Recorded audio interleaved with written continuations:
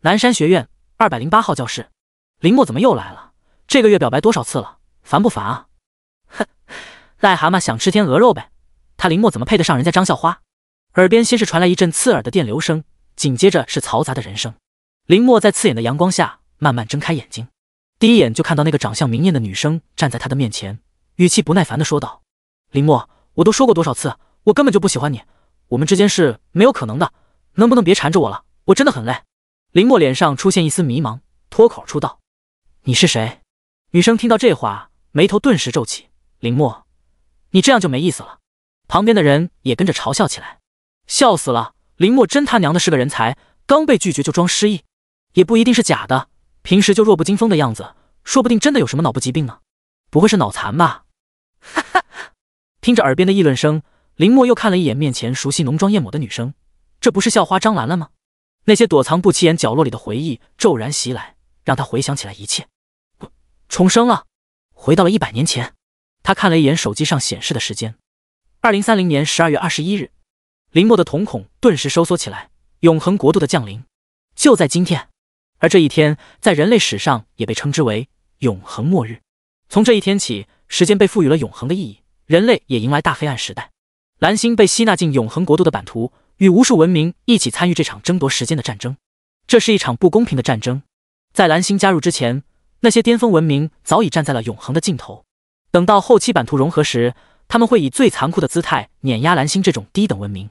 前世的林墨已经站到了人类的顶点，可是面对三大永生大帝的围攻时，才真正的发现了自己的渺小。要不是他天赋特殊，可能连招架的机会都没有。尽管他最后已经拼尽全力了，耗尽天赋神性，依旧只能与其中一位同归于尽。然而，人族失去了他这位顶梁柱后，却以极快的速度被其他永恒种族蚕食、吞并，最终走向落败的终点。不过，这一切都还来得及。林墨回来了，前世在游戏初期浪费掉的黄金时间。他全部都可以补回来，这一世他势必要比前世更加强大。巅峰文明也好，永生大帝也罢，都是我的踏脚石。他眼神微寒，目光却坚定无比。面前的校花张兰兰还以为他有什么不满，冷哼一声：“林墨，你是不是听不懂人话？非要装傻有什么意思？不管如何，我都不会对你产生半点兴趣的。至于你送的那些包包、口红、化妆品什么的，我可不会还你，早就挂咸鱼卖了，反正也不值几个钱。”说完，他脸上还露出一丝嫌弃。即便在他众多舔狗之中，林墨也是排在倒数的位置上。家境一般，身材瘦弱，唯一还看得过去的就是那张还算清秀的脸。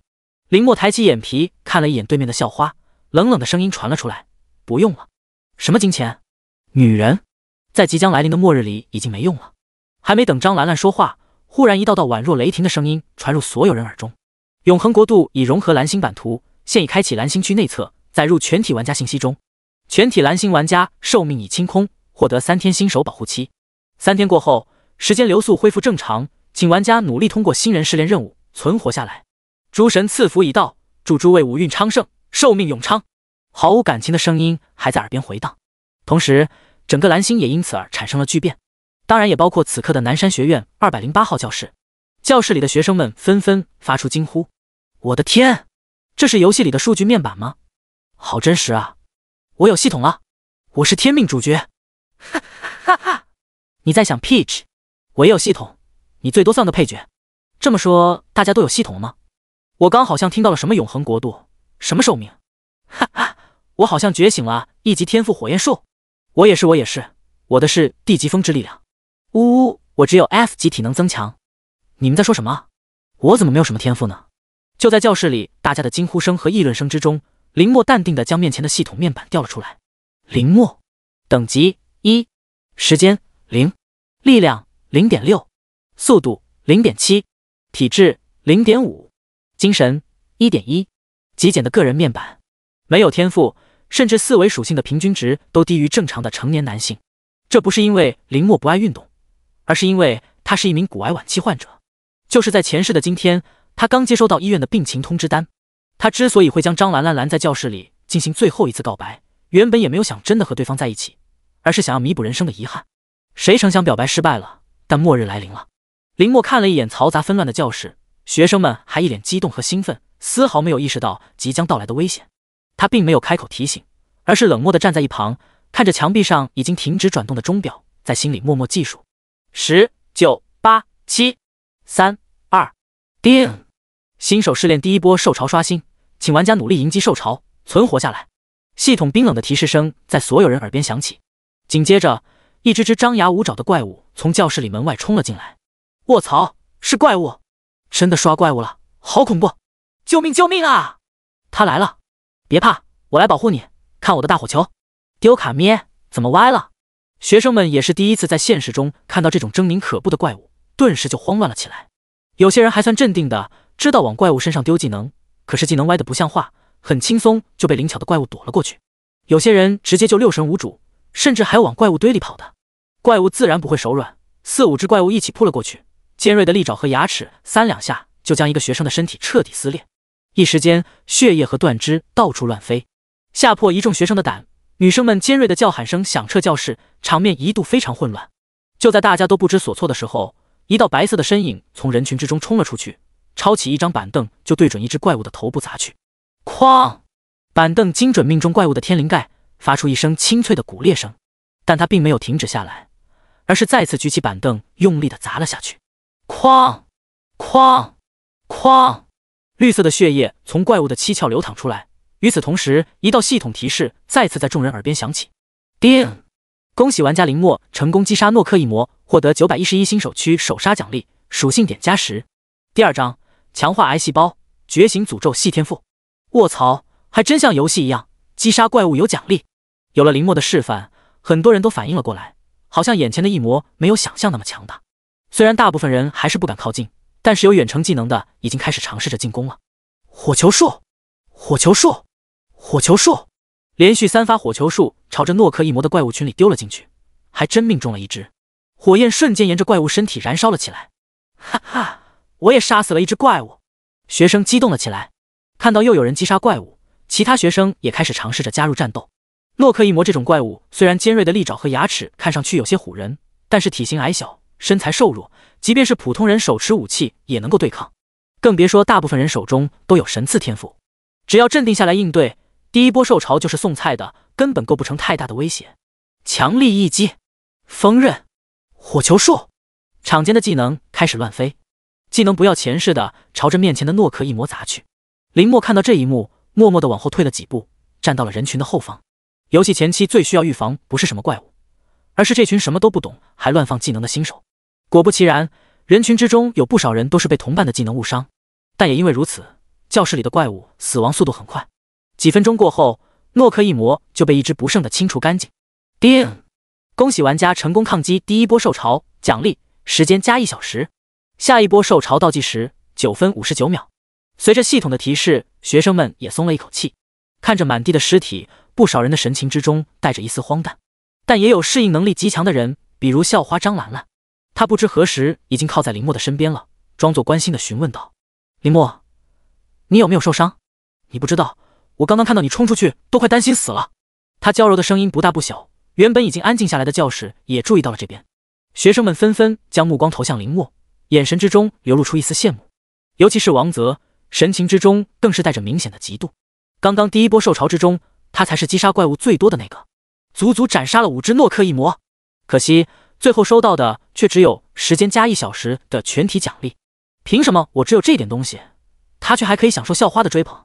王泽心中不忿，最后轻咳一声，朗声道：“大家听我说，下一波兽潮就要来了，我们要集中力量对抗怪物。”他振臂一呼，将大家的注意从林墨转移到自己身上。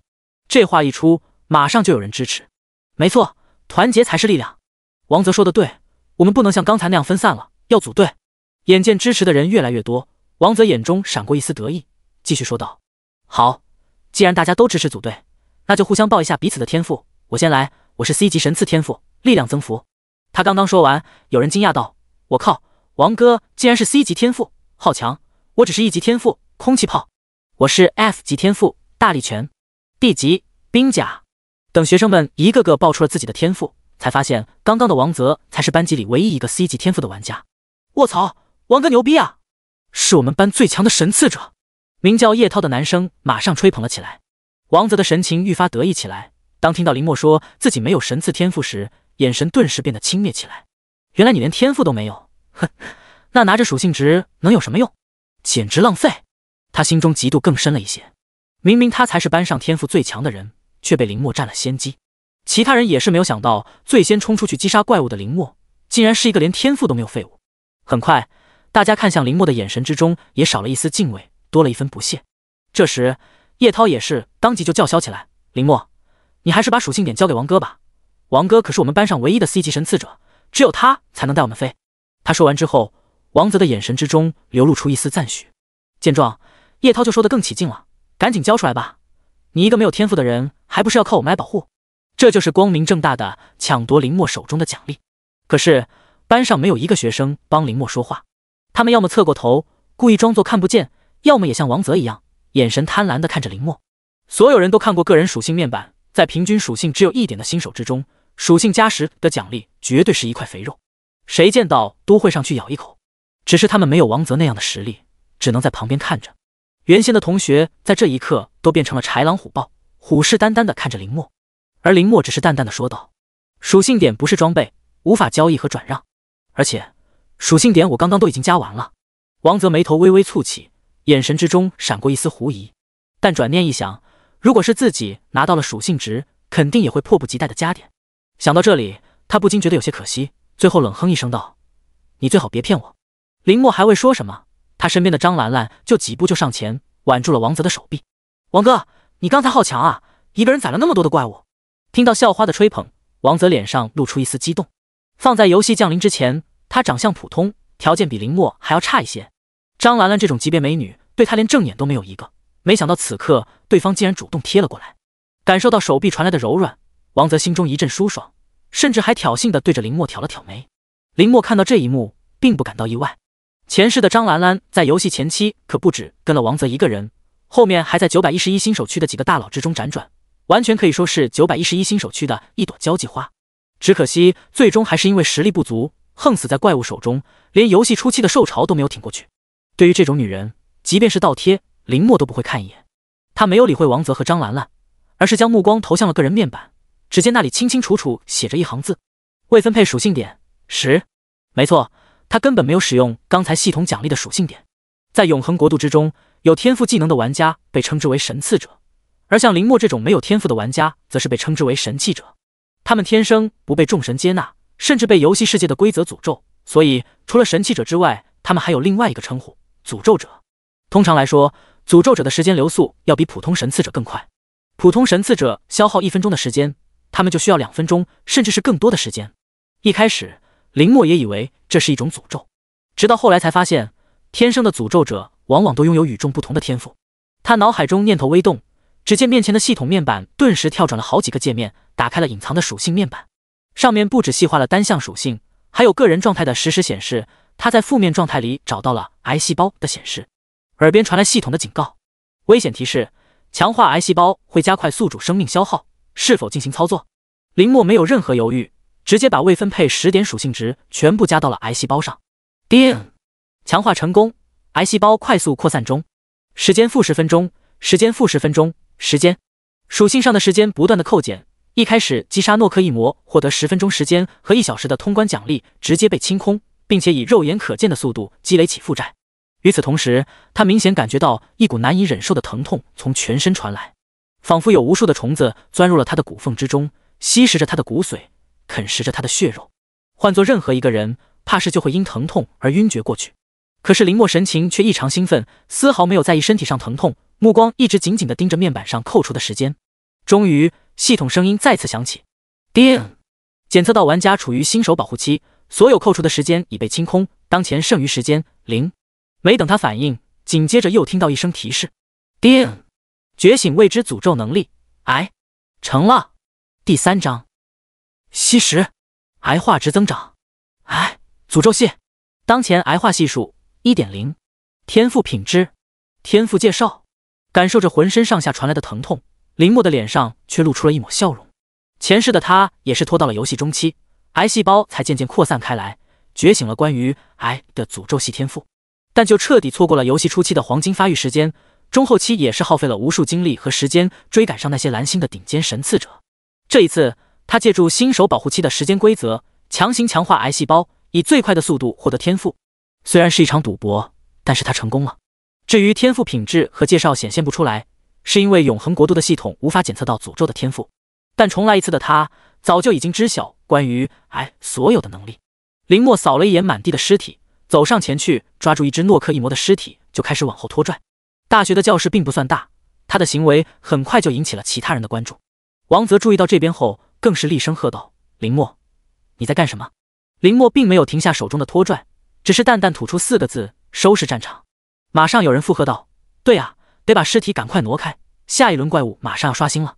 大学教室比高中教室要大一些，但如果受潮的怪物再多一些，难免会像刚刚一样陷入混乱，清理尸体就变得理所当然起来。”王泽也是接受了他这个说法，呵呵一笑：“你倒是有自知之明。”说完。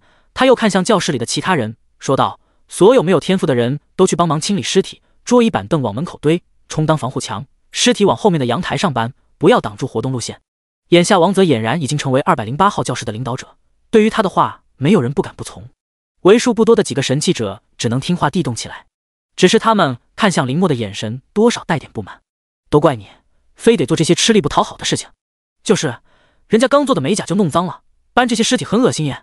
他们小声的抱怨着，林墨只是看了他们一眼，就挪开了目光，连话都懒得说一句。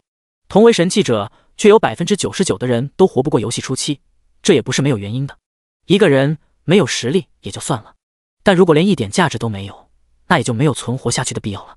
其他神器者只是收拾着桌椅板凳，没有人愿意触碰晦气的尸体，只有林墨一个人一声不吭的搬着尸体，而这也正合了林墨的意。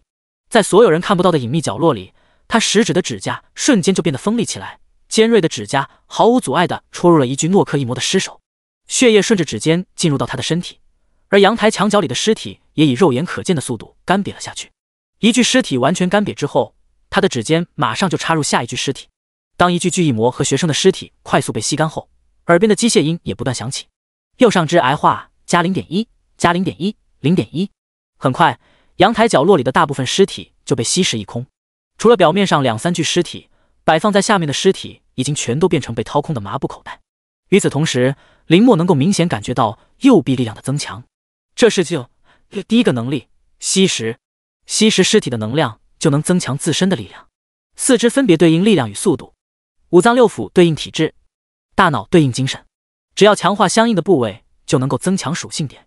等到所有系统提示的增强结束，结果也显现了出来：右上肢癌化二点三。个人面板的数据也有所更新，力量零点六加一点一五平均值，速度零点七，体质零点五，精神一点一。一个成年男性的力量是一点，现如今林墨右臂的力量相当于三个成年男性。当然，左臂的力量还没有加强。林墨眯起眼睛，心中暗道还不够，尸体太少了。一波受潮也不过十几只诺克异魔，加上玩家的尸体也不过二十多具。距离进化到下一步还需要更多的尸体。林墨稍稍收敛心神，身后就传来王泽的呼喊：“所有人都给我过来开会！”一直游离在圈外的几个神器者听到这话，脸上露出喜色，屁颠屁颠的就跟了过去。林墨在心里冷笑了一声，也跟着走了过去。王泽没有多说废话，直接伸出手开始的点人。叶涛、张兰兰、二黑、大烈，你们几个人跟我一队，其他神赐者自动组成小队，方便行动。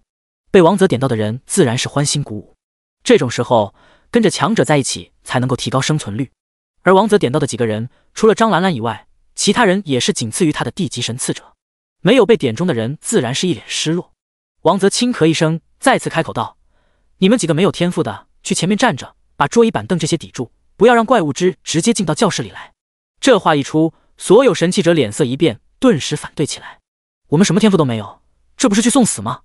凭什么我们要站前面去？我不去，谁爱去谁去。对啊，你们不能这么干，我要给老师说。神器者们的抵抗情绪很高。叶涛讥笑道：“哈哈，现在社会都乱成这样了，你以为老师还能管你吗？”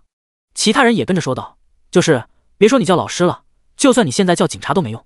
从永恒国度降临开始，手机等通讯设备就已经失效，而且教室的四周就像是被布置了什么结界一般，根本无法出去。”如今，二百零八号教室就像是一间完全封闭的房间，根本无法联系外界。这时，王泽也是脸色不善的说道：“你们要么现在就死，自己选吧。”如此赤果果的威胁，让几个神器者吓得脖子一缩。他们能够明显感到王泽身上的杀意。有些人向着人群里的同学求助：“林月，你说句话，我们可是一个寝室的。”二强，我们是朋友啊，你你救救我！神赐者的人群之中一片沉默，很多人都侧过头去，没有出声。如果是刚才第一波怪物来临之前，他们或许还会认什么朋友情、同窗情谊。可是第一波怪物就死了很多学生，看到那些人的死状，他们都意识到这些无能力者没用。很现实，这就是末日。神器者们的脸上露出一丝绝望，甚至是怨恨。可是他们却不敢不听王泽的话，只能乖乖的站在前面去。林墨也准备跟着过去，却被王泽喊住：“林墨，你过来，站到我这边。”第四章升级，区域聊天频道开放。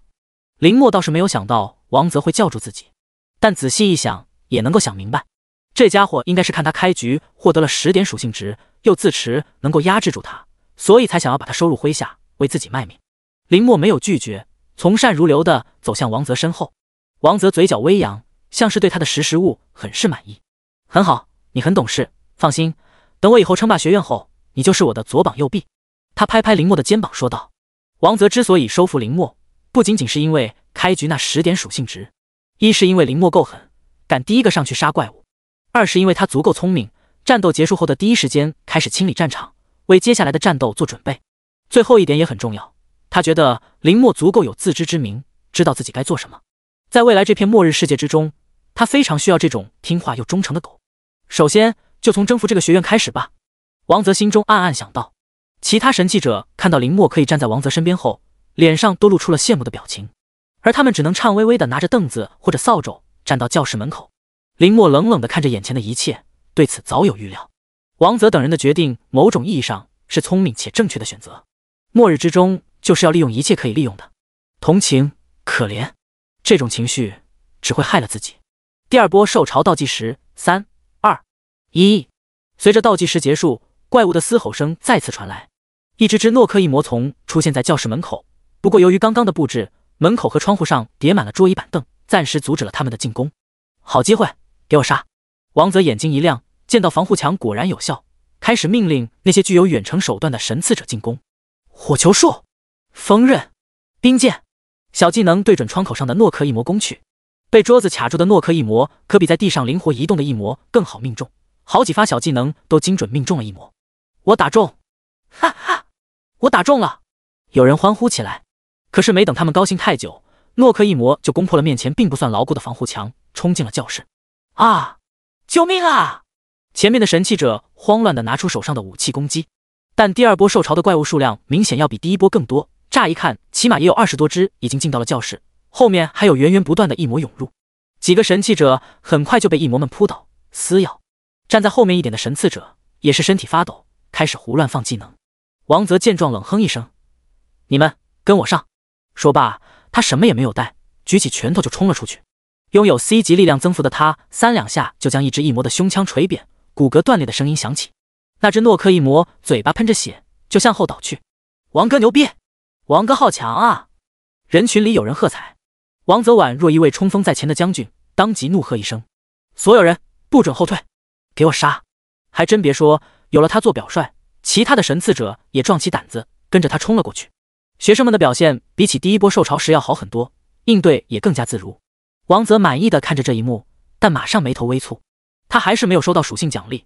击杀怪物和第一波受潮一样，一只诺克一魔只加了十分钟的时间，除此以外什么都没有。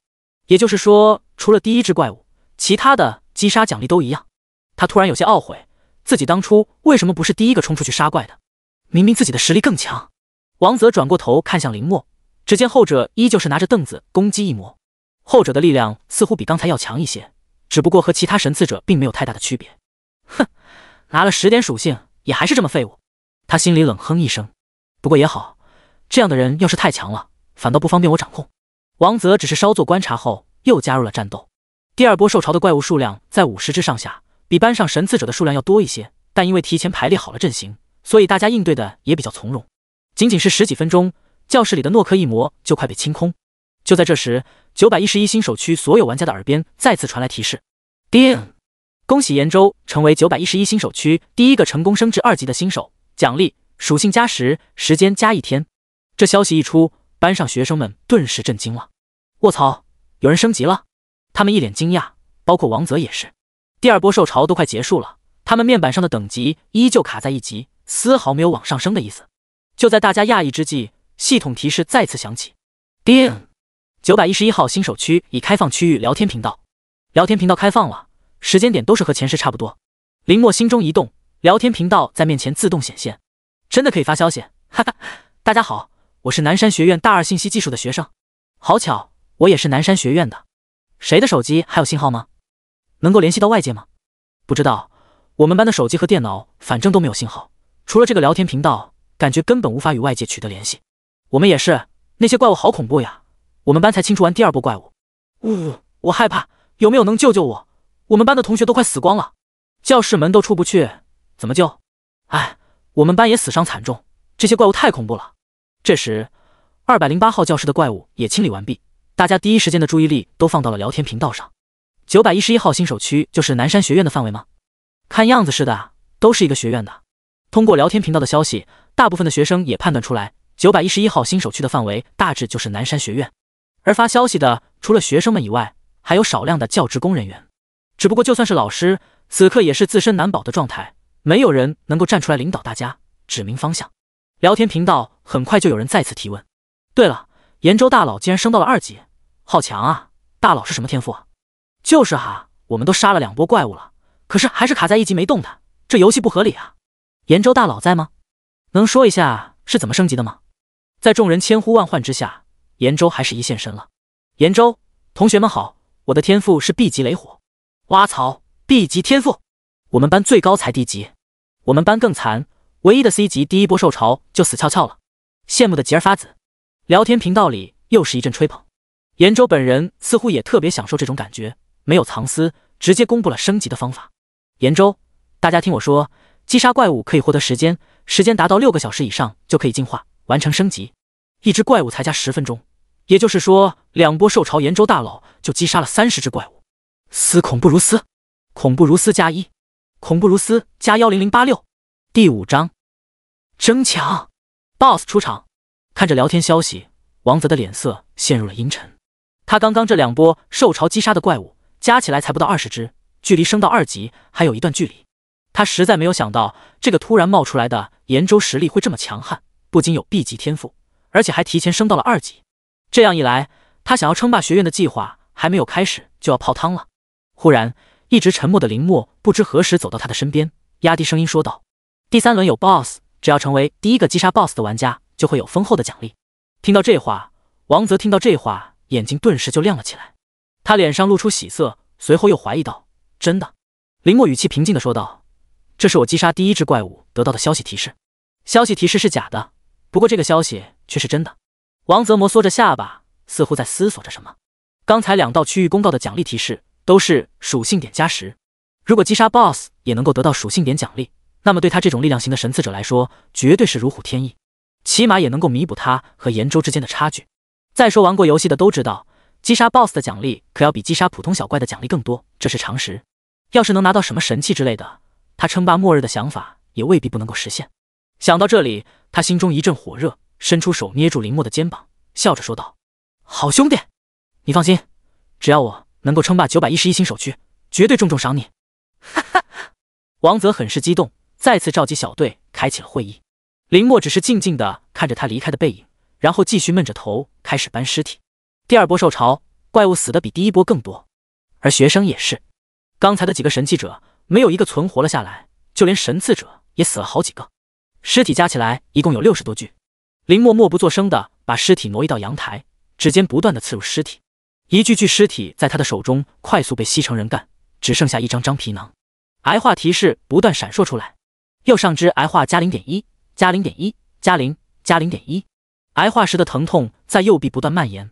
力量也在不断的提升着，林墨的表情却没有丝毫变化，全程就像是一个搬尸体的机器人一般，把尸体从教室搬到阳台。阳台上散发着浓烈的血腥恶臭，让人避而远之。正因为如此，也没有人注意到这些尸体的变化。等到林墨停下来时，右上肢的癌化已经达到六点七，面板上的力量也达到零点六加三点四，不够，还是不够。林墨眯起眼睛看向不远处的王泽。空气中飘来一丝香甜的血腥味，他舔了舔下嘴唇，看向王泽的眼神就像是在看一块肥美的肉。对于这一切，王泽并没有察觉到，他还在自顾自的编排着阵型。你们，还有你们，等下就顶在最前面。王泽伸出手，开始指点江山。被他点到的小队神情虽然有些不满，但是却不敢反抗，只能听命行事。很快，新的队形出现，王泽还是招招手，将林墨喊到了身边。如今的林墨已经是整个班级里唯一一个没有天赋的神器者，但待遇比其他神赐者还好，站位就在王泽身后，看上去极其安全。桌子板凳经过第二波受潮的肆虐，基本上已经没用了，只能摆在门口，给异魔们增加一点阻碍。很快，第三波受潮也进入倒计时，十。九八三二一，随着倒计时结束，第三波兽潮终于来袭。吼吼！诺克异魔们发出阵阵嘶吼声。明明异魔们的体型和等级都没有变化，可是才刚刚出场就能够感受到与前两波兽潮完全不同的氛围。是数量，王泽立刻就意识到眼前的兽潮数量要比刚才更多。BOSS 呢？他的眼睛不断的在怪物之中寻找着。终于在数十只异魔的后方发现了一只体型比其他异魔要大一圈的怪物，他浑身血红，手提着钢刀，一双眼睛在头顶闪烁着渗人的光泽，光是看体型已经与成年男性相差不大了。上面写着一行小字：钢刀诺克异魔。兽潮也显示了他的基本信息：钢刀诺克异魔，普通 BOSS，等级一，技能两连斩。相当简略的面板信息，可是却表明了身份。林墨没骗我，竟然真的有 BOSS。王泽一阵激动，当即就挥动着手臂，所有人听我命令，给我往前顶，突进去！他振臂高呼。不过前面的学生们先不愿意了。卧槽，别推我啊！凭什么我们要给你们当肉盾啊？别搞别搞，怪物太多了，就这样先远程输出呗。就是，我们也是神赐者，我们不干。王泽见到这些人不听话，当即也不废话，直接对着前面一个不愿意挪动的学生就是一拳。砰！那名学生的脑袋就跟西瓜一样，直接爆开。血液四处飞溅，洒的到处都是，吓得周围的女生们一阵尖叫。王泽却没有理会他们，语气阴沉的说道：“要么听我的，要么死。”看到他是来真的，前面的人也只能乖乖听话，往前顶了上去。王泽冷笑一声，对着身边的队友说道：“我们上。”队友们纷纷应道：“好。”前面的人被后面的人强行顶了上去，充当肉盾。在这种情况，他们只能拼命，技能不要钱似的往外丢了出去。落在怪物堆之中，一时间教室的大门处变得拥堵了起来，喊杀声、嘶吼声交织在一起。在混乱之中，所有人都没有注意到林墨的身形在人群之中穿梭，他尖锐的指尖不断的刺入尸体之中，快速的吸食着血液。一具普通诺克异魔的尸体，只需要两秒不到就能够吸食干净，而且右臂的癌化数值越高，他吸食血液的速度也就越快。战场制造尸体的速度再快，也没有他吸食的速度快。一具具尸体在他的手中快速干瘪了下去，右上肢癌化加零点一，加零，加零，加零点一，癌化的数字不断往上升，很快就突破了八点零，朝着十点靠近。林墨嘴角微扬，眼睛扫向战场，战斗很快就进入到白热化阶段。王泽求胜心切，很快神赐者的队伍中也出现了伤亡，一个个神赐者被更多的诺克一魔扑倒在地，在利爪和坚持的攻击下，很快就没了声息。但王泽并没有理会这些。反而变本加厉的催促道：“给我上，给我上，不上就去死！”他的拳头也不断的向着周围扑过来的异魔轰去，一只只异魔倒在他和队友的手中。在这种不要命的打法下，队伍推进效率也很高。很快，王泽他们就推进到了怪物的核心层，正面看到那只提着钢刀的钢刀诺克异魔。王泽兴奋地大喊：“给我杀！谁要是砍伤他，我就让谁加入我的队伍，并且获得的奖励也平分。重金之下。”必有勇夫。听到王泽的承诺，周围学生们眼睛都亮了。杀！他们纷纷拿起武器冲向异魔 BOSS。第六章第二个能力畸变。钢刀诺克异魔提着手中的钢刀不断斩击，虎虎生风。好几个试图靠近的神刺者都受了伤。钢刀诺克异魔的实力明显要比普通的诺克异魔强很多，但也不是无敌的。很多神刺者的远程技能偶尔命中，还是能够造成伤害。负八，负十二，负十。扣血提示不断在他头顶飘起，钢刀诺克一魔接连后退几步。王泽见状，立马起身上前，拳头不断轰出。负二十二，负二十，负二十四。他的伤害相比起其他神赐者要高出不少。钢刀诺克一魔在他的攻势下接连后退。其他队友看到这一幕，也是一脸激动。叶涛更是大喊道：“王哥牛逼，我来帮你！”队友们纷纷跟上输出。他们是二百零八号教室最强的一支小队，队员基本都是地级天赋，输出比其他小队高出不少。有了他们的帮助，钢刀诺克一魔的血条下滑速度很快。几分钟过后，BOSS 的血条已经下滑到红色危险线之下了。眼看着 BOSS 血量见底，王泽的神情浮现出难掩的激动，手上的动作都加快了不少。不过，这么快速的推进也不是没有代价，包括他在内，还有其他队友身上或多或少都挂了彩。输出的力度也不如刚才了。王泽现在的眼中却只有 BOSS，其他什么都没有。只要击杀了 BOSS，我就能获得通道奖励。王泽的拳头越来越快，终于 BOSS 的血量只剩下最后一丝，他连忙大声喊道：“都给住手！最后一击让我来！”队友们也算是听话，都停下手来。王泽看到这近在咫尺的奖励，再也忍不住大笑出声：“哈，奖励是我的了！”说罢。他就要对着已经苟延残喘的钢刀诺克一魔补上最后一刀，可是刚刚准备出拳的他，忽然感觉后腰传来一阵撕裂的疼痛。他惊恐的转过头一看，只见林墨右臂不知何时已经变成了一柄锋利的古剑，并且狠狠的戳进了他的腰子。林墨面无表情的看着他，说道：“谢谢你帮我打 BOSS，我就收下了。”古剑从腰间猛地抽出，血液瞬间飙了一地。王泽也不受控制的往后倒去，后面的队友们根本来不及阻止眼前发生的一切。他们就看见林墨微微向前踏出一步，锋利的古剑唰的一下斩出，哐嚓一声，钢刀诺克一魔的头颅被齐根切断，顺着肚皮滚落下来。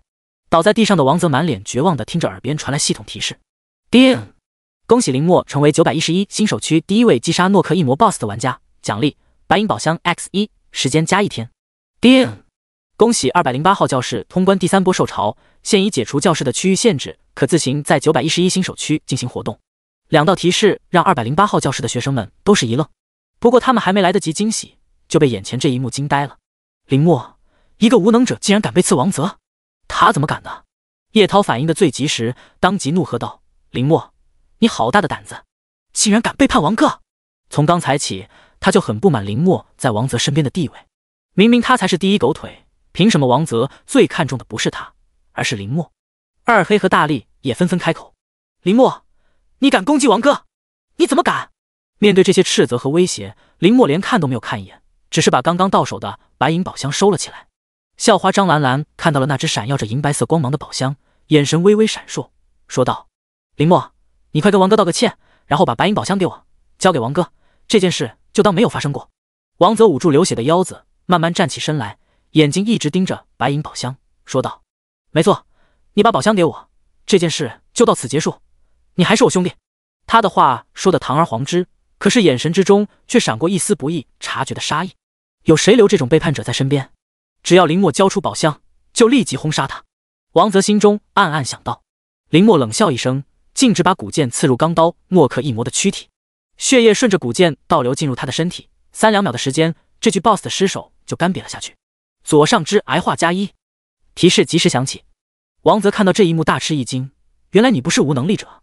林墨收回沾满血迹的古剑，说道：“现在知道这点晚了。”在了得落下的一瞬间，他踏步向前，化为古剑的右臂，轻轻往前一挥，空气中划过一道干净利落的弧线，锋利的古剑朝着王泽斩出。王泽下意识想往后退，可是脚下就像被什么东西粘住了一样，动弹不得。不，他的话戛然而止。下一秒，大好的头颅随着一股力道被高高的抛起，然后落下。滚落了几圈后，在他的脚边停下，意识陷入死亡的前一刻，他在想，在真正的死亡来临之前，原来浑身都会发软。事情发生的太快，周围的学生们都来不及反应。林墨，你疯了！你敢杀王哥？林墨，你找死！叶涛等小弟纷纷惊怒道。林墨上前走了几步，不加掩饰的将古剑刺入王泽的尸体。在众人的惊恐的眼神之中，王泽的尸体跟刚刚的钢刀诺克一魔尸体一样。很快就被古剑吸成人干，看不清原来的模样。左上肢癌化加零点八，果然 C 级神刺者就是要比普通神刺者更加美味。林墨舔了舔下嘴唇，怪物，你是怪物！叶涛恐惧的往后退了半步。其他学生看到这令人惊悚的一幕，也是有些发虚。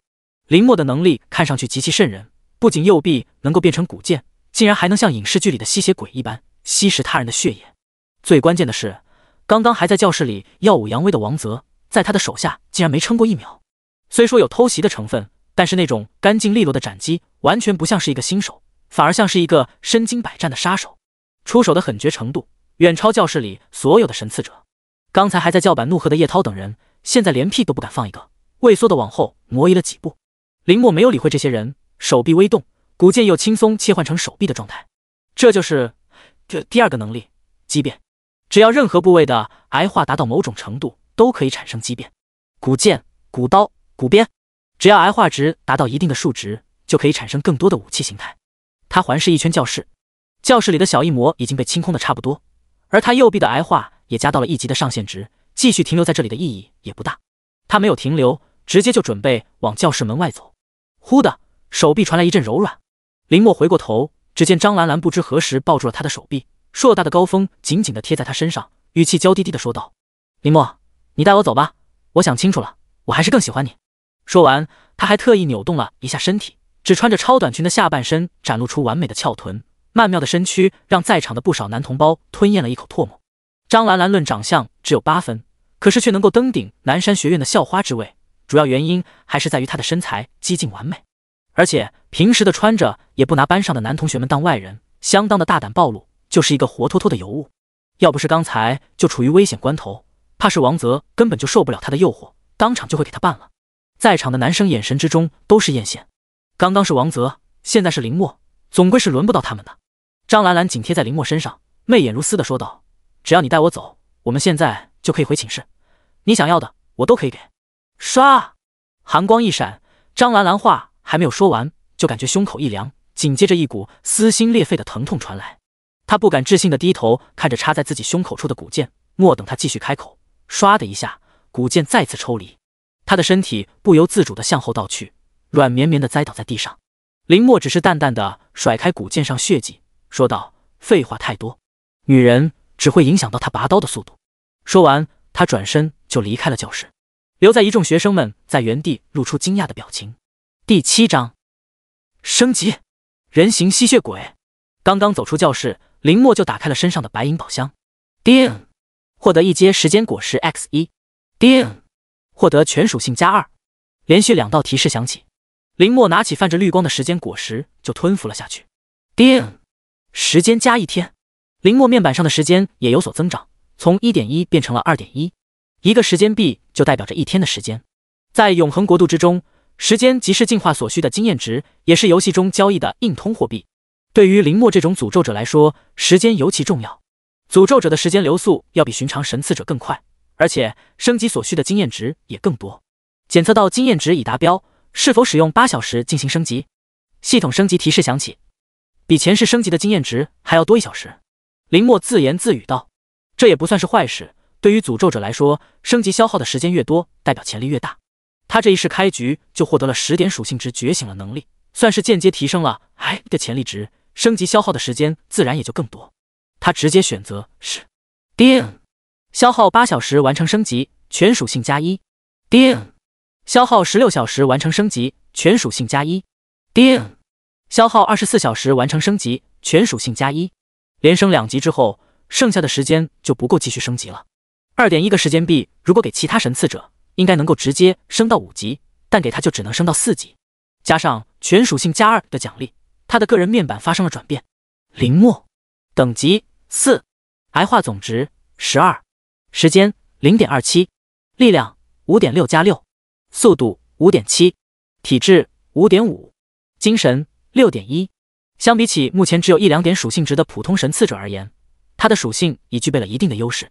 上肢的癌化值只要达到十点，就可以进行简单的畸变。右臂已经可以变化成简单的古剑、古刀形态，不过更加复杂的形态还需要继续提升癌化值。右臂古剑的力量值将近十六点，现在要是面对刚才的 BOSS 钢刀诺克一魔，不需要假借其他神赐者之手，他用不了多少时间就能够将其斩于剑下。吼吼！就在他开宝箱之际，远处的走廊里突然冲出几只诺克异魔，紧接着越来越多的异魔从教室里冲出来。挤满了整座教学楼上下层的走廊，通关的教室自然不会有剩余的诺克异魔。这些异魔应该是击杀了教室里所有学生，才重新从教室里涌了出来。按理说，新手试炼前三波的受潮难度并不算很高，但这些生活在温室里的学生们，即便忽然之间掌握了巨大的力量，在猝不及防的危险之下，也未必能够使用。二百零八号教室之所以能够快速稳定局势，除了王泽拥有 C 级神赐天赋以外，最关键的是，林墨提前出手击杀怪物，让大部分的学生都意识到怪物没有那么可怕，镇定了下来。哎呀，救命啊！我技能放不出来了。学生们在教室走廊逃窜，很多人刚刚经历了一场大战，精力消耗的差不多，天赋技能也进入到冷却阶段。现在面对走廊成百上千的诺克一魔，甚至其中还掺杂着一两只 BOSS，他们根本就应接不暇。惨叫声、哀嚎声不断从走廊传来，很多学生们连忙关紧教室大门。生怕又有诺克异魔再次杀进来，林墨倒是没有退却，面对袭来的诺克异魔，展开古剑，轻松收割，刷刷刷，锋利的古剑每次都能够精准的斩下一魔的头颅，一剑一个小异魔。叮，时间加十命，时间加十命。不过林墨的操作并没有引起太大的关注，走廊那边很快就就传来了阵阵惊呼：神刺雷火！一道巨大的爆炸声在走廊那头响起。火光直接淹没了数十只小异魔，爆炸过后，走廊留下一片残肢断体，周围的惊呼声接连传来。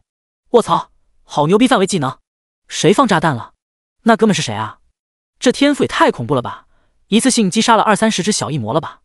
雷火，好耳熟啊！哎，这不是聊天频道那个延州大佬的天赋吗？延州大佬牛逼啊！不愧是我们学院天赋最高的神赐者。走廊里传来阵阵喝彩声，有了延州的帮忙。走廊上泛滥成灾的小异魔很快得到了控制。林墨眯起眼睛看着走廊上的战斗，并没有选择插手，而是将古剑刺入走廊上一具具尸体。右上肢癌化加零加零加零加零点一，左上肢癌化加零点一零点一加零加零点一。相比起左臂的癌化值，右臂的癌化值明显吸收进度变缓。有时候好几具尸体也未必能够提供给他零点一的癌化值，这是因为玩家每一次的升级。都是一次进化，生命的层次提高后，癌化值吸收的门槛也提升了。这个时候，如果再吸收低等级的怪物尸体，能够吸收的癌化值自然也会变少，甚至没有。不过眼下走廊上的尸体数量众多，也足够林墨继续吸收。噗呲，他继续将古剑插入尸体之中，一具具还算新鲜的尸体在他手下快速过期，而他吸收血液的速度也越来越快，从之前的两三秒到现在一秒钟不到的时间就能够吸干一具尸体。就在林墨沉浸在吸食尸体的快乐之中时，忽然一道惊呼传来：“我的天，你在干什么？好恶心啊！”一个学生捂住嘴，惊恐地看着他。听到他的声音，附近不少人也转过头来，刚好看到林墨将古剑插入一具学生的尸体之中，然后那具尸体以肉眼可见的速度被吸干。卧槽，吸血鬼！尼玛，这不会是什么人形怪物吧？死！不少人看得头皮发麻，冷汗直流。那种血液顺着古剑不断往上流的画面，给他们极大的震撼感。很多人下意识认为林墨是什么 BOSS 怪物之类的。这边的动静也吸引了一路清怪过来的延州，他瞳孔微微收缩起来，明显也是被这惊悚的一幕吓了一跳。这是什么操作？他刚想说话，就听到旁边已经有人率先开口呵斥：“你在干什么？为什么要动我们班的同学？”其他人也纷纷回过神来：“就是你疯了！这是什么疯子？连人也吸？”对于很多人来说，这一幕有些接受不能，有人还上前劝阻道：“这位同学，你必须马上停止你的行为。”林墨抬起眼皮扫了一眼拦在面前的人，冷声道：“不想死就滚远一点。”第八章招纳和拒绝第四波受潮刷新，劝阻的人顿时涨红了脸，可是看到林墨这般强势的态度，也不敢多说什么，只能讪讪的退开。而旁边刚刚还在吐槽的人，声音也小了很多，他们都是刚刚从受潮中存活下来的人，已经接受了这个世界的异变。不少游戏降临前看起来默默无闻的人，在获得神赐天赋后摇身一变，成为大家都羡慕的强者。眼前的林墨虽然看上去有些瘦弱，可是浑身杀意凛然，一看就知道不是好惹的角色。他们才刚刚经历了大战，不想因为这点事情招惹一位强者。就连刚准备出生的延州，也都将快到嘴边的指责收了回去。他虽然是九百一十一新手区里第一个升到二级的神赐者，可是这并不代表就可以在学院里称霸。说不定九百一十一新手区里。还有比他天赋更强的神赐者，谨慎起见，严州没有说话。严州不出声，其他学生就更没有人再敢跳出去阻止了。于是，整栋教学楼的走廊就出现了非常诡异的一幕。这头，严州带着存活的学生清理走廊；那头，林墨不断的用古剑吸食着走廊上的尸体。双方互不干扰，甚至还形成了一定的默契。但凡被漏到林墨那边的怪物，严州这边都不会出手追击，而是静静的旁观。而看到他如此轻松的收割这些诺克异魔，严州也愈发确认了林墨的实力不凡。议论林墨的声音也越来越少，直至消失。这就是永恒国度的世界，只有强者才有话语权。不少聪明人已经明白了这一点，其他人不明白也没有关系，时间会叫他们明白一切。他们沿着教学楼清空了一层又一层的走廊和教室，延州的队伍愈发庞大起来。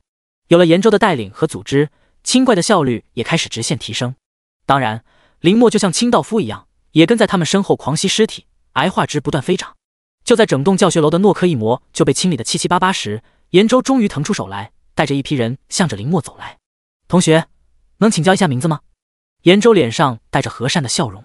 林墨淡淡的吐出两个字：林墨。延州眼中闪过一丝意外：“你就是第一个击杀怪物和 BOSS 的林墨？难怪。”他略微沉吟后继续说道：“林同学，有兴趣加入我的团队吗？”站在他身后的小弟们也跟着开口：“哈哈，能收到严哥的邀请。”你的面子真大，林墨，严哥可是 B 级神赐者，跟着他绝对没错的。严州笑着说道：“没错，比起单打独斗，不如加入我们的团队，一起做大做强。”说到这里，他话锋一转：“只要你把神赐天赋和个人面板示给我看，我们就能接纳你。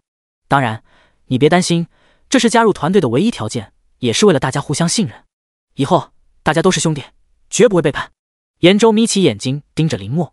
他主要还是为了打探出林墨的真实能力。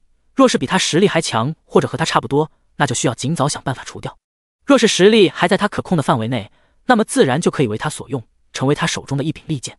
周围的人也纷纷露出羡慕的神色。虽然现在跟着严州的人不少，可是这些人明显是外围成员，根本没有进入到他的核心团队。卧槽！被延州大佬亲自邀请，这也太爽了吧！呜，大佬能带带我们吗？我也是地级天赋，能进你的队伍吗？羡慕骂了呀！这应该就是我们九百一十一新手区的顶级团队了吧？严州听到这些话，也是不紧不慢的回应道：“诸位同学，你们不用急。地级以下的神赐者暂时收编成普通成员，地级以上的神赐者择优录取进核心团队。C 级神赐者可以直接成为主力队员，加入我的团队。想要加入我们的，可以去助手那里登记，让我们一起对抗接下来的挑战。”这话一出，人群也是沸腾了起来。大佬牛逼，跟着延州大佬混，铁定没错。我要报名，加我一个，我也是。走廊上顿时就热闹了起来。严州满意的看着这些人的反应。他在之前聊天频道刚刚开始的时候，没有刻意隐瞒升级的消息，就是知道这条讯息隐藏不了多久就会被发现，还不如提前公布，在九百一十一新手区铺垫一波，赚一波人气。现在看来，刚才的计划很成功。如今他已经占据了先机，相信九百一十一新手区目前没有人比他的声望更高，更能拉拢人心。只要快速在九百一十一新手区里快速建立属于他的势力，就算以后遇到天赋比他更强的神赐者也没事。毕竟出来混都是要讲势力、讲背景的，单打独斗是不可能走长远的。好像游戏初期是有这么个人。看着眼前的情形，林墨也回忆起延州这号人物。延州的举措，某种意义上倒是没什么问题。只不过他不知道的是，在那些真正的妖孽面前，再多的人也没什么用。而且过分依靠自身实力之外的力量。最终的上限也不会太高。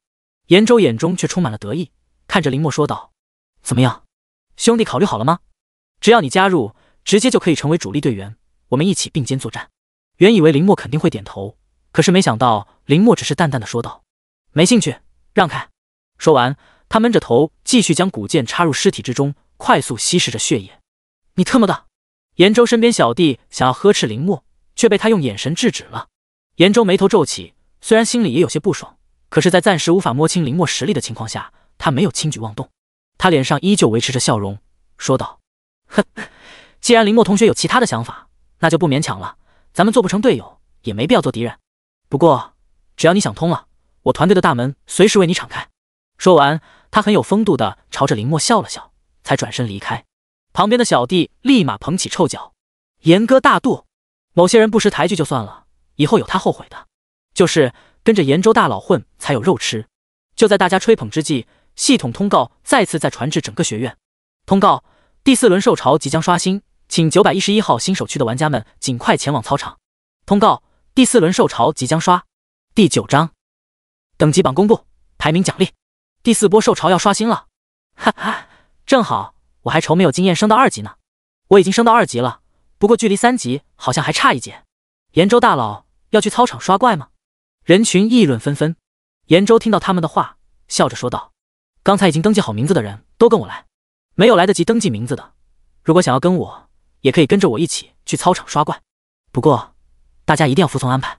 其他人立刻附和着：“那是肯定的，延州大佬，你喊我们往东，我们绝对不往西。”面对众人的应答，延州满意的点点头，随后扫了一眼还在低着头干活的林墨，脸上闪过一丝不屑：“看我带着队伍把受潮的经验吃光，你就知道后悔了。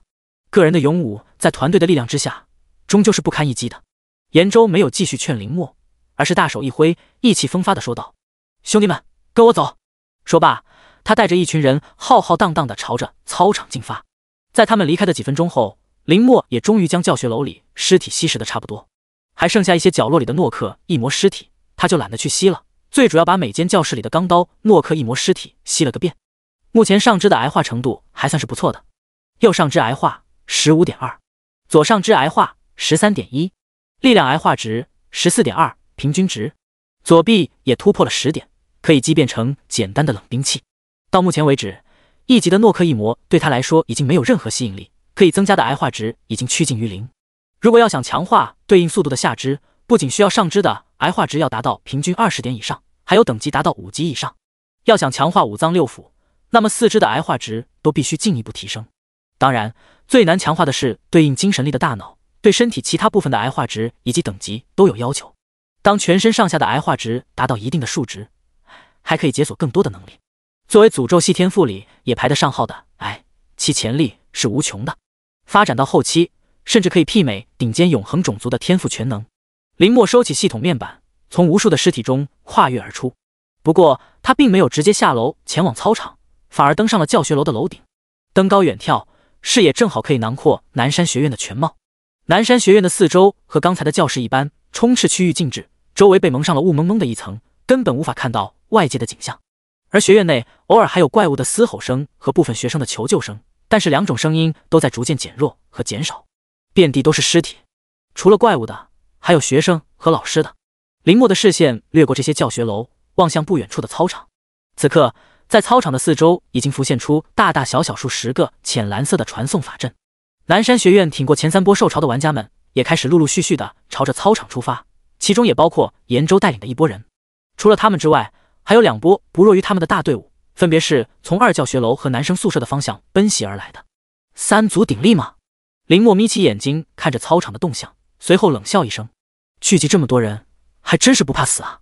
另一头，严州刚刚带着大队伍赶到第四波受潮刷新点操场时，耳边就再次传来系统提示：“公告：九百一十一号新手区等级榜已激活，请玩家自行查看。”提示：区域等级榜只开放前一百名，等级榜公布了。哈哈，我可以看到自己的排名了，让我来看看到底有多少隐藏大佬。莫等严州细看，他马上收到了系统提示：是否公开等级榜单的姓名？严州几乎没有任何犹豫，就点击了是。他现在需要的是声望，自然不能当什么匿名的独行侠。如果可以，他甚至想把自己的名字打在聊天频道上，加大加粗，然后每分钟刷屏一百遍。当然，这样做或许会有点效果，但实在是太掉价了。他也只是想想而已。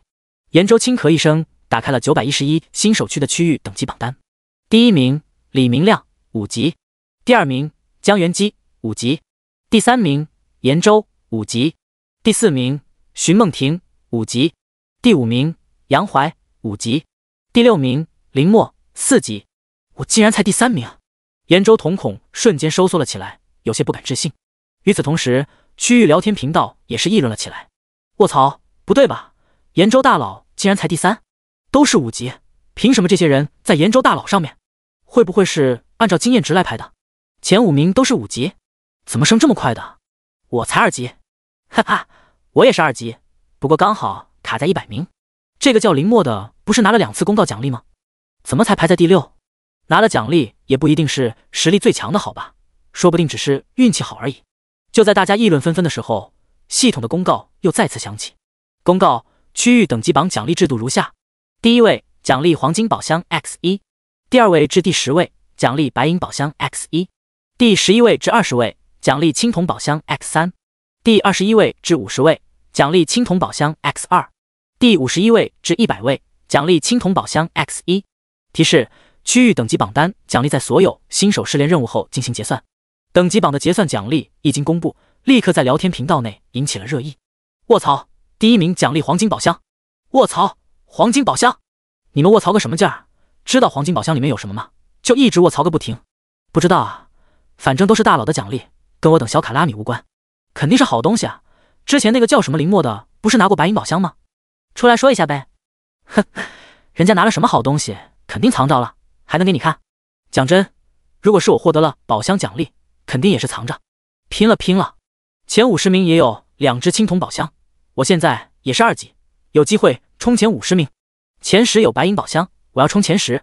延州也是看到了区域等级榜单的结算奖励，尤其是看到第一名奖励的黄金宝箱，眼睛都亮了。刚才在教室里，他就没有拿到白银宝箱的奖励，主要是他一开始没有料到第三波兽潮里会有 BOSS。当 BOSS 出现的时候，他的天赋技能雷火刚好进入冷却时间，但凡提前做好准备，可能刚才的首杀 BOSS 就是他，拿到白银宝箱的人也是他。没事，白银宝箱错过了，还有黄金宝箱。他眼神之中一阵火热，这次我必拿下。第十章三足鼎立，第四波兽潮刷新。随着系统的几道公告结束后，前往操场的玩家也越来越多。许多原本打算观望一波的玩家们，听到等级榜的奖励后也坐不住了。除了一些因为前几波受潮受伤的玩家以外，其他幸存的玩家全都赶往了操场。此刻的操场已经围满了人，人数大约超过了一千人。好在南山学院的操场够大，一千多名玩家站在里面并不算拥挤。这一千多名玩家大致被分为了三拨人。首先就是延州从一交带出去的那波人，原本有大约两百名左右，一路上又扩充了一部分，大约有四五百人，也是目前人数最多的一波人。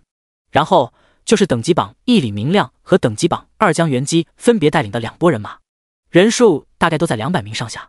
除此之外，都是一些散兵游勇。在短暂的混乱过后，几方人马的领头人也终于打了照面。你就是严老大。李明亮笑眯眯地看着严州，眼睛扫了一眼他身后的人，开口就道：“不愧是第一个升到二级的大佬，小弟真多啊。”严州呵呵一笑，说道：“什么小弟？这些都是我的兄弟，只要现在加入我的团队，现在就可以组编进入队伍，等下迎击受潮的时候还可以互相照应。”李明亮收起笑容，说道：“严老大说的倒是好听，不就是仗着人多抢怪吗？”严州听到这话也没有生气，脸上的笑容没有减退半分，说道。李同学，这就说笑了。我也是为了同学们的安全考虑，有组织、有纪律的迎击受潮，才能够把伤亡率控制到最低。李同学，如果信任我，也可以加入我的团队。只要来了，你就是我们炎火工会的二把手。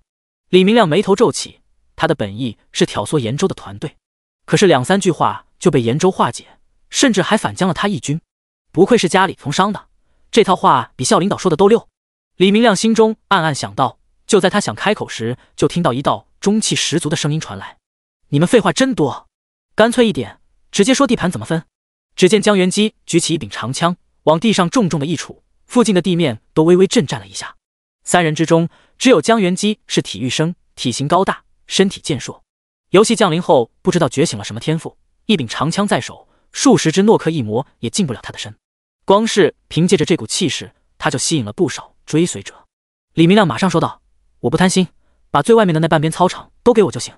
不可能，江元基皱眉说道：“那里的传送法阵最多，你一个人就占二分之一，不公平。”严州笑着说道：“没错，你同学你的人不过区区两百名，就算要分那块地盘，也应该是给我们炎火工会。”呸！还工会？你真以为玩游戏呢？李明亮顿时就不干了，说道：“我不管，我们虽然人少，但是实力绝对不弱，那块地盘是我们的。”严州脸上虽然还是挂着笑，不过语气却多了一分冷意。呵呵，李同学，我劝你不要一意孤行，我们的人数可是你们的两三倍。李明亮冷笑道：“那又怎样？你以为我会怕你？”根据他刚才的了解，严州和他一样是 B 级天赋者，虽然前者人数更多，可是他身边还有等级榜第五名杨怀，同样也是 B 级神赐者。真要硬拼起来，谁输谁赢还不一定。就在气氛降至冰点时，轰的一声传来。江元基拿起长枪往地上再次一杵，他冷声道：“既然分不均，那就各凭本事。”说罢，他带着自己的人就朝着操场的另一头走去。李明亮也是冷哼一声，带着人马掉头离开。严州眯起眼睛看着他们两队人马离开的方向，身边的李峰说道：“严哥，怎么办？我们要先派人去占地方吗？”严州沉吟了一下，说道：“不用，我们人数多，怎么都是我们占便宜。这样，你把话放出去。”让有兴趣加入我们炎火工会的肃静，等下就没有这个机会了。李峰一愣，随后反应过来：“严哥，你是说封锁操场？”这样不太好吧？严州冷笑一声，就算我们不封锁操场，你以为其他两队人马就不封锁了吗？李峰挠挠后脑勺，倒也是，行，我马上去做。事实也果然如严州说的那般，除了他们以外，李明亮的人也派人了封锁操场。江元基似乎不屑干这些事情，但是也没有插手这件事。当然，封锁操场这种事情，自然是会激起其他玩家的怨愤。严州，你大爷的！不加入你的团队就不准进，凭什么？这不公平！受潮又不是你们的，为什么不让我们进？不让打怪？还有没有天理？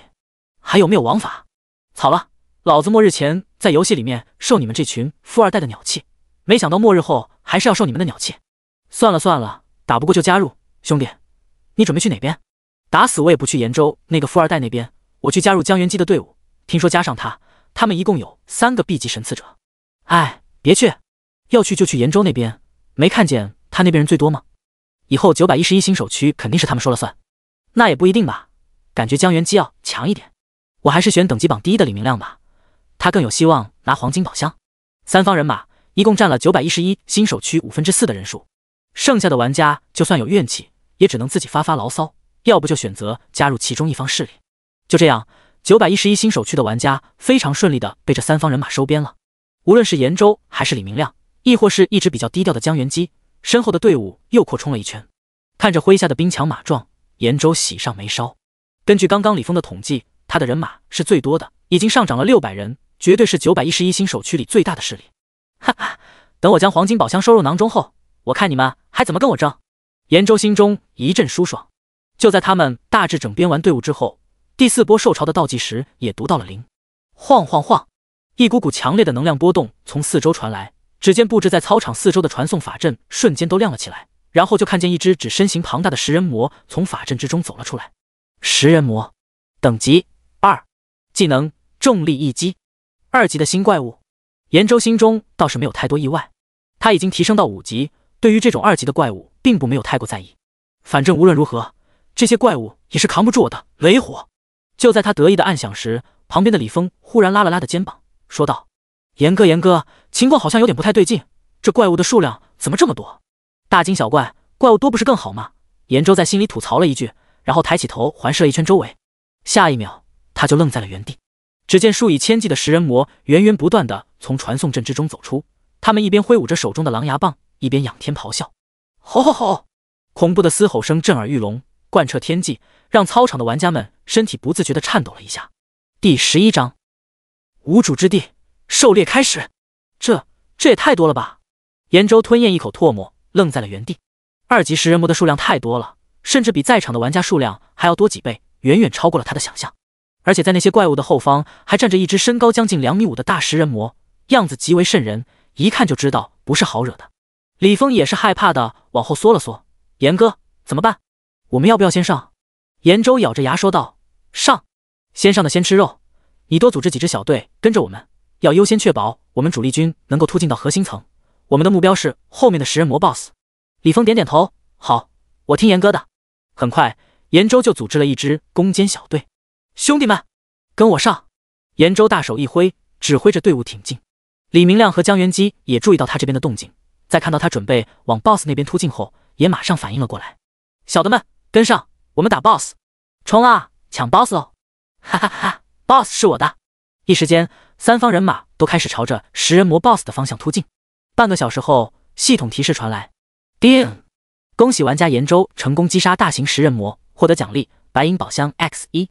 boss 是我杀的，是我杀的！严州欣喜若狂，严哥牛逼！我的天，严州大佬好强！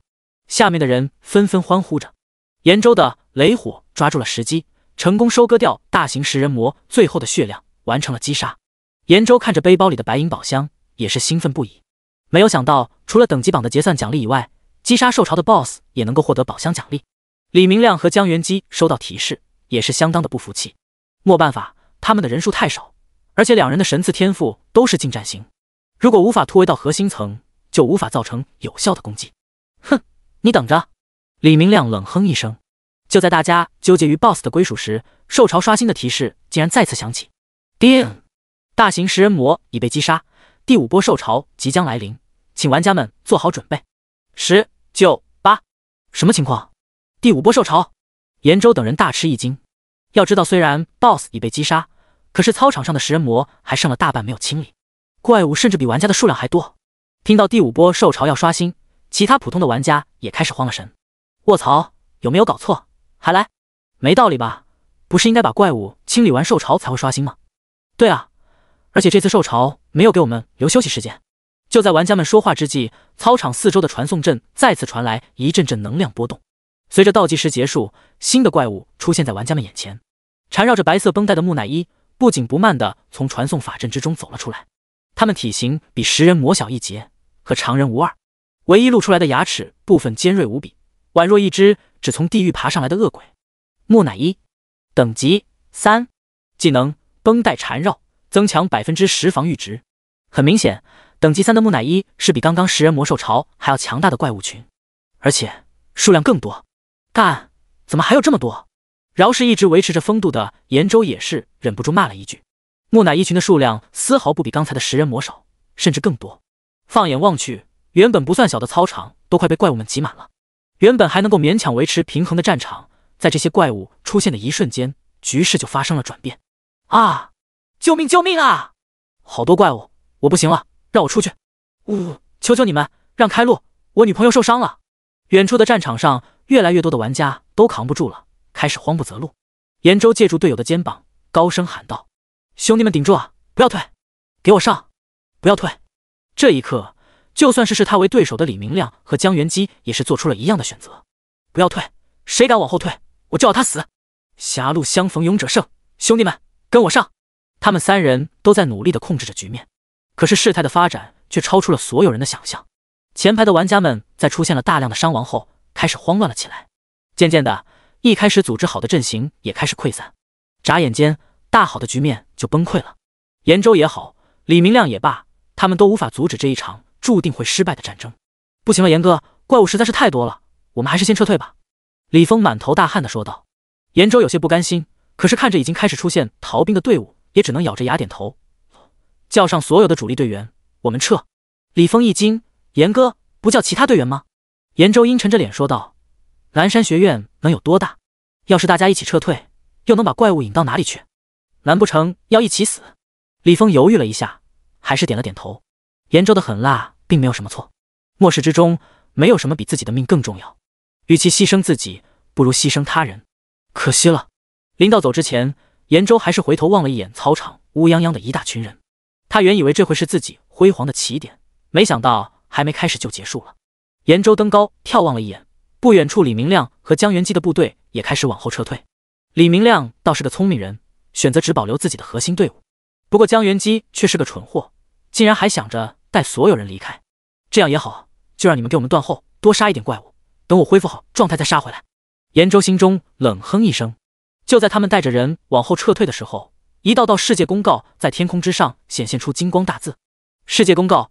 炎国一万四千零五十九新手区已被怪物侵占，沦为无主之地。世界公告：樱花国四千五百六十八新手区已被怪物侵占，沦为无主之地。世界公告：灯塔国一万四千三百五十五新手区已被怪物侵占，沦为无主之地。站在距离天空最近楼顶的林默，第一时间就看到了这条世界公告的提示。不过他神情没有太多意外，似乎早有预料般。林默望着不远处操场逃亡的人群以及数之不尽的怪物。嘴角露出一丝冷笑，狩猎终于可以开始了。第十二章，战场上的恶鬼。右上肢癌化加零点一，加零加零点一。左上肢癌化加零加零点一，加零点一。癌化提示不断传来。二级的食人魔对比一级的诺克异魔来说，增加癌化值的概率提升了不少。林墨双手变化成古剑，不断刺入地上的尸体之中，体内的力量在快速增强。越往操场的方向走，怪物的尸体越多。当然。逆流而来的玩家更多，有玩家看到林墨在往操场走，还好心提醒：“哥们儿，你在干嘛？那边怪物好多，别往那边去。”“就是啊，你找死啊，还往那边走？”林墨没有理会其他人，一边不断的吸食着尸体，一边不紧不慢的往操场走。见他没反应，其他人也是没好气的说道：“神经病啊，听不懂好话是吧？这明显是想捡漏想疯了。等级榜前三的大佬都跑路了，还想着去抢经验呢。就是，管他去死！”我们赶紧跑吧，怪物马上就要追上来！卧槽，食人魔！就在他们说话之际，一头不知道从哪里钻出来的食人魔拿起狼牙棒就挥舞了过来，首当其冲的就是低头还在摸尸体的林墨。快，刷！他第一个字还未落地，只见食人魔的动作戛然而止，整个身体从中间直接裂开，分成了两半，然后轰的一声倒在两边。林墨全程连眼皮子都没有抬一下，只是重复着将古剑刺入尸体的动作。一旁的其他几个玩家们都惊呆了，卧槽，是高手！等到他们回过神来，林墨已经消失在拥挤的人海之中，留下他们在原地面面相觑。越往操场里面走，玩家的数量越少，怪物的数量越多。林墨也不得不暂时停止摸尸体的行为，右臂化为长剑，连续斩出，刷刷刷，破风声接连传来，一只指食人魔轰然倒地。二级的食人魔虽然体型庞大，攻击力还算不错，可是防御一般，尤其是硕大的身体，对于林墨来说就是一个个活靶子。他无需什么复杂的技巧，只是做出简单的砍击动作，就轻松的收割了一只又一只的食人魔。时间加十五命，时间加十五命。时间加十五命，兜里的时间币快速上涨。二级食人魔比一级诺克一魔多，给了五分钟的时间，换算下来一只也有零点零一个时间币。虽然少，但架不住怪物数量多，击杀一百只就能够获得一个时间币。几乎还没有到操场，林墨击杀食人魔的数量就超过了一百只，手中的时间币也快速突破一点零，朝着二点零进发。升级，眼看着时间币已经积累的差不多了，他也没有任何犹豫，将时间币加到了等级之上。叮。消耗三十二小时完成升级，全属性加一。叮！恭喜您已升到五级。连续两道提示响起，他的面板产生了变化。林墨，等级五，时间零点零一，力量六点六加二十点五，速度六点七，体质六点五，精神七点一，力量癌化值二十点五，上肢力量癌化值的平均值达到了二十点以上，等级也达到了五级，很好。终于达标了，林墨嘴角微扬，手臂忽然一抖，只见原本还是古剑状态的双手瞬间开始扭曲起来，眨眼间就变成了两根宛若锁链一般的东西。吼吼！刚好数只食人魔追逐着学生朝着他奔跑而来，林墨微微抖动右臂，只见右臂上的锁链轻轻一甩，末端的尖锐狠狠地刺入了食人魔的天灵盖之中。噗呲一声，锁链又快速的回缩，带出了白花花的一堆脑浆。叮！时间加十五命。系统提示传来，食人魔面部痴傻的从正面倒下，死的不能再死。锁链却没有停下，径直朝着旁边几只食人魔袭去，如法炮制的将几只食人魔依次击杀。牛逼啊，大哥，好强，都是秒杀呀！旁边逃生的玩家们纷纷惊呼。只是他们的惊呼声还没有停止，林墨就再次做出了令人吃惊的操作。只见他击杀完几只食人魔后，并没有停止，两根锁链狠狠地扎进了食人魔的尸体。快速的将他们全部吸干，眼看着一具具尸体变成人干，围观的玩家们顿时吓得脸色铁青，原本已经到嘴边的吹捧话也停了下来。这哪里是大佬，分明就是人类中的食人魔啊！食人魔吃他们，你吃食人魔是吧？玩家们仅仅是看了一眼，就吓得慌不择路，看林墨的眼神比看食人魔还惶恐。他们提起双脚，一溜烟就跑了。林墨自然不会关注这些人，双臂的锁链不断探出，快速吸食着附近的尸体。无论是食人魔，还是木乃伊，亦或是玩家们的尸体，都没有放过。眼下操场附近最不缺的就是尸体和怪物。上肢的癌化值达到二十点以上后，双臂也能够畸变出更加复杂的武器。只不过前世他为了掌握畸变武器体的形态变化，可是花费了不少的心血，才能做到如今的如臂使指。锁链形态下摸尸体的效率明显提升了不少。左下肢癌化加零点一，加零加零点一；右下肢癌化加零加零点一，加零点一。等级达标后，下肢的力量也终于开始强化，面板上的敏捷值也在快速提升。林墨不断的战场上穿梭着，宛若鬼魅一般。很快，他的手臂处又探出了两根锁链，双臂施展开来，数根锁链如触手一般朝着四周探去，攻击速度更快，也更加精准。食人魔一只只的倒下，一只只被吸干，速度极快。锁链锁过之处，无一幸免。怎么样？那些怪物有追过来吗？已经躲进一处宿舍楼的严州着急地询问着李峰。李峰摇摇头说道：“只有少量的食人魔跟了过来，已经被兄弟们解决了。我们的人……”说到这里，他叹了口气，自责道：“剩的不多了，除了主力的二十多人以外，外围成员就只剩下不到一百人了。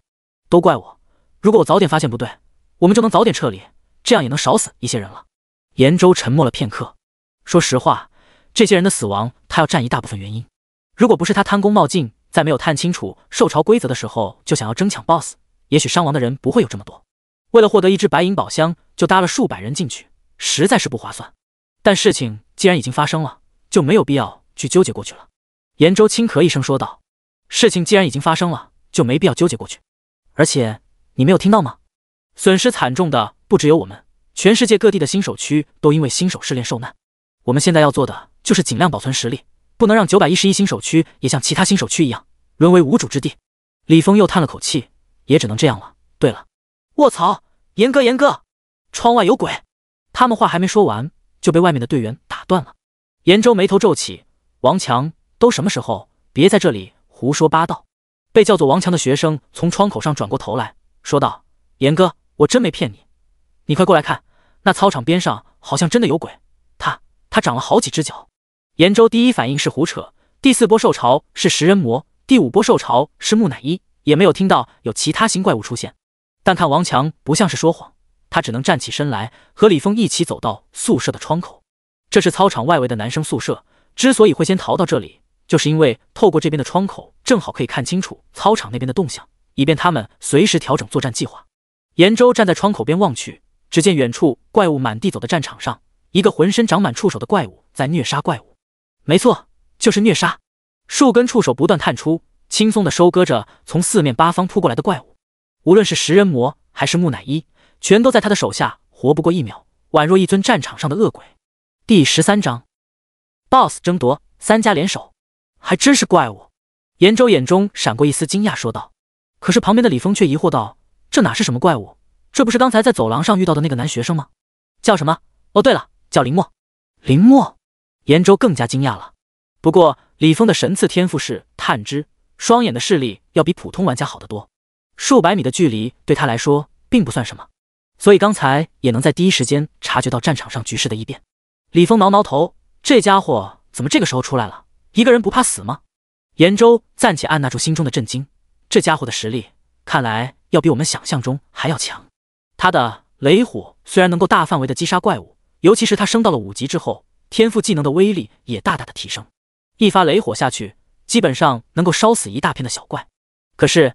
雷火的缺点也很明显，伤害高，范围广，但 CD 时间长且不能连续释放。每次烧完一大片怪物，就会进度令人难以忍受的冷却时间。但林墨的天赋技能明显不一样，有点像江元姬那种偏武技类的技能。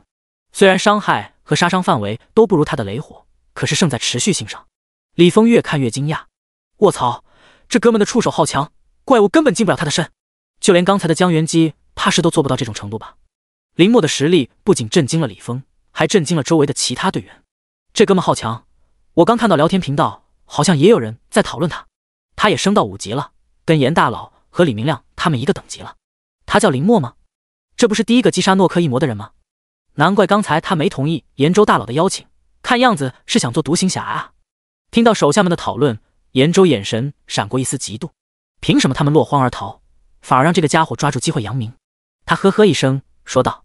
但他这样太鲁莽了，一个人单枪匹马又能杀多少怪物？等到体力耗尽或者受伤的时候，他就只有死路一条。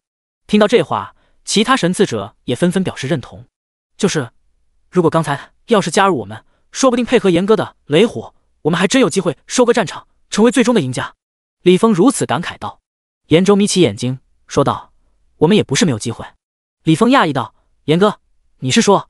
严州望着远处战场上还在杀怪的林墨，说道：“希望他能尽量多坚持一会儿，不要让我失望。”说罢，他冷笑一声，眼神之中全是看好戏的表情。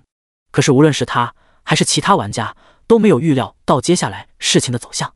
十分钟、二十分钟、三十分钟，一个多小时都过去了，林墨丝毫没有要停下手来的意思，并且杀怪的效率也越来越高。这家伙永动机吧，这都不带停的。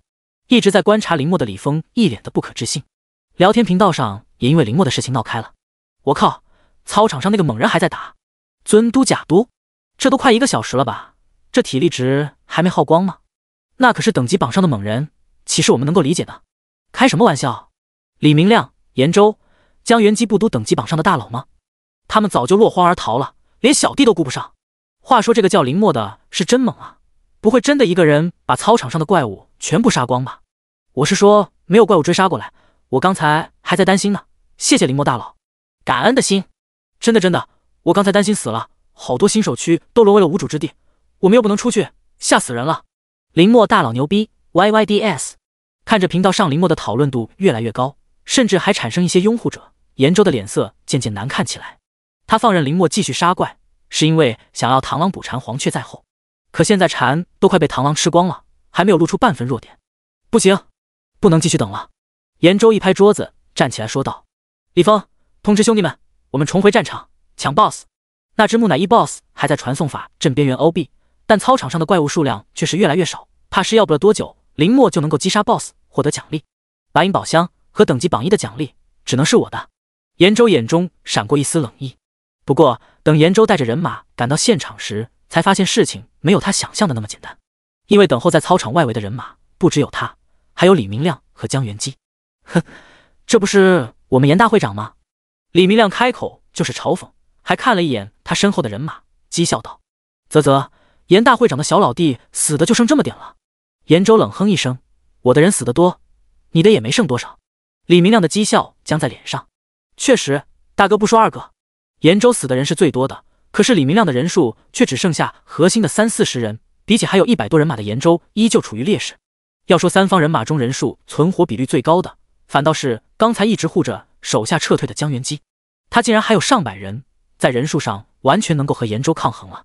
只是此刻的江元基脸色惨白，一看就知道。是状态不佳，兜兜转转，三方人马的综合实力依旧维持了一个微妙的平衡点。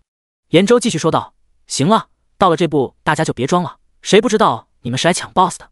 李明亮阴沉着脸道：“严州，你可是已经抢过一只 BOSS 了，这一只怎么说也不该是你的。”江元基也是皱起眉，把长枪一杵：“没错，按道理讲，你该退出这次的 BOSS 争夺。”严州有些意外，没有想到这两个家伙竟然在他来之前就达成了共识。这倒是有些不好处理了。他沉吟片刻后开口说道：“行，我可以答应你们不抢第五波的 BOSS，不过你们也要答应我一个条件。”李明亮挑眉：“什么条件？”严州说道：“很简单，两个字，联手。”联手？我们？李明亮一脸你在逗我吧的表情。严州用眼神示意战场上的林墨，说道：“经历了刚才的受潮，你们不会以为现在我们还是对手吧？看看那边那个，那才是真正的怪物。”他停顿了一下，然后又继续道：“现在只有达成合作，我们才能平等瓜分接下来的 BOSS。别忘了，新手保护期一共有三天，新手试炼也绝对不止第一天才有。”李明亮眼珠子转了转，当机立断道：“好，可以。反正他人数最少，再怎么也不会吃亏。而且他看过林墨的战斗，说实话，后者真的像严州所说的那样，就跟怪物差不多。就算是目前还占据着等级榜一的他，对上林墨也没有足够的信心。”一旁的江元基犹豫了一下，但考虑到身后的兄弟，最终也点了点头。我也同意。第十四章击杀 BOSS，第六波受潮。咔嚓，一头木乃伊的头颅被锁链末端的尖锐扎了个对穿，不过并没有发出击杀食人魔那种充满的空气感声音，而是有一种干瘪瘪的听感，就像木乃伊干巴巴的躯干一般，没二两肉。不过木乃伊的防御要比食人魔高出不少，同等级的普通神刺者很难造成一击必杀。林墨之所以如此轻松的能够秒杀这些木乃伊和食人魔，除了他的力量得到了癌化值的加成以外，最重要的原因还是致命伤。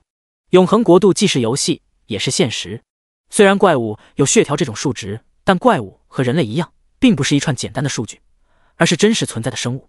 只要对其造成致命伤，一样可以打出秒杀效果。就算是打出暴击伤害，也能够让这些怪物状态大减，甚至是无法动弹。尤其林墨的数值目前是凌驾于他们之上，锁链只要命中头颅的要害就能够轻松击杀。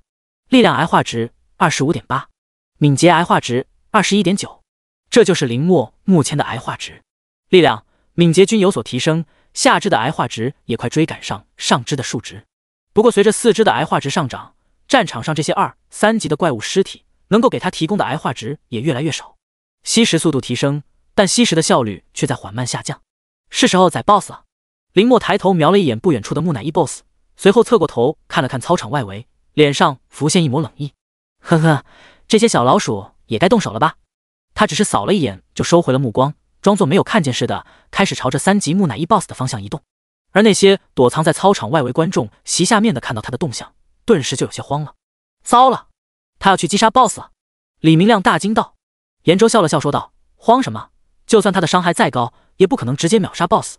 等到他把血量磨到低，我们再出手也不迟。”李明亮听到这话，想想也是，于是停下动作来说道：“先说好了，这只 BOSS 归我。”江元基沉声道：“放心，我不会跟你抢。”严州继续说道：“没错，说好了，BOSS 一人一只。至于等级榜第一，那就各凭本事。”李明亮点点头：“行，我就信你们一次。但如果发现你们欺骗我，哼哼。”他略带威胁的冷哼一声。但其余两人也没说什么。之前有过争执，现在想要互相信任，自然不是什么简单的事情。但合作的事情，严州确实是认真的，起码现在是。场上的已知能够对他产生威胁的人实在是太多了，李明亮、江元基，还有他们团队里的两名 B 级神赐者也是如此。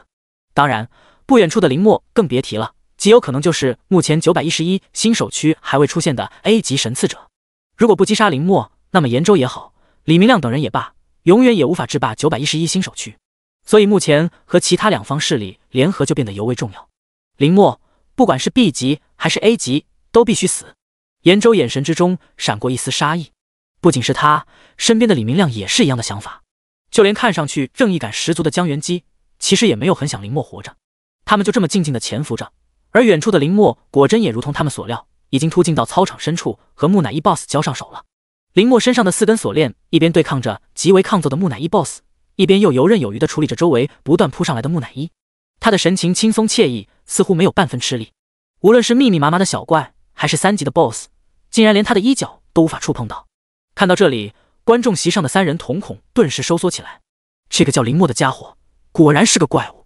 李明亮咬着牙说道：“他现在也不得不承认，自己比场上的林墨差远了。如果是自己在场上被这么多怪物围攻，能够活着逃出来就算不错了，更别提还想着击杀 BOSS。严州和江元基也沉默了，他们心中也得出了和李明亮差不多的结论。李明亮微微眯眼说道：“差不多了吧？BOSS 的血条已经下降到一半以下了，再晚怕是就要被他宰了。”随后严州开口道：“那准备吧，我们一起出手，务必要把他一击必杀。”李明亮和江元基同时点了点头。三方人马此刻加起来差不多也有将近三百人，他们偷偷摸摸的。溜进了操场的范围，由于林墨那边的怪物众多，密密麻麻的围堵着，所以还真不一定能够发现他们的存在。而且就算看到了，前者大概率也是分身乏术，根本无法对他们做什么。是阴谋，也是阳谋。在他们的设想下，林墨已经到了骑虎难下的阶段，放弃那就丢失了击杀 BOSS 的机会，继续也只能被他们抢 BOSS。快快快，BOSS 血量不多了，你快用你的技能！李明亮迫不及待地催促着严州，别急。不会跟你抢的。严州说完，就举起单手对准了不远处的战场。天赋雷虎，随着他一声暴喝，一道雷霆从天而降，刚好命中林墨附近的区域。顿时，战场上火光乍现，燃烧起一团熊熊大火。漂亮，打中了！李明亮眼睛一亮。严州笑了笑，说道：“那是自然，只是他心中稍微有些惋惜，可惜了，没把 BOSS 一起收掉。这次林墨不死也半残了。”哈哈。李明亮畅快的大笑道：“雷火的伤害绝对是有目共睹的，在大家的等级都不高的情况下，绝对是大杀器。更别提刚才的攻击是正面命中了林墨。就在他们以为林墨死定了，准备上前补刀时，忽然一道消息提示传入所有人的耳中：叮！恭喜林墨成功击杀封印的木乃伊，获得奖励白银宝箱 X 一。莫等他们来得及反应，紧接着第二道提示就响了起来：叮！封印的木乃伊已被击杀。第六波兽潮即将来临，请玩家们做好准备。十九八，随着倒计时结束，四周的传送法阵又开始剧烈的震动起来。紧接着，一只只白花花的大肥虫从法阵之中钻了出来，朝着他们慢慢蠕动了过来。乍一看，数量众多，丝毫不比刚才的木乃伊少。怪物又刷新了，不对，林墨还没死。众人大吃一惊，朝着远处还烧着火的足球场地望去。只见林墨不知何时已经从火焰之中慢慢走出，他浑身上下都被烧得黢黑，皮肤裸露出来的部分翻起大片大片的烂肉，光是用肉眼看都能感觉到那撕心裂肺的疼痛。可是林墨就像没什么感觉一样，转过头朝着他们露出一个渗人的笑容。一时间，严州等人只感觉头皮发麻，后背惊出冷汗。第十五章，无限增值，保护我方 BOSS。是，是林墨。李明亮后退了半步。指着林墨的手都有些颤抖。不仅是他，其他的玩家也没有好到哪里去。此刻的林墨活脱脱就像一个从地狱里走出来的恶鬼，恐怖至极。别怕，他血量不多了，不过是在虚张声势罢了。严州吞咽一口唾沫，强行镇定了下来。对，没错，他血量都快见底了，像是在肯定严州的话一般。李明亮如此说道。可是他们话音刚落，就看见林墨身上那些原本都被烧得冒烟的烂肉，竟然以肉眼可见的速度快速愈合。仅仅十几秒不到的时间里，大片大片的烂肉就开始结痂，随后血痂也开始一层层脱落，很快就露出了里面白皙的皮肤。而他头顶的血条，从红色残血到绿色的健康血条，只用不到一分钟的时间。他会治愈术？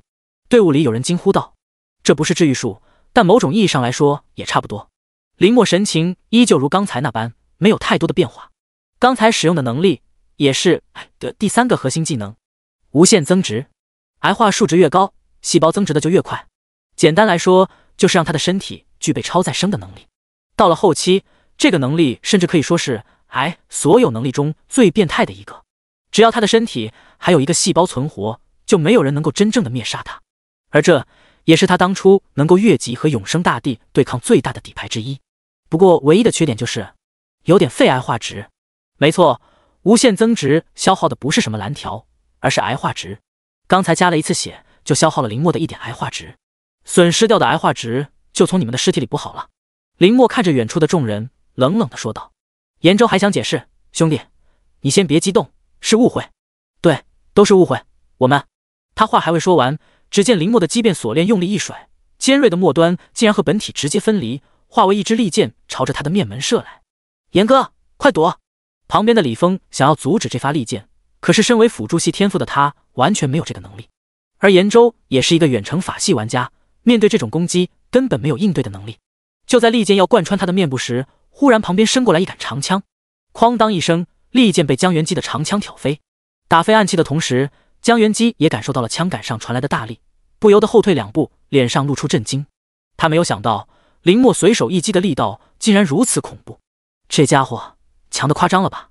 但江元基只能暂且按下心中的惊讶，朗声开口道：“这位兄弟，我们已经道歉了，得饶人处且饶人。”严州也是惊出满身的冷汗，随后也算反应的快，擦擦汗水，连忙解释道：“就是林同学，大家可都是同窗，没必要互相残杀吧？饶是两世为人。”林墨也被他们厚脸皮的程度气笑了：“你们偷袭我，反倒过来劝我大度。”林墨冷笑着说道：“如果我今天实力不济。”是不是要到地府才听得到你们的抱歉？一群人被林墨噎得说不出话来。这事情也确实是他们做的不地道。李明亮倒是先反应过来，说道：“不管怎样，你只有一个人，我们有将近三百人，想要与我们为敌，劝你还是再考虑考虑。”想到身后还有这么多兄弟，李明亮等人的腰杆也硬了起来。林墨笑了笑，说道：“你不说，我差点都忘了。说起来还得谢谢你们带过来这么多人。”看着林墨那看傻子的眼神，李明亮愣了愣，说道。你在说什么？什么谢谢？他刚刚问完这句话，就听到后面的惊呼声。我的天，怎么这么多虫子？好多白虫子啊！妈妈，我怕！众人一惊，连忙回过头望去。这不看不知道，一看吓一跳。不知何时，他们的四周已经爬满了密密匝匝的白色大肥虫，顿时他们只感头皮发麻。这些在地上蠕动的虫子，爬行速度比蜗牛还慢半分，可是架不住数量多呀。而且蠕动的大虫子虽然爬得慢，但是做攻击状态时，却宛若毒蛇一般，微微弯曲身体，展露出从口气里伸出来的尖刺，然后如离弦之箭般朝着玩家的面孔弹射而去。好几个没注意的玩家，身体直接就被扎了个对穿。但凡有一只得手，周围其他的大肥虫就会朝着目标继续弹射。很快，他们身上就布满了密密麻麻的大肥虫，身体也被无数尖刺直接扎成了筛子。没一会儿，就有几个玩家命丧其中。完了，我们被怪物包围了。他们惊恐地发现，这些大肥虫已经把后路截断了。现在他们出也不是，进也不是。严州，快释放雷火，把路烧开！看着手下一个个挂掉，李明亮急得大喊大叫。严州也是急躁不已，说道：“雷火还在冷却，哪有那么快？你和江元基先帮我挡一会儿，等我冷却时间好了，一起突围出去。”李明亮骂道：“滚你妈的！想让老子给你挡枪，做梦！”严州阴着脸说道：“我死了，你们也得陪葬，你自己看着办吧。”你觉得林墨会放过你们吗？原本想要带着自己人突围的李明亮也犹豫了一下，想到林墨的恐怖实力，他还真不敢轻易的丢下严州和他的人。M D，遇上你算我倒霉。李明亮骂骂咧咧的，但还是选择了留了下来。江元基皱起眉说道：“别争了，先集中力量杀出去再说吧。”就在他们商议之际，不远处的林默冷冷的声音传来：“哼，我倒是没有想你们快点死，最好都给我活久一点，因为地狱才刚刚开始。”说罢，只见原本就靠近法阵核心区域的林默身形忽然一动，快速闪躲过不断朝着他弹射而去的穿刺者，朝着前方奔去。严州先是一愣，随后反应过来，大喝道：“快拦住他！他想杀 BOSS！” 这话一出，周围的玩家们瞬间大惊失色。要知道，眼前的危机还未解除，林默又想击杀第六波的 BOSS，这样岂不是第七波的怪物马上就要来了？这怎么可以？几乎听到严州话的一瞬间，李明亮、江元基。以及队伍里其他两位 B 级神刺者徐梦婷、杨怀也跟着动了起来。他们的目标，阻止林墨击杀 BOSS，千万不要死啊！大肥虫！此刻，在场的所有人玩家心中都默念道：“大概他们怎么都想不到，有一天他们会为了保护 BOSS 而战斗。当然，这一切都是因为战场上那个宛若地狱恶鬼一样的男子。”第十六章，只有怪物才能出头的世界。穿刺者，等级四，技能一弹射，二爆脸杀。等级四级的大虫子移动速度慢，但是攻击速度却非常快。一旦被他们围住，那么整片操场都将沦为他们的乐园。尤其是穿刺者的数量占据上风时，他们就像一发发冷箭，从四面八方射来，让你防不胜防。但在林墨眼中，他们就真的只是一条条笨重的大肥虫而已。双臂展开的四根锁链不断的探出，非常轻松的刺入了这些大肥虫软绵绵的肉体之中，然后带出了一道道喷射的白色浆汁，噗呲。噗呲，噗呲，随着他们脑液喷射，系统提示也在不断传来。叮，时间加二十 min，时间加二十 min，时间加二十 min。比起木乃伊和食人魔来说，这些四级的大肥虫更好杀，因为穿刺者是把所有天赋数都点在攻击手段上，防御形同虚设。即便锁链能够轻松的撬开他们的脑仁，造成致命伤。当然，换做延州这些真正的新手玩家就不一样了，他们要从这些不断刺来的大肥虫身上找什么脑仁？要害根本就是天方夜谭，不宰个上百只，怎么能够知道要害在哪？就算知道了，贴身靠近这些穿刺者，在他们的围攻下精准命中要害，也是一件非常困难的事情。所以，他们只能眼睁睁地看着林墨轻松写意穿过这穿刺者大军的围杀圈，而他们自己却举步维艰。啊！救命啊！救我！救我呀！那些被穿刺者们爆脸杀的玩家们，绝望地朝着身边的同伴伸出手。可是周围的同伴根本不敢靠近，就算伸出手帮助也没用。穿刺者一旦把口气里的尖刺扎进玩家的身体，上面附着着的细密小刺就会勾住体内的肉，就算用力拔除掉，也会留下深不见底的伤口，造成大出血。一只还行，三两只贴在身上，基本就可以放弃了。对于这些等级低的神刺者，一旦拔出来，血量就会直接清空，瞬间去见阎王。怎么办啊，严哥？李峰着急的问道。严州也满头大汗说道。坚持，我的雷火 CD 快转好了，马上我们就可以冲出去了。你们一定要保护好我，只有我才是冲出去的希望。李明亮骂道：“闭嘴吧你！队伍里你的位置是最安全的。”严州作为队伍里最厉害的法系神刺者，自然是被所有人保护在中心位置。但在外围的那些近战玩家就没有那么好运了，在穿刺者的围攻下，一个接一个倒下，惨叫声不绝于耳，恐惧在人群之中蔓延。快了，快了，我的雷火快好了，大家一定要坚持住啊！严州看着快要崩溃的阵型，连忙大声喊道：“可是他的话音刚落，所有人耳边再次听到那令人绝望的系统提示：叮！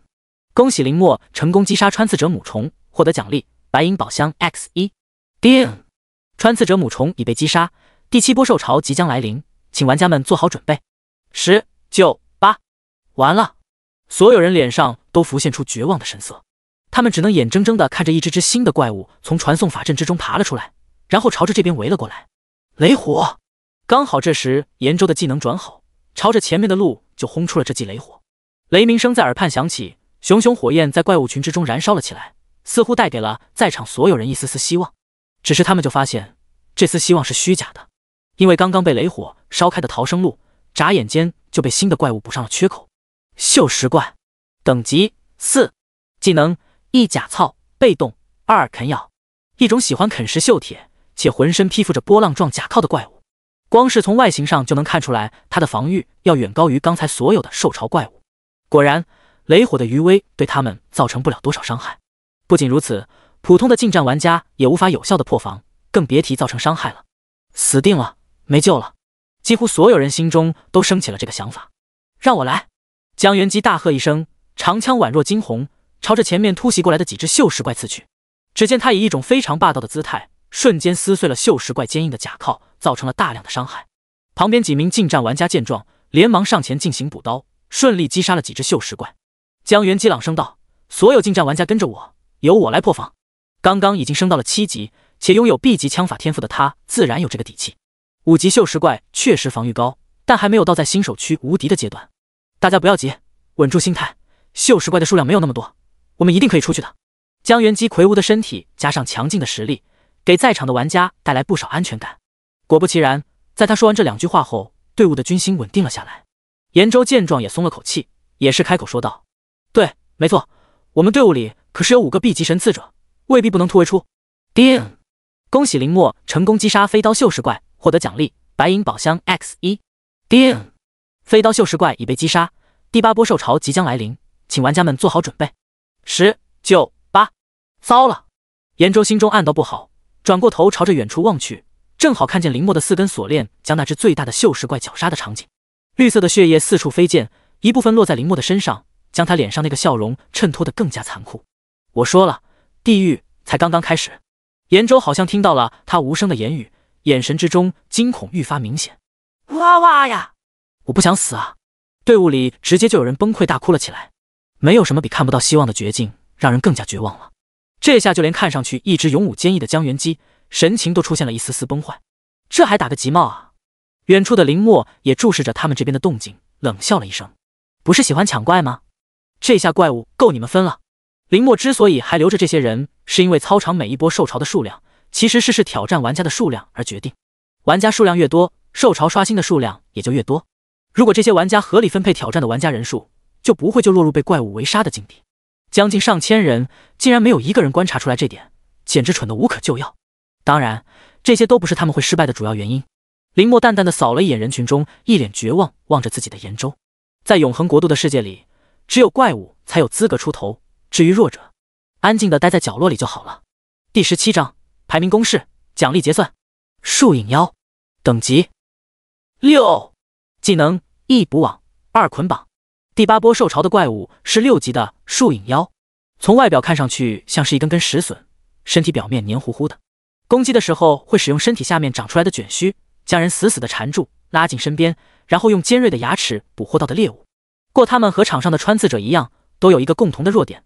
那就是移速慢，防御弱。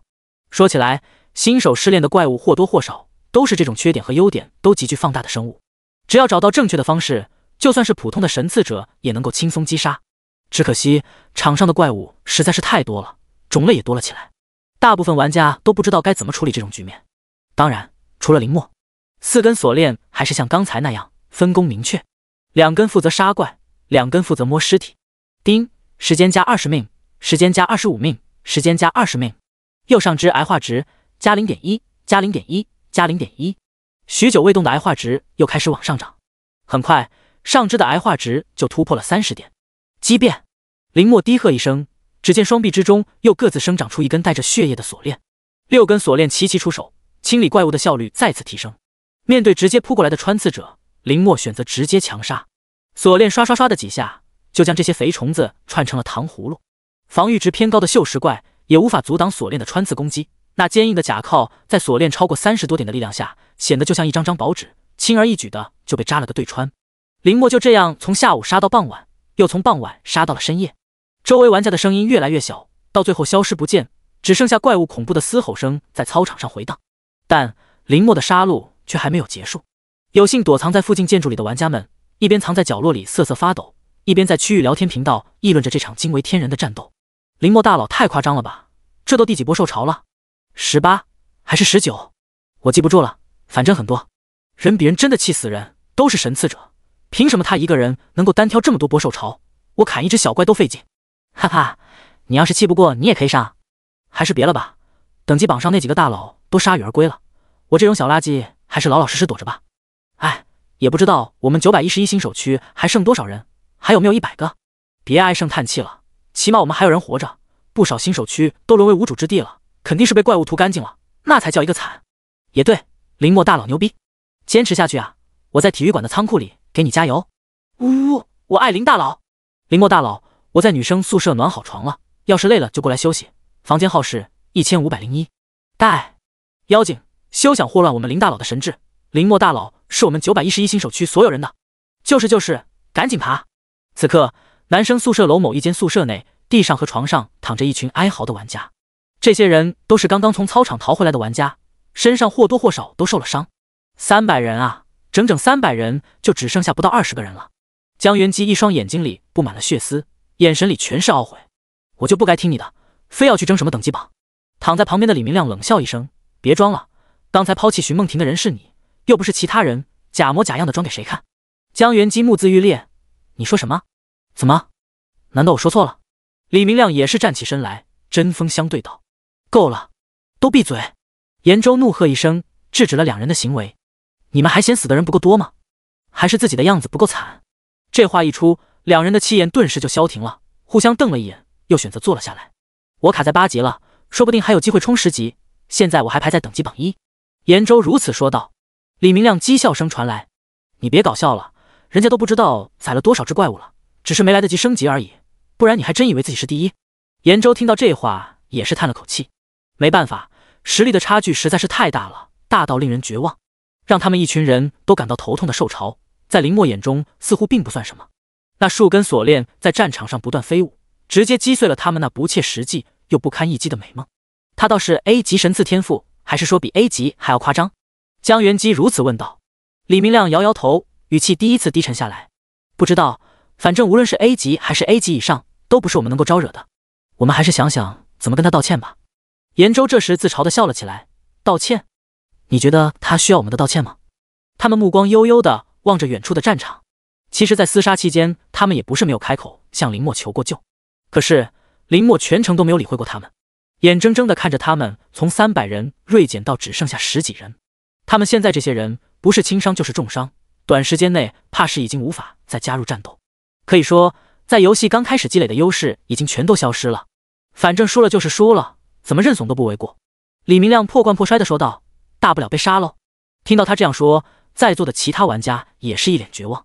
就在这时，有人说道：“快看，那边好像没什么声音了。”众人一听，纷纷站起来望去。果然，原本还嘶吼声不断的操场渐渐安静了下来。只不过负责探查的李峰早就死了，他们无法透过漆黑的夜色看清楚操场上的动静。下一秒，有人再次说道：“快看等级榜，林墨开始升级了。”大家下意识在界面上把等级榜单调了出来。只见林墨的等级从一开始五级跳到了六级，又从六级跳到七级，最后只用了不到几秒钟的时间，就直接跳到了十级。严周心中最后一丝希望直接破灭，绝望的一屁股坐在了地上。然后，在场所有人都听到了九百一十一新手区的系统提示：叮，恭喜玩家林墨击杀大型幽影，获得奖励白银宝箱 X 一。公告：恭喜玩家林墨通关二十波受潮，成功完成所有新手试炼，奖励时间 B X 一。叮，九百一十一区预试炼试炼任务已全部结束，奖励按照排名进行结算发放。等级榜单公示如下：第一名林墨。十级，第二名严州八级，第三名江元基八级，第四名李明亮七级，第五名杨怀七级，第一百名林磊二级。叮，排名公示完毕，奖励已发送，请玩家自行查收。第十八章抢劫以及开箱，属性值疯涨。随着系统提示结束，严州等人也收到了白银宝箱。哎，好歹还有宝箱。房间里。不知是谁说道：“除了等级榜一的林墨以外，等级榜前二十都几乎是他们的人。前十的白银宝箱更是在场的人全部霸占，这也算不幸中的万幸了吧？”严州叹了口气。收到奖励的人脸上也是久违的露出了一抹笑意，仿佛刚才的磨难都是值得的。就在此时，突然李明亮蹭的一下站起身来说道：“卧槽，林墨私聊我了！”啊！在场的人都愣了愣，严州更是疑惑道：“他说了什么？”只见李明亮表情僵硬的转过头，看着众人说道：“他他说把白银宝箱全都交出来，不不然就死。”这话一出，全场安静如鸡。虽然已经清空的怪物，不过林墨身周的六根锁链并没有因此而停止，反而还在不断的探出，刺入一具又一具的尸体之中。叮，吸收八级 BOSS 火蜥蜴尸体，肺部癌化值加一。叮，吸收九级 BOSS 四肢的癌化值达到六十九点以后，就再也无法从这些怪物身体里吸走哪怕半点癌化值。这些癌化值只能转换到五脏六腑，开始增强体质。没一会儿，操场上的尸体都被他摸得七七八八了。怪物数量还是太少了呀！看着停留在四十点左右的肺部癌化值，他微微蹙眉。这也是没办法的事情。自从延州那几百人死的差不多了，剩下十波左右的兽潮，基本都是他一个人挑战的。刷新的怪物数量直接就大打折扣。不过尽管如此，他的癌化值提升的数值还是很可观的。力量癌化值六十九，敏捷癌化值六十九，体质癌化平均值三十九，力量、敏捷全都加持了将近七十点属性，就连体质也加持了将近四十点属性。就四维属性而言，他早就做到了整个新手区的第一。林墨看了一眼背包里黄金宝箱，毫不犹豫的直接选择打开宝箱，叮。获得一阶时间果实 X 十，叮；获得全属性加十，叮；获得精良短剑加一。一阶时间果实自然不用多说，他直接就拍在身上，叮！时间币加十。那么多条零点零一的时间币提示之中，终于出现了一条大额的到账提示。不过现在等级卡在十级上，还未转职，暂时无法继续提升等级。林墨最终的目光落到了最后一项奖励上——精良短剑。点开装备面板，半妖精的试水座。品质精良轻甲，等级要求十级，攻击四十五，速度五十五，防御二十，附魔技能魔法反击，返还百分之二十的魔法伤害。竟然有附魔！林墨眼中闪过一丝意外。就精良装备的面板来说，这个数值只能算普普通通。不过这是一件附魔装备，直接就让这件装备的价值飙升了一个档次。如果是再过几年，这件精良武器怎么也得价值一两百个时间币。甚至比一阶时间果实还要值钱，但游戏初期时间币数量稀少，精良武器也根本卖不上什么价，一两个币都算多了。当然，这件武器对于林墨来说也是鸡肋。他的双臂畸变能够施展多种武器形态，而且癌化值附加的力量原本就是一种属性值，只要他癌化值不断提升，那么以后他身体每个部位都能够成为极具杀伤力的武器，整个人就是一件人形兵器。林墨摇摇头，低价甩卖是不可能的，还不如等以后行情上来了再出手。林林墨，他刚刚把武器丢进背包吃灰的时候，耳边传来声音。只见严州等人不知何时已经走了过来，看着满地的尸山，他们望向林墨的眼神之中又增添了一丝敬畏。看到林墨的眼神扫过来，李明亮连忙把手中的白银宝箱举了起来。我们是来交保护费的。其余的玩家也是一脸讪讪，把手中的箱子举了起来。林墨淡淡的扫了一眼他们手里的箱子，说道：“白银宝箱都拿过来，青铜宝箱你们自己处理。”语气里没有威胁。但却没有人敢不听，否则的话，周围的尸体就是他们的下场。那些等级榜前十名之外的玩家听到也是一阵惊喜，没想到还能够保住自己的奖励。但前十的玩家就倒霉了，只能把九个白银宝箱老老实实的交到林墨手中。林墨也没有客气，白银宝箱拿到手，直接当着他们的面一次性全打开。叮，获得一阶时间果实 X 九。叮，获得全属性加二。叮，获得全属性加二。叮。获得提示：一阶白银宝箱增长属性值已达到极限，无法继续使用。九只白银宝箱林墨开了八只，只剩下最后一只宝箱的属性点无法继续使用。全加完后，他的个人属性面板如下：林墨等级十，未转职，无法继续提升。时间币二十九点三，力量六十九点六加六十九，速度六十九点七加六十九，体质六十九点五加三十九，精神七十点一。力量、速度、体质全都过百。现在林墨想要击杀刚才兽潮里的任意 BOSS，根本无需什么技巧，直接一招秒。他看了一眼还算满意的个人面板，转身就离开了操场。周围的玩家纷纷让开一条路，看着他离去的身影，也是松了口气。站在原地的严州眼珠子转了转，朝着林墨的方向追去。最终，他在观众席下面的走廊上拦住了林墨。林墨眉头一挑，刚准备有所动作，就看到严州扑通一声跪在了地上。林同学，啊不，林哥，刚才人多，之前是学长做的不对，我给您认个错。严州哐哐两声在地上磕了两个响头，抬起来头都磨烂了，却毫不在意的继续说道：“林哥，看到我们都是同学的份上，您能不能带带我？以后你叫我往东，我绝不。”咔，他话还未说完，就被林墨伸出手掐住了脖颈，轻松将一百多斤的严州提溜了起来。严州脸色涨红，在半空中用力的挣扎着身体，但这一切在超过一百点的力量面前都显得无动于衷。他连自己天赋技能雷火也没有机会再释放。林墨好奇的看着他，我真的很疑惑，是谁给了你胆子到我面前来的？还是说你真的觉得我属金鱼的，已经忘了你下午用技能轰我的事情了？嗯嗯。严州满脸通红，可是被掐住的喉咙里根本无法冒出半个字来。林墨也没指望他解释什么，右手微微一动，只见五根手指的指尖瞬间尖锐如利剑，深深的刺入了严州细皮嫩肉的脖颈之中，血液顺着手臂缓缓流了出来。没过一会儿，他就在林墨的手中停止了挣扎，然后快速变成一具干尸。肺部癌化值加零点五，系统提示结束。林墨就像丢垃圾一样把尸体丢在了一边。如果这家伙不刻意找上门来演这一出，对于这种 B 级神刺者。他其实连报复的兴趣都没有，林墨甚至连看都没有看一眼，就往前继续走去。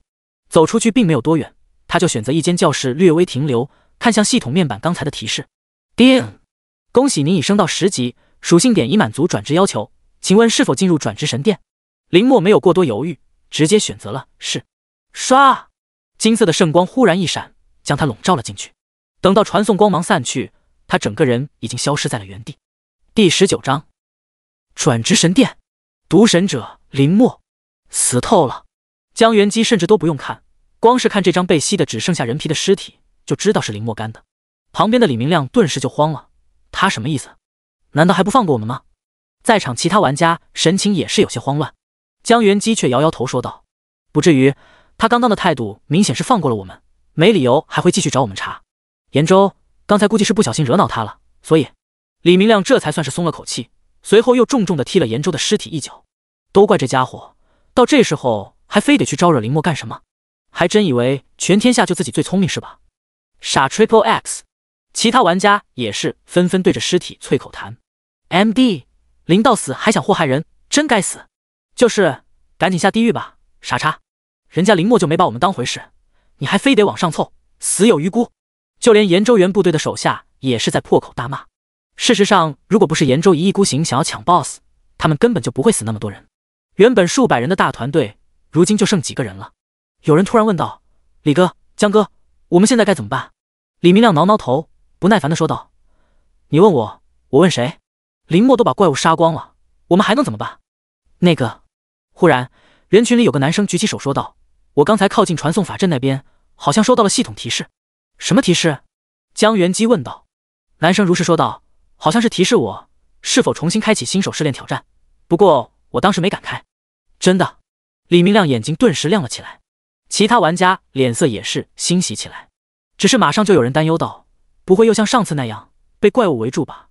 我们可没有林墨大佬那样的实力。”江元基摇摇头说道：“应该不会，我刚才观察出了规律，受潮刷新的怪物数量应该跟我们挑战的人数有关。”李明亮摸摸下巴，若有所思道：“也就是说，我们只要人数不多，怪物也不会有那么多。”说到这里，他脸上露出一丝苦涩，自嘲道：“呵呵，就我们现在这点人，也不用担心这个问题。”听到这话，在场的人全都沉默了下来。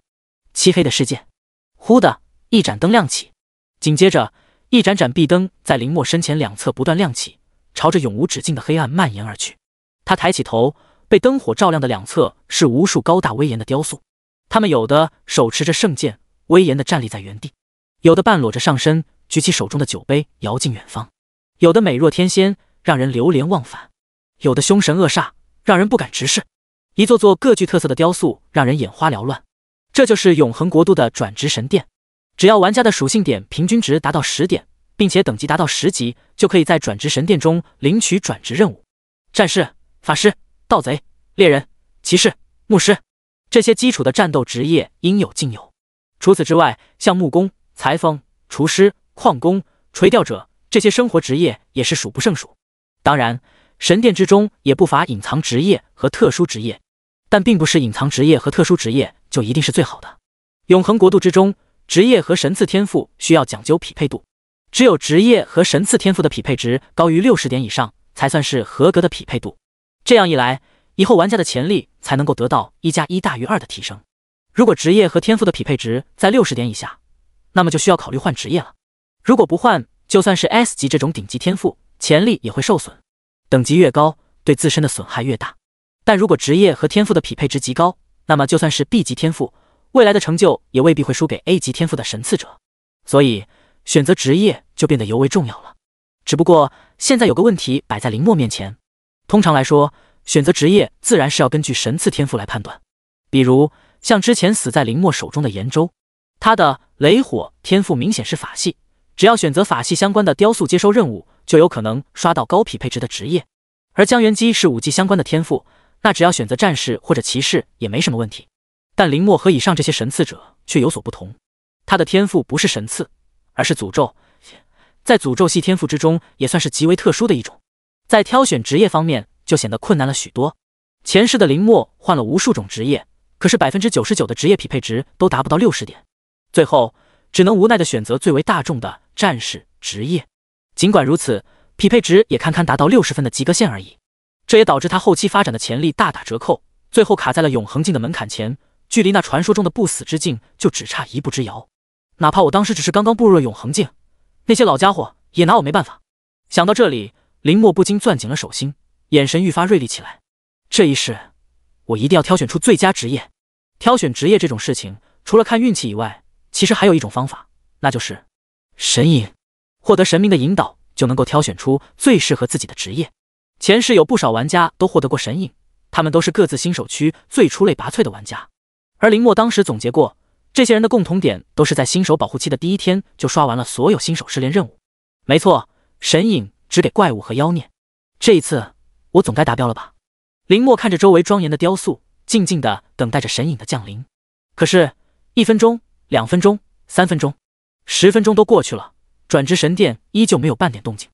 两侧的神像雕塑还是那般安静，纹丝不动。就连林墨系统的消息提示亦是如此，他也没有气馁。还在继续等待，一个小时、两个小时、三个小时，林墨不知道在神殿里站了多久，依旧没有等到神影的降临。为什么？这是哪里出问题了？他站在原地，神情里满是不解。重来一次，他可以保证自己绝对是站在蓝星无数玩家最顶端那一波，击杀效率也好，击杀数量也罢，全都无可挑剔。他自认为做到了完美，可是神影还是没有降临。疑惑、迷茫、不解。所有情绪最后化为了一腔的怒火。他抬起头，右手瞬间从骨头里生长出三柄锋利的短笔，抬手就朝着不远处庄严的神像射去。哐哐哐！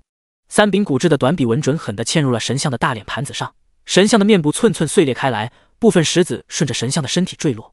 林墨冷冷地扫视着周围的神像，冷声道：“不给算了，我自己找。一次不行就两次，两次不行就三次，大不了我就耗在这里。”说罢。他就想朝着其中一具神像下面走，准备先接两个转职任务试试手。警告！警告！你亵渎神明的行为已被记录，现将你驱逐出境。警告！警告！你亵渎！驱逐倒计时：五十九、五十八、五十七、五十六。第二十章转机。混乱神域。林墨系统面板上的名字突然变成了极其妖异的红色，颜色竟然这么深。林墨前世上杀戮榜的时候也没有这么红的警告。那个时候，他可是屠戮了永恒族大大小小数百万的族人，即便如此，名字也没有这么红过。很快，他的名字后面就增添了一个后缀：毒神者。毒神者，还真有神明这种东西。林墨微微蹙眉，虽然永恒国度中处处充斥着所谓的神迹，也不乏有诸多神明的信仰者，可是他却从未见过真正的神奇。那些神明只存在于传说之中，从未真正的现身。林墨接触到最高层次的强者。也不过是那些永恒种族的王者，在他们的种族之中，倒是有不少人自称为半神，不过却没有人敢自称神明。林墨脑海中快速思索着，系统面板上的驱逐是什么意思？是将我驱逐出转职神殿？可是凭什么？就因为我击碎了一具雕像？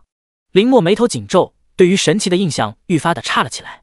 无论是前世还是现在，他从未接受过这些神明的任何赐福，实力的积累也完全是依靠自身，从未借助过他们的力量。神赐天赋，他没有；神隐也不给。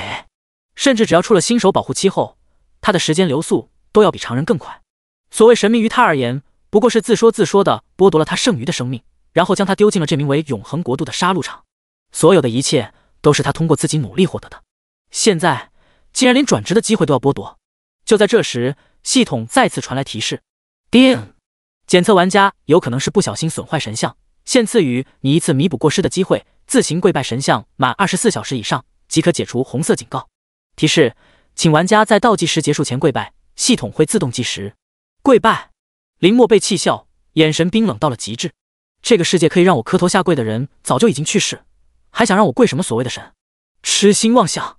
最后几个字，他几乎是一字一句的说了出来。警告：倒计时即将结束，请玩家们快速参拜神像，否则将会永久剥夺进入神殿的机会。警告：倒计时！红色警告提示不断响起。林墨的神情没有半分动摇，冷笑道：“大不了就是无职，我还可以想其他办法。”就在倒计时结束的最后几秒钟内，忽然一道漆黑如墨的提示在系统界面上显示：“叮，检测到毒神者。”混乱阵营邀请您进入混乱神域，请问是否同？系统提示的最后一句被一阵嘈杂的电流声打断。紧接着，林墨在没有做出任何抉择的情况下，就被一团漆黑而又诡异的气息瞬间包裹了起来。下一秒，他的视线就陷入了黑暗之中。等待他视线渐渐恢复，才发现自己已经不再身处于转职神殿之中。头顶是浩瀚无际的星空，脚下是一片灿烂耀眼的紫色星云，身体处于漂浮状态。他暂时无法分清楚自己位于这片空间的何处，也不知道到底往哪边是前，往哪边是后，甚至连空间的上和下都难以分辨。因为即便身体旋转过来，看到的景象和刚才一模一样。林墨尝试着漂浮了一段，但是无尽是往前还是往后，亦或是往上和往下，四周都没有发生任何变化，一切好像都是静止的，一切好像又是流动的。时间和空间在这里仿佛都失去了意义。林墨很快就停止了下来。没有继续浪费体力，出来吧，我没有时间和你玩捉迷藏。他淡淡的吐出这几个字。刚才他根本就没有点击同意传送，可是依旧被这股漆黑的能量裹挟着传送到这里。很显然，是这里有人想要他来。果然，在他说完这句话后，四周传来了一道道诡异阴森的声音：“吃吃吃，小家伙，你来错地方了。猴子，这是兽人族，好弱小，有点意思，还有永恒国度的标记。哼。”永恒国度奴隶来这里干什么？滚出去！啧啧，这天赋里竟有一丝丝神性，很微弱，但是好香，能让我吃了它吗？这些声音都不是人语，更不是永恒国度的通用语，怪异而又不可名状，但丝毫不影响林墨听清楚这些言语的意思。其中一两道意志似乎盯上了他，光是感受着这不知从何而来的注视，林墨顿时就压力倍增。吃吃，别动他，这个小家伙是我的。忽然，一道声音从深空中传来，顿时打消了无数目光对林墨的觊觎。林墨身上的压力也骤然消散，恢复了正常。就在他满头疑惑时，那道声音再次传来：“小家伙，我知道你现在还有很多疑问，不过凭你现在的实力，知道的太多没什么好处。”林墨眉头皱起，直截了当的问道：“那你让我过来干什么？吃吃，给你一点小小的帮助而已。”那道声音落下的同时，系统的提示也随之响起：“叮。”是否接受古神的考验？神明考验，林墨瞳孔顿时收缩起来。这不是巅峰文明才有的测验吗？他也只是听闻过这个传言。永恒种族之中，有少部分的精英后裔可以在转职的时候参加诸神测验，从而获得顶尖职业。这些职业通常都是隐藏职业或者唯一职业。但相对的，诸神测验的难度也不是谁都通过的。即便是永恒种族之中佼佼者，也不是每个人都能够通关。林墨眯起眼睛问道：“你是神？”问题很直接，言语之中也丝毫没有对神明的敬畏。那道声音没有懊恼，继续说道：“准确来说，吾等未必是世俗所定义的那种神明，不过是比他们还要古老的存在。言尽于此，你自行考虑吧。”听完这些话，林墨沉吟了起来。片刻后，他从思索之中抬起头来：“无论你们是什么，只要能够让我变得更强，我可以接受一切挑战。”声音立即响起：“吃吃，不愧是我看中的人，对我的脾气。不过……”我可不会放水，吃吃吃！话音刚落，林墨的意识再次被一股巨大的能量牵动，消失在原地。第二十一章，诸神测验，高阶魔兽血脉。林墨再次睁开眼，已经身处于一座巨大的擂台之上。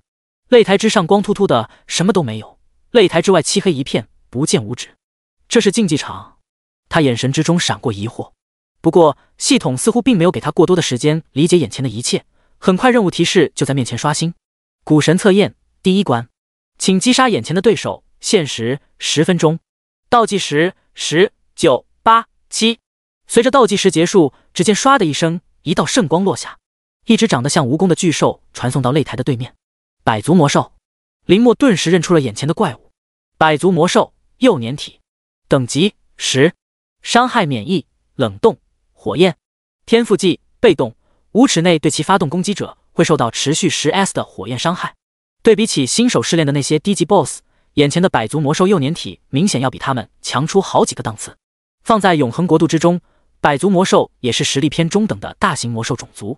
如果把它放到蓝星新手区的新手试炼任务中，那么起码有一半以上的新手区会直接沦为无主之地。因为蓝星人族的四维属性天生就无比弱小，在永恒国度之中只能算末流。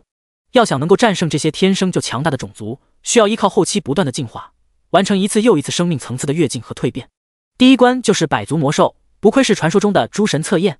林墨眯起眼睛，自言自语道：“吱吱吱。”百足魔兽刚刚传送过来，似乎有瞬间的懵逼，不过很快他的目光就锁定在林墨身上。他慢慢挪移着身躯，头顶凸起的青色大眼死死地盯住林墨，就像是在看自己的猎物。下一秒，他就朝着林墨疾驰而来。别看他身形足足五六米，可是速度却比想象中还要快。嗖的一下，就直接逼到林墨的跟前，张开布满锯齿状尖牙的大嘴，就朝着他啃咬了过来。闪现，林墨不退反进，往前踏出一步。但与百足魔兽交错的一瞬间，他的身体竟然短暂的消失在了原地。再次出现时，他已经位于百足魔兽的头顶，右手不知何时已经切换成古剑的模样，对准百足魔兽坚硬的后脑勺，直接就扎了进去。然而百足魔兽也不是吃素的。反应极快，如蛇一般修长的身体瞬间收缩起来，想要拼着要害受伤也要将林墨的身体擒抱住。林墨似乎对此早有预料，脚尖轻轻在他坚硬的背部一点，闪现。下一秒，他整个人又消失在原地，逃脱出百足魔兽用身体形成的绞杀。再次出现时，林墨站在百足魔兽身下的一处空地，高高的举起手中的古剑，朝着他的前胸用力一劈，哐嚓！古剑应声断裂，剑尖直接倒飞了出去。吱吱吱。百足魔兽似乎极为羞恼，将整个身躯往下重重一压。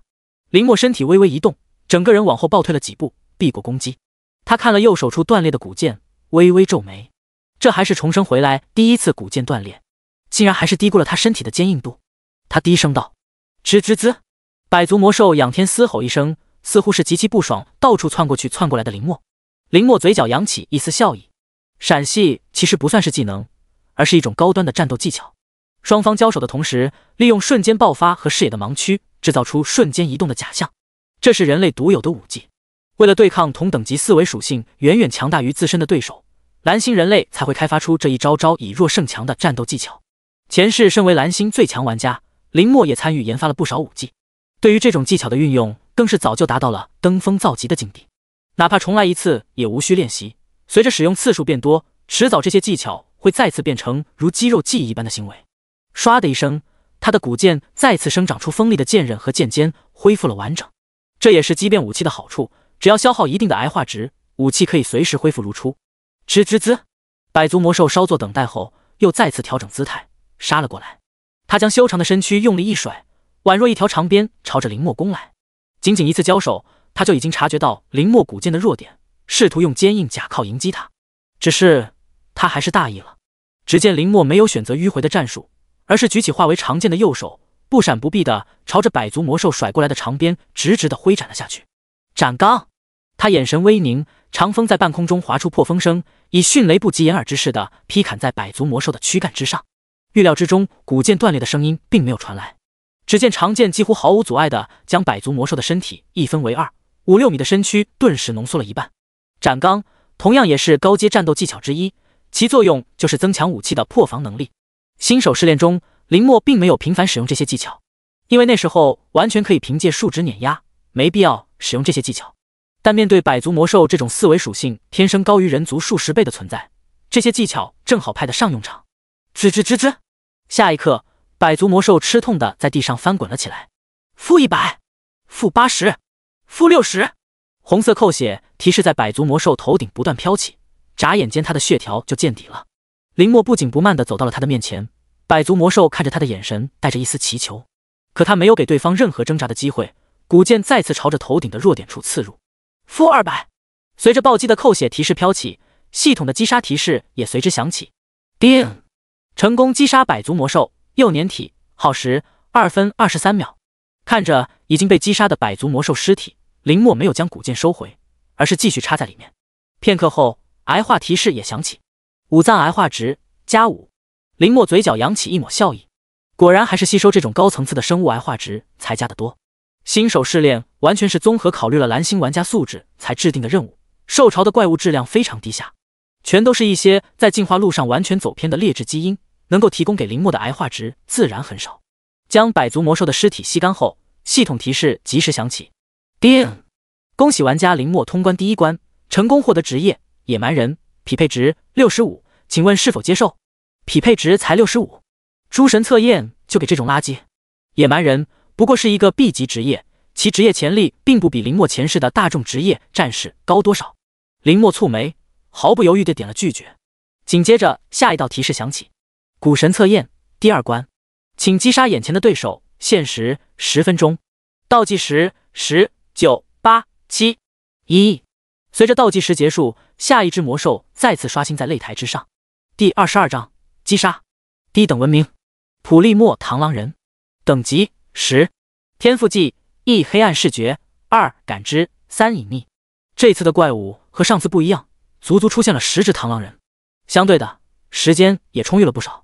林墨看到螳螂人的一瞬间，神情怔了怔，因为眼前的普利莫螳螂人在永恒国度的世界里并不是怪物，而是和蓝星人类一样的低等文明生物。一般来说，可没有人会把这种真正拥有文明的生物当做试炼通关的怪物。林墨呵呵一声，这古神倒是挺会选对手的。十只普利莫螳螂人单体实力自然是不如刚才的百足魔兽幼年体，可是别忘了，他们都是和林墨。拥有同等智慧的生物，而且这些普利莫螳螂人比蓝星人族更早的并入永恒国度，早就拥有了自己的种族天赋，所以比起十级以下的蓝星玩家，他们要足足多出两个天赋技。普利莫螳螂人们互相交换了一下眼神，很快就排开了阵型。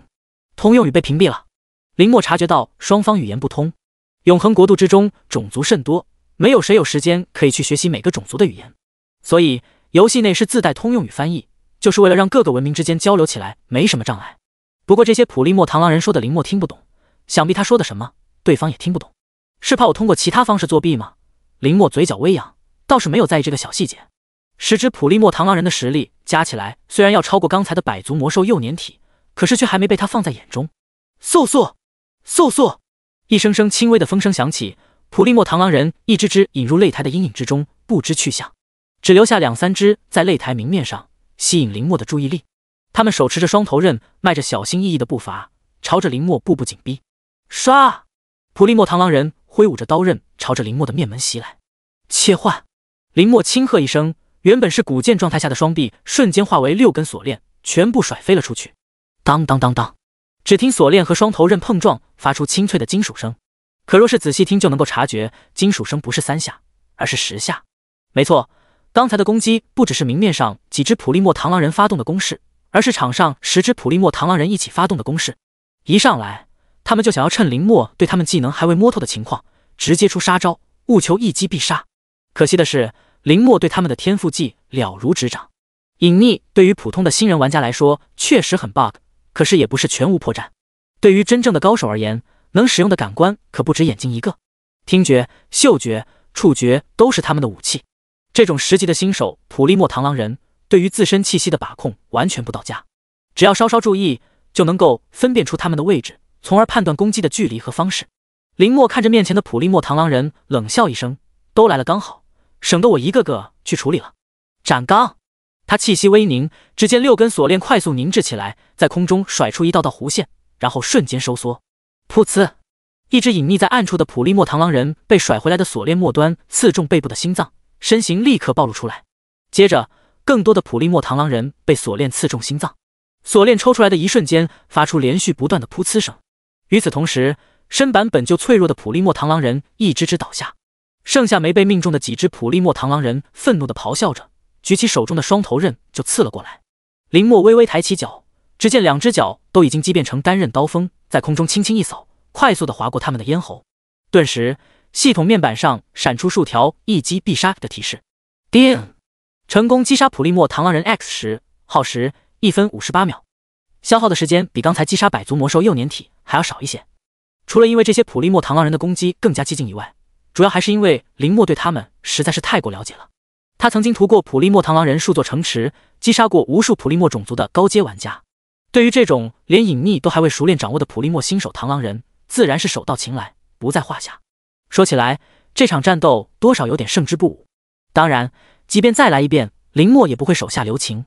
刺，几根锁链快速刺入普利莫螳螂人的尸体内，将他们一个个吸成了人干。右下肢癌化值加零点二，左上肢癌化值加零点一。原本已经纹丝不动的四肢癌化值也有了动静。虽然加的数量不多，但比起受潮里悉数十具尸体，也加不了一点，自然要好得多。叮！恭喜玩家林墨通关第二关，成功获得职业武僧，匹配值六十八，请问是否接受？A 级职业武僧吗？林墨自然知晓这个职业，就职业的成长性来说，肯定是要比前世他的战士职业要高的。更何况匹配值也达到了六十八点，但还是太普通了，不够。他选择接受诸神测验，可不是为了一个普通的战斗职业。林墨再次直截了当的选择了拒绝。古神测验第三关，请击杀眼前的对手，限时十分钟，倒计时十九八七一，呱！随着一声清脆的蛙声传来，新的对手刷新在了擂台的四周，一只只浑身长满恶心颗粒的灰色直立蛤蟆出现在周围。他们双手不是张开普掌，而是生长出一根根锋利的利爪，双眼布上灰蒙蒙的一层粘液，背部和手臂处都长满了尖锐的金刺。莱拉王蝉，等级十，天赋技一强酸，二音波，三芒式。数十只莱拉王蝉依次排开，邪恶的双眼死死地盯着林墨，双脸不断的鼓起，发出呱声，呱呱呱。下一刻，音波攻击毫无征兆的发动，林墨猝不及防被震破耳骨，血液顺着七窍流了出来。他的眼睛也被蒙上一片血色，五感瞬间失去了大半。不是林墨不想避开，而是避无可避。而且音波攻击的重点刚好在林墨没有被强化头部器官上，仅仅是第一波音波攻击就造成了重击，他的血量顿时下滑了一大半。就在这时，莱拉王蝉再次催动喉骨，双脸爆炸般的膨胀到最大，呱呱呱呱呱！很快，一波波范围更广、伤害更高的音波攻击再次朝着林墨袭来。第二十三章。闪现，高阶战斗技巧。闪现，林墨脚步一点，身形暴动，瞬间消失在原地。下一秒，他已经出现在莱拉王蝉的上方。噗噗噗！可是还没等他有所反应，莱拉王蝉的头部已经转动过来，无数的强酸朝着他的面门直射而来。滋滋滋！滚烫的酸液在上半身皮肤上溅射开来，将他烫得皮开肉绽，很快就露出了里面血肉和骨头。无限增值。林墨的神情依旧冷漠，似乎血肉。皮肤被烫得稀巴烂的，并不是自己。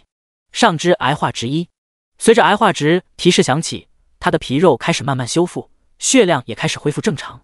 林墨看着下面的二三十只莱拉王蝉，如果论属性面板，他们不如百足魔兽；论天赋强度，也不如普利莫螳螂人。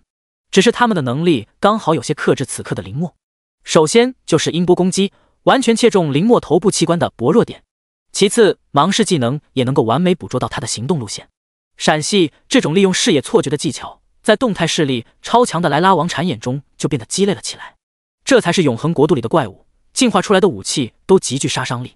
即便是四维属性在十级里绝对算得上优秀的林墨，在他们面前也必须谨慎。这才第三关就给我上难度。林墨冷笑一声，双臂的六根锁链完全展开，脚下一蹬就朝着莱拉王蝉的阵营中冲杀了过去。哐哐哐！莱拉王蝉似乎也不惧林墨的近战。他们纷纷站立起身来，挥舞着手中的利爪与锁链，发出碰撞声。斩钢！林墨微微凝神，锁链末端瞬间被强化，在空中快速轮转，猝不及防地刺入一只只莱拉王蝉的后脑处，带起一道道绿色的汁液。负一百，负一百二十，负一百五十，红色暴击提示不断在他们头顶飘了起来。新手试炼受潮的那些怪物，生命值大多只有两三百点，就算是极限了。就算是 BOSS 的生命值也不高，只要命中要害。打出暴击伤害，很容易就能够造成秒杀。但无论是第一轮的百足魔兽幼年体，还是现在莱拉王蝉的血量，都十倍于他们。加上这两者怪物超高的防御，锁链就算命中要害处，也未必能够造成击杀。一次不够，那就两次。双眼充血的林墨眼神更冷了几分。六根锁链轮转速度再次加快，莱拉王蝉们动作明显迟缓了半分。呱呱呱！莱拉王蝉们发出吃痛的叫喊，血量再次暴减。动态视力能够捕捉。可是身体的反应能力却欠缺，这就是他们的弱点。面对在空中疾驰的一根根锁链，明显有些应接不暇。叮！您成功击杀莱拉王蝉。叮！您成功击杀莱拉王蝉。叮！您击杀提示不断传来，在场躺下的王蝉数量也越来越多。几分钟后，通关的提示传来。叮！成功击杀莱拉王蝉 X 三十，耗时六分五十八秒。叮！恭喜玩家林墨通关第三关。成功获得职业流光刺客，匹配值七十，请问是否接受？林墨满身是伤的站在原地，目光看向系统提示里的流光刺客 S 级，竟然是这个职业，他有些意外。流光刺客这个职业前世在万族大比之中曾经大放异彩，不过获得这个职业的并不是蓝星人族，而是另一个中等文明的玩家。当时他手持流光匕首，在万族大比中以下克上斩杀了数名永恒种族的天骄，只可惜最后还是功败垂成，止步于万族大比的百名榜。即便如此，也让世人了解到流光刺客的强大。在蓝星游戏初期，这绝对称得上一流的职业了，而且匹配值也比之前的两个职业更高，达到了七十点。林墨第一次犹豫了起来。流光刺客加上七十点的匹配值，其发展潜力绝对已经比前世选择战士职业的他提升了一个档次。可，这才是第三关。林墨沉吟后，还是选择了放弃。叮，已放弃流光刺客，擂台融合中，请稍等。随着系统提示响起，林墨脚下的擂台开始发生了巨变。一棵棵参天大树从周围拔地而起，擂台却快速下沉，消失在凭空出现的土壤之中。树木、绿叶、阳光。一切都在缓缓升起，但一切却又像是假象。片刻后，一座崭新的原始森林出现在林墨眼前。他半眯起眼睛，抬起头，望着透过树叶照射下来的阳光，低声道：“即便是永恒境的木系法师，怕是也无法如此迅速的凭空造一座原始森林吧？还是说这是幻境？”言罢，他蹲下身子，抓起一把脚边的土壤，闻了闻，沙土似乎还带着清晨露水的味道，无论是听觉、嗅觉还是触觉都没有出错。不是幻境，那就是神迹。林墨倒是愈发相信，在那片混乱神域之中，那些存在的身份了。顶级职业，还有这变幻莫测的试炼之地，就算是永恒种族，也很难仿制出来。古神测验第四关，请击杀这座森林的生物，获得足够的杀戮积分，并存活下来。任务不限时。温馨提示：杀戮积分达到一定数值，可以兑换相应的职业，积分越高，兑换的职业等级越高。倒计时：十、九、八、七、一。好，倒计时刚刚结束，一尊青面獠牙、身高百丈的恶鬼骤然出现在不远处的丛林之中。那是百级青面鬼。林墨瞳孔微微收缩起来。青面鬼也是永恒国度常见的鬼怪之一。通常来说，等级越强，体魄越强，且每长一级，身高就长一丈。百丈青面鬼，那就是百级鬼怪。他伸出血红的双手，紧握双拳，仰天长吼，声音散发出来的巨浪沿着丛林不断往外波及。掀起一阵阵狂风，无数树木枝叶被吹得东倒西歪。林墨赶紧侧过身体，将藏于一棵巨树之后，收敛自身的气息。凭借他目前的实力，遇上这尊怪物，基本就是一个死字。这就不是还未转职的临阶玩家能够对付的。还没等他想明白，忽然一声似鸟似马的嘶鸣声从天空传来。他再次抬起头望去，就看见一只只浑身染着金色的旧马从头顶疾驰而过，很快就和刚才咆哮的百丈青面鬼交起手来。他们张开尖利的鸟喙和锋利的爪子，从青面鬼身上的血肉一块块抓起、撕碎，然后吞入腹中。还没等一会儿，百丈青面鬼就在不甘的嘶吼声中直直倒下。看到这里，林墨将自己的身体藏得更严实了一些。很明显，这些旧马更不好惹。第二十四章：丛林中的小矮人比格米人。百级怪物遍地走，这到底是什么地方？林墨眼底升起疑惑。要在这样的环境中狩猎怪物，简直堪称地狱难度。一不注意就会被这些庞然大物波及，直接重开。当然，还有没有机会重开，林墨并不确定。唯一可以确定的是，他不喜欢把命运交到不确定的事情上。若是其他人身处于这种环境下，怕是早就已经绝望了。但林墨面临的绝境又何止这一次？无数的尸山血海都杀出来了，又何惧眼前的挑战？他没有浪费时间，当即轻轻一跃，站上了巨树半腰的枝干上，目光开始搜寻附近的地形。很快。他就锁定了目标，在树上跳跃了几下，就重新落到了地面。在怪物横生的丛林之中，竟然有一处被熄灭的篝火堆。林墨伸出手捏起一撮木灰，还是温热的，就在附近。他再次站起身来，环顾四周，很快就在不远处的泥土中发现了被刻意隐瞒的踪迹。虽然用树叶和工具扫乱过，但是凭借林墨的经验，还是一眼就看出了端倪。西边，林墨马上就判断出方向，再次跃上树枝，在丛林中快速奔袭。十几分钟后，他在一棵大树的树冠上停下了脚步来，目光望向远处的那棵原始巨树。乍一看，这棵大树和周围其他的树木仿佛没什么不同，如果不仔细看，也许很难看到端倪。但凭借林墨的经验，看穿这种低劣的隐匿手段，并不是什么难事。闻到了，是弱者的气息。林墨眯起眼睛，下一秒，他就消失在原来的树干。等到出现时，已经位于那棵巨树之下。畸变！他轻喝一声，右臂化为一柄没有刀把的长刀，然后举起长刀就对准巨树的根部斩去。斩钢！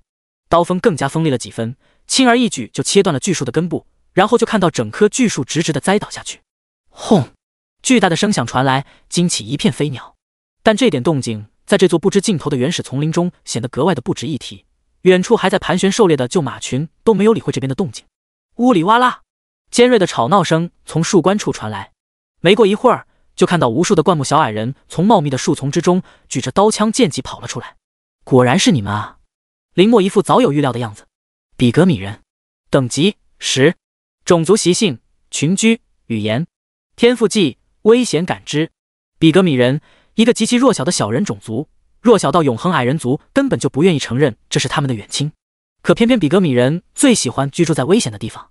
据说这是他们无数年进化而来的种族天性，当然也有赖于他们的天赋——危险感知。呜里哇啦，比格米人倒是对林墨的出现非常愤怒，原因是他们祖祖辈辈生活的大树被他这一刀就切断了。他们从腰间掏出武器，朝着林墨丢了过去。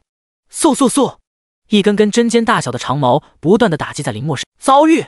蝎尾狮幼年体，嗖嗖嗖！林间的树叶发出微微的响动。林墨带着克米一路向西，速度之快，动作之微，就连树上的飞鸟都很难惊动，更别提惊动那些动辄百级的凶兽了。克米也是将这一切看在眼里，连声惊呼道：“老爷，您实在是太强了，这隐匿手段比我们比格米人都强。”林墨并不接他的彩虹屁，说道：“要是走的路线出错，我会让你知道什么才叫真正的强。”克米脸色讪讪，说道。哪敢啊！克米以及全族的小命都捏在林墨手中，自然是不敢这么做的。果然，在他的精心指路下，林墨很快就就听到了沿着林间传来的溪流声。他心神微动，在树林之间快速移动着，终于找到了寇涛鱼人的栖息地。寇涛鱼人的身材和诺克一模差不多，大概只有一米二三的样子。他们手持着一根根尖锐的鱼叉，在河流附近来回巡逻。不远处看得到他们在岸边搭设的临时帐篷，不过这些都是假象。一旦遭遇危险，他们会快速躲进溪流，从河里发射攻击。寇涛鱼人，等级十，技能一投射鱼叉，二捕网，三滑溜。天赋技很简单，等级也在十级之内。从这点看来，克米没有欺骗自己。林墨对着克米淡淡说道：“你的寿命多了十分钟。”就在克米想询问为什么只多了十分钟时，只见下一刻，林墨就朝着溪流边的寇涛鱼人冲杀了过去。我的天，老爷！他一声惊呼，连忙抓紧身下的衣服。克米心中暗道不好，这个新老爷不仅杀心很重，还是没脑子的莽夫。岸边这么多的鱼人，难道不应该是先探查一波敌情，然后酌情开始攻略吗？怎么一上来就冲出去了？生怕别人看不到他吗？就在克米在心里疯狂吐槽之际，林墨双手的指节处分裂出一支支十几厘米长的骨笔，然后轻轻一甩，咻咻咻！锋利的骨笔直接命中数只扣涛鱼人的面门，暴击，一击必杀，暴击，一击必杀。秒杀的系统提示不断闪出，与此同时，西边的扣涛鱼人也纷纷反应了过来。哇哇！他们高声呼叫着周围的同伴。没一会儿，岸边的扣涛鱼人就聚集了上百只。哇！为首的鱼人首领高呼一声，只见无数的鱼叉朝着还在奔袭的林墨投射而来。切换，林墨的手臂即变成六根锁链，快速在空中飞舞着，将一只只鱼叉全数打飞后，随后快速逼入于人群之中。六根锁链完全展开。快速轮转，开启了杀戮模式。暴击，一击必杀！暴击，一击必杀！击杀提示不断飘起，看得林墨肩膀上的克米一脸震惊。要知道，他之所以会窜腾林墨到这里来，完全是因为这群寇涛鱼人和他们是死对头。平日里，这些家伙就会仗着自身的强大欺负他们比格米人，甚至把他们当作玩具肆意玩弄。没想到，在克米看起来无比强大的寇涛鱼人，在林墨手中竟没有一只撑过了一击。看来这位新老爷也不是完全的没脑子，克米在心中暗暗想到。几分钟后，上百只寇涛鱼人的尸体，或是躺在溪边，或是漂浮在溪流上，顺着溪水往下游流去。一个小型的寇涛鱼人部落全灭。叮，屠灭寇涛鱼人部落，杀戮积分结算中，结算成功，你已获得十个杀戮积分，目前总积分幺幺零。目前推荐职业为流光刺客，匹配值七十，是否使用杀戮积分兑换职业？系统提示在林墨面板上显示出来，屠灭整个鱼人部落也不过加了十个积分，甚至还不如刚才在擂台上击杀的那些凶兽。理所当然的，推荐的职业流光刺客也没有更换，太弱了。这些鱼人甚至比号称最弱鱼人的绿洲鱼人还弱小，杀他们简直就是浪费时间。林墨眉头蹙起，将还处于震惊中的克米提拎起来，语气危险的说道：“你在耍我？”克米一愣，也是察觉到他的语气不善，连忙说道：“老老爷，克米没有啊。”林墨冷笑着说道：“这些垃圾也配称之为敌人？”克米缩了缩脖子：“老爷。”您一开始不是说是要宰掉所有能够宰掉的吗？林墨，他沉默片刻，说道：“再给你一次机会，我的时间很宝贵，不要拿这些废物来糊弄我。”克米连连点头：“放心，老爷。”克米知道前面的洞穴里有一头蝎尾狮的幼年体，实力强劲，绝对符合您的要求。蝎尾狮吗？林墨沉吟着：“这是一种不弱于百足魔兽的凶兽，即便是幼年体，也拥有相当的强度。要是后期成长起来，像刚才的百丈青面鬼。”就马群就是他的食物而已。带路，林墨淡淡吐出两个字。克米连不忙的点头，再也不敢耍什么滑头，老老实实的开始播报路线。果然，在他的指引下，找到了栖息在洞穴里的蝎尾狮。蝎尾狮的脸部宛若人面，长着狮子的身体，以及一对长满尖刺的龙翼，尾部拥有二十四根尾刺，看起来就像一根布满荆棘的藤条。这是一种杂交出来的大型凶兽，成年体的实力强大，丝毫不弱于飞龙、狮鹫等空中王者。但在林墨眼前的这头，明显是一头幼崽，身长不过两三米，蝎尾的长度也不过四五米，还远远没有成年体那般的压迫感。蝎尾狮幼年体，等级十，天赋技一尾刺再生，二掠食者。林墨稍稍靠近后，蝎尾狮立刻就有所反应，扬起人面就朝着他发出嘶吼声，吼吼，似是在警告林墨不要踏足他的领地。林墨当然没有理会他的警告。而是不紧不慢地将右臂切换成古剑状态，对着肩头的克米说道：“十分钟，想好下一个对手。”克米吞咽了一口唾沫，也不知道是该担心新老爷能不能打得过蝎尾狮，还是该考虑下一个比蝎尾狮更凶恶的对手到底该怎么找。就在他纠结和惊恐之际，新老爷的古剑已经率先斩出，手起剑落之间，就将蝎尾狮那引以为傲的蝎尾齐根斩断。吼吼吼！蝎尾狮发出撕心裂肺般的嘶吼声，克米的肩膀略微放松下来。同时松了口气，好吧，该考虑后者。第二十六章游戏还是末日？几分钟后，蝎尾狮死不瞑目的被分尸几段，躺在洞穴的大门口。叮，成功击杀蝎尾狮幼年体，获得三十个杀戮积分，目前总积分一百四十。目前推荐职业为流光刺客，匹配值七十。是否使用杀戮积分兑换职业？职业依旧没有更换吗？林墨沉吟着。一只蝎尾狮增加的积分比一个小型的鱼人部落还要多，也就是说，游戏规则和他猜测的差不多，是要狩猎同等级下更强大的对手。林墨扫了一眼地上的蝎尾狮尸体，也没有浪费，锁链唰的一下刺入尸体之中，左下肢癌化值加二。看着地上被吸干的尸体，肩头上的小矮子克米顿时缩起脖子，脸色铁青。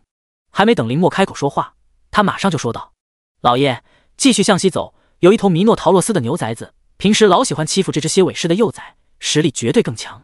还有还有，再往东有维克尼怪的小型部落，综合实力也很不错，绝对量大管饱。另外，西南方向的枭雄崽子，西北方向的食腐兽，更北边的泽地熊人。克米滔滔不绝的将附近合适的对手全部都说了出来。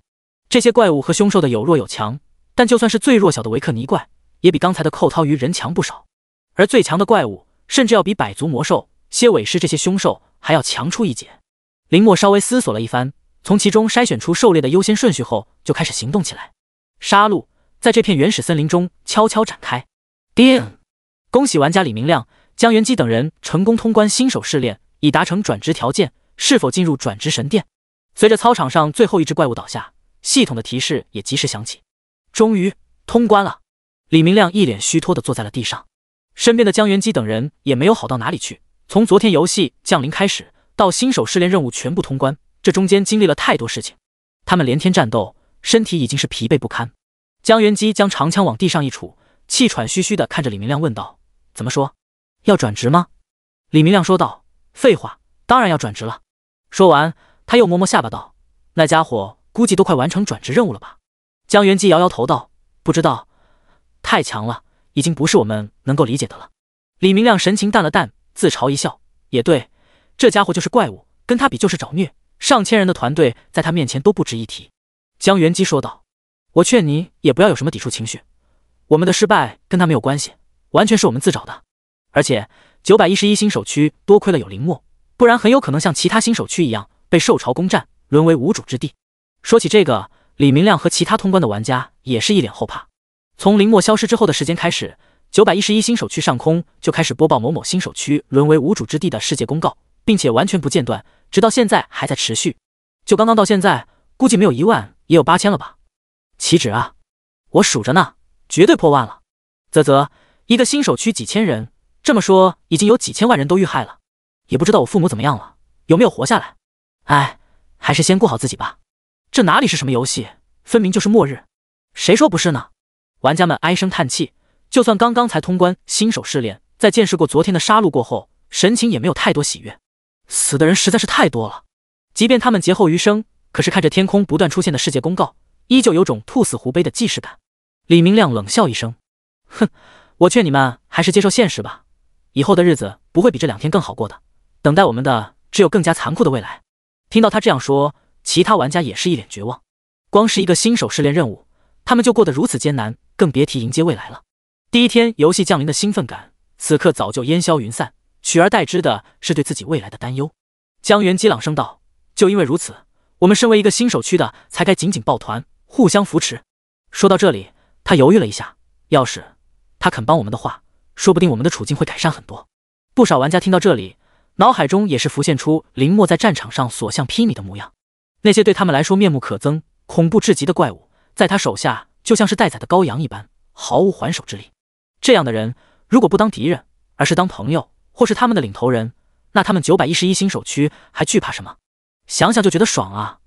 但下一秒，李明亮就戳破了他们的幻想。想多了，延州已经用生命证明了这点，你们就别想了。与其想这么多，不如想想怎么完成转职任务。玩家们的神情更丧了。延州那种大佬林墨都看不上，就更别提他们这些人了。江元基沉默了一会儿，继续说道：“好，我现在就准备进行转职任务。”这么快，你不要命了？李明亮扫了一眼浑身是伤的江元基，江元基沉声道：“我们已经浪费了很多时间，如果这个时候还不拼命，我担心以后连拼命的机会都没有了。”李明亮咬咬牙：“行，我也去。”其他玩家也是纷纷开口：“我们也是，死就死，我也不怕。”看到无数新手区沦为空白之地，不只是李明亮和江元基，此刻其他还存活的蓝星新人玩家心中都产生了巨大的危机感。世界公告。燕国一千六百四十三星手区已被怪物侵占，沦为无主之地。世界公告：大韩国五千四百二十二星手区已被怪物侵占，沦为无主之地。世界公告：灯塔国两千三百四十五星手区已被怪物侵占，沦为无主之地。金光闪闪的大字不断在天空中闪烁，还不到一分钟的时间，就不知道轮换了多少波世界公告。整个蓝星死亡的人数还在持续飙升。九百一十一星手区的玩家们仰起头，看着天空中的金色大字。眼神之中流露出深深的恐惧。第二十七章，S.S 级职业，五级剑宗，斩钢。林墨双手一边一柄大长剑，斩出一道道剑锋，剑锋凌厉，所过之处，阵阵破风声传来，周围枝叶横飞。而与之交战的也不是什么善茬，弥诺陶洛斯，传说中的牛头怪，迷宫副本里的常见怪物。但凡在新手等级内，这就是妥妥的超纲考题。幼年体的弥诺陶洛斯，身高也有将近三米。手持着超过身高的长柄战斧，在空中快速挥斩，速度不比林墨的双手剑慢多少。哐哐哐，火光四射，武器在空中不断的交锋，发出刺耳的金属碰撞声。林墨肩头的克米惊恐的抓住衣服的一角，生怕自己不小心就掉了下去，再一不小心沦为两者刀下的亡魂。双方也没有多余的技巧，脚步生根，站定在原地，就这么硬碰硬的，你砍我一刀，我砍你两剑，战斗风格相当硬核。但克米只感觉自己的小心脏受不了。乖乖，这新老爷的实力也太离谱了！这种拥有高阶魔兽血脉的怪物都能够面对面互殴。最关键的是，林墨从白天战斗到黑夜，已经连续十几二十个小时没有休息过了，不是在战斗之中，就是在战斗的路上。而那些克米曾经认为一辈子也不可能战胜的对手，枭雄、石斧兽、泽地熊人，一个个接连倒在了林墨的剑下，成为一具具干尸。太夸张了！这位新老爷不会是永恒种族的后裔吧？克米合理怀疑起林墨的身份，能够将这些高阶魔兽血脉轻易屠戮的存在，除了永恒种族以外，好像也找不到其他解释了。尤其是林墨在每次战斗后吸食尸体这件事，就很像永恒吸血种。吸血种就是依靠吸食他人的血液和灵魂，从而增强自身的永恒种族。只是唯一不同的是，吸血种的幼年体似乎是蝙蝠形态，并不能维持人形。但也不排除林墨是拥有吸血种血脉的后裔。永恒种族，那可是位于永恒国度的巅峰文明，就算是拥有一点点稀薄的血脉，也是受用无穷。在新手阶段，完全可以做到乱杀了。要真是永恒族后裔，那克米我以后岂不是跟着吃香的喝辣的了？克米越想越激动，甚至已经开始在脑海里幻想继任比格米人族长、迎娶族长之女的未来了。当，就在他幻想之际，林墨的古剑再次和米诺陶洛斯长柄战斧狠狠地碰撞在一起，巨大的反作用力将两人的身形都往后震退了几步。克米差点没抓住衣服，被甩飞了出去。还好最后绑在林墨身上的藤条起了作用。才让他捡回一条小命。不过还没等他歇一口气，林墨举起古剑就再次杀了过去。当当当，战斗进入白热化，双方互不退让，都不准备给对方任何休整的机会，再次拼杀在了一起。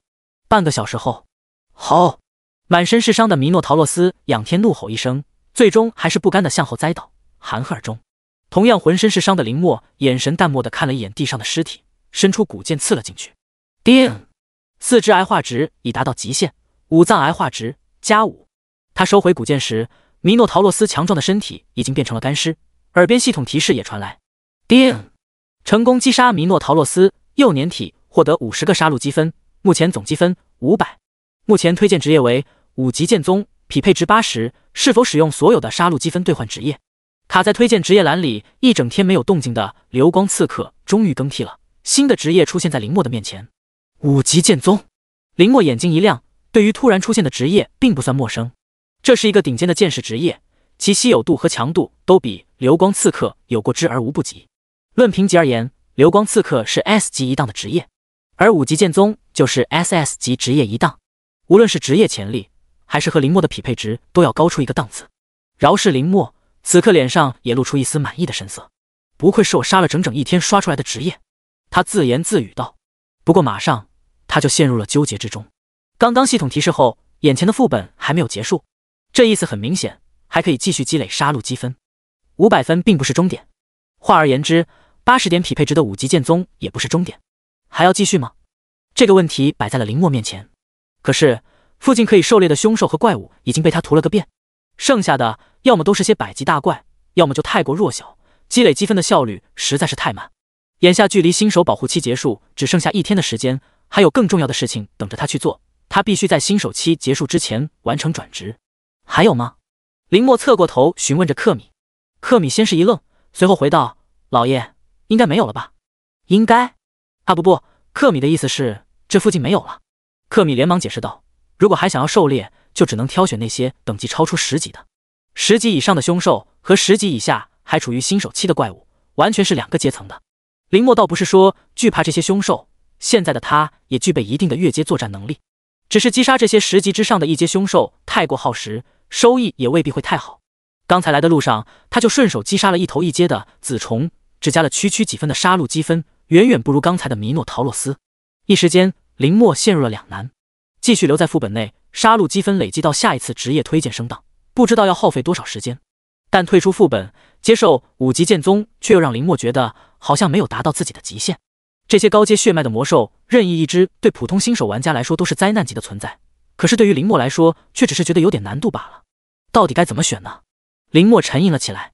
就在这时，他的耳边忽然传来嗤嗤嗤的笑声，紧接着那道不可名状的声音传入脑海之中：“嗤嗤嗤，小家伙，看来你比我想象中还要优秀一些。”林墨开口道：“是你，是你，谁啊？”林墨肩头的克米病听不到这些声音，疑惑的四处张望着。不知道林墨在跟谁对话，声音在林墨脑海中响起：“小家伙，还想继续挑战更强的对手吗？”第二十八章最强对手——永恒种族。当然，林墨毫不犹豫地回答道。那道神秘的声音继续说道：“吃吃吃，就喜欢你这种永远不知道尽头的贪婪。既然如此，接下来的试炼生死不论，想要更高阶的职业，我这里应有尽有。可是，你得拿出相应的实力才行。吃吃吃。”随着诡异的笑声越来越远。那道声音似乎从林墨的脑海中消失不见了。还没等林墨有所反应，只见他身下的这块区域忽然开始剧烈的震动起来，然后刚才消失的擂台竟然再次凭空出现，直接出现在林墨脚下，然后快速带着他升腾而起。整座原始森林也因此而剧烈的震动了起来，无数的原始巨树因此而栽倒，就连溪流也改变了流向。很快，附近的百级大怪们都注意到这边的异动，吼吼吼！他们纷纷嘶吼着，朝着这边快速奔袭而来。我的天，老爷，是那些大怪！克米看到那些庞然大物全都朝着他们的方向跑来，吓得魂都快飞出去了。但是林墨似乎没有听到他说的话一样，只是略微压低了身体，减轻擂台快速上升的气压，对周围的巨兽们没有做出任何反应。克米看到这一幕，下意识紧闭双眼，在心里直呼：“我命休矣！”可是，一秒钟过去了，两秒钟过去了，咦？克米发出疑惑声，然后慢慢睁开双眼，只见刚才奔袭而来的那些庞然大物，全都无一例外。被隔绝在了这座巨型擂台的百米范围之外。虽说百米的距离对于这些体型庞大、速度敏捷的凶兽来说不过是触手可及的距离，可是他们却无法向这边逾越分毫。吼吼吼！凶兽们嘶吼着，似乎不能接受这突然出现的擂台破坏了他们常年栖息的领地，可是却没有任何办法踏足进来，只能眼睁睁地看着擂台再次重新搭建起来。他们没办法进来。克米也是发现了这点，眼神里全是惊讶，好奇道：“老爷。”这是您做的？林墨淡淡的回了一句：“不是。”克米有些无语，但心里总觉得这事儿应该跟这些新老爷有关系。不愧是永恒族后裔，这能力就是强啊！就连百级大怪都不放在眼里了。他在心里如此感慨一句，可是下一刻他就想伸出手扇自己一巴掌。唰！只见一道圣光从天而降，擂台之上就凭空出现了一座传送法阵。随着圣光渐渐消散，被传送的对象就出现在林墨和克米的眼前。嘶嘶，声音从对面传来。蛇，克米愣了愣，随后开始伸出小手数了起来：一、二、三、四，死，九个脑袋！天哪，老爷是九头蛇！克米惊呼一声。出现在法阵正中央的怪物，浑身长满了钢铁一般的鳞甲，从左到右，从上到下，密密麻麻长满了九颗舌头，每一颗舌头都邪恶无比，张开嘴就露出了猩红的蛇信子，以及两根尖锐的毒牙。它们在空中缓缓晃动着，一双双金色的树瞳死死地盯着这边。这，这是永恒种族地狱九头蛇。克米此时此刻真的无比懊悔，为什么会在心里一直提什么永恒种族？这下乌鸦嘴应验了，永恒种族真的来了。比格米人天生的天赋技危险感知告诉他，眼前的九头蛇绝对是纯血种的永恒种族地狱九头蛇。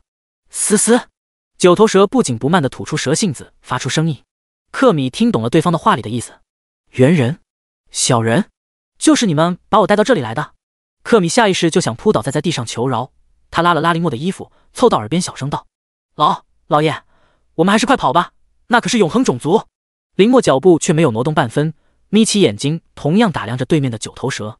无需克米的提醒，他在看到九头蛇的一瞬间就知晓了对方的来历，存在于永恒国度巅峰的文明，永恒种族的一员。在永恒国度之中，永恒族就是强大和地位的象征。任何种族被冠以永恒之名，就代表了他们已经达到了永恒国度的顶端。所有的永恒族，哪怕是他们之中最弱小的存在，也比其他文明的玩家要强出一大截。要知道，林墨目前的四维属性如下：力量六十九点六加九十九，速度六十九点七加九十九，体质六十九点五加八十九，精神七十点一。在没有转职的新手之中。绝对可以说是遥遥领先，四肢的癌化值都已经强化到了这个等级的极限，足足有一百多点的属性值。可是面对眼前的这头永恒族地狱九头蛇，他却没有一点把握能够战胜对方。很简单，就算是最普通的永恒族四维属性的平均值也破千点，也就是说，对面这头地狱九头蛇的力量、速度、体质全都高林墨五六倍，而精神力更别说了，直接超出了十几倍。同等级的地狱九头蛇轻轻打个喷嚏。就能秒杀一大片的普通玩家，强大二字已经不足以形容他们了，应该用无敌。嘶嘶嘶！地狱九头蛇望了望擂台四周的百级凶兽，眼神之中并没有太多畏惧，只是淡淡的看了几眼就收回了眼神。随后，他直接忽视了克米，将目光锁定在了林墨的身上。猴子，你是想死吗？他赤果果的对着林墨发出死亡威胁。听懂他话里意思的克米吓得面无血色，心中快速闪过：现在磕头认错来得及吗？之类的想法，但他这么想，林墨却没有这么想。林墨只是淡淡的看了地狱九头蛇一眼，手臂就激变成了一对骨剑，同时身子微微往下弯曲了半分。这当然不是在鞠躬敬礼，而是摆出了战斗姿态。地狱九头蛇看到他做出这样的姿态，一双双树瞳微微收缩起来。嘶嘶，猴子找死！呜，不要啊！克米哭丧的小脸很想让林墨先把他放出去，但是又看了一眼外围一头头百级凶兽，顿时只觉得人生已然走到了尽头。第二十九章，保持最弱的姿态才能够成为最强。地狱九头蛇，永恒族，等级十，永恒天赋：一地狱之火，二贪欲，三再生，四亵渎。四个永恒天赋，面前出现的信息让林墨心中微微一凝。永恒天赋有一个特性。那就是绝对不会低于 S 级，四个永恒天赋，那就代表着面前这头地狱九头蛇拥有起码四种 S 级以上的天赋。乍一看似乎并没什么了不起的，可是别忘了永恒族天生强大的四维属性，仅仅凭借四维属性，他就可以碾压同阶百分之九十九的对手，根本用不上什么天赋。当然，也不是完全只有坏消息。地狱九头蛇中的王族后裔，通常来说都拥有五个以上的永恒天赋，族内最强的天才。甚至从出生就有九个永恒天赋。要是遇到那种妖孽，林墨宁愿出去面对外围的百级凶兽，也不愿意待在这座擂台上。起码选择前者还有一线生机，但以他目前的实力，遭遇后者绝对是十死无生。好在这头地狱九头蛇资质平平，并不算是族内的天才。即便如此，林墨也没有信心能够战胜对面这头地狱九头蛇。他确实没有想到，那自称古神的家伙竟然真的给他抓了一头永恒族过来。还真是不怕我死啊！林墨呵呵一声，蓝星人族的基础四维和永恒族实在是差太多了。假如再给林墨多一些时间，他能够想办法弥补这些差距。只是现在还处于新手期，这段差距不是想弥补就弥补的。思思，不过来，那我就过去了。地狱九头蛇似乎已经等得不耐烦了，下一刻就直接冲了过来。说是冲过来，可是，在克米的眼中，他就是凭空消失在原地，速度快的根本无法用肉眼捕捉。闪现，林墨瞳孔微微收缩，下一秒身体也消失在了原地。两者再次现身的时候，已经互相交换了位置。地狱九头蛇缓缓转过蛇头，看着出现在身后的林墨，冷哼道：“思思，雕虫小技。对于他们这种永恒种族来说，根本不屑于去研究什么技巧，能够凭借天赋碾压的，完全不需要去做多余的事情。与其浪费时间研究这些，不如好好修炼自己的天赋技能。”林墨看出了他一双双树瞳中的不屑。但神情却没有半分动摇，这就是人类独有的优势。从进化之路的一开始就是如此，不断学习，不断从失败中总结经验。强者磨砺牙，弱者拼智慧，保持最弱的姿态才能够成为最强。林墨从未对这个信念产生过半分动摇，他也一直是这样做的。嘶嘶，猴子去死！地狱九头蛇一颗舌头猛地往前喷射，一口灼热的火焰朝着林墨面门就喷射而来。地狱之火。火焰才释放出来，就将附近空气的温度提升了好几度。温度超高的火焰，光是靠近就让林墨的皮肤感到一股刺痛的灼烧感。如果被火焰正面命中，他的血条有可能直接就会被清空。没办法，上千点的基础精神力，就算是释放一发普通的火球术，也能够造成爆炸般的伤害。更别说这是起码 S 级天赋技的地狱之火。闪现，林墨再次使用战斗技巧，规避这道持续燃烧的高温火焰攻击。但地狱九头蛇似乎早有预料，脚下宽厚的脚掌用力往下一踏，只听轰的一声，原本坚固的擂台寸寸开裂。想要使用闪系规避伤害的林墨，整个人直接被踩飞了起来。地狱之火，火焰紧随而来，目标正是在空中无法移动的林墨。糟了！克米捂住眼睛，准备迎接这致命的一击。踏空，林墨却没有像他一样坐着等死，脚步在空中微微一点。身体再度往上腾飞了一截，刚刚好避过地狱之火的喷射。思思，跑什么跑？猴子！连续两次攻势被林墨轻松化解，地狱九头蛇有些气急败坏。他自然分辨得出来，林墨的四维属性要远低于他自己。林墨的实力要比同阶某些种族的玩家强一些，但也不算多。同等实力的他宰过不知道多少，原以为能够轻松解决林墨，可是现在看来好像不是这么回事。老爷，您太厉害了！劫后余生的克米高兴地跳了起来，你太碍事了。不过莫等他高兴多久，林墨就拎起他的后衣，凌甩飞了出去。克米在空中翻转了好几圈，然后被重重地甩飞了擂台的边缘。他惊恐地看着对面的地狱九头蛇，可是后者九颗脑袋，没有一颗转过来看他一眼。比格米人这种族，就算是摆在九头蛇面前，可能都不会攻击他，因为他们在地狱九头蛇眼中，跟苍蝇、蚊子这种生物没有什么区别，随便吐口水都能打死的存在。感恩祖上把克米生得如此弱小。克米当即就跪在地上，给早就归西的先祖磕了几个响头，然后尽量把自己的身体往擂台边缘挪了几分，努力不让自己掉下去摔死，也不至于被林墨和地狱九头蛇的攻击波及。祖宗保佑，克米还想长命万岁！克米在心里默默念叨。此刻，他无比的想要林墨获胜，即便他自己也清楚这个几率趋近于零。地狱之火，恐怖的高温喷射再次出现，地狱九头蛇不再留手，九颗脑袋火力全开，几乎将整座擂台完全覆盖住。闪现，踏空，闪现。林墨的身形在擂台中间连续位移，不断闪转腾挪，规避着攻击。各种高端的战斗技巧在他身上运用的炉火纯青，只有完美的身法才能与对面的地狱九头蛇对抗。不知不觉中，林墨的额头已经激起一层层细密的汗珠。连续两天多的征战，也没有感受到疲惫的四肢，在和地狱九头蛇交战仅仅过去了十几分钟的时间里，就已经开始出现一丝酸胀感。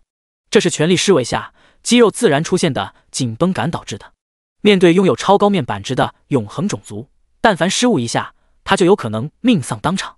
毕竟他的无限增值还没有进化到剩下一个细胞就能复生的地步。咻咻咻，在旁边观战的克米看来，脱离了林墨身体的他完全捕捉不到对方的位置所在，偶尔一瞬能够发现一丝丝踪迹，但很快就消失了。全程就看到地狱九头蛇不断换方向喷火，但具体喷没喷到，他也不敢问啊。不过看地狱九头蛇还在喷。他就知道自家的老爷应该还没去世，克米在心里为林墨默默祈祷：“老爷，再多坚持坚持吧，也许把地狱九头蛇大爷喷累了，他就放过我们了也说不定。”第三十章再生，不止你有。从傍晚到深夜，从深夜又到清晨，林墨和地狱九头蛇的你追我赶游戏持续了超过十个小时的时间。别说地狱九头蛇喷累了，就连在最佳观众席上的克米都快困得睡着了。当然，睡是不可能真睡的。一不注意，他就会变成烧烤比格米人，只能不断的凭借种族天赋、危险感知，在擂台上不断挪位置。好在擂台足够大，他才能获得一点点的生存空间。要说最厉害的，肯定是他的新老爷林墨。林墨正面面对地狱九头蛇铺天盖地的攻击，竟然能够从中找到那一丝丝的空隙，不断的闪避位移，和对方纠缠至今。嘶嘶，可恶的猴子！地狱九头蛇也从一开始的冷静到后期的逐渐愤怒起来。他的咆哮声每次都能吓得克米脸色煞白，可是对林墨却丝毫不起作用。新老爷真是冷静的可怕，克米在心中暗暗惊叹道。饶是他这种废物，也能够看出来，林墨这身板要是不小心挨上地狱九头蛇一击，怕是不死也会半残。可是十几个小时下来，对方还真是一点都没有让地狱九头蛇摸到，完美规避了伤害。闪现，踏空，闪现。林墨脸色对比起昨日也只是惨白了几分。神情依旧坚韧如常，没有半分变化，就如同他使用的战斗技巧一般，反反复复就是几招规避伤害的战绩。招式不在多，而在于精。地狱九头蛇的攻击看似铺天盖地，覆盖全场，可是九颗脑袋的配合并没有想象中的默契，攻击之间总有空隙。对于旁人而言，或许很难从中捕捉到这一丝丝的缝隙，可是对林墨而言却并不算难。这头永恒种族的幼崽，对于天赋技的运用还远远达不到熟练二字。这也是为什么他还能够与之僵持下来的原因。闪现，林墨再次抓住空隙，堪堪避开地狱之火的喷射。而对面的那头地狱九头蛇看似愤怒咆哮，实则狡猾至极。他不过是想要利用怒吼逼迫林墨犯错。期间，他还故意卖了好几次的破绽，引诱林墨上当。只可惜手段太过低劣，一眼就被林墨看穿。嘶嘶嘶，可恶可恶可恶！渐渐的，地狱九头蛇也开始狂躁起来。舌头喷射的火焰再次加剧，势必要将林墨烧死在擂台上。经过长时间的炙烤，整座擂台表面的温度再次提升了十几摄氏度，很多地方光是下个脚都会被烫伤。就这样，交战再次持续了两个多小时。终于，连续喷射了十几个小时的地狱火快达到极限值，饶是上千点的精神力也经不起这样使用。嘶嘶，可恶！他大声怒吼着。不过，即便如此，他依旧没有将林墨放在眼中。就算所有天赋技不能使用又如何？凭借着如此恐怖的面板属性，他不信林墨能够把自己怎么样。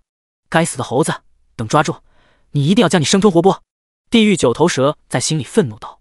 就在他准备切换策略时，忽然感觉后脑勺一凉，唰地声，一颗蛇头骤然与本体失去了联系。再次睁眼时，已经顺着身体滚落到地面上。还莫等他有所反应，一颗接着一颗的舌头开始毫无征兆的掉落。嘶嘶！等到掉到第五颗舌头时，地狱九头蛇终于反应了过来，发现了位于它上方的林墨。只见林墨的双肩切换成双剑，正在快速的收割着他的舌头。斩钢！林墨眼神微凝，双剑快若惊雷，一剑接着一剑，将一颗颗舌头砍掉。地狱火！地狱九头蛇又惊又怒，连忙调转剩下的蛇头，朝着林墨喷射火焰。林墨眉头微蹙，再次施展踏空避开攻击。再生！地狱九头蛇的嘶吼一声，刚才被斩掉的五颗脑袋快速重生，几秒钟，几颗脑袋就已经成型了。嘶嘶！可恶的猴子！交战以来，地狱九头蛇还是第一次被惊出汗水，也是第一次意识到，面前这个看似弱不禁风的猴子，好像真的能够威胁到他的生命安全。原以为对方根本没有还手之力，可是自己只不过稍稍露出一点破绽，对方就差点将他的舌头全数斩下。这家伙竟然在藏拙！地狱九头蛇终于开始正视起面前的林墨，而对面的林墨眉头微蹙，心中暗自惋惜，可惜了，敏捷值还是太低了。要是再高一百点，他就没有机会再生。错过了这个机会，林墨几乎很难再晋升。地狱九头蛇的种族天赋太过 bug 级，九颗舌头，但凡有一颗没有斩下。就无法真正的杀死对方，而且被砍掉的蛇头也能够快速再生，这就是永恒种族的恐怖天赋。尤其是他们族内站在永恒境巅峰的那位始祖，每一颗蛇头都掌握着一种毁天灭地的永恒禁术，尤其是中央那颗金色蛇头，更是不死不灭。传说就连神明也无法将其斩下。当然，眼前这头幼年体的地狱九头蛇还远远没有成年体，以及他们那位始祖那般恐怖。五颗蛇头被斩下之后，蛇头的恢复速度看似很快。但是林墨知道，起码短时间内五颗蛇头无法再使用地狱之火了。嘶嘶嘶，少得意了，猴子！就算我少了几颗蛇头又如何？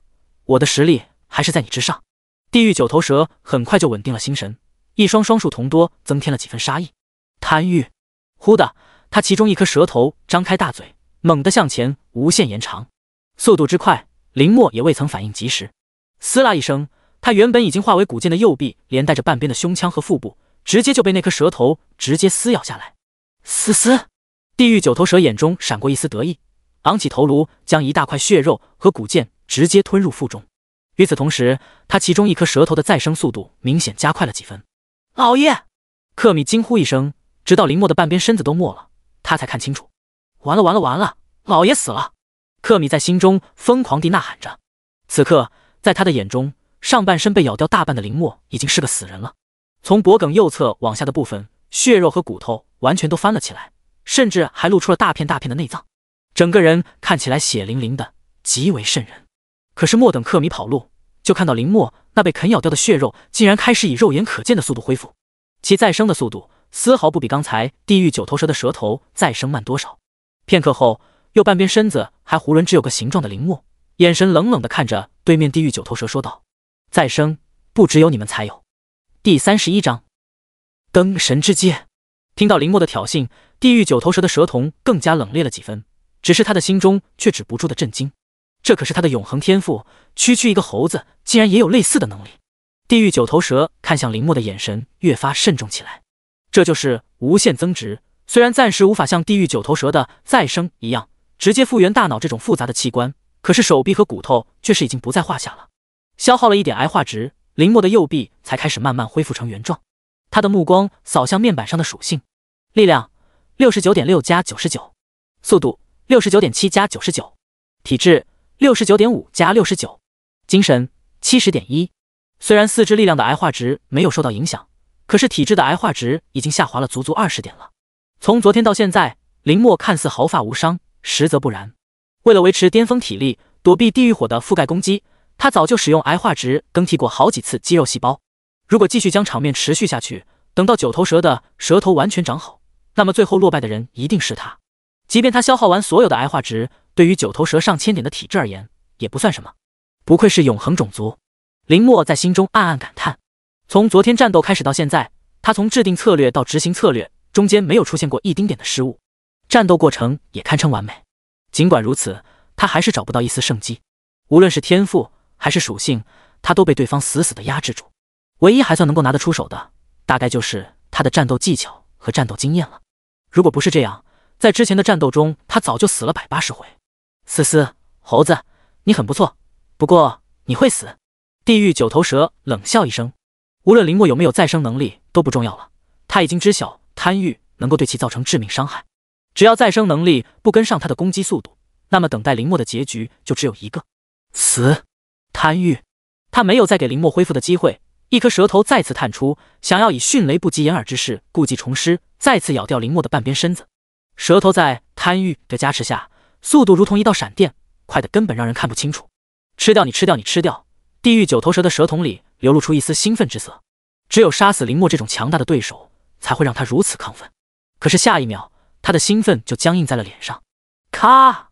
舌头预想之中啃咬血肉的画面没有出现。只见那颗凶狠无比的蛇头被一双漆黑的大手牢牢地掐住了下颌，禁锢在原地。地狱九头蛇惊恐地看着对面的林墨，后者不知何时右臂竟然已经完全长好了，而且那只右臂之上附着着一层漆黑的鳞片，手臂微微握紧之间似有雷霆闪烁。林墨右臂死死地抓住一颗蛇头，冷冷地看着他说道：“说真的，你很蠢，而且话还挺多的。”话音刚落，还没等地狱九头蛇有所动作，他漆黑的手臂就用力一抓。紫色雷霆在半空哐嚓一声作响，下一秒，舌头就在他的手中爆开，化成一块块焦黑的血肉。嘶嘶嘶！地狱九头蛇发出撕心裂肺的惨叫声，这一击比刚才斩掉他五颗脑袋还要疼痛数倍。林墨只是淡淡的看着这一切。右臂的异化来源于癌的第四个技能魔化。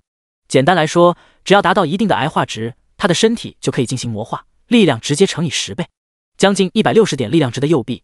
此刻能够达到一千六百点的力量值，其杀伤力的提升自然不言而喻，并且魔化还附带一定的魔力属性。刚才的紫雷就是最基础的魔化效果，这也是林墨压箱底的底牌之一。不过魔化需要消耗大量的癌化值才能够开启，而且就算是单臂开启魔化，那么单臂的癌化值也要超过一百点才行。林墨距离魔化开启条件还差一线，现在只是强行凭借着前世的经验开启，这样做的后果是。癌化值消耗的速度直线飙升，以他身体剩下的这些癌化值，满打满算只有够两分钟的时间。也就是说，两分钟内如果他解决不了地狱九头蛇，那就是他死。嘶嘶！地狱九头蛇愤怒的同时也愈发惊恐，因为他发现刚才被林墨捏爆的蛇头，短时间内竟然无法再生。舌头断掉的那部分似乎携带着一丝毁灭的属性，这怎么可能？毁灭属性怎么可能掌握在这种人的手中？地狱九头蛇心中震惊不已，可是林墨没有给他惊讶的时间，直接朝着这边奔袭而来。思思，猴子，你找死！地狱九头蛇似乎没有想到林墨也敢正面朝着自己攻来，就算你有毁灭属性又如何？我可是永恒族！他愤怒的咆哮着，不闪不避朝着林墨冲去。贪欲，其中两颗蛇头毫不犹豫的再次发动了贪欲攻击。真蠢！林墨冷冷的丢下这一句。魔化的右臂只是轻轻一抬，就再次抓住了两颗舌头。地狱火，地狱九头蛇见状也不敢怠慢，剩下还能攻击的一颗舌头再次喷射出高温火焰。闪现，林墨脚步一动，又消失在他的面前。刚才九颗舌头一齐喷射火焰都无法命中他，现在一颗舌头喷射火焰又有什么难躲的？下一秒，他的大手死死地掐住两颗舌头，出现在地狱九头蛇的身后，将舌头微微一扯，直接就把剩下的七颗舌头捆在了一起。嘶嘶。地狱九头蛇满脸惊恐，只觉得天旋地转，身体根本不受控制。等到他视线恢复正常，才发现自己的几颗脑袋已经被林墨全部掌控在手中。林墨淡淡的看了他一眼，说道：“如果不是你的祖先，你这种废物都活不过新手期。当然，现在也一样。”言罢，在他惊恐的眼神之中，紫色的雷霆将视线全部覆盖，毁灭在他沿着头部径直朝着身体里蔓延。他能够感觉到体内的一切被雷霆全部撕碎。生命在快速流逝。叮！成功击杀地狱九头蛇，幼年体获得一千个杀戮积分。叮！恭喜玩家林墨积分超过极限值九百九十九点，是否兑换灯神之阶猎神者序列？匹配值一百。随着系统提示结束，地狱九头蛇的身体也在林墨手中渐渐软了下去。等到栽倒在地上时，他整具身体已经化为了一团漆黑的焦炭。第三十二章猎神者序列进化的真相。体质癌化值九点三，敏捷癌化值九点六。林墨松开手臂的时候，面板上剩余的癌化值平均值已经不到十点了。但凡再多出十几秒的功夫，体质和敏捷的癌化值就会被消耗殆尽。届时死的人一定是他。不过好在一切都圆满结束了。林墨看了一眼渐渐褪去魔化的右臂，依旧是焦黑一片，甚至还能够嗅到一股浓郁的焦味。魔化技能伤人伤己。在前期癌化值不足的情况，这张底牌能少就少用。林墨松了口气，耳边就传来了吵闹的声音。我的天啊，老爷您太强了，竟然击杀了永恒种族！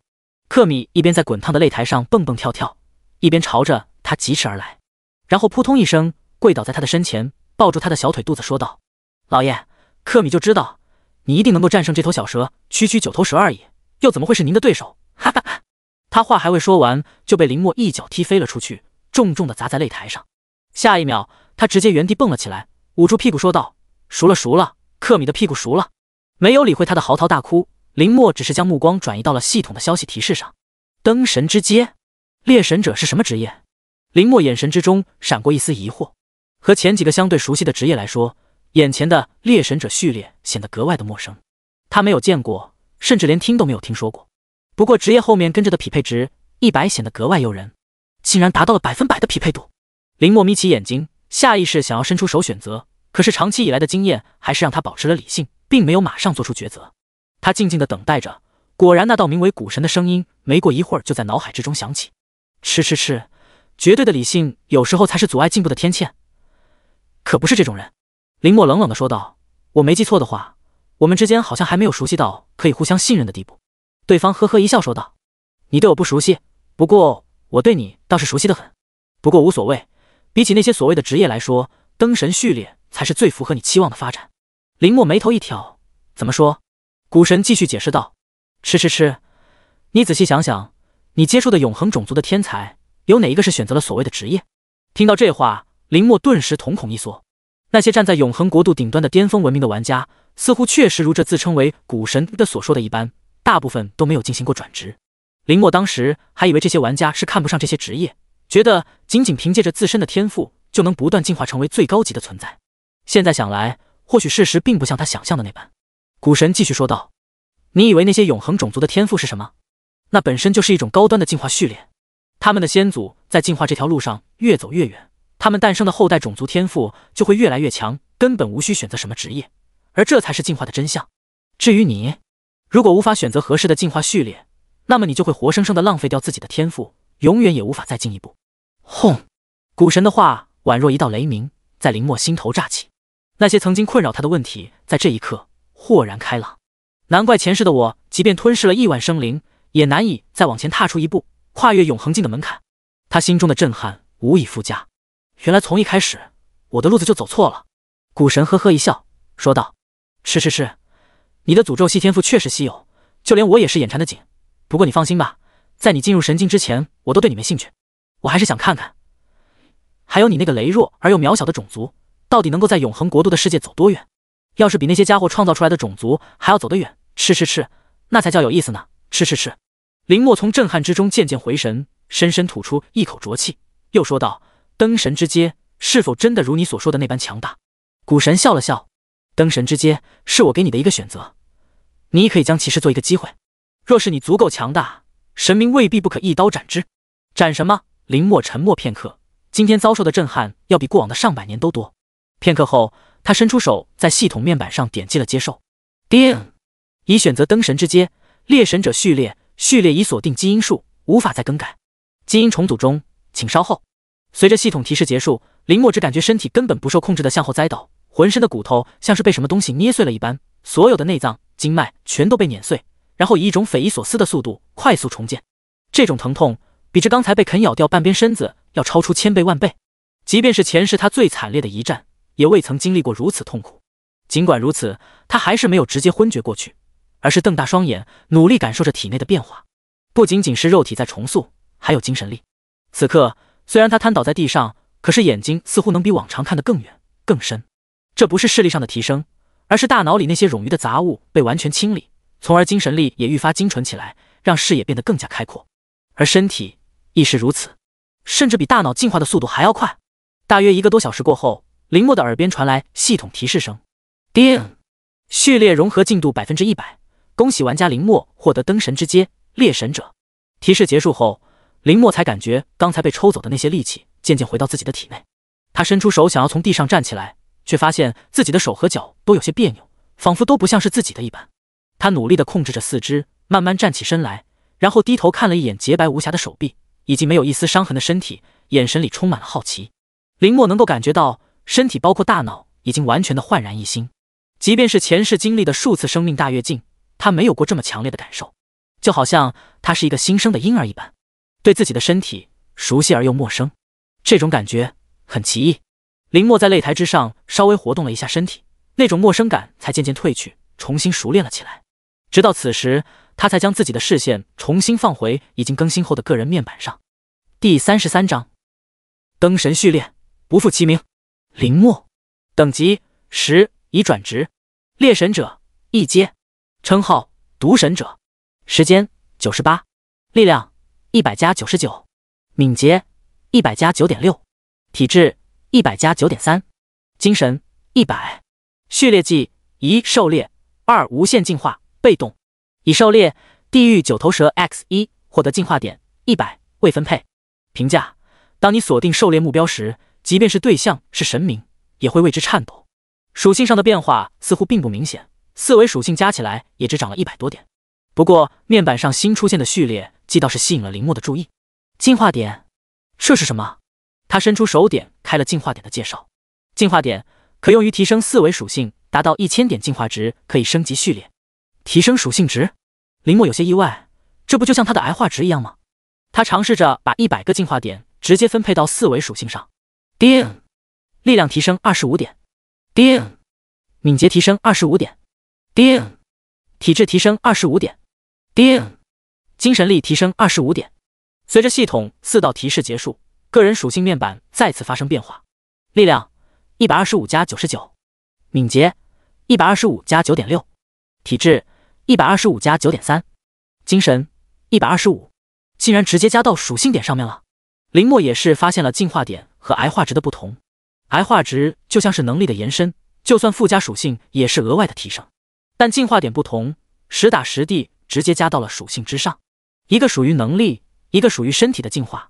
林墨摸着下巴，算是大致分清了两者的区别。而且他的猎神者好像和普通职业有所不同。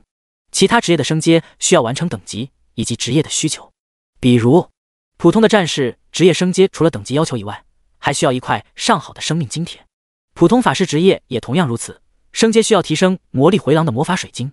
但猎神者似乎没有这些要求，只需要不断狩猎积攒进化点，似乎就可以完成升阶。乍一看似乎很简单，不过林墨眉头微锁，突然有种预感，序列升阶也许没有想象中那么容易。他大致浏览完面板后，自言自语道：“这什么灯神之阶，好像没有很强。进化点的属性虽然能够直接加在四维属性上，可是不管怎么说，癌的能力部分重合了。癌化值林墨想吸多少有多少。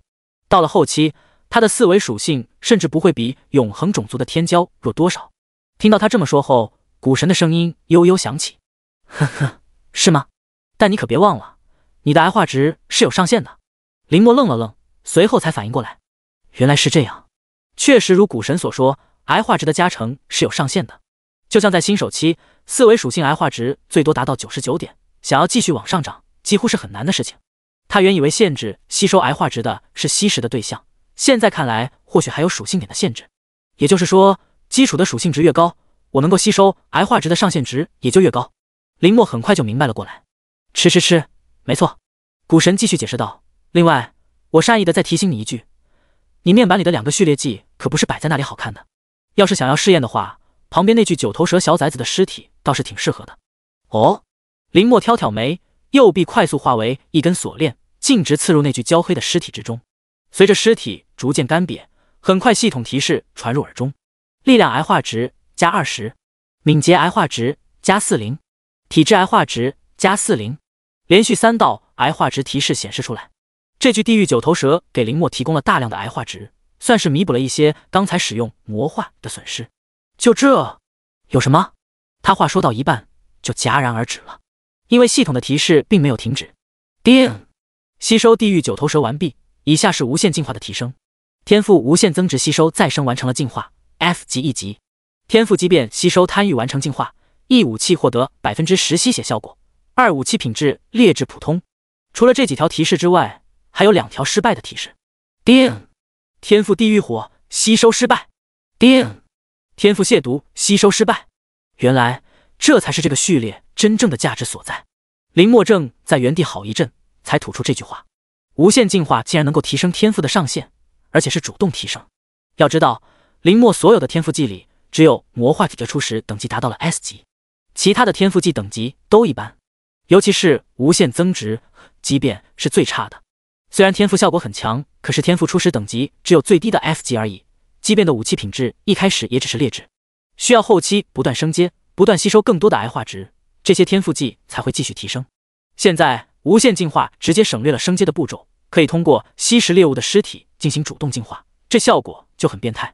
而且最关键的在于那一条武器获得百分之十吸血效果的提示。以前他的天赋只能在效果的基础上进行提升，比如即便装备的质量后期甚至可以提升到完美，甚至史诗级。但他只是获得了史诗级套装的基础属性，并不能获得装备的额外效果。而现在。他可以使用无限进化获得装备的附魔效果，并具备无限成长的可能性。他终于了解了这个序列技的含金量。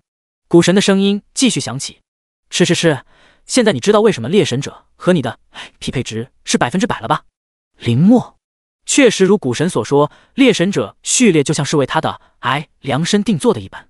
狩猎所获得的进化点不仅可以提升他的属性，还可以增强他的癌化值上限，而无限进化。则是完美匹配了吸食的效果，让他本身就具有超高成长性的天赋能力再上一个档次。两个序列技效果都强的可怕，登神之阶不负其名。第三十四章转职成功，无主之地。此刻九百一十一新手区内部的聊天频道，成功了，我转职成功了，哈哈，我也是，我也是，没想到转职这么简单，我以后就是大法师了，还有新技能，爽麻了，牛逼啊！转职属性点提升了这么多，起码比之前强了一倍啊！呜，羡慕大佬们，我还卡在新手试炼第二十波受潮，刚过试炼，有大佬能分享一下转职经验吗？随着通关新手试炼的玩家越来越多，完成转职的玩家也越来越多，尤其是九百一十一新手区的佼佼者李明亮、江元基等人，他们是继林墨之后最先完成新手试炼的一批玩家，这转职好像也没有那么难吧？李明亮带着人搜寻了好几圈九百一十一新手区的范围，确认没有发现林墨的所在，疑惑道：“怎么这林墨还没有完成转职？难道是死在转职任务里了？”江元基沉声道：“你我尚且获得了 B 级职业，那种人又怎么可能死在转职任务之中？”李明亮笑着说道：“嘿嘿，你说我获得 B 级剑客职业，匹配值可是有七十多点，以后的潜力绝对不低。那家伙，嘿嘿。”我的意思是，说不定也能够追上他。江元基只用一句话就打破了李明亮的幻想。你说的是转职之前的他吗？李明亮，他沉默良久，最后骂了干，就没提这事儿了。转职成 B 级剑客的他，虽然有自信能够在前两天那波数量最多的兽潮之中全身而退，可是要是像林墨那样逆行而上，清空所有怪物也是不太可能的。意思就是，即便已经转职的他，甚至都还不如未转职的林墨。这特娘的！还让人怎么追？李明亮咂摸了一下，说道：“B 级职业加上 B 级天赋，转职后我的属性值可是加了足足六十点，平均下来怎么感觉还是没有那家伙高啊？所以他到底是什么级别的天赋？不会是 S 级吧？”江元基刚想说话，耳畔就传一道系统公告：“世界公告，蓝星版图转职玩家超过百分之五十，现已开放世界聊天频道、限时线上交易板块、游戏论坛等多种功能。”世界公告，蓝星版图。李明亮和江元基互相对视一眼，都看到了彼此眼中的震惊。他们猛地低下头，打开了系统面板，果然找到了世界聊天频道，然后毫不犹豫的同时点开了频道。卧槽，还真的可以聊天！喂喂喂，有人吗？闭嘴吧！还真是来聊天的，就没有人交换一下信息？现在蓝星到底是怎么个事儿？还能是怎么回事？我们新手区的人死了一大半了，现在就剩下一千多人了，食物都没有，食物没有不知道吃凶兽啊！我们都开锅好几天了，卧槽，真的假的？怪物还能吃？废话，我们新手区两千多人口，这两天全是靠怪物撑过来的。尤其是穿刺者脂肪贼厚，能够拿来熬油，比猪油还香。最后说这句话的人后面标记“燕国”的字样，不愧是我们燕国人，上天入地就没什么不能吃的。李明亮和江元基在心里暗自感叹一声。随后，李明亮抬起头问道：“对了，那些怪物的尸体还有吗？还多？”江元基犹豫了一下，真要吃怪物，我们新手区幸存的人不多了，食堂和小卖部还有很多储备粮，我已经叫人收拢了起来，吃一个月没什么问题。李明亮摸摸下巴，说道：“那一个月之后呢？总要考虑以后的伙食吧。而且，要是那个家伙回来了，怕是这些怪物的尸体一句都不会剩。”话还没有说完，他的表情就僵在了脸上。江元基似乎也意识到了什么，猛地转过头去，只见不知何时，林墨已经出现在他们的身后。“你是鬼吧？怎么来？”李明亮和江元基心中悚然，完全没有察觉到林墨是什么时候出现在他们身边的。放心，这些怪物的尸体对我已经没用了，我不会动他们。”林墨淡淡的说道。李明亮尴尬的咳嗽一声：“林林墨大佬，我没有那个意思，我的意思是是，M D，怎么遇上他连话都说不出来？”李明亮卡了半天，也不知道该怎么解释。林墨却懒得听他废话，直截了当的说道：“把现在幸存的人都给我叫过来，我有事要说。”李明亮那是一刻都做不得，连忙站起身来跑了出去。我去，我去。林大佬，稍等片刻。教室里面一时间就剩下江元基和林墨。林墨倒是没什么其他表情，径直坐在了讲台的座位上。江元基有些尴尬，也不知道该不该坐下来，说道：“林哥，你是什么时候回来的？”林墨摩搓着手指，脑海中回想起刚才的事情。转职成功后没多久，他就被踢出了副本，回到了九百一十一新手区。克米哭得惊天动地。生怕自己被丢在豺狼虎豹环伺的擂台之上，不过他还是没有带走他，只是临走之前留了自己的一滴血给他。至于那些百级凶兽，本身就是朝着擂台和林墨而来的，擂台消失，他们自然会散去。弱小如克米，那些百级凶兽应该连看都不会看他一眼，只要解锁最后的能力，就能契约他，也就能够知道那方秘境的所在了。林墨眯起眼睛，心中暗暗想到：关于试炼的那方世界。高阶魔兽层出不穷，绝对是一个适合狩猎的最佳场所。只是他现在实力不足，无法解决那些百级凶兽，所以才留下了克米这个伏笔。最后，那自称古神的存在并没有留下太多的话，只是说了几句云里雾里的话，就放任林墨离开了。即便到现在，林墨心中依旧对他保持着警惕。他能够感觉到自己似乎在这尊古神面前没有任何隐私，包括他是众生者的事情。心中谜题还有很多。林墨却没有着急，时间还有事情也不急。既然我现在没资格，那我总有一天能够爬上去，知晓所有的真相。林墨心思辗转之际，李明亮已经带着人忐忑不安的从门外赶了回来。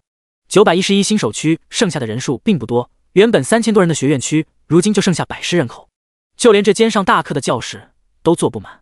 林墨无视了旁边欲言又止的李明亮和江元基等人，直接开口道：“长话短说。”我只说一件事，接下来九百一十一新手区要争一争无主之地。第三十五章，还有谁想要时间币吗？无主之地。李明亮和江元基互相对视一眼，眼神之中有些迷茫。在座的其他玩家也是差不多，没理解林墨的意思。无主之地是什么？你笨啊！那些被兽潮攻占的新手区不就是无主之地吗？卧槽！那我们要那玩意儿干嘛？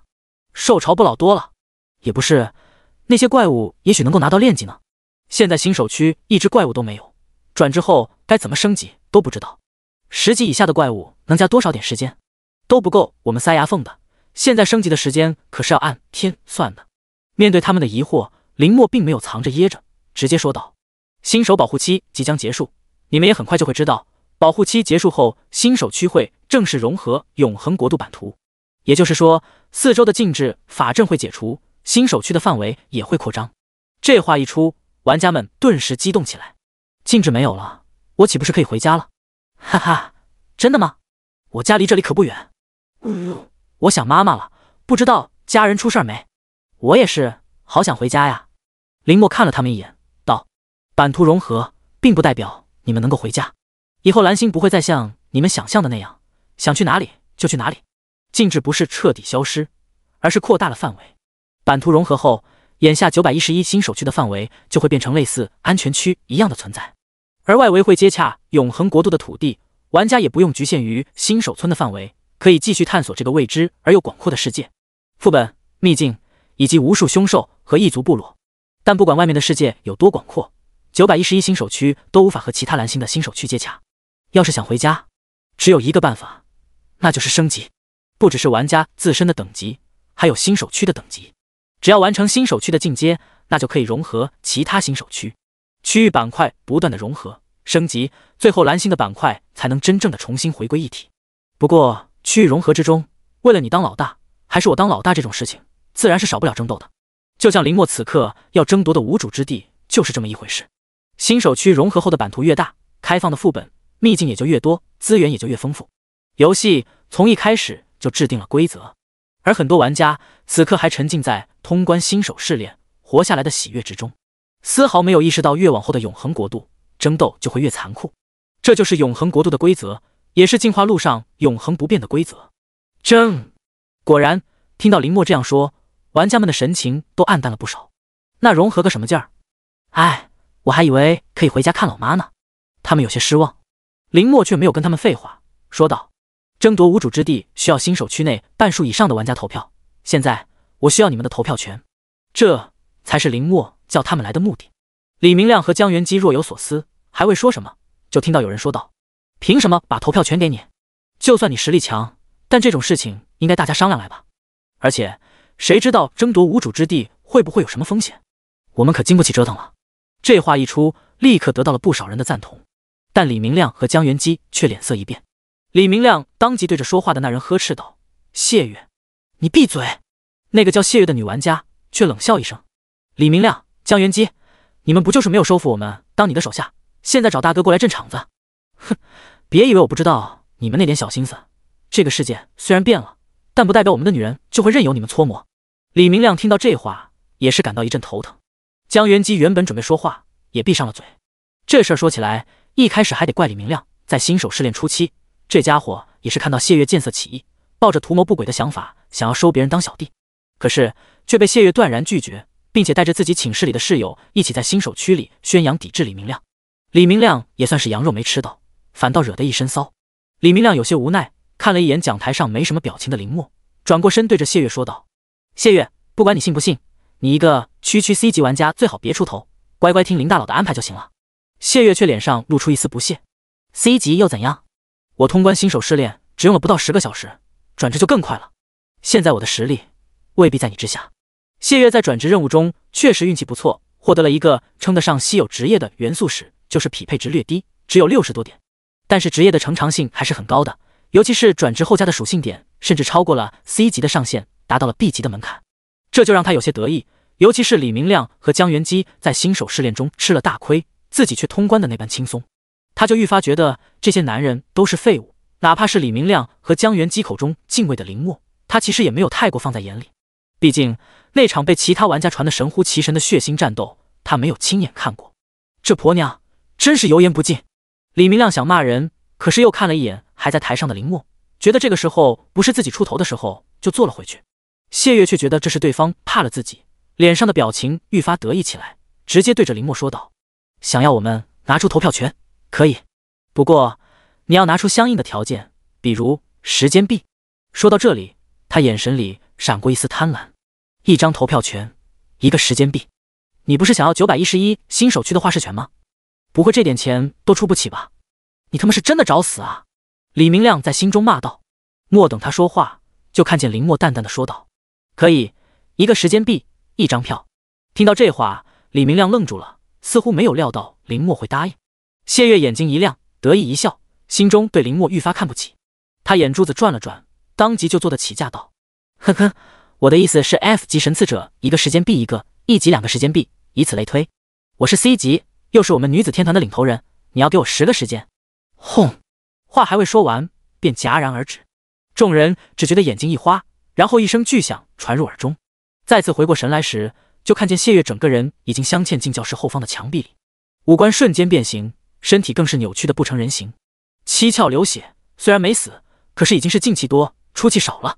众人惊恐的转过头看向讲台之上，林墨面无表情的收回刚刚击变成流星锤的右手，说道：“忘记说了，我的时间并不多，所以能节约一个是一个。”说完，他又扫了一眼台下的众人：“你们还有谁想要时间币吗？”这话一出，众人悚然。第三十六章，借一还十，杀神变佛陀了。教室里一片沉默。李明亮嘴角抽了抽，果然还是熟悉的风格。他咳嗽一声，当即站起身来说道：“林大，林哥，别听刚才那婆娘乱说，你说怎么样就怎样，我和兄弟们肯定支持你。”江元基跟着说道：“没错，林哥，我们都听你的。”有了两位带头大哥的表态，其他玩家也跟着说道：“林老大是我们九百一十一新手区的扛把子，肯定听林老大的。对啊，如果不是林老大，操场前两波的受潮，说不定就能把九百一十一新手区冲垮，我们根本活不到现在。我反正无脑支持林老大，无脑加一。林墨也不管这些人有几分是真心的，又有几分只是惧怕他的实力，只是淡淡点头道：“好，等新手保护期结束后，你们全都选择弃权就好。”说完，他就原地坐了下来。关于其他人套近乎的话，他一概不理，只是微微靠在讲桌上，闭目养神。大家见他不回应，渐渐的也熄了说话的心思。教室里安静了下来，只听到后面墙壁里谢月微乎其微的哀嚎声，只是没有一个人敢走出这间教室。也没有一个敢去救她，就连她之前视为好姐妹的室友们，也都脸色惨白的坐在座位上，低着头，生怕被她牵连。又过了好一会儿，大伙儿闲着也是无聊，只好翻开世界聊天频道和游戏论坛看了起来。相比起教室里安静沉闷的氛围，世界聊天频道和游戏论坛简直不要太过热闹。除了大部分论坛认亲的帖子以外，大多都是讨论新手试炼和转职任务的。没办法，游戏才刚刚开始。以后怎么发展，大家还一头雾水。尽管如此，有一部分天赋很高的玩家也已经开始冒头。一开始是一名拥有 A 级神赐天赋的玩家在论坛上公布了自己通关新手试炼的时间，两个小时，绝对不可谓不惊人。饶是 B 级神赐天赋的江元基和李明亮都很震惊。他们事后不是没有再次通关新手试炼，可是即便挑战的人再少，他们也是耗费了足足五六个小时才勉强通关。A 级和 B 级的差距竟然如此之大，帖子的下面自然是极多玩家的吹捧。但这位 A 级神赐者的通关记录并没有在热门榜上挂多久，很快就被挤了下去。原因很简单，更多天赋卓绝的神赐者带着记录刷新了热门。两小时通关，垃圾！我一小时通关，哈哈，原来一小时的记录就可以装逼。给大家看看五十分钟通关记录，SS 级神赐天赋，带你们体验飞一样的新手试炼。各种大佬层出不穷的开始晒记录。一开始被众多玩家众星捧月的那名 A 级神赐者的记录，早就被刷到不知道哪里去了。在热门榜上的记录，全都是进了一个小时的，五十分钟、四十分钟、三十分钟，甚至到最后还有个二十分钟的通关记录。二十分钟，一共二十波受潮，换算下来，一波受潮的时间不超过一分钟。教室里终于又有人惊叹了一句，打破了沉默。大家先是抬起头望了一眼林墨。见到后者没什么表情，也没有什么动作，才开小声讨论起来。什么一分钟？你忘了刚开始那三波受潮吗？剩下的受潮只有十七波而已，那也很厉害了，好吧？这个人到底是什么级别的天赋？实力太夸张了吧？起码是 S 级以上。刚才 A 级的那个才两个小时，实在差太远了。我的天，嘿嘿，我们新手区怕是没有人能做到吧？哎，人外有人，天外有天呗。林墨虽闭上眼，可是并没有睡着。这些话。自然被他听入耳中，但他并没有说什么。事实上，这些记录他前世早就看过好几遍了。蓝星游戏初期确实涌现过不少精彩绝艳之人，从 A 级到 SSS 级的神赐玩家多不胜数，神赐天赋一个比一个高，通关记录也一个比一个快。而林墨的属于超后期的天赋，无论是畸变还是无限增值、魔化这几个天赋技，都需要足够的积累才能够不断增强。所以，即便让林墨再来一次。规避掉人数的问题，加上丰富的经验，最多能够在一个小时内完成战斗，但这已经是极限了，却只能挂在热门榜记录的尾端。更别说林墨印象中那些真正的妖孽还隐藏在幕后，压根还没有登场。就目前的热门榜单上的这些玩家而言，能够被林墨记住的名字还真不多。不过天赋强大，通关记录快，却不代表着他们真的强。随着时间推移，舞台越来越大，这些热门上的玩家到底是天才还是蠢材？也会慢慢显现出来，其中有愈战愈强的真正天骄，也有坐拥宝山却自甘堕落的废物，当然，更多的是半途夭折的玩家。天才吗？林墨微微睁开眼睛，寒光在眼眸中一闪而逝。也不知道永恒之战前到底还能剩几个。教室里所有人的注意都在游戏论坛和世界聊天频道上，没有人注意到林墨表情的变化。随着新手保护期一秒秒的进入倒计时，终于迎来了世界公告。世界公告一：蓝星区新手保护期已结束，时间流速恢复正常。世界公告二：蓝星区即将正式融合永恒国度版图，进入到公测第一阶段，请新手区玩家自行做出选择。温馨提示：版图融合时间为十二小时，请玩家耐心等待。两条世界公告在公屏上反复播报了好几遍。对于第一条，大部分玩家早就有过心理准备，但对于第二条，很多人却不懂是什么意思。只是还没等他们搞懂，教室里就有人惊慌失措起来。卧槽！版图融合要十二个小时，我的时间币只剩下不到半个了，怎么办？完了完了，时间币真的在慢慢减少，我的时间币不够扣啊！呜，我也是，怎么办？我也不多啊，刚刚好零点五个。版图融合后岂不是也来不及打怪了？有好几名玩家脸上带着明显的慌乱，因为他们刚刚为了升级，时间币已经消耗的差不多，如今还要他们等待十二个小时，怕是还没有等到版图融合就会直接去世。还有些时间币剩的不多的玩家更是一脸着急，因为他们不确定等到版图融合后世界又会变成什么样，自己又能什么时候杀怪升级赚取时间。事实上，大部分刚刚转职的新手玩家都会在一阶停留很久，就是因为时间币难以获取。每个新手区的版图资源都是有限的，若是一味埋头升级，那势必时间连基本的生存都无法维持；但若是一味的固步自封，也会被人远远抛下，永远也追不上末日浪潮的浪头，只能跟在别人的屁股后面吃剩菜、捡垃圾。如此一来，新手区争夺无主之地的就变得极为重要起来。一旦融合无主之地，新手区的版图直接扩大，资源起码翻倍算。融合的无主之地越多，新手区版图就越大，资源也就越丰盛。届时，无论是升级还是生存，自然是可以轻松兼得，两不耽误。听到教室里慌乱的声音，林墨慢慢睁开了眼睛，轻轻用手指敲了敲讲台的桌面。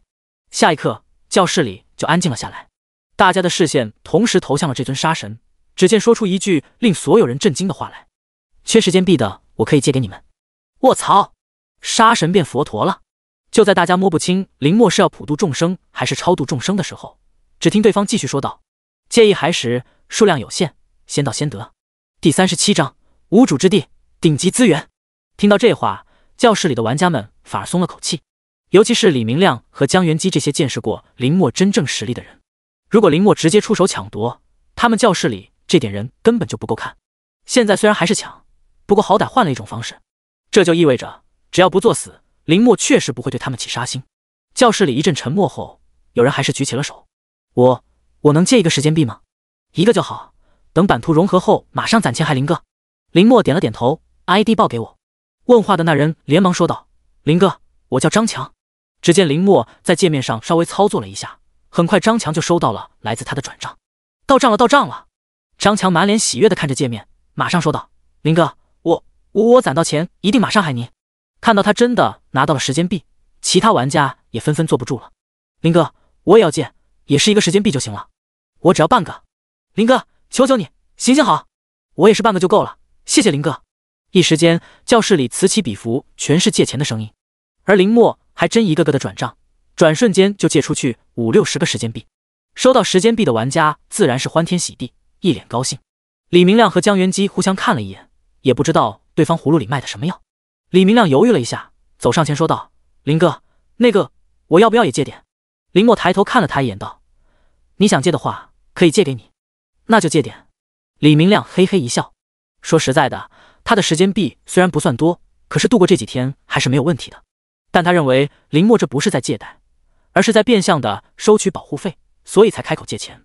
不过让李明亮没想到的是，林墨听到他这模棱两可的话来，却不耐烦的说道：“借就借，不借就滚开点，别挡在这里。”说完，一把就将他推开，继续给其他报名字的玩家放贷。李明亮退后好几步，重新站定在江元基身边，脸上惊疑不定的说道：“这家伙到底想干什么呀？”江元基挠挠头，说道：“或许只是单纯的想放贷。”李明亮听到这个回答，还是觉得不太像，主要还是林墨之前给他的印象实在太深刻了，导致现在对方无论做什么，好像都别有深意的感觉。不过这次他们是真的想多了，林墨借钱还真就只是单纯的借钱，比起普通的神赐者而言，他这种诅咒系天赋玩家。时间流速本身就要快一大截，尤其是他在转职神殿里不小心得罪所谓的神明，拿到了毒神者的称号后，时间流速再次翻倍。刚才新手保护期结束后，他大致估算了一下，自己的时间流速大约是其他玩家的十倍。也就是说，平常玩家一天只需要消耗一个时间币，他需要十个。当然，升级的难度也是大大增加。那么赚时间币这种事情就成为了林墨的必修课，没有比游戏前期更好放贷的时候了。借一还时，完全就是暴利。游戏规则从林墨这里薅的时间币，他要从这些玩家的身上一个不剩的全部薅回来。等到所有玩家都借完了钱，林墨兜里只剩下不到十个币。总计借出去八十多个币，还贷时间一个月，逾期利息翻倍。面对天价的利息，借到钱的玩家一个个脸上还是露出了喜色。利息高不高？当然高，不过再高也没有命重要吧。面对版图融合后的不确定，这些新手玩家们的心里都没有底。什么时候能砍怪？砍怪还奖不奖励时间？这些都说不准。与其胆战心惊，不如先把时间臂握在手里，以不变应万变。借完钱的林墨抬起头扫视了一圈教室里的玩家，说道：“有借有还，再借不难。要是敢赖账的，哼！”他冷笑一声，满心喜悦的玩家们这才想起面前的这位可不是什么大慈善家，而是实打实的一尊杀神。谁敢欠他的钱？呵呵，请参考教室后面墙壁里那位。想到这里，大家转过头看了一眼，好吗？还没死，但还不如死了。就在大家心神恍惚之际，忽然一道提示声传来：“叮，版图融合即将开始，九百一十一新手区是否要进行挑选无主之地？请投票选择。提示：赞成票数少于百分之五十，将直接进行版图融合。无主之地真的来了！玩家们一惊，目光再次投向台上的林墨。这一次，他们没有太多犹豫，纷纷在面前浮现出来的投票选项中选择了弃权。就连李明亮和江元基也要做出选择时，却被林墨点名道：“你们几个选赞成。”他们自然不敢不听话，而且也知道林墨这样做也是为了预防有人耍诈，偷偷点反对，最后凑不齐百分之五十以上的赞成票数。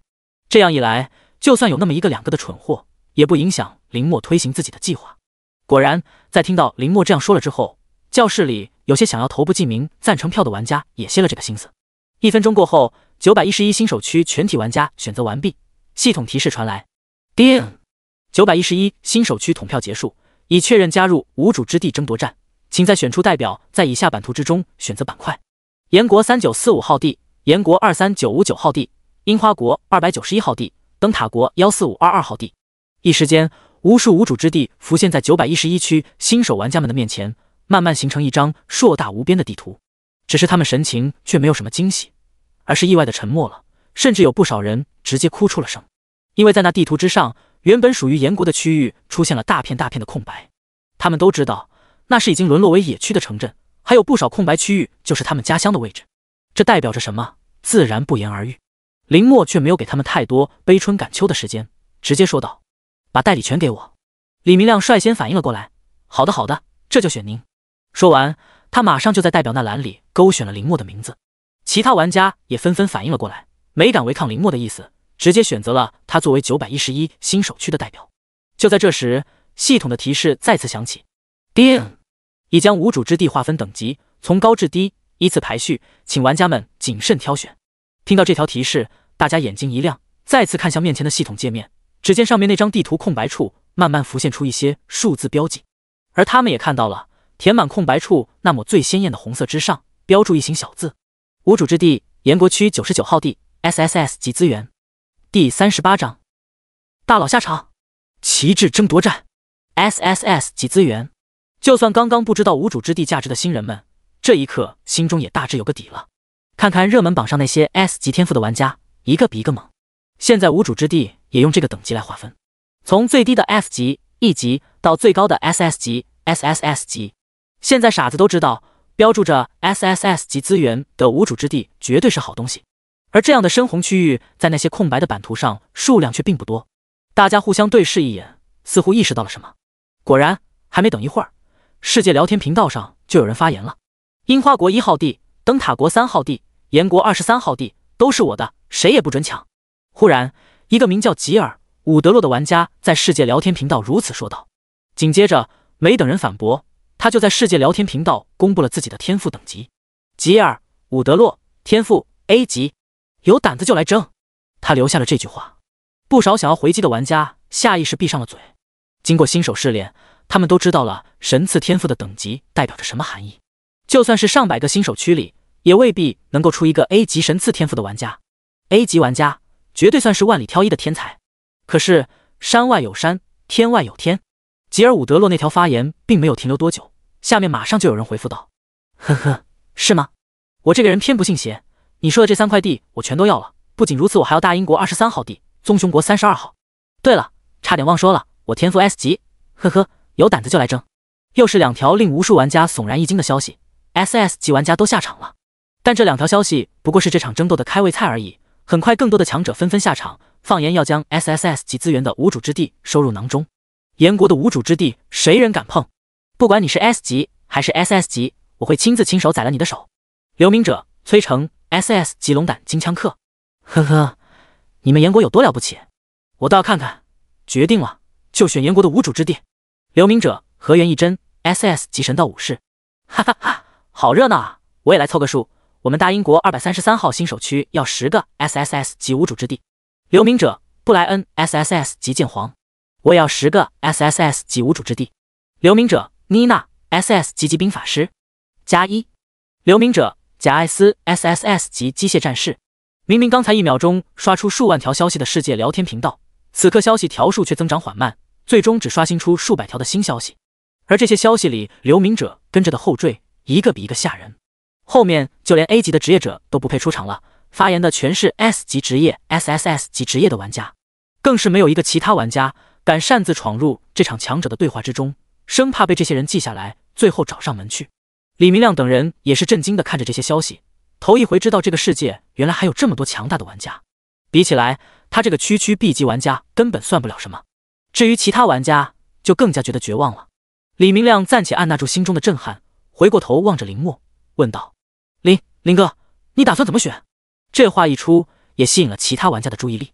现在大家都把选择权利交给了林墨，让他代表着九百一十一新手区选择无主之地。大致知晓了无主之地的重要性，又有了这些强者的对比，他们希望林墨挑选一些不要那么好，但也别太差的无主之地。林墨没有直接回答他的问题，而是伸出手，快速在那张地图上开始进行标记。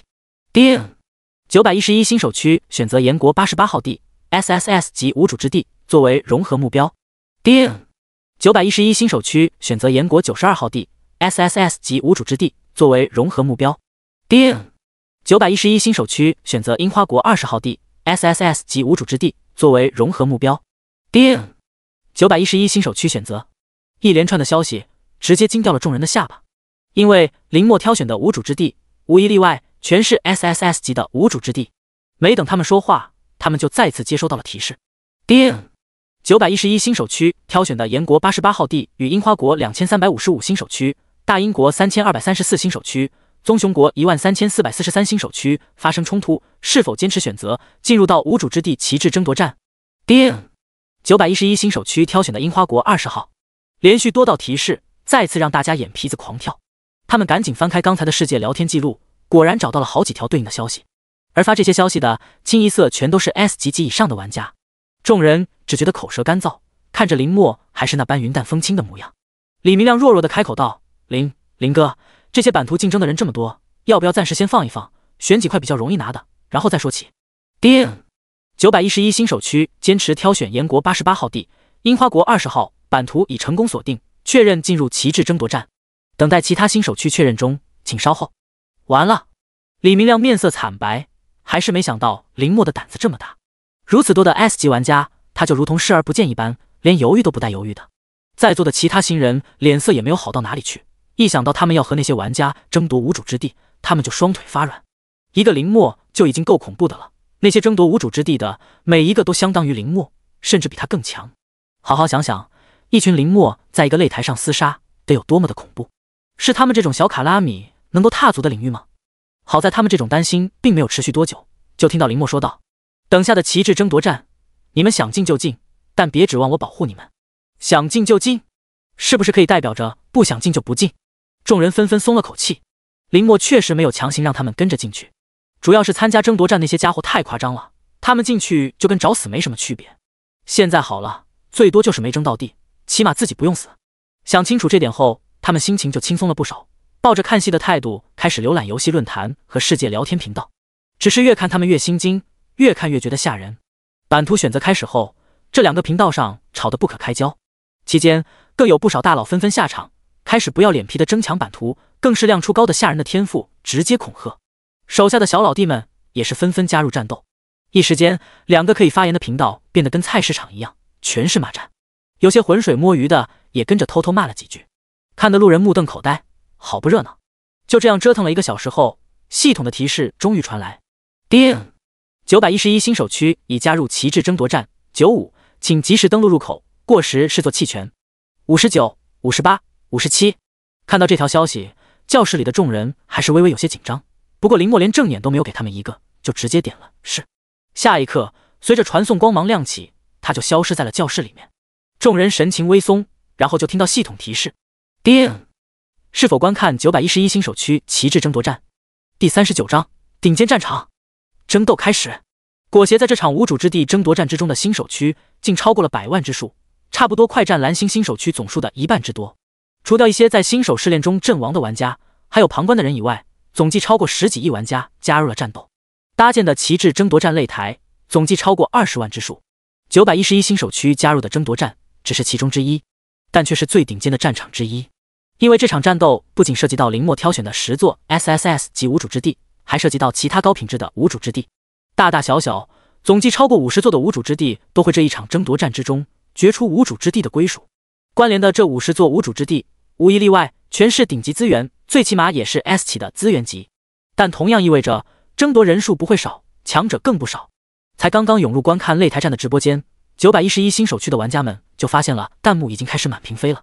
四零五六号无敌，爱丽丝无敌，呵呵，爱丽丝是什么东西？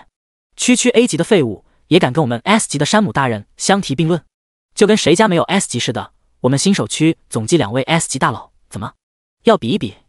废物玩意儿！我们家大佬可是 SS 级职业，你们两个 S 级算什么？一起上也未必是对手。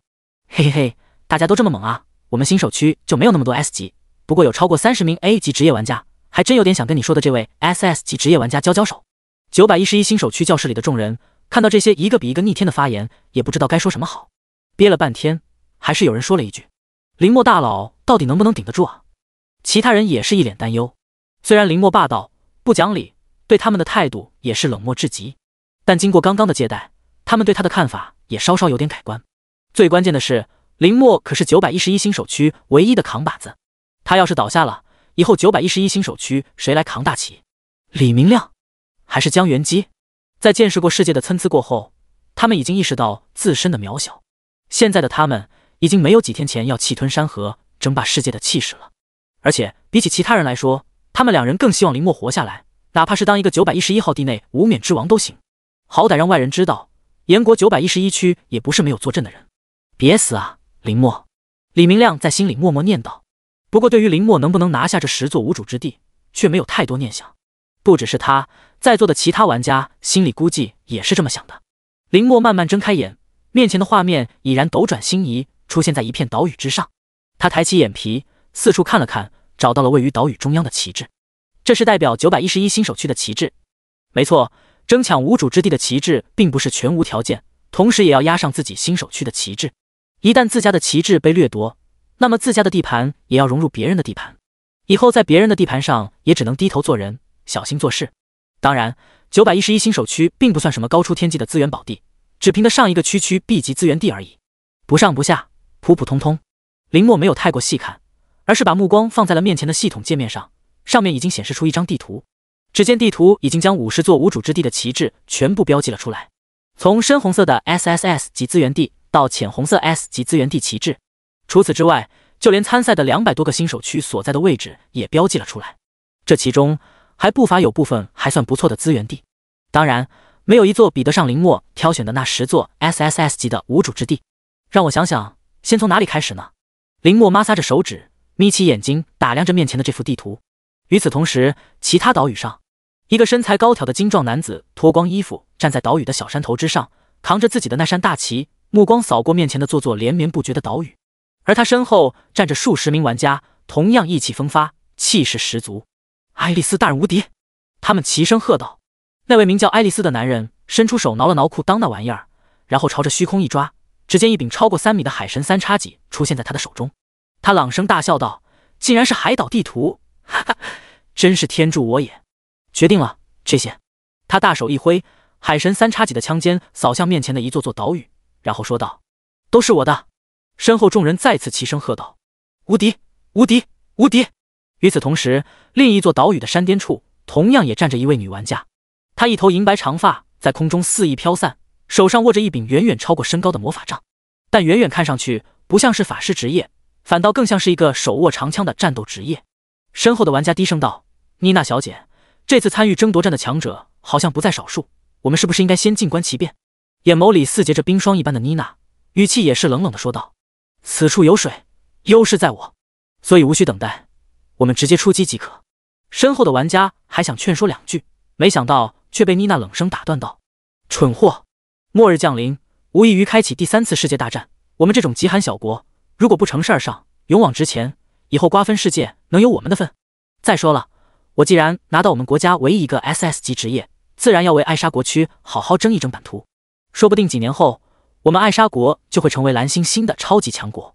要是在这里退让了，以后岂不是步步让，步步输？”被点名教训的玩家缩了缩脖子，但也没有继续放反驳。身后其他玩家眼神闪烁，似乎在思考自家老大的话。妮娜说的没错，永恒国度降临就是百年难遇的第三次世界大战。或许这是人类历史上最后一次重新瓜分世界的机会。他们只是一个弹丸小国，如果真的能够借势而起，说不定以后还真有可能成为新世界的列强。想到这里，他们眼神也是一阵火热。另一座岛屿丛林深处，法克。怎么偏偏是这种地图？一句愤怒的骂声传来。一位身穿着黑色长袍，面容和身体完全隐匿于兜帽和长袍之下，在黑暗中隐隐看得到那双猩红的双眼以及反射出金属光泽的森然獠牙。身后的小老弟讪笑道：“爱德华大人，要不我们等烈日落下后再行动？”他张了张嘴，眼神阴沉的扫向头顶的烈日，随后冷笑一声，伸手就将说话那人抓了过来，然后张开血盆大口，直接啃在脖颈之上。吸食血液的声音在寂静的丛林之中响起，身后玩家们一个个头皮发麻，大夏日却出了一身的冷汗。片刻后，已经被吸成人干的玩家被他随意丢弃在树丛之中。爱德华擦了擦红润的嘴唇，冷笑一声：“废物！等到落日初级版图都融合完毕了，还有好地方能留给我们？”说罢，他扫了一眼身后噤若寒蝉的玩家，冷声道：“等下开始之后，一个不留，全都给我出去抢旗帜！我要的东西绝不可能落到其他人手中。”剩余的玩家们齐声应道，生怕说慢一秒会落得跟之前那名玩家一个下场。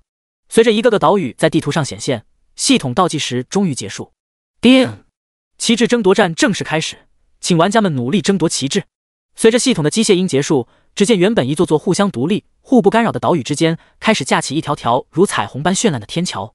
仅仅是转瞬间，就将数百座大大小小的岛屿用天桥全部连接在了一起。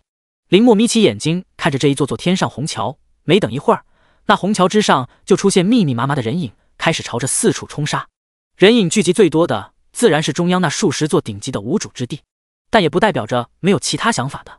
渐渐的，人影也开始分流，朝着四周玩家的所在岛屿冲去。这明显是想先声夺人，提前扫灭附近的竞争对手。其中甚至有一股人潮是朝着林墨所在的岛屿而来。林墨语气冷冷地道：“总算是开始了。”下一秒。他的身影消失在原地，而与他一起消失的，还有插在岛中央的那根旗帜。第四十章，凡人的地狱，怪物地天堂。如果岛屿上人数众多，自然不能像林墨这样把旗帜携带在身上，不然被人杀了之后爆出来，绝对会被新手区内其他玩家骂死。但林墨不像其他岛屿，动辄就是几百上千人一起上场，仅仅是独身而来，所以旗帜自然是携带在身上是最好的。在直播间的观众们的眼里看来。形单影只的林墨看起来极为显眼，哈哈，那哥们谁啊？怎么一个人上新手区就剩他一个了？哼，真是找死！就算他再强，但双拳难敌四手，又能有什么好下场？噗呲，你们都别猜了，我刚检索了一下世界频道和游戏论坛的消息记录，这什么九百一十一新手区都没出现过，估计是派个人过来碰运气的。还真是敢想，万一新手区旗帜被他搞丢了呢？岂不是多的都赔出去了？林子大了，什么蠢货都有。嘻嘻，估计活不过几分钟吧。你们看，已经有一大群人往他那座岛屿去了。李明亮等一众九百一十一新手区的玩家也是看到了这些消息。不过，李明亮和江元基只是互相对视一眼，前者脸上直接露出冷笑。谁是蠢货，还说不准。若是说林墨和那些 S 级以上的大佬比，他会担心两者到底孰强孰弱。可是那些冲杀在前的马前卒，他只会担心这些人死得太快。这一点。转职之前的他还未看得太过真切，可是转职之后，他却愈发明白林墨的实力之强，甚至要超过转职之后的他。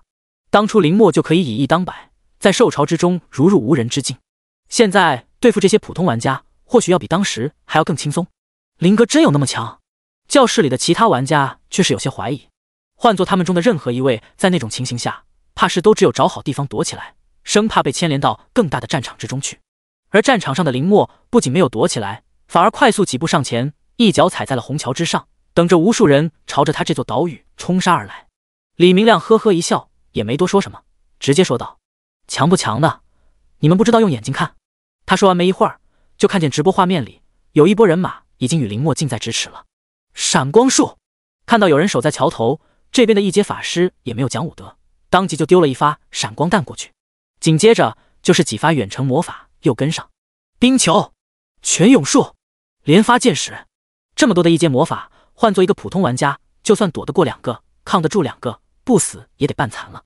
哼，一个人也敢守桥头，真是找死！冲杀过来的玩家脸上露出一丝冷笑，可是下一秒笑容就僵硬在了脸上，因为林默只是轻轻挪动了几步。就避开了那些他们认为是致命的魔法攻击，有一两颗小冰球好像确确实实砸在他的身上，不过不像是他避不开，而是故意不避开，因为那冰球砸下去，他的皮肤连一道明显的伤痕都没有出现，伤害太低，莫破防。那些玩家张了张嘴，意识到眼前的人似乎并不好惹，可是他们又看了一眼身边的人，我们这么多人，怕什么？兄弟们，上！领头的玩家大喝一声，带着人就冲杀了上去。比起没有转职之前只能靠天赋技能打出伤害，此刻的玩家们或多或少都有武器在手，杀力更胜之前。面对着这些或拿着刀剑，或拿着长枪短笔冲杀上前的玩家，林默只是淡淡的抬起眼皮扫了一眼，激变。下一刻，他双臂探出六根带着锋利锁头的锁链。观看直播的李明亮和江元基眼皮狠狠的跳了跳，多少有点应激。果然，下一秒在那虹桥的桥头处就开始了一场极为血腥的杀戮。六根锁链就像是追魂的死神镰刀一般，以迅雷不及掩耳之势刺入一个个玩家的胸口、太阳穴、腰椎等要害之中。往往只是一击，原本还生龙活虎的玩家身体便一软，然后瞪大眼睛，直直的倒了下去，死的不能再死。对比起锁链的速度来，这些玩家的攻击就跟慢动作没什么区别。还没有冲杀到林默跟前一米的距离，就有十几名玩家被直接秒杀。而这只是一个开始而已。林默微微往前踏出一步。身形暴动，在人群之中快速穿梭，六根锁链闪烁着令人胆寒的寒光，在空中起舞，划出一道道血线。叮！击杀玩家约克！叮！击杀玩家安托万！叮！击杀玩家马伦！随着击杀提示不断响起，面前的玩家一个个栽倒。不消片刻后，九百一十一号岛屿的桥口处已经躺了一片的尸体，而那些剩下的玩家在知道自己遇到了一尊不该招惹的杀神后，想要往后逃，可是却已经来不及了。没出十分钟，上百名玩家横死桥口，给九百一十一号岛屿的入口处搭建了一堵不高不低的人墙。死！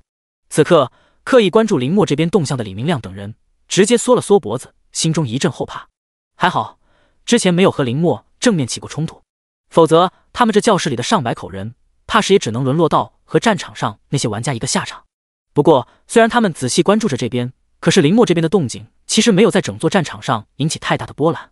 这全都源于在另外几处战场上，有几位玩家表现的实在太过惊艳。首先就是一个光着全身的金发男子，只见他没有直接上桥，而是在岛屿四周的禁制解除后，一头扎入了大海之中。然后众人就看到他扛着那柄巨大的海神三叉戟，踩着巨浪朝着虹桥袭来。呼啦啦，巨浪朝着虹桥上的玩家们扑打过去，甚至一时间盖住了虹桥耀眼的色彩。仅仅是第一波巨浪过后，虹桥之上躺了一片口吐鲜血。半死不活的玩家，然而那裸身金发男并没有停止自己的动作，仰天长啸一声，再次裹挟着一波波巨浪朝着虹桥上的玩家袭去。如此反复好几轮，被巨浪扑打成重伤，或是直接击杀的玩家，竟然不在四位数之下，实力之强令人悚然。而虹桥的各处击杀玩家数量不在他之下的还有好几个。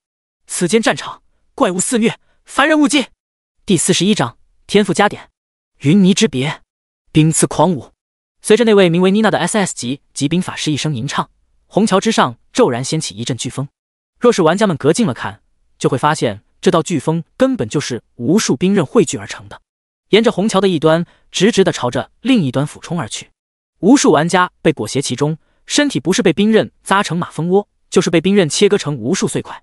飓风过后，满地疮痍，连一具完整的尸体都难看到。妮娜微微向前踏出一步。虹桥之下便伸出无数冰川，将她送至更高更远处，手中巨大的法杖在虚空轻轻一点，冰霜缠绕，魔法在笼罩了方圆数百米范围，朝着他冲杀而来的近战玩家们纷纷脚底一滑，身体顿感僵硬，冷气直往脑门上冒。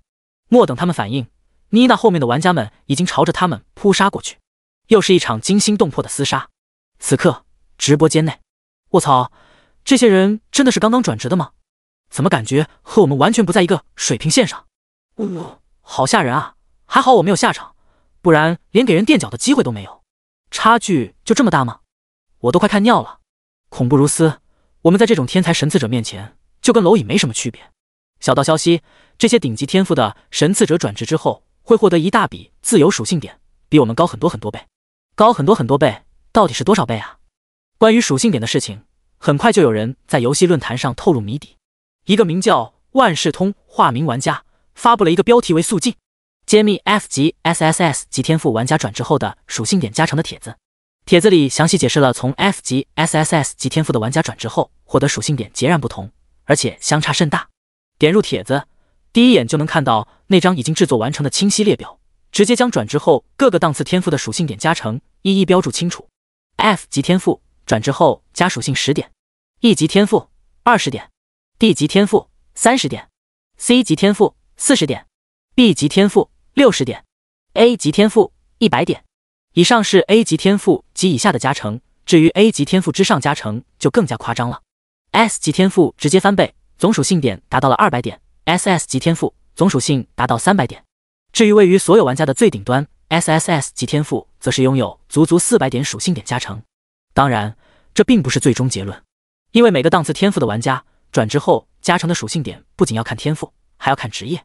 举个例子，假如一个 B 级神赐天赋的玩家获得了相对应的 B 级职业，且匹配值达到六十点以上，那么转职后就可以全额获得六十点属性加成。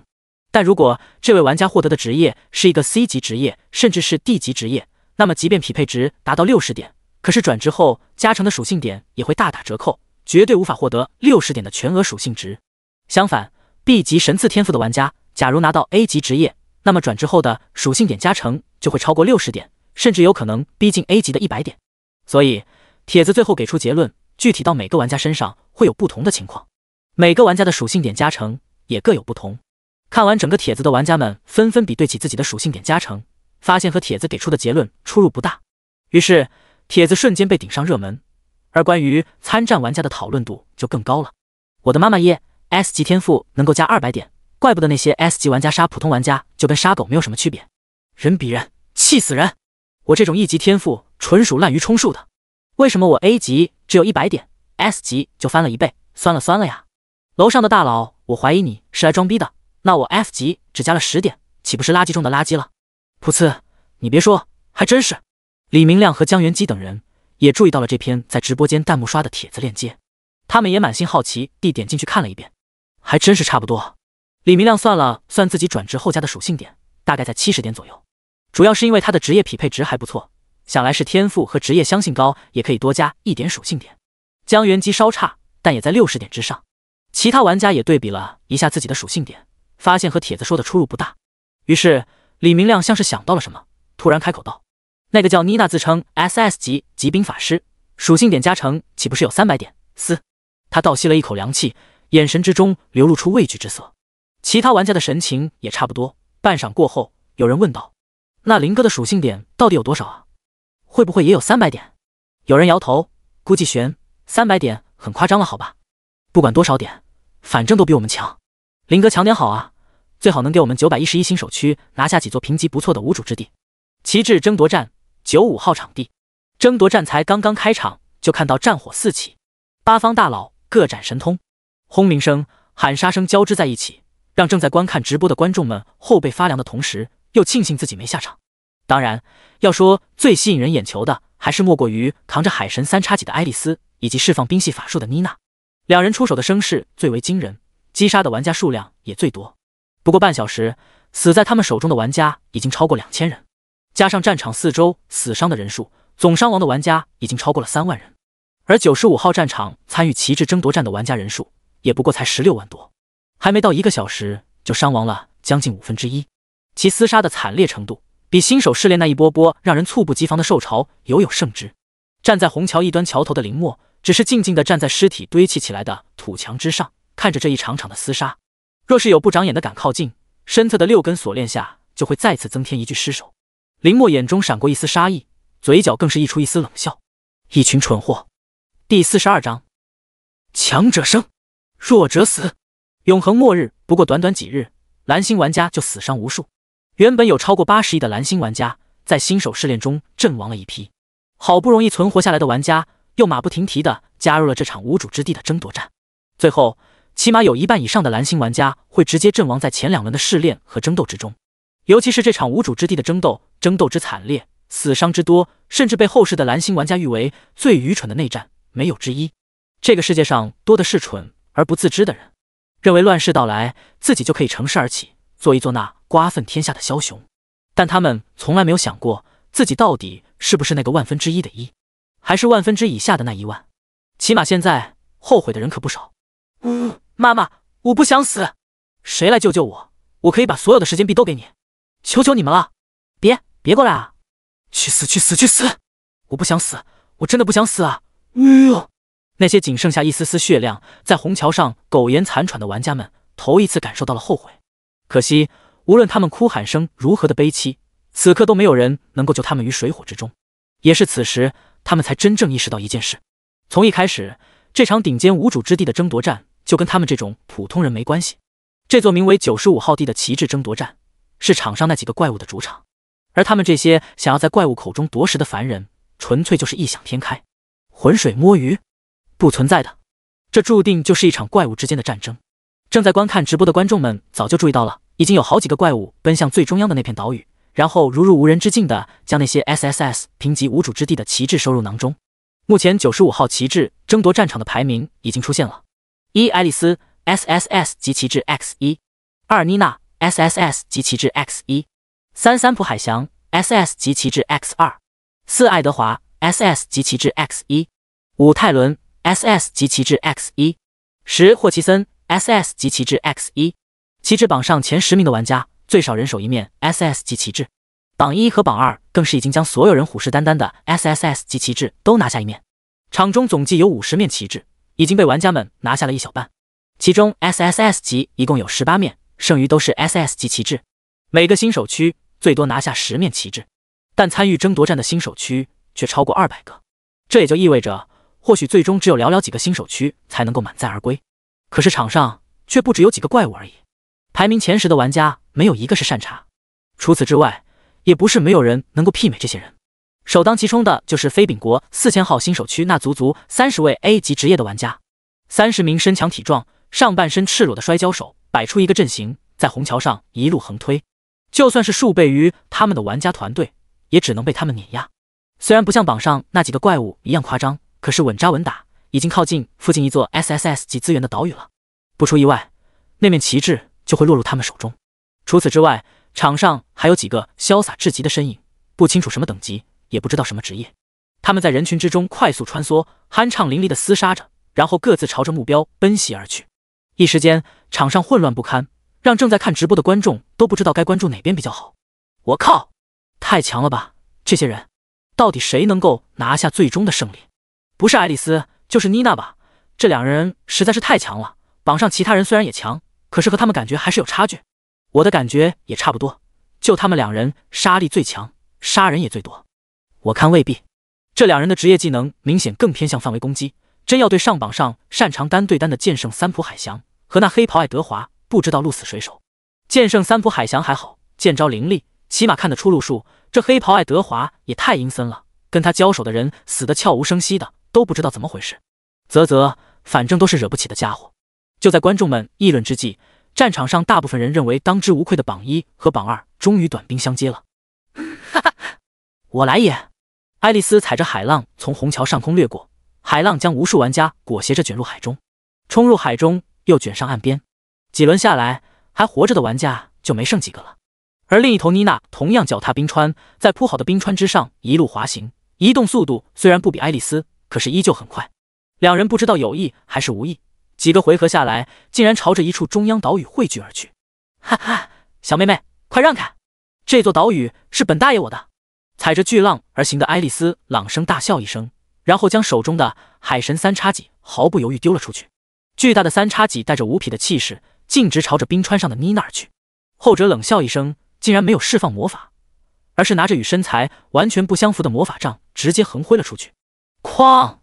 第一声巨响，法杖重重的敲在了三叉戟之上。妮娜咬紧牙关，再次用力，直接将海神三叉戟从哪里来又打回了哪里去。S.S 级骑兵法师可不只有精神力高，想找死！妮娜举起魔法杖就要释放范围攻击，海神三叉戟没有任何意外的回到了爱丽丝的手中。她咧开嘴，笑声爽朗，没有介意妮娜威胁，而是笑着说道：“妮娜妹妹别生气，不如我们两个联手。这中央岛屿可是有足足十八面 S.S.S 级旗帜，光明正大的密谋。”正在关注这边动静的玩家大惊失色：“开什么玩笑？一个就已经够变态，好吧？”现在榜一和榜二还要联手，别答应啊！千万别答应啊！无数玩家在心中哀求道：“真要让这个两个家伙联手了，岂不是可以横扫整座九十五号战场了？”可惜他们的哀求并没有奏效了。妮娜只是略微沉吟，就开口道：“十八面怎么分？”爱丽丝笑着说道：“一人八面旗帜，剩下的二面旗帜各凭本事。为什么不是一人九面？很简单，他们都想要十面 SSS 级旗帜。”妮娜眼神闪烁，片刻后就做出了决定。好，爱丽丝仰天长笑两声，说道：“好，不愧是我看中的你。”说完，她还顶了顶胯下，对着妮娜挑了挑眉：“事成之后，有没有兴趣参加我的私人 party？” 妮娜冷冷的向下扫了一眼，嘴角勾起一抹冷笑：“太小了，不感兴趣。”爱丽丝也没有生气，只是对着妮娜露出一个明媚的笑容，然后微微向前伸了伸手，只见巨浪瞬间将岛屿中央的那面 SSS 级旗帜带了出来。不过他没有直接收入囊中，而是让海浪带着旗帜送到了妮娜身前。结盟的见面礼，我的冰雪公主殿下，请笑纳。爱丽丝微微弯腰行礼，只不过浑身赤裸的她，实在不像是一个绅士或者骑士。妮娜也没有废话，直接将 SSS 及旗帜收了起来。爱丽丝哈哈笑了两声，转过头看着周围面露恐惧的普通玩家们，大声道：“那就让我们开启一场快乐的 party 吧！”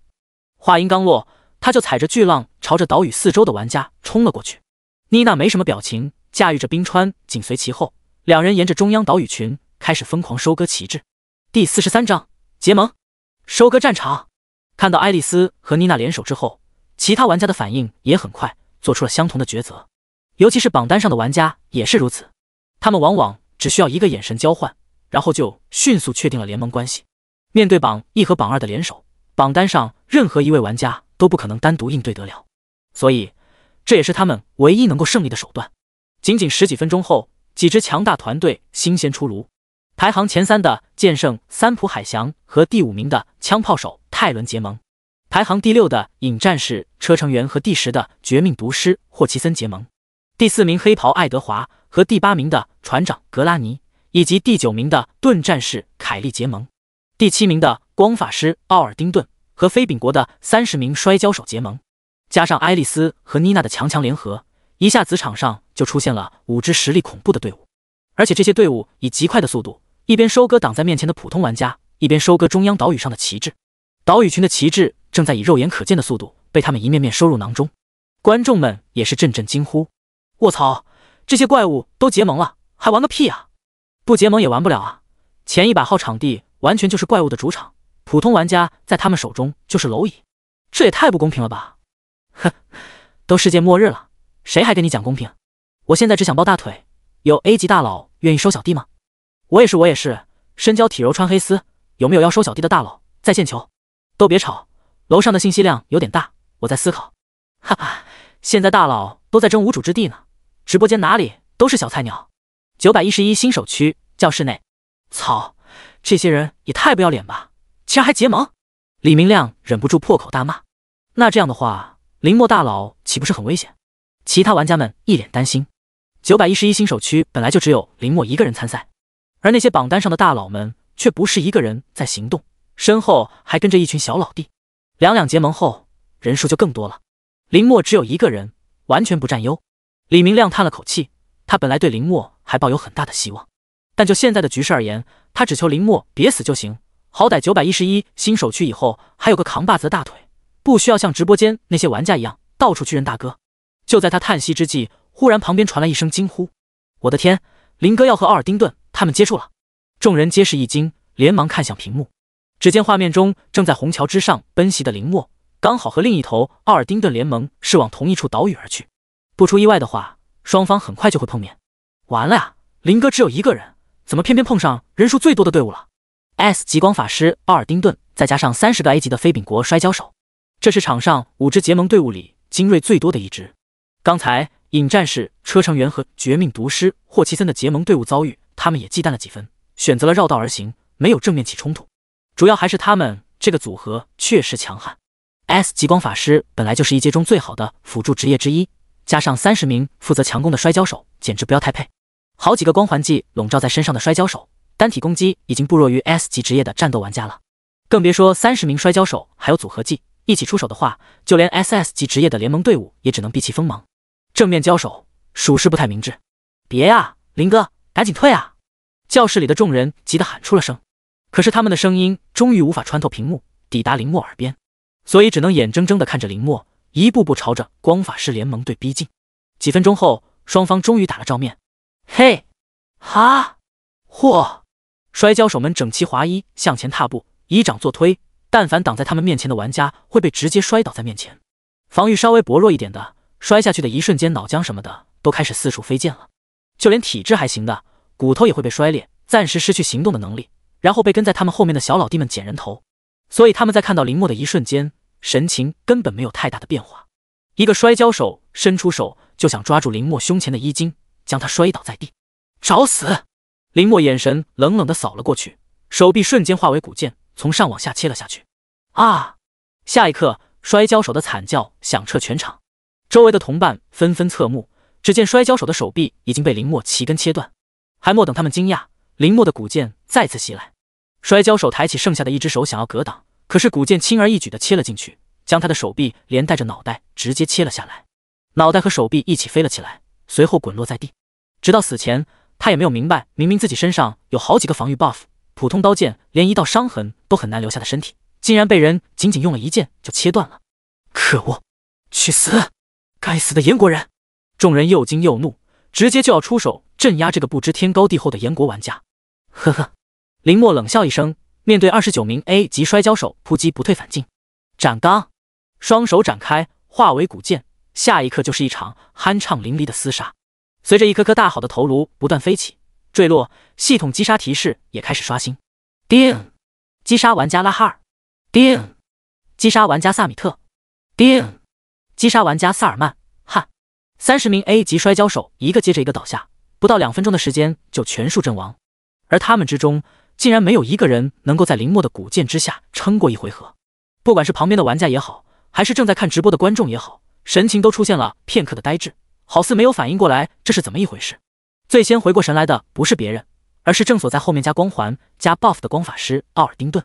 他看着满地的摔跤手残肢断体，又看了一眼刚好朝着他望过来的林默，顿时只感口干舌燥，头皮发麻。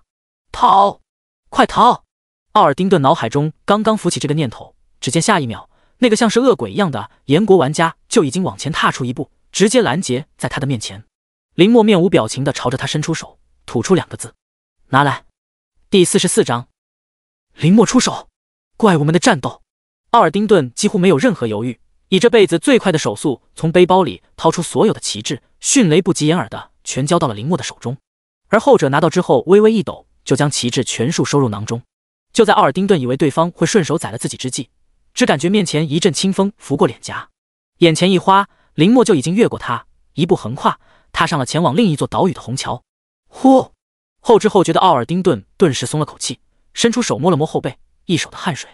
然后他目光怔怔的看着已经消失在虹桥尽头的背影，心有戚戚道：“这到底是哪里冒出来的杀神？”要知道，凭借着光系法师最擅长就是增加团队防御和治愈伤势，在他的加持下。这些 A 级的摔跤手绝对是皮糙肉厚，不输于 S 级职业的前排玩家。可是，在这位炎国玩家的手剑之下，防御就跟脆纸一般，仿佛根本不值得一提。只是他不知道的是，林默带有斩钢效果的斩击，在转职之前就能够对体质超过一千点的地狱九头蛇造成伤害。这些体质最多不超过三百点的摔跤手又算得了什么？奥尔丁顿长长吐出一口气，再次转过头，然后就露出了一副见了鬼的表情。因为地上躺着的那几十具摔跤手尸体，不知何时已经变成了一具具被抽了真空的干尸。而此刻，直播间也炸开了锅。原本被观众们和无数玩家视作场上最强五大势力之一的光法师联盟，在遭遇一个名不见经传的炎国玩家后，竟然被摧枯拉朽般击溃。甚至在很多观众看来，这是一场完完全全的碾压和虐杀。我的天啊，这家伙到底是谁？好强！刚刚明明不在榜单上啊，怎么会这么厉害？嗯，好像叫林墨，刚刚拿到旗帜后上榜了。死！这不是那个单人上场的炎国玩家吗？原来真的是大佬，可不是大佬吗？这实力比得上榜单前几的怪物了吧？九百一十一新手区的玩家们更是一个个满脸涨红，激动的不能自已。卧槽，林哥牛逼！他们纷纷站起身来，鬼哭狼嚎。从一开始就无脑吹林墨的李明亮更是握紧双拳，口中不断说着：“我就知道，我就知道，我就知道。”当然，其实就算是李明亮和江元基这两人，也不知道林墨的实力到底到了哪种程度，不然的话，之前也不会有些担心林墨的安危。只是最后，林墨的实力确实太过出乎所有人意料，只用了一场战斗的时间，就从没有排名直接进入到了榜单第九。林墨 S S S 旗帜 X 一 S S 及旗帜 X 九，没错，抢完光法师和摔跤手这两者的队伍，他的旗帜直接飙升到了十面。假如说林墨持有这十面旗帜到战斗结束，那么九百一十一新手区就将融合足足十座顶尖无主之地的资源，即便放眼整个蓝星，怕是也排得上号。当然，前提是林墨能够活下来，并守住手中的旗帜。想到这里，九百一十一区的玩家们心中一阵火热，其中也包括李明亮。他攥紧拳头，说道：“接下来只要不遇上其他几个榜单上的怪物联盟就好，坚持到最后就是胜。”喂，他还没说完，就被旁边的江元基拍了拍肩膀。他下意识回过头看去，只见江元基表情僵硬，吞了口唾沫，说道：“那个林哥好像朝着爱丽丝他们去了。”什么？李明亮立刻瞪大眼睛。看向直播界面，然后就看到一副脊背发凉的画面。直播画面中，林墨在虹桥上奔袭的速度极快，很快就接近下一座中央岛屿。而岛屿的正后方，爱丽丝和妮娜两人正在大杀四方。刚刚和第三名的剑圣三浦海翔以及第五名枪炮手泰伦组成的强攻组合交上手，双方交战正酣，一个个夸张的技能不要钱似的丢了出来，巨浪和冰川，剑气和枪林弹雨交织在一起，你来我往，声势浩大。而但凡靠近他们附近的玩家，全都被卷入其中，横尸当场。即便是他们自己人，也不例外。林哥，快掉头啊！那里没有旗帜了，没看见大家都在往外面跑吗？很多玩家再次急得满头大汗。林墨奔袭的那座岛屿的旗帜，就在刚刚已经被爱丽丝和妮娜联手拔掉了。此刻岛上光秃秃的，什么都没有。李明亮苦笑一声，对教室里的众人道：“你们别叫了，叫了林哥也听不到。”他顿了顿，继续说道：“而且。”你们别忘了，林哥在战场上是看得到地图的标识的，所以他当然清楚那座岛屿上没有旗帜。听到这话，众人顿时都愣在了原地。林墨既然知道那座岛屿上已经没有旗帜，为什么还要赶往那座岛？众人像是想到了什么，顿时一惊。战场上既然有旗帜数量的排行榜，那么身处其中的玩家们自然也清楚旗帜到底在谁的身上。周围的玩家之所以会避之不及的绕开那座岛屿，就是因为知道爱丽丝等人在上面交战。而林墨之所以会赶往那边，是因为两支队伍加在一起，旗帜是最多且最全的。他完全就是奔着旗帜去的。一想到这里，大家刚才高兴的那股劲儿就泄了下去。这林哥怎么老喜欢挑战高难度啊？有人哭丧着脸如此说道。冰刺狂舞，随着极冰法师妮娜的吟唱结束，巨大的魔法杖之中快速凝聚起一道数米宽的飓风，然后直直的朝着前方发射了出去。轰轰轰轰！岛屿上无数的树木草丛被这道冰刃风暴席卷，浩浩荡荡而去。面对满天的冰刃和强劲的风暴，剑圣三浦海翔只是平静的举起手中日式木刀，口中轻吟：“迅猛如风，快若雷霆，风雷斩。”话音一落，他的眼中似有雷霆闪烁，将木刀狠狠地劈下。一道凌厉的剑气宛若游龙一般，朝着冰刃风暴而去。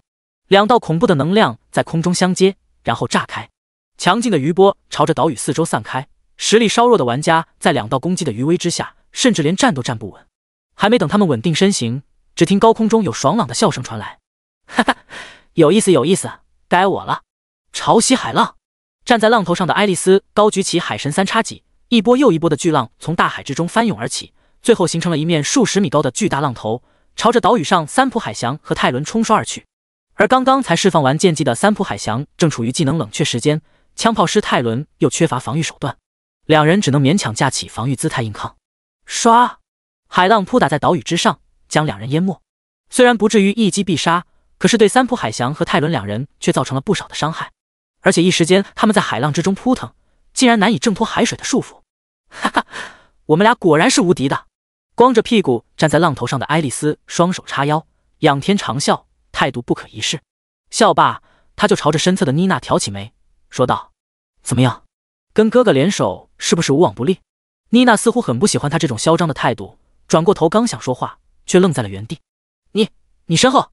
爱丽丝疑惑道。“我身后怎么？”嘶话还未说完，他的后腰处便传来一阵钻心的剧烈阵痛。爱丽丝瞪大眼睛，转过头望去。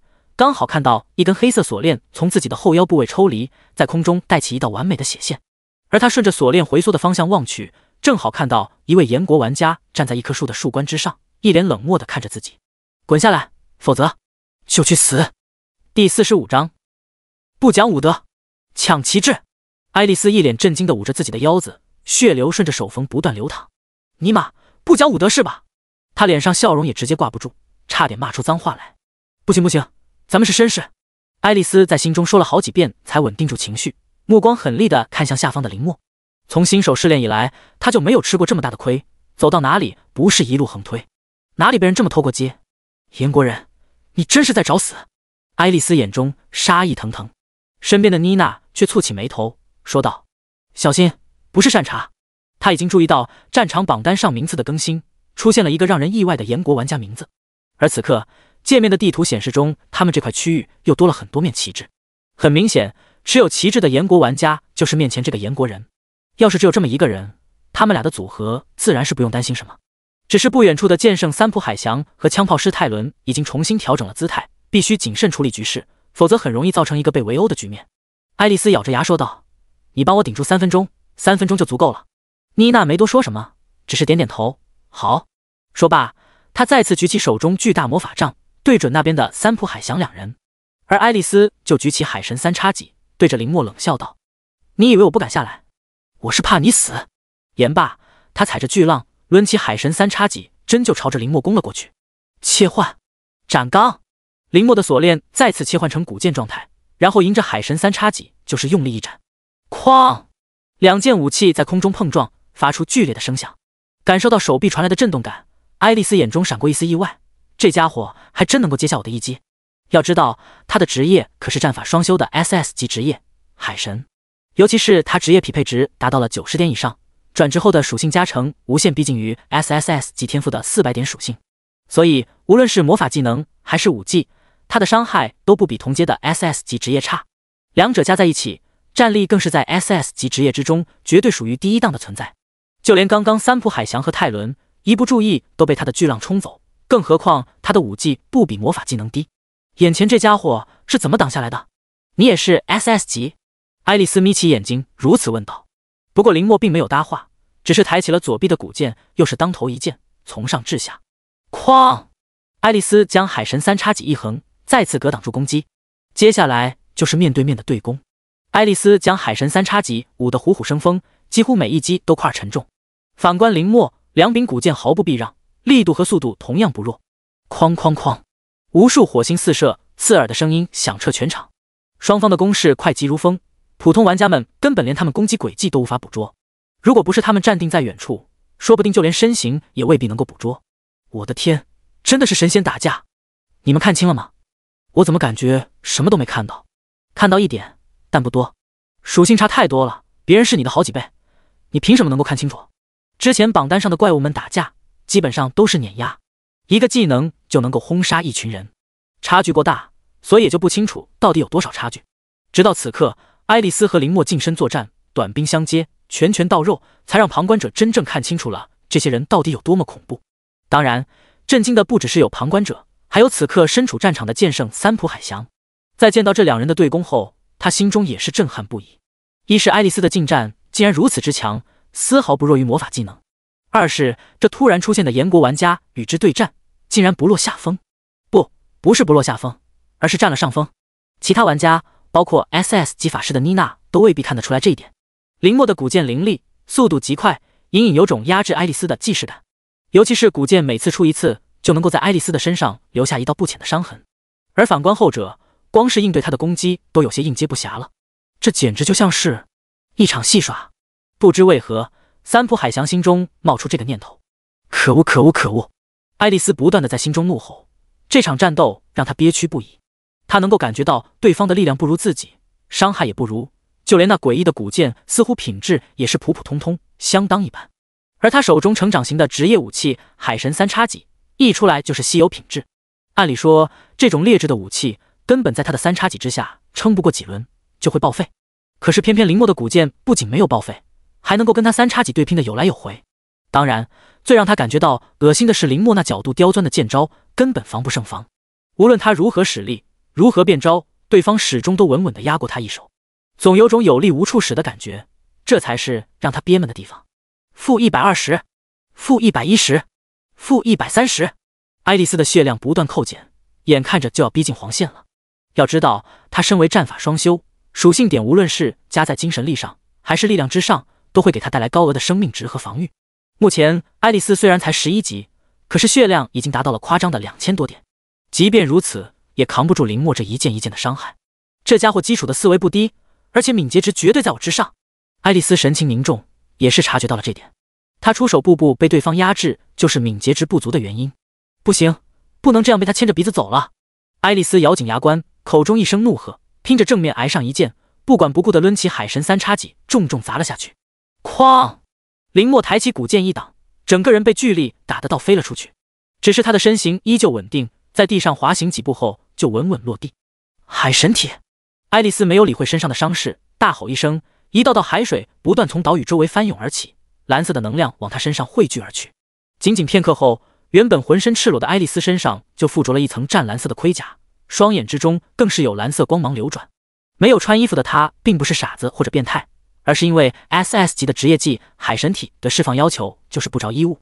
他朝着那头的妮娜大喝一声：“暂且放着他们，和我一起先把这家伙处理了。”说罢，他也不管妮娜答不答应，直接举起海神三叉戟往前一挥，潮汐海浪，无数海浪从他背后冲天起，朝着不远处的林墨冲刷而去。而妮娜果然如他所说，放弃了牵制三浦海翔两人，只是竖起一道厚实的冰墙后，魔法杖便对准了那滔天巨浪，冰元素不断朝着身前聚拢。冰刺狂舞，又是招牌技能，同时也是他最大的杀招之一。一时间，两道杀人无数的范围攻击径直朝着林墨一人而去。即便是刚才硬扛过这两道攻击的三浦海翔，也是觉得头皮发麻。刚才冰刺狂舞和潮汐海浪可是分先后，也是一下子打掉了他大半的血量。现在两道攻击同时攻击，换作是他肯定掉头就跑，否则不死也会重伤。别忘了，水与冰本就同源，两者相加，杀力不会相互减弱。只会更强。林墨淡淡的抬起头，看着铺天盖地而来的冰刃和海浪，不仅没有退后，反而踏水向前。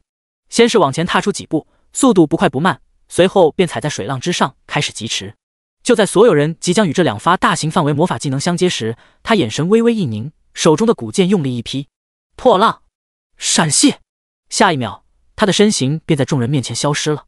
踩在浪头之上的爱丽丝神情一愣，还没等他有所反应。突然感觉后心一凉，他下意识转过头看去，然后就看见林墨那张面无表情的脸，两柄古剑一直插在他的胸口处，一只比在他的脖子上，声音冷冷地道：“看你刚才听话的份上，可以不死。现在你可以把旗帜交出来了。”直到此刻，爱丽丝才感受到从胸口中传来撕心裂肺的疼痛，同时刚刚脸上的嚣张也完全消失，哭丧着脸说道：“大大哥，别杀我，我给还不行吗？”第四十六章登顶榜一。诡异的身法，一剑被捅掉大半管血的爱丽丝毫不犹豫地交出了身上所有的旗帜，三面 S S S 级旗帜以及三面 S S 级旗帜，数量要比刚才的光法师奥尔丁顿少，可是却多了足足二面 S S S 旗帜。而此刻战场上的榜单再次发生变化：一林墨 S S S 旗帜 X 四 S S 级旗帜 X 十二，二妮娜 S S S 级旗帜 X 三 S S 级旗帜 X 四，三三浦海翔。S S S 及其至 X 二，S S 及其至 X 四，四泰伦 S S S 及其至 X 二，S S 及其至 X 二。随着爱丽丝变成了零蛋，林墨一下子就从榜单前十一跃成为第一，手中持有的旗帜多达十六面，成为这片战场最大的赢家。卧槽，林哥真的做到了！燕国九百一十一号的玩家们欢呼声震天响。刚才林墨被榜一和榜二的爱丽丝、妮娜合击，不少人都认为她肯定死定了。谁成想，他不仅安然无恙的躲避了攻击，还反杀了爱丽丝。这已经不是让人意外了，而是让人惊掉了下巴。不过更让人震惊的是还在后头。只见林默捅了爱丽丝腰子后，又捅了她心口一剑。如果不是海神体还没有解除，爱丽丝当场就会阵亡，毫无意外。所以此刻她虽然胸口撕心裂肺的疼痛，可是依旧不敢轻举妄动，只是一脸惊恐的看着林默。而林默在收到旗帜之后，干脆利落的就收回了古剑，伸出右脚踩在他的后背上，看着远处的妮娜、三浦海翔以及泰伦三人。说道：“你们是直接把旗帜交出来，还是让我亲自己过来取？”妮娜等人自然不会坐以待毙，更不会直接把好不容易拿到手的旗帜交出去。不过，才刚刚释放两次大招的妮娜技能还处于冷却期，状态不算太好。她转过头看向三浦海翔的那边，说道：“合作。”后者和队友泰伦互相对视一眼，心领神会，立刻答道：“好。”于是，一个新的组合诞生。而被林默踩在脚底下的爱丽丝已经沦为了局外人。只是她现在心中半点争抢旗帜的想法都没了，脑海中只有活下去这个念头。切换，林默展开右臂，即变成黑色的锁链，一根锁链微微一甩，死死的勒住爱丽丝的脖颈，然后对她冷冷吐出三个字：“冲过去！”爱丽丝又羞又恼，此刻的她真就跟林默牵的一条狗没什么区别，可是她却不敢拒绝，只能驾驭着巨浪朝着妮娜等人冲去。想死吗？快一点！林默冷声道：“F X X K。”爱丽丝憋屈至极。可是以她现在的血量，只要林默把那附带着尖刺的锁链用力一勒，她当场就得死翘翘。他只能听命行事，将速度提升到极致。操控海浪不完全属于海神职业技能，也是他天赋效果之一。只要在大海之中，他的速度无人可敌。即便驾驭浪头在半空行走，也不比大部分的同阶玩家差多少。而且只要海水足够多，浪头足够大，就可以跨越任何地形。所以转眼间。他就带着林默逼近了已经汇合的妮娜三人组身前百米的距离，哈哈，还真敢来！泰伦脸上露出一丝残忍的笑容，直接抬起手中的对准林默，狞笑一声，枪林弹雨，无数的弹药就朝着林默和爱丽丝袭去。爱丽丝下意识就想躲避，可是脖颈处却传来一阵疼痛，林默将她死死的勒住，根本无法改变方向。呜，大哥，正面抗下这波伤害，我真的会死！他苦苦哀求道。林默却没有理会他。带着他不管不顾的一头扎进了泰伦枪林弹雨的范围之中。就在爱丽丝心中哀叹死定了、没救了之际，忽然林默双臂再次伸展出数根黑色锁链，锁链在空中轮转，精准的命中了每一发漆黑的弹药。砰砰砰，无数火药炸裂的声音传来。爱丽丝心中一紧，可是睁开眼一看，却发现火药竟然一发不落，被锁链击退。尽管爆炸声不绝于耳，却没有一发弹药在他们附近炸开。我的天，这也太强了吧！爱丽丝张大嘴巴，换作是她，除开避让以外，就只有用巨浪对冲，除此之外别无他法。她实在无法想象，林默仅仅是用了几根看上去黑不溜秋的锁链，就把弹药全数挡下来了，这手法也太匪夷所思了。他心中震撼不已，可是，在外人看来，就不是那么回事了。火光在空中不断爆炸，巨大的声势吸引了战场上无数玩家的注意力，烟雾和火花遮掩了林默二人的行踪，但无一人例外。大家都认为弹药已经命中了林默和爱丽丝，就算是释放技能的泰伦本人，也认为林默正面接下他的大招，不死也会半残。呵呵，敢正面接我的攻击，真是找死！泰伦冷笑一声。作为 SS 级的枪炮师，他的火力在整座战场都是数一数二的。只是可惜他的射程范围比较近，而刚刚的妮娜和爱丽丝的技能又刚好克制他的输出，所以在几人的交手中才显得那么不起眼，甚至还有点拖后腿的意思。不过在这之前，他的输出和击杀的玩家数量远远在剑圣三浦海翔之上。胆敢小觑他的人，现在已经走在前往阴间的大道上了。妮娜谨慎道：“别大意，这家伙似乎会瞬移技能。”他想到了刚才林默躲过他和爱丽丝的联手攻击的画面。泰伦却不以为意，说道：“哼，你们自己瞎而已。我刚刚可是注意到了，那道巨浪是被劈开的。他根本不会什么瞬移，只是用了某种障眼法罢了。”说到这里。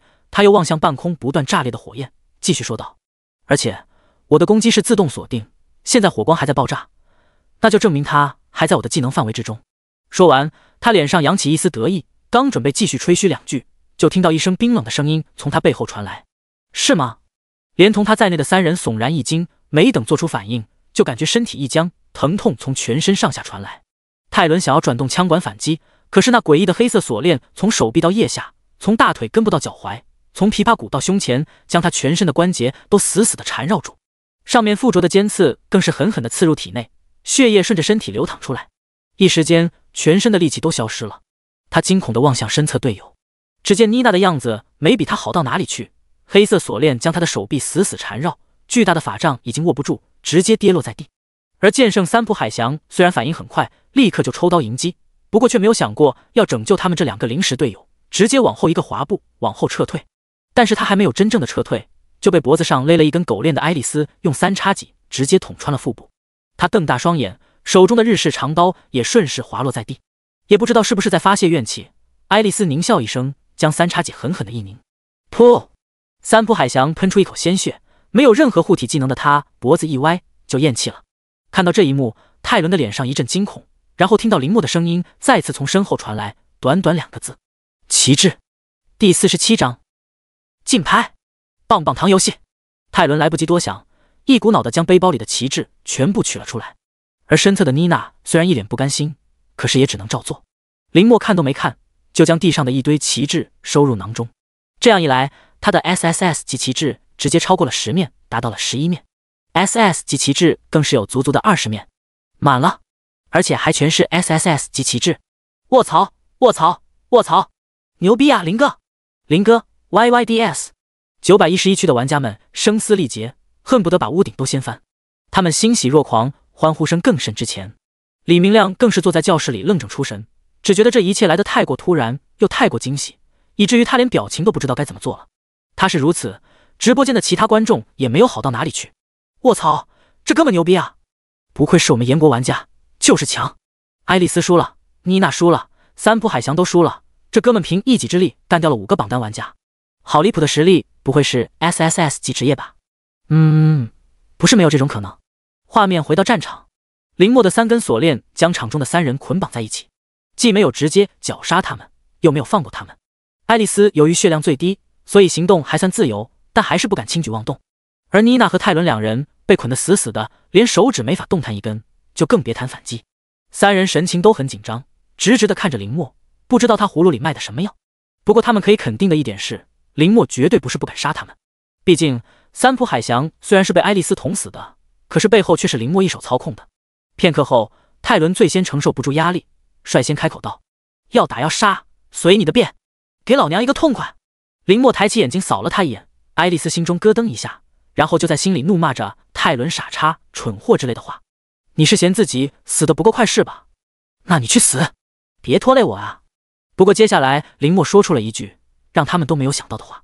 只见他把刚刚拿到手的旗帜又取了出来，在地上依次排开，说道：“现在开始拍售旗帜二十二面，价高者得。”爱丽丝和妮娜和泰伦啊！爱丽丝神情一脸懵逼，其他两人也没有好到哪里去。拍卖旗帜，什么东西？你当这里是拍卖行呢？妮娜和泰伦双眼瞪大，尤其是后者更是如此。刚才都已经准备好赴死了，谁能想到之后的发展完全出乎他的预料？但林默并没有理会他们的惊讶，而是将一面 SS 级旗帜拿在手里，说道：“一百个时间起拍，你们可以开始叫价了。”三人先是一愣，随后爱丽丝反应最快，直接说道：“一百……呃，一百零一个。”林默点点头，目光转向被锁链架在半空的两人。妮娜愣了愣，也回过神来：“一百一十个。”这面旗帜我要了，爱丽丝马上喊道：“一百二十个，别跟我抢！”她咬牙切齿地瞪着妮娜，眼神看她如看杀父仇人。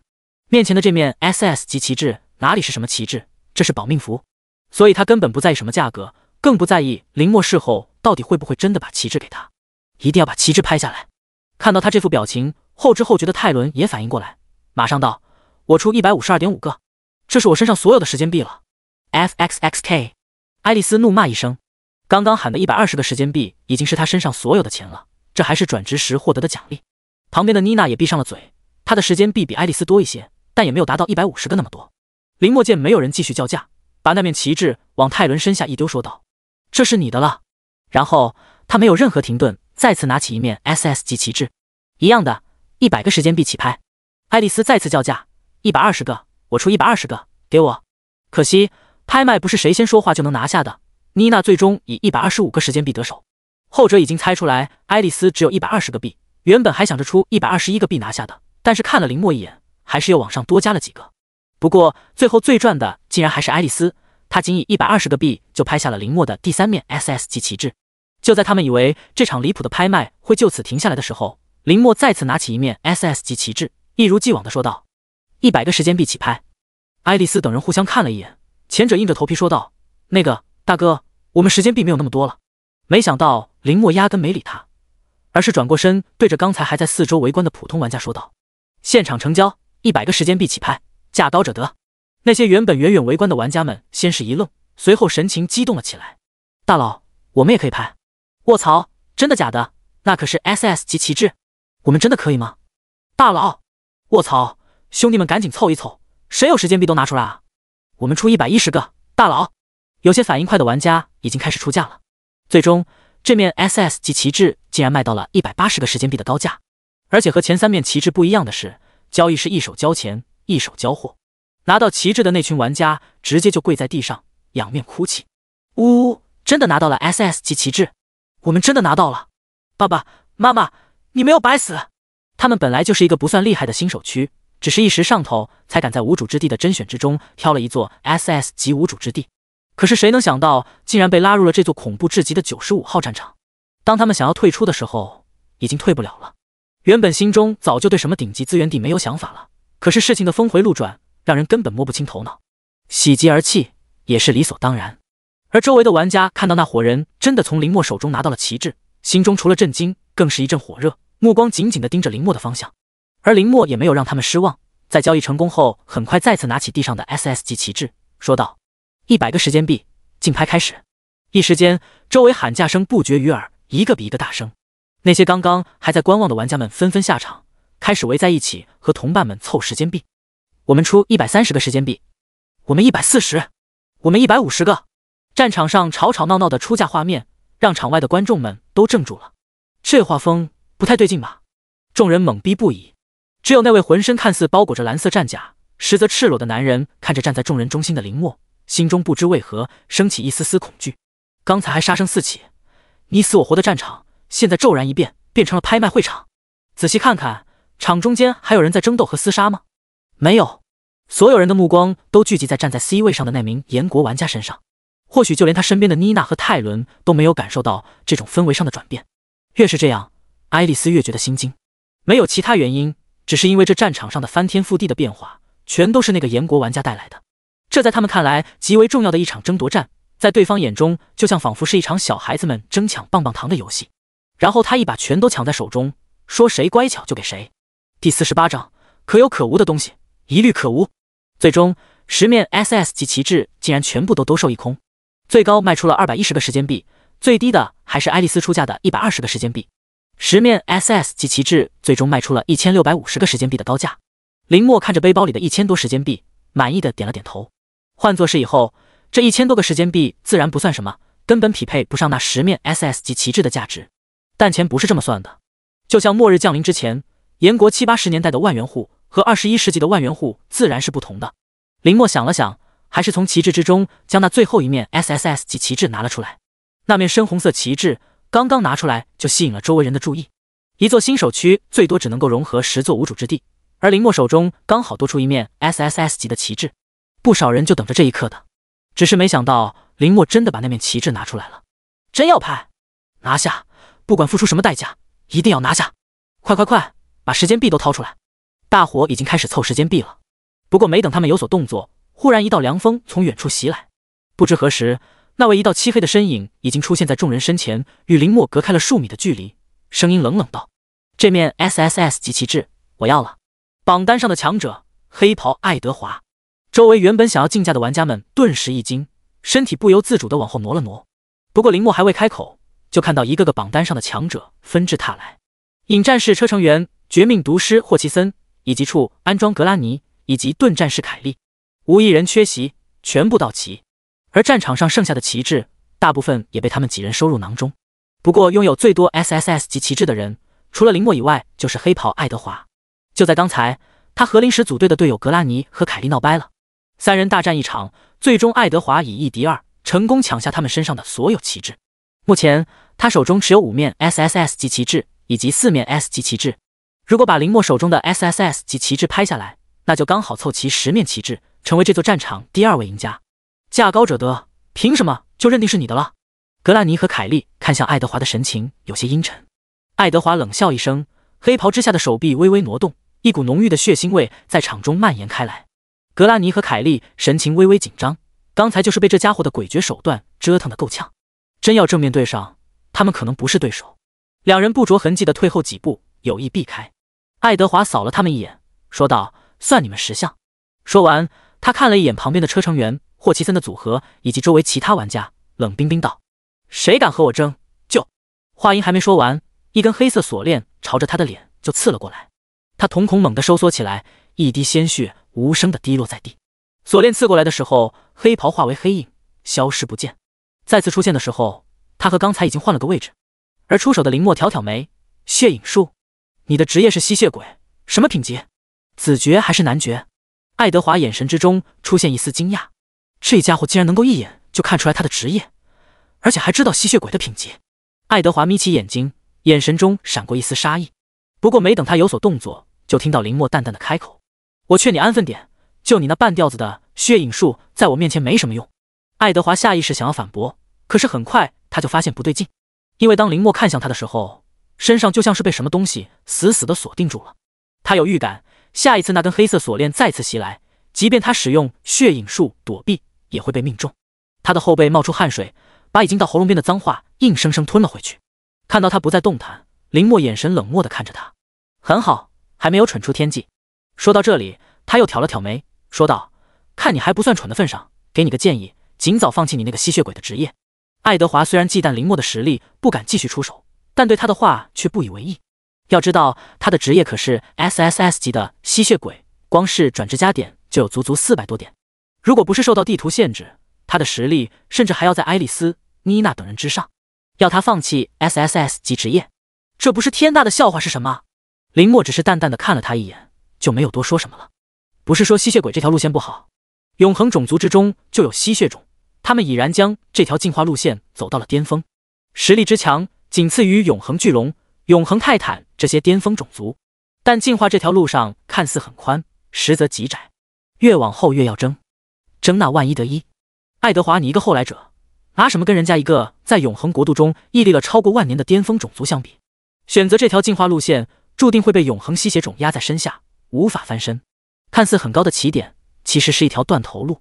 就在场的这些榜单强者而言，爱德华只能赢在起点，越往后他的实力越不如其他几人，这是必然的结果。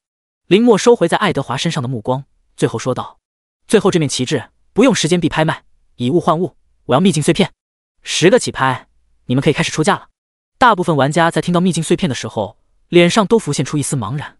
秘境碎片，这是什么东西？这我哪知道啊！不过有部分玩家神情各异。终于，人群中有人举手道：“我出十一块碎片，这是我之前在新手试炼中刷到的。”有人出价后，其他人也不顾上隐藏，开始呼朋唤友的凑起碎片来。卧槽，你还真有啊！我也有两块，你们还有谁有的？赶紧拿出来！就连场上那几个强者也开始转过头。找自己新手区的小老弟凑碎片，不是他们没其他想法，只是林墨那只手臂化为的几根锁链还把爱丽丝、妮娜等人拘着，丝毫没有放开的意思。刚刚又露了一手，将黑袍爱德华吓得不敢出手。剩下的几人就算再有想法，现在也不敢有想法了，生怕出手后会得不偿失。林墨却没有在意他们的表情，只是在他们竞价的时候，大致扫了一眼九十五号战场。此时此刻，已经没有人在喊打喊杀了，几乎全都聚集在附近。即便有些胆小的玩家不敢靠近，可是也躲了起来，不再互相厮杀。而这一切的改变，自然都是林墨带来的。如果历史没有发生转变，那么爱丽丝会死，妮娜也会死，泰伦、车成员、拉格尼，这些人都会死。唯一活下来的不是其他人，而是眼前这位黑袍爱德华。他会成为最大的赢家，然后走上一条不可挽回的断头路。林墨出手阻止了这一切的发展，更是让原本应该死伤无数的战场。最后活下来将近一半的玩家，当然，在他看来，只是捞一笔的同时顺带手做的事情。如果真要他认真去做的话，活下来的蓝星玩家肯定更多。不过他不会去做这样的事。无论是那些阵亡普通玩家也好，还是刚刚被爱丽丝捅死的三浦海翔这种天才也罢，是死是活对他对蓝星的未来没有任何影响。他从来不是什么大善人，对他而言，可有可无的东西一律可无。第四十九章融合开始。选择主城建筑，九十八枚秘境碎片。终于有人出到了最高价。爱丽丝把自己新手区小老弟手中的秘境碎片和自己身上的秘境碎片一凑，竟然凑出来将近一百枚碎片。这一面 S S S 级旗帜的归属也终于尘埃落定。林墨在和他交易之后，也终于放开了这位血量不多的曾经榜一。爱丽丝连忙把地上的旗帜和那面 S S S 级旗帜收入囊中，生怕林墨会反悔。当所有的交易结束后，现场却陷入一个诡异的氛围之中。无论是那些拍到旗帜的玩家，还是没有拍到旗帜的玩家，都不肯离开附近。尤其是前者，他们神色警惕，看向周围玩家的眼神，就像是在看豺狼虎豹。事实上也确实如此，场上最差的旗帜也是 S 级，而除了林墨是大满贯以外，就连 SSS 级职业的爱德华也差了一面旗帜。那些榜单上的强者，像妮娜、泰伦、车成元等人，也只有区区一面旗帜。拉格尼、凯利更是一面旗帜都没有，这是他们进入战场之前无论如何也想象不到的局面。不少人的目光在那些持有旗帜的人身上看了又看，尤其是爱德华等榜单强者。如果出手抢夺，那些普通玩家绝对不是他们对手。也许一两个技能下去就能够击杀对方，把东西爆出来。不过他们最终还是忍住了没动手。林墨给人的压迫感实在是太强了。妮娜和泰伦已经被他解放了出来，可是却没有轻举妄动。没办法。现在的局面实在太尴尬了。爱德华、爱丽丝、妮娜、泰伦，九位榜单上的强者各占一角，形成犄角之势。而他们隐隐针锋相对的人是林墨，可是没有一个人敢动手。不只是林墨的实力无法估测，还因为他们其实并不信任身边的人。直到战场的倒计时进入到最后一秒，最终也没人出手。爱德华数人只是眼神深深的看了林墨一眼，唯有爱丽丝踩着巨浪退后数十米，大放厥词：“林墨。”我记住你的名字了。用你们严国话来说，咱们青山不改，绿水长流。这话说完，他身形再次暴退数十米，生怕被林墨后来一次掏腰子的绝活。不过林墨却没有这样做，只是一直在闭目养神的他睁开了眼睛，看了爱德华一眼，但他的神情之中并没有太多怒意，因为这么多在场这么多所谓的天才之中，就只有爱丽丝敢在最后对他放一句狠话，所以配让他林墨多看一眼。至于其他榜单上所谓的天才和怪物，甚至连让林墨正视的机会都没有。用他的话来说，不过是一群注定会消失在历史长河中的人罢了。相比起场上沉闷的氛围，场外可热闹多了。战场的直播间关闭之前，还有不少人在议论九十五号旗帜争夺战的最后一场大战。林墨以一己之力压制四位榜单强者，并且间接杀死其中一位。之后的局势更是风云变幻，让无数人摸不清头脑。原本好好的一个战场，怎么转眼就变成了拍卖会场？真是奇了怪了。九百一十一区玩家们自然是眉飞色舞，喜笑颜开。谁能想到林墨的实力这么强，竟然真的为九百一十一区拿下了十座顶级的资源地？当他们看到林墨重新出现在教室里时，恨不得冲上去将他抱起来丢到天上去。好在他们看到林墨那张神情淡漠的脸时，稍稍冷静了一下，没有冲上去送死。可是，一美之词就管不住了。林哥，你太强了！呜，林哥，你就是我的神！九百一十一区无敌了呀！竟然拥有十座顶级资源地，牛大发了！虽然他们暂且还不知道融合这些无主之地之后，九百一十一区到底会变成什么样子，可是看到那些一个个顶级天赋的大佬都出手争抢，就知道肯定不会差。说不定他们这些身材天赋稀松平常的玩家，也能够跟着这座九百一十一新手区一起鸡犬升天。想到这里，不仅是那些普通玩家，就连李明亮和江元基两人心中都是一阵火热。很快，系统的提示就在耳畔响起。叮九百一十一新手区开始融合炎国八十八号地 SSS 级无主之地，炎国九十二号地 SSS 级无主之地，樱花国二十号地 SSS 级无主之地。融合无主之地数量达到上限值，玩家可自行选择主城建筑风格。随着系统提示结束，所有九百一十一区玩家的系统界面上开始显示出无数的建筑群，有矗立于高山之巅的宫殿，宛若仙宫一般；有宛若深渊一般的巨型坑洞，里面镶嵌着一座千层巨楼。有赛博朋克风格的蒸汽城市，烟雾缭绕，霓虹灯与机械并行；有助于岛屿之下的深海宫殿，四周海兽横生，顶部琼光倾泻。哇塞，这也太好看了吧！这些都可以选吗？我想选那个仙殿，好帅啊！蒸汽城市不比仙殿更好看，酷毙了！我倒是觉得深海宫殿挺有意思的。九百一十一区的玩家们纷纷议论着，不过谁都没有敢先动手。李明亮很是狗腿的问道：“林哥。”咱们主城风格该怎么选？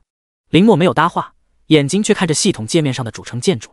他自然知道这是融合了十座顶级资源地才有的特殊待遇。这些主城建筑的风格可不仅仅只有外观那么简单。不同风格的主城代表开放永恒国度版图后，他们的地理位置在永恒国度的哪块版图？如果选仙宫主城，那么九百一十一区的位置就会在永恒国度的空岛群之上；如果选巨型坑洞的千层巨楼，那么九百一十一区就会在深渊之下。深海宫殿顾名思义就代表着深海地图，而每一个版图探索难度都不太一样，而且对蓝星人族目前而言，有很多地图压根不适合踏足。比如深海地图，长期在深海之中生存，不仅进化的方向会变得单一，而且狩猎的难度也会大大增加。当然，这些地图无一例外都拥有极为丰厚的地图资源。林墨手指在界面上不断划过，无数或威严耸立，或诡异奇峻，或奇幻斑斓的主城被他一一掠过。最终，他在一张满目荒芜的废墟之上停了下来。与之前那些主城建筑群相比，这张图的对比太过惨烈，甚至让不少人都不忍直视。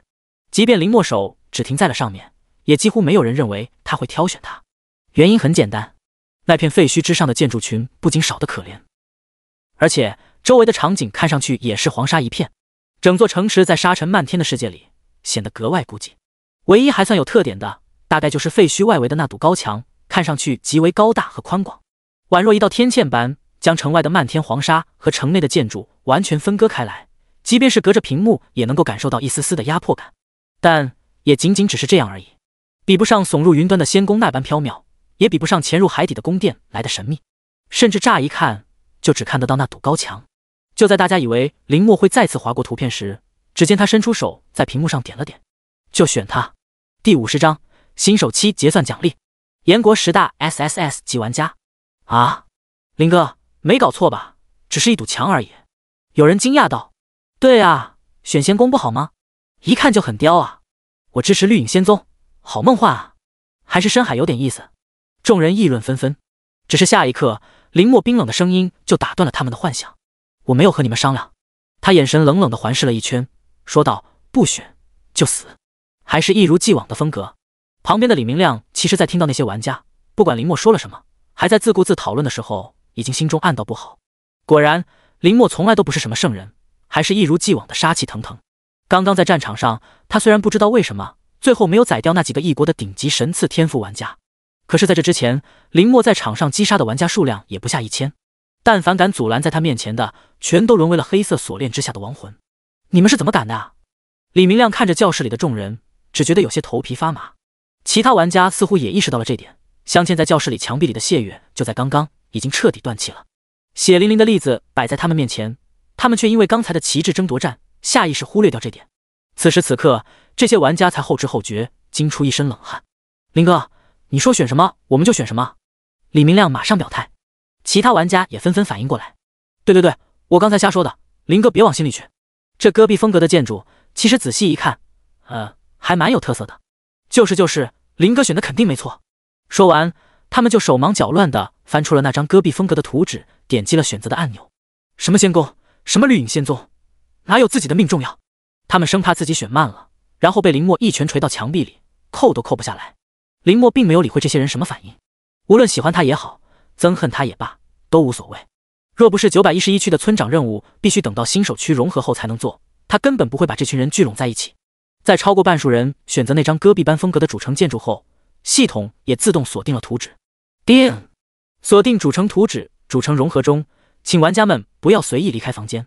随着主城融合的系统提示响起，九百一十一区的全体玩家全都被拉入了小房间之中，每人一间，样式简陋，不过却有独立的卫浴，甚至还配备有一些食物，互不干扰，但是还是可以通过区域聊天频道进行交流。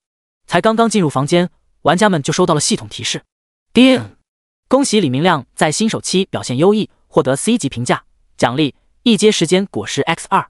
叮，恭喜江元基在新手期表现优异，获得 C 级评价。奖励一阶时间果实 X 二，叮！恭喜！系统提示不断响起，让玩家们都有点懵逼。卧槽，竟然有奖励！他们先是很惊喜，然后就察觉到不对，不对啊！那之前我借的那些时间币怎么算？亏麻了呀！林哥，提前还钱的话，利息能不能只给一半？直到此刻，他们才意识到自己被坑了。什么借一还十，根本就没必要啊！新手期的结算奖励姗姗来迟。可还是来了。即便是最垃圾的通关奖励，也有一个时间币，完全能够撑过新手区融合这段时间。但现在他们背负着高额的利息，借的越多，还的越多，岂止是亏麻了三个字可以解释的？不过，无论是谁都不敢私聊林墨提利息的事情，更不敢不还。李明亮拍拍胸口，竟觉得有一丝丝庆幸，之前被林墨一巴掌推开，到最后竟然还是一件好事。只是这 C 级评价怎么看都不太高的样子。他摸摸下巴，思忖着，不知道林大佬的评价是什么。叮，恭喜玩家林墨在新手期表现优异，获得 S 级评价，完美奖励一阶时间果实 X 十。系统提示传入林墨耳中，不过这都在意料之中。完美级评价而已，又不是只有他一个人获得了。之前挂在打出热门榜记录的那些玩家，基本人手一个完美级评价。相对那些一两个小时就完成通关，甚至是转职的玩家而言，他的完美级评价含金量只能说一般。当然，若是单纯比较难度，想必没有任何一个新手玩家能够与他相比。毕竟那头血脉纯正的永恒族后裔可不是闹着玩的。即便放在转职之后，蓝星也没有几个玩家能够与之相提并论。林墨看了一眼背包里的时间果实，虽然他在旗帜争夺战里赚了一千多个币，可是时间币这个东西没有人会嫌少。他直接把一阶时间果实往嘴里一丢，叮，时间币加十。如此一来，他的时间币余额再次小小的涨了一些。时间币一千六百六十九。林墨没有犹豫，直接点击了升级，叮，消耗四个时间币完成升级，全属性加一，叮，消耗六个时间币成升级，全属性加一。叮，消耗八个时间币完成升级，全属性加一。叮，消耗二十二个时间币完成升级，全属性加一。随着十道提升响起，一百三十个时间币直接蒸发，林墨的等级也直接从十级升到了二十级。有大把的时间币升级就是如此迅速，换做其他玩家，即便升级消耗的时间币数量要远远少于林墨，可是要想积累升到二十级的时间币，也需要积攒一段时间。林墨准备将时间币再次投入经验条时，却收到了系统提示：叮，升级达到上限，请狩猎足够的猎物，继续提升等级。还有这个限制？林墨眉头一挑，手中顺畅的投币动作也随之停滞。前世他那个普通战士职业，只要时间币足够，就可以直接升级到一阶瓶颈期，然后最多加上几样升阶材料，就可以直接上到二阶。不过猎神者序列明显不同，还未达到一阶上限的等级，就已经出现了瓶颈。他点开个人面板上的狩猎一栏，果然出现了一个任务目标：狩猎一阶二星猎物零时。一阶代表等级，二星代表同等阶之中的战力评级，最低为一星，最高为十星。同阶的二星猎物对于林墨来说自然不算什么，只是目前新手区还处于融合阶段，也找不到合适的猎物，升级自然就只有先搁浅下来。他暂且放下了升级，眼下世界频道也随着旗帜争夺战关闭了。唯一剩下的就是国区的游戏论坛。经过刚才的大战，炎国区的游戏论坛竟然将大战中表现优异的玩家列了一张榜单。最先引入眼帘的就是炎国区十大 SSS 级玩家排行榜。第五十一章十大圣地，炎国第十一人：一白夜施剑仙 SSS 级；二一辉童术师 SSS 级；三洛莲之圣火玫瑰 SSS 级；十 A 慕容桃桃植物医生 SSS 级。以上就是炎国区十大 SSS 级职业玩家，每一个都在之前的旗帜争夺战之中大放异彩，称霸了一方战场。他们的新手区也无一例外，全部融合了十座 SSS 级的无主之地。林墨对这张榜单上的玩家并不陌生。如果非要说永恒国度后期有哪些人成为了进化路上万一的那个一，那么这份榜单起码有一半以上的人都可以称之为那个一。尤其是排行榜前三，即便在后期的永恒之战中，也发挥了至关重要的作用。这十位 SSS 级职业的炎国玩家所在领地，后来也被玩家们戏称为炎国十大圣地。这也代表着炎国未来的十大顶尖势力，无数玩家挤破了脑袋都想加入其中。不过这一次，在这十座圣地之外，又额外增加了一个，在这张置顶的强者榜单中，额外增加一名玩家的名字：十一林墨，职业未知，实力介于 SS 级、SSS 级之间。原因很简单，炎国九百一十一区也融合了十座 SSS 级资源地。只是之所以将他单独列了出来，是因为他的战绩不如榜单上的那十位，可是又比后面的那张 SS 级榜单上玩家更强，所以制定榜单的人才会把他单独列在第一份榜单的最下面。前十位 SSS 级玩家的战场排序全在五十号之前，且他们斩杀的玩家数量、战场上针锋相对的强者数量都要远高于后面的战场，但他们却能够在强者林立的战场上依旧屹立不倒，抢下了十面 SSS 级旗帜，足以说明他们的实力。林默的九十五号战场仅有一个疑似 SSS 级职业的爱德华，其余全是 SS 级玩家或者 S 级玩家，而且数量远远不如排序五十号之前的战场。含金量而言，相对就低了。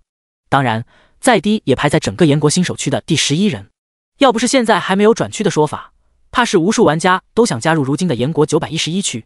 而且无数人都在猜测林默的职业以及职业评级，很多人都认为大概率是个 SSS 级，即便是 SS 级，那也是 SS 级之中最顶尖的那一批。林默对此不置可否。猎神者如果要按照永恒国度的常规职业算的话，大概只能算 C 级。没错，就是 C 级。通常来说，转职后升级所加的属性，每个等级的职业都不相同。只有 F 级的职业转职后升一级，属性加一点；E 级升级后属性点加二点，以此类推，C 级升级才会加四点属性值，平均单项下来有一点属性值。而顶级的 SSS 级职业每升一级会额外多出二十点属性，平均单项下来也有五点属性值。十级下来，单项属性值就四十点的差距。不过林墨丝毫不急。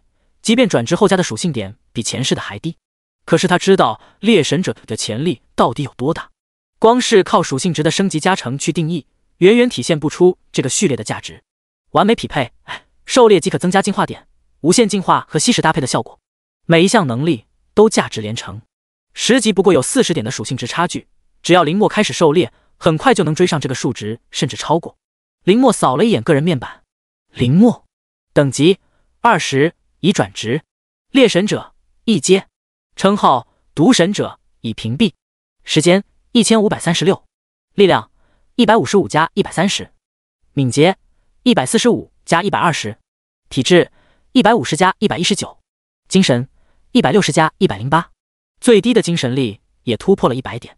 林墨微微抬起手，只见右臂又开始畸变，不过这一次并不是整只手臂都化为了古剑，而是从身体里直接畸变一支古剑。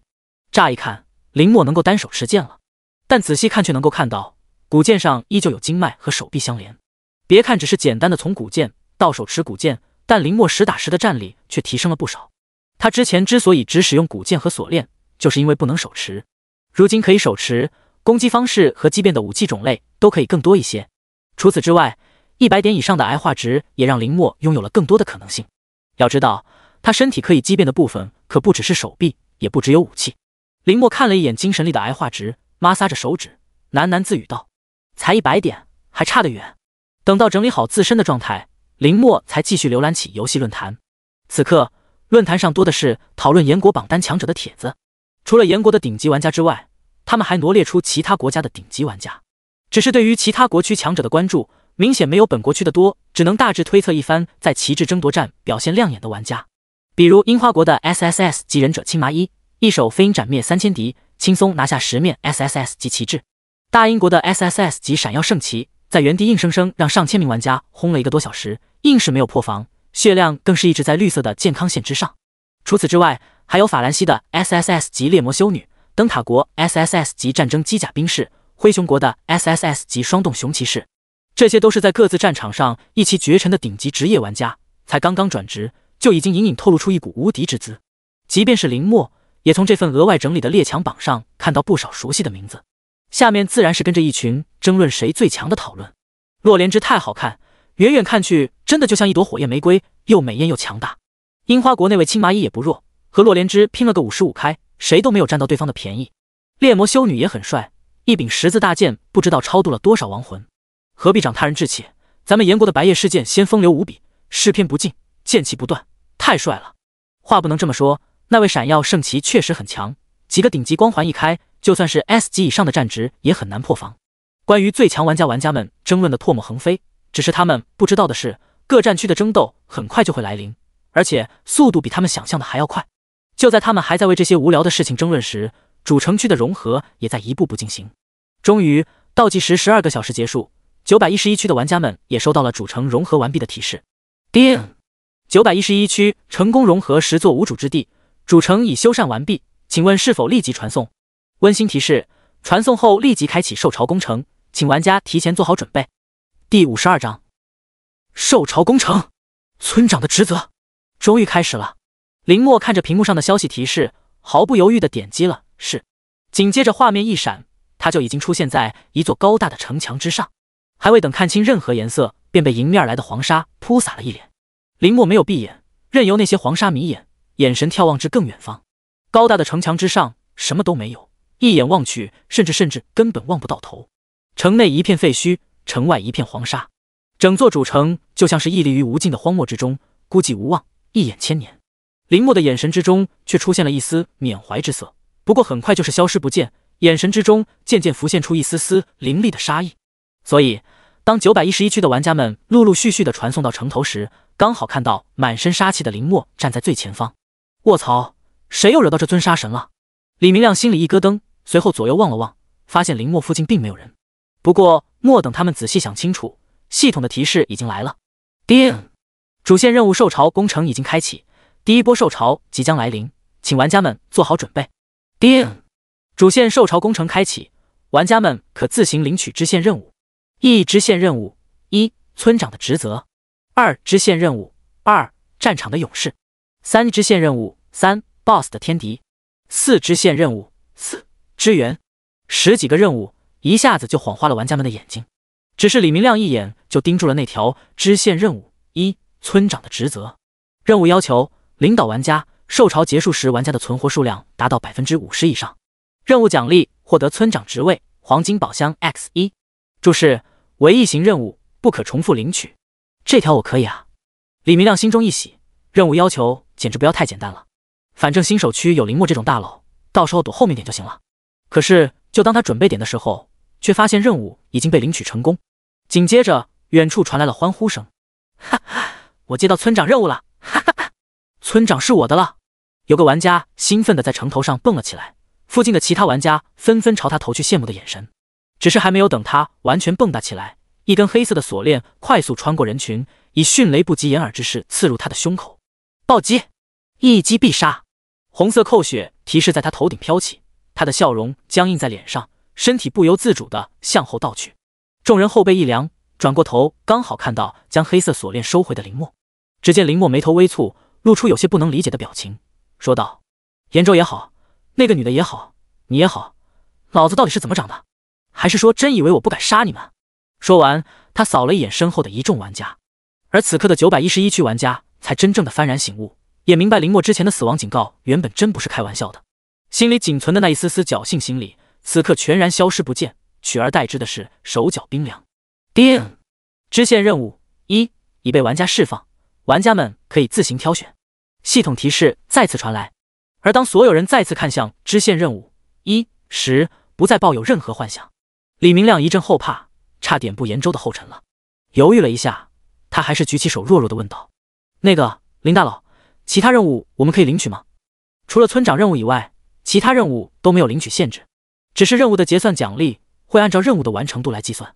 简单来说，在受潮之中表现的越优异，获得的奖励就越多。”林墨倒是霸道的。让他们所有人都不允许领取任务，而是淡淡的说道：“所有受潮结束后，怪物击杀数量低于一百只的，逐出九百一十一区。九百一十一区不需要废物。”说罢，他就将村长的任务点击了领取。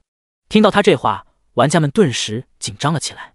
原本还想着靠着林墨好好厮杀一场，多挣点时间币和奖励，现在看来，他们实在是想多了。击杀一百只怪物，玩家们心中有些忐忑。就连李明亮和江元基两个 B 级职业者都紧张了起来。但仔细想想，如果怪物的强度和新手期差不多，那么一百只怪物好像也没有多难吧？起码我不用担心击杀数量的问题。李明亮心中暗暗想到。可是很快他就发现自己想多了。攻城受潮第一波进入最后的倒计时，十九八三二一。随着计时的低声结束，一阵阵嘶吼声从远处传来。吼吼吼！在漫天黄沙的遮掩下，一只只身披黄色披风的怪物朝着高墙快速奔袭而来。化柴，等级十一至二十，技能一啃咬，二弯刀斩，三催眠凝视。战力评价一阶一星。这是一种人形的变相生物，可以变化成柴狗进行攻击。战力在一阶之中算是最底层的。原本看到战力评价，李明亮等人还没什么，甚至有点庆幸怪物的战力评价不算高。那么完成林墨给的任务也算是有希望了，但在一只纸化柴靠近城门口时，却惊掉了下巴，因为那沿着城墙一条线密密麻麻的黄色披风，一眼竟然根本望不到尽头。乍一看，起码也有两千只以上，数量也太多了吧？而且这还好，只是第一波受潮。李明亮和江元基对视一眼，看到了彼此眼中的那丝恐惧。他们都回想起新手试炼里在操场上的那几波受潮，数量也是如现在这般多。就在他们头皮发麻的时候，林墨竟然向前踏出一步，直接从百米高的城墙上一跃而下。众人一惊，连忙走上前，趴在墙头观看。只见林墨的手臂伸出好几根钩爪，如钉子一般钉入了城墙，然后一路向下滑行，仅仅用了十几秒钟就落地了。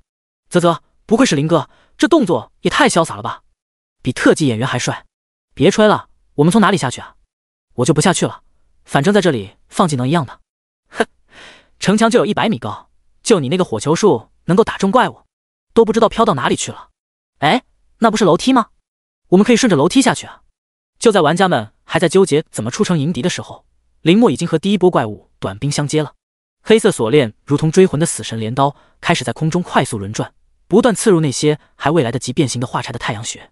暴击，一击必杀！暴击，一击必杀！红色的暴击提示不断飘起，一只接一只的怪物接连倒下。林墨的眼神没有丝毫变化，锁链轮转的速度越来越快。等到李明亮等人终于找到出城的路，走下城头之时，才发现目之所及皆是死尸一片，超过两千只化柴，转瞬之间已经被林墨屠灭了一小半。这时他们才后知后觉，原来狩猎任务最大的难关不是什么怪物，而是他们是只为大腿的林墨。第五十三章被救一次者上城墙，进化点加零点二，加零点一，加零，加零点一，力量癌化值加零点二，加零点一，加零点一。随着林墨的黑色锁链不断刺入一具具还算温热的尸体中，停滞许久的癌化值和进化点再次增加。只是按照他目前的实力，一阶一星的化柴能够给他增加的癌化值和进化点并不多，而且相信很快能够加的点数就会进入瓶颈期，很难再从这些化柴的尸体里汲取更多的点数。林墨一边出手，一边在心中暗自回想：比起诸神测验的那些魔兽，差的也太远了。化柴对于刚转职成功的普通玩家而言，难度刚刚好。不高不低，但对他而言，多少有点鸡肋了。食之无味，弃之可惜。而且吸收这些怪物的尸体，只能增加进化点，对于他各项能力的进化没有半点裨益。林墨回过头望了一眼跟在他身后简陋的九百一十一区玩家们，眉头微微蹙起。比起当年镇守在这里的一拨人，简直一个天上一个地下。他摇了摇头，无法达成他要求的，自然会被他驱逐出境。至于沦落到什么地方去，那就跟他没什么关系了。只是这片地狱对于蓝星来说至关重要，根本没有废物的容身之处。林墨只是看了一眼，就收回了眼神。下一刻，他陡然加速，再次冲进化柴群之中。那些想要跟在他身后捡漏的玩家们顿时懵逼了，一时间也不知道该不该跟上去。完了，林哥走远了呀！唉，看来是不能捡漏了。怎么办？我才砍了两三只化柴，不会完不成任务吧？很多玩家们的脸色着急，因为他们击杀怪物的数量实在是不多。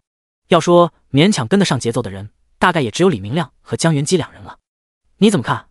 江元基干脆利落的击杀完一头化柴后，转过头问向身边的李明亮。这家伙号称是整个九百一十一区最了解林墨的人，没有之一。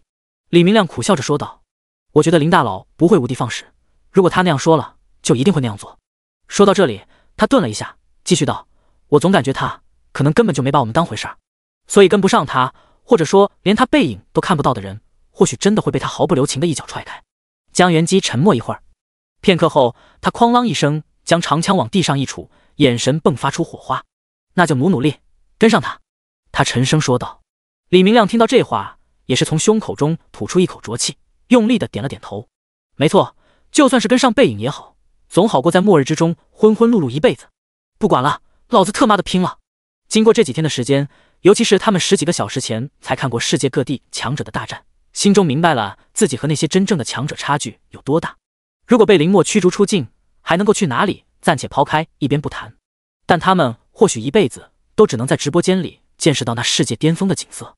不过，如果一直跟着林墨，也许他们有一天也可能踏上世界的舞台，在这如同末日一般的世界之中，为自己争得一席之地。比起其他玩家而言，李明亮和江元基对于此时此刻的情形更加有感触。好，那就争一争。江元基朗声道。话落，两人相视一笑，然后义无反顾地冲进了画柴群之中。只不过，他们的方向刚好和林墨冲阵的方向错开。不是捡漏，而是靠自己双手杀出一条血路。十分钟后，第一波受潮结束的提示传来，叮！恭喜九百一十一区成功抗击第一波受潮工程，奖励时间 B 加一。下一波受潮倒计时九分五十九秒。第一波受潮工程结束，场上的玩家们纷纷松了口气。总体来说，第一波受潮难度不算很大，尤其是林墨冲锋在前，解决了一大半的怪物。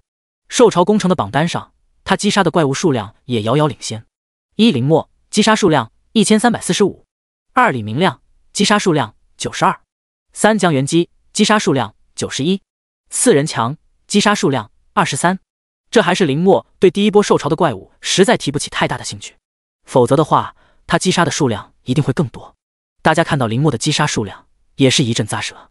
我的天，林哥还是一如既往的生猛。呜，怎么办？我只宰了几只怪物，不会真的被驱逐出去吧？别急，还有受潮，还有机会。李明亮和江元基两位大佬也好猛，都快达成目标了，都好强啊！就只有我是个废物，宝宝别哭，哥哥罩着你。玩家们才刚刚松懈心神，只见九百一十一区域频道的聊天记录上就看到了林墨的消息。林墨，所有人略过等待时间。李明亮马上跟着下面回复道：“好的，林哥。”江元基已经略过了。卧槽，略过休息时间，才落下去的心又提了起来。玩家们心中叫苦不迭，可是却不敢不照做。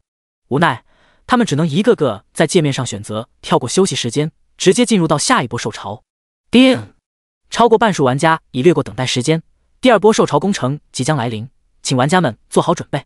十、九、八，随着倒计时结束，远处再次传来凶兽的嘶吼声，恐怖的嚎叫穿透漫天的黄沙，一阵阵利爪刨地的震动感，让所有人的心弦再次绷紧。城下的风景可不如城头那般一览无余，更别说黄沙实在是太多了，凭借他们少得可怜的经验。根本无法分辨出怪物的具体位置，他们吞咽了一口唾沫，全神贯注其中，丝毫不敢分心。下一秒，一只面目狰狞的蜥蜴凶兽就从黄沙之中奔袭而出。那个当面迎敌的女玩家，甚至连看怪物信息的机会都没有，下一刻就要被这只巨蜥的血盆大口一口咬断脖颈。就在他面露惊恐之际，一根熟悉的黑色锁链破开层层黄沙，径直刺入蜥蜴凶兽的脑部。暴击，一击必杀，秒杀的提示在怪物头上飘起。那位玩家一下子跌坐在地，裤裆都湿透了，一股尿骚味在空气中弥漫。可是周围没有玩家笑话他，如果被攻击的人是他们自己，估计也不会好到哪里去。那位女玩家稍稍呆了呆，然后对着从黄沙里走出来的林墨一边哭一边说道：“谢谢林哥，我爱死你了，林哥，太谢，滚上去！”话还未说完，就被林墨冷声打断。啊！玩家愣在了原地，不过林墨眼神没有再看他。而是对着附近的玩家说道：“被我救一次者上城墙。”第五十四章边境之地，猎神者的磨刀石。在听到林墨让自己回城头上，女玩家一开始还有些高兴，可是马上她就意识到不对。如果上城头，那岂不是杀不了怪物，还完不成任务目标？女玩家心中一沉，马上说道：“林林哥，我不用上去的，我我还能继续战斗，千万别赶我走啊，林哥！我刚刚才杀了不到十只怪物。”可是不管他如何求情。林墨只是淡淡的对着他说道：“不用了，死人无法战斗。”他瞬间就闭上了嘴，不知道说什么。没错，如果不是林墨救他，他已经是一个死人了。而林墨救他也不是真看上他了，只是完成任务村长的职责而已。女玩家一想到自己会被赶出这座刚刚融合完毕、前途无量的九百一十一区，就完全接受不了。尤其是在看到自己尿糊了一裤裆，羞耻感和愤怒瞬间涌上脑门。他当场就挠着头发，对着林墨发疯：“林墨，你太过分了！我可是女孩子，就不能让让我们吗？你那么强，带带我们怎么了？你看其他新手区的大佬，哪个不是带着手下的人一起？就只有你一直在苛求我们，我们到底犯了什么错？”他崩溃的大喊大叫。但是别说他，其他玩家心里或多或少会有同样的想法：林墨实力如此强悍，不过是运气好，有个好天赋罢了。那么强了，还那么抠，不把赚到的时间必分一点出来就算了。还给我们放贷，你以为公司老板啊？杀怪还有 KPI？林墨冷漠的看着地上崩溃大哭的女玩家，也扫了一圈附近沉默的玩家，心中却泛不起一丝波澜。即便经过这几天末日残酷的试炼，依旧还有这种巨婴思维。他不奇怪，前世这种蠢人也多不胜数。对这种迟早会死的人，林墨懒得解释太多，只是说道：“任务要求是存活率达到百分之五十，我不介意把你们杀光一半。”然后把剩下的一半捆到城头之上。当然，你们要是愿意一起自杀，那就更好。反正人死光，村长的任务就算失败了，村长职位也会落到我的头上。林墨还是第一次说这么多话，可是在场的玩家们并没有感觉到暖心，四肢更加冰凉起来。原来一开始林墨就没指望他们能够活下来，甚至没对他们抱任何期待。玩家们心中一阵凉意。刚好走过来看到这一幕的李明亮和江元基对视一眼，苦笑一声，然后他们没有多说什么，只是默默转身冲向兽巢，又开始厮杀起来。在林墨这边，想要不被淘汰很简单，完成他制定的目标即可。一百只怪物，说多不算多。李明亮和江元基眼见着已经快达成目标了，而听到他的话之后，那位发疯的女玩家表情僵硬在脸上，她还想多说什么，可是却被附近其他的玩家捂住了嘴，架起身体往后拖拽。闭嘴吧你！真想把我们全都害死啊！在林墨放出那近乎威胁的话语之后，玩家们终于清醒了过来。林墨是九百一十一区最强的玩家，没错，可是却从来不是他们的大腿。走吧，废物，赶紧滚上去，别耽误我们杀怪！滚滚滚！玩家们厌恶的说道。而那位巨婴女玩家至今都还不知道为什么林墨会那样说，为什么刚才看似还和他站在一起的队友们，此刻却调转矛头，直接针对他，而这一切。只源于一个简单的道理：末日之中，强者为尊，弱者只能任由命运摆布。而林墨挑选的这片土地，更是将这个道理展现的淋漓尽致。这是一座怪物盛宴的战场，现在是，未来更是。林墨懒得多做解释，调转过头，再次冲进兽巢之中，展开双臂的锁链，开启一场血腥的屠杀。而身后那些玩家把人送回城墙之后，也快速加入战斗，生怕落后一秒。多头巨蜥，等级。十一至二十，技能一多重攻击，二屏息，三警觉。战力评价一阶一星。凶兽的强度依旧不高，但是数量极多。而且就战力而言，虽然多头巨蜥和化柴都是一阶一星，可是前者皮糙肉厚，攻击形式多变，要比后者难对付不止一倍。除了林墨还保持着高水准的击杀速度，榜二榜三的李明亮和江元基都慢了下来。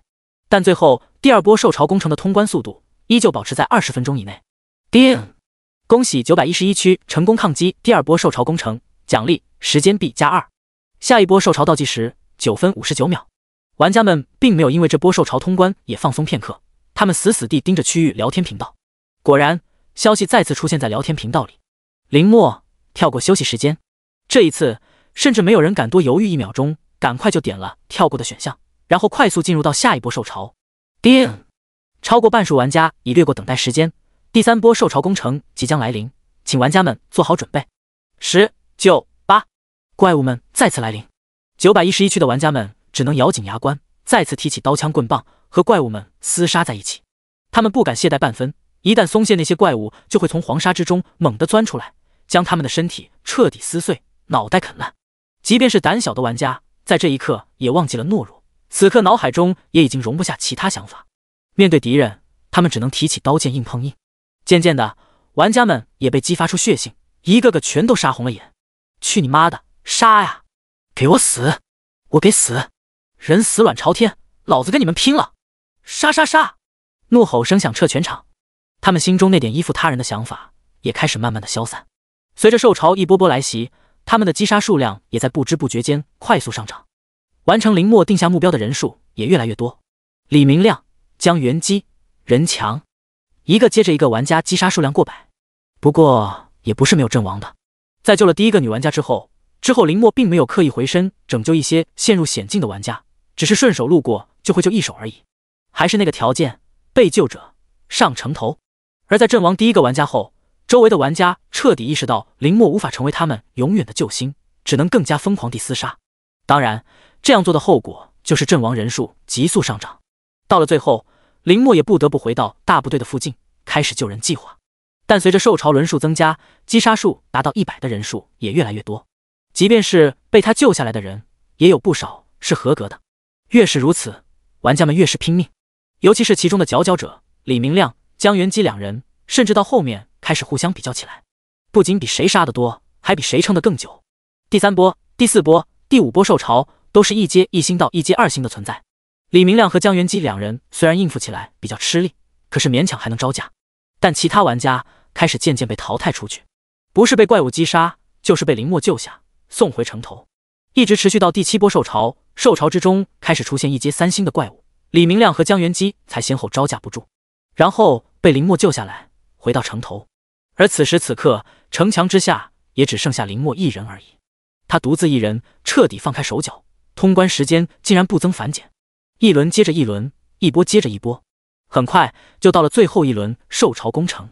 叮，超过半数玩家已略过等待时间，第十波受潮攻城即将来临，请玩家们做好准备。十九八，好！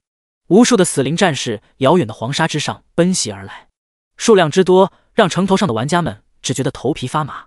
最关键的是，这支死灵大军和之前散乱不堪的兽潮完全不相同，远远看去就像是一支训练有素的军团，行令禁止，整齐划一。而战场的最后方还有一头体型超过三米的巨型牛头人骷髅，而城下的林墨似乎也利用极好的目力。穿透了无穷的黄沙，看到了无数的死灵战士，听着耳畔传来无数的怒吼声，林墨却闭上了眼睛，仿佛回到了前世的战场上。他之所以会挑选这片戈壁作为主城区所在的位置，是因为这里就是蓝星的边境地。在进入到万族大战之后，无数的强者赶往此处御敌，异族也好，凶兽也罢，源源不断。比起那些天空岛、深海地图，这里最不缺的就是怪物资源，杀之不尽，取之不竭。刚好可以成为他猎神者的磨刀石。感受着死灵战士越来越近的脚步声和怒吼声，林墨慢慢睁开了眼睛，看着数以千计的死灵逼近，他不退反进，向前踏出一步。下一刻，他身形笔直的朝着对面的大军冲了过去。狩猎锁定，死灵大军技能释放的一瞬间，数千只不知畏惧、不知疲惫的死灵战士竟然颤抖着身体，僵直在原地一瞬。虽然只有一秒钟不到的时间，可是由于数量太多。即便放在城头那些玩家的眼中，也异常明显。李明亮先是哎了一声，然后侧过头问道：“江元基，我是不是眼花了？怎么感觉兽潮卡了一下？”第五十五章，最后的兽潮，死灵军团，死灵战士，等级二十五至三十，技能一防护，二斩击，战力评价一阶二星，死灵法师，等级三十至三十五，技能一召唤骷髅，二鲜血迷雾。战力评价一阶三星，死灵牛头人 BOSS 等级四十，技能一巨斧斩击，二狂化，三提击，四顶撞。战力评价一阶四星，精英级。以上就是死灵兽潮的所有兵种类型，最低也是一阶二星的存在，最高是一阶四星的 BOSS。城头上的玩家们光是看到这数量觉得吓人，再看看战力评价，更是觉得口干舌燥，不寒而栗。经过刚才的受潮。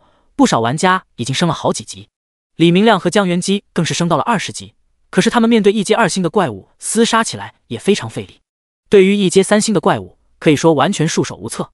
即便他们两人配合已经相当默契，可是两人联手竟然无法击败哪怕一只一阶三星的怪物。最后还是靠林墨出手救下了他们，最后得以回到城头。别看只有一星的差距，他们亲身体验过才知道这其中到底差了多少。更别提。那位手持巨斧的 BOSS 还是一阶四星的精英级 BOSS，到底有多强？他们不敢想。反正目前不是他们能够战胜的存在。但是打不赢，不妨碍他们看。李明亮和江元基看向城下在黄沙中疾驰的那道身影，速度之快超乎他们的想象。如果不是登高望远，他们的眼睛根本捕捉不到林墨的动作。快了，快了！不知为何，即便站在城头之上，李明亮心中也是一阵紧张。眼看着林墨距离死灵大军越来越近，忽然他一脚蹬地。然后直接冲入数十米高空，握拳在手，然后轰的一声，以凿阵之势直接撞入死灵军阵之中。周围数十只死灵战士在剧烈的撞击之下，直接被震得散架。暴击，一击必杀！暴击，一击必杀！战场上飘起一大片的秒杀提示。好，死灵战士们嘶吼一声，举起手中的刀剑，朝着林墨冲杀而来。而得手一击的林墨反而没有立刻展开攻势。而是仔细观察着周围的死灵战士。狩猎那句技能解释，原来不只是说明，还真可以震慑猎物。林墨嘴中喃喃道：“凭借他的眼力，自然看得出来，在这些死灵战士的攻势相对之前明显放缓一步。这不是因为神妖迟缓术之类的魔法技能，而是他们因为畏惧自己身体自然做出的反应。所以林墨自然而然想到了当初那句评价：当你锁定狩猎目标时，即便是对象是神明，也会为之颤抖。他似有明悟。”然后便快速收回思绪，畸变，林墨的黑色锁链再次探出，两根四根、六根还没有停止，一直到十二根锁链完全生长出来，锁链的末端也不再是尖刺，而是一颗颗小型流星锤。呼呼呼！下一刻，十二根锁链就开始虎虎生风的轮转起来，将试图靠近他的死灵战士锤了个稀巴烂。死灵战士和新手试炼的小骷髅虽然长相类似，可还是有些区别的，是一种更高级的亡灵兵种。后者走三步瘸一步，动作歪歪扭扭，不成样子；前者则是动作流畅，挥剑自如，甚至能够做到令行禁止，明显已经具备了一定的智慧。当然，对林墨来说都没有太大的区别，反正都是一锤一个小朋友。即便是一阶二星的死灵战士，身体在林墨的小流星锤之下，也如同薄纸一般，轻轻一扫过去，骨架就如同多米诺骨牌彻底散架，碎裂的骨头飞得满天都是，头部的灵魂之火也一个个熄灭。看得城头上的李明亮和江元基连连惊叹，他们对付起来极为吃力的一阶二星怪物，在林墨手中就跟一级的诺克一魔没什么区别，轻轻松松就倒了一整片。啧啧，不知道林哥的四维属性到底有多少？这攻击太吓人了，谁说不是呢？就算是我上去，估计也挨不了两下就得去世。江元基如此说道。李明亮上下瞄了他一眼，讥讽道：“你是不是太看得起自己了？你能和之前旗帜争夺战那些 A 级摔跤手比？”江元基，李明亮呵呵一笑，S 级以下，林哥估计就是一击的事情，也只有 S 级职业以上的玩家能够让林哥费一番手脚。要我说，林哥不比严国榜单上那十位 SSS 级强者弱。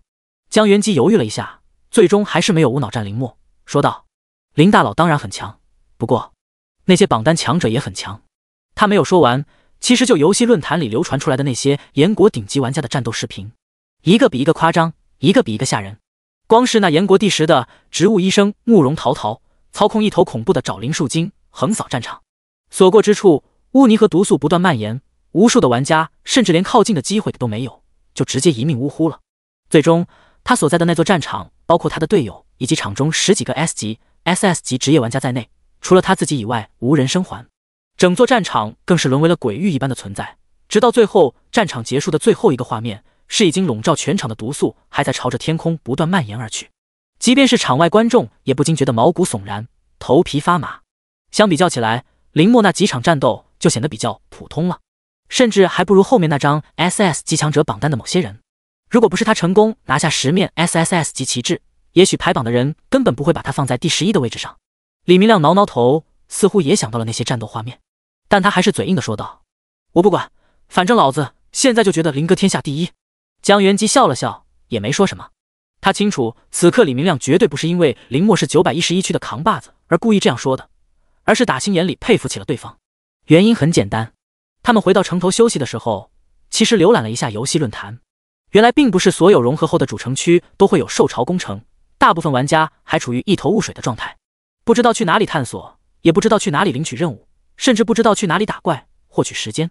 反观他们，只要能够活下来。回到城头上的玩家最少也是十几级了，李明亮和江元基更是达到了二十级以上，而且兜里还剩了一小笔时间币。当然，这只是摆在明面上的提升。除此之外，对他们来说最大的收获就是经历过这场势均力敌的生死厮杀后，对于职业技能和战斗的领悟直接上了一个档次，和其他区的普通玩家直接拉开了距离。这还只是一个开始而已。可以预见的是，只要他们不被林墨驱逐出九百一十一区，这样的战斗只会多。不会少，而他们的收益自然会远超其他区域的同阶玩家。他们不傻，清楚这一切的变化都是林墨带来的。李明亮看着远处正把死灵军团搅得天翻地覆的林墨，眯起眼睛说道：“坚持！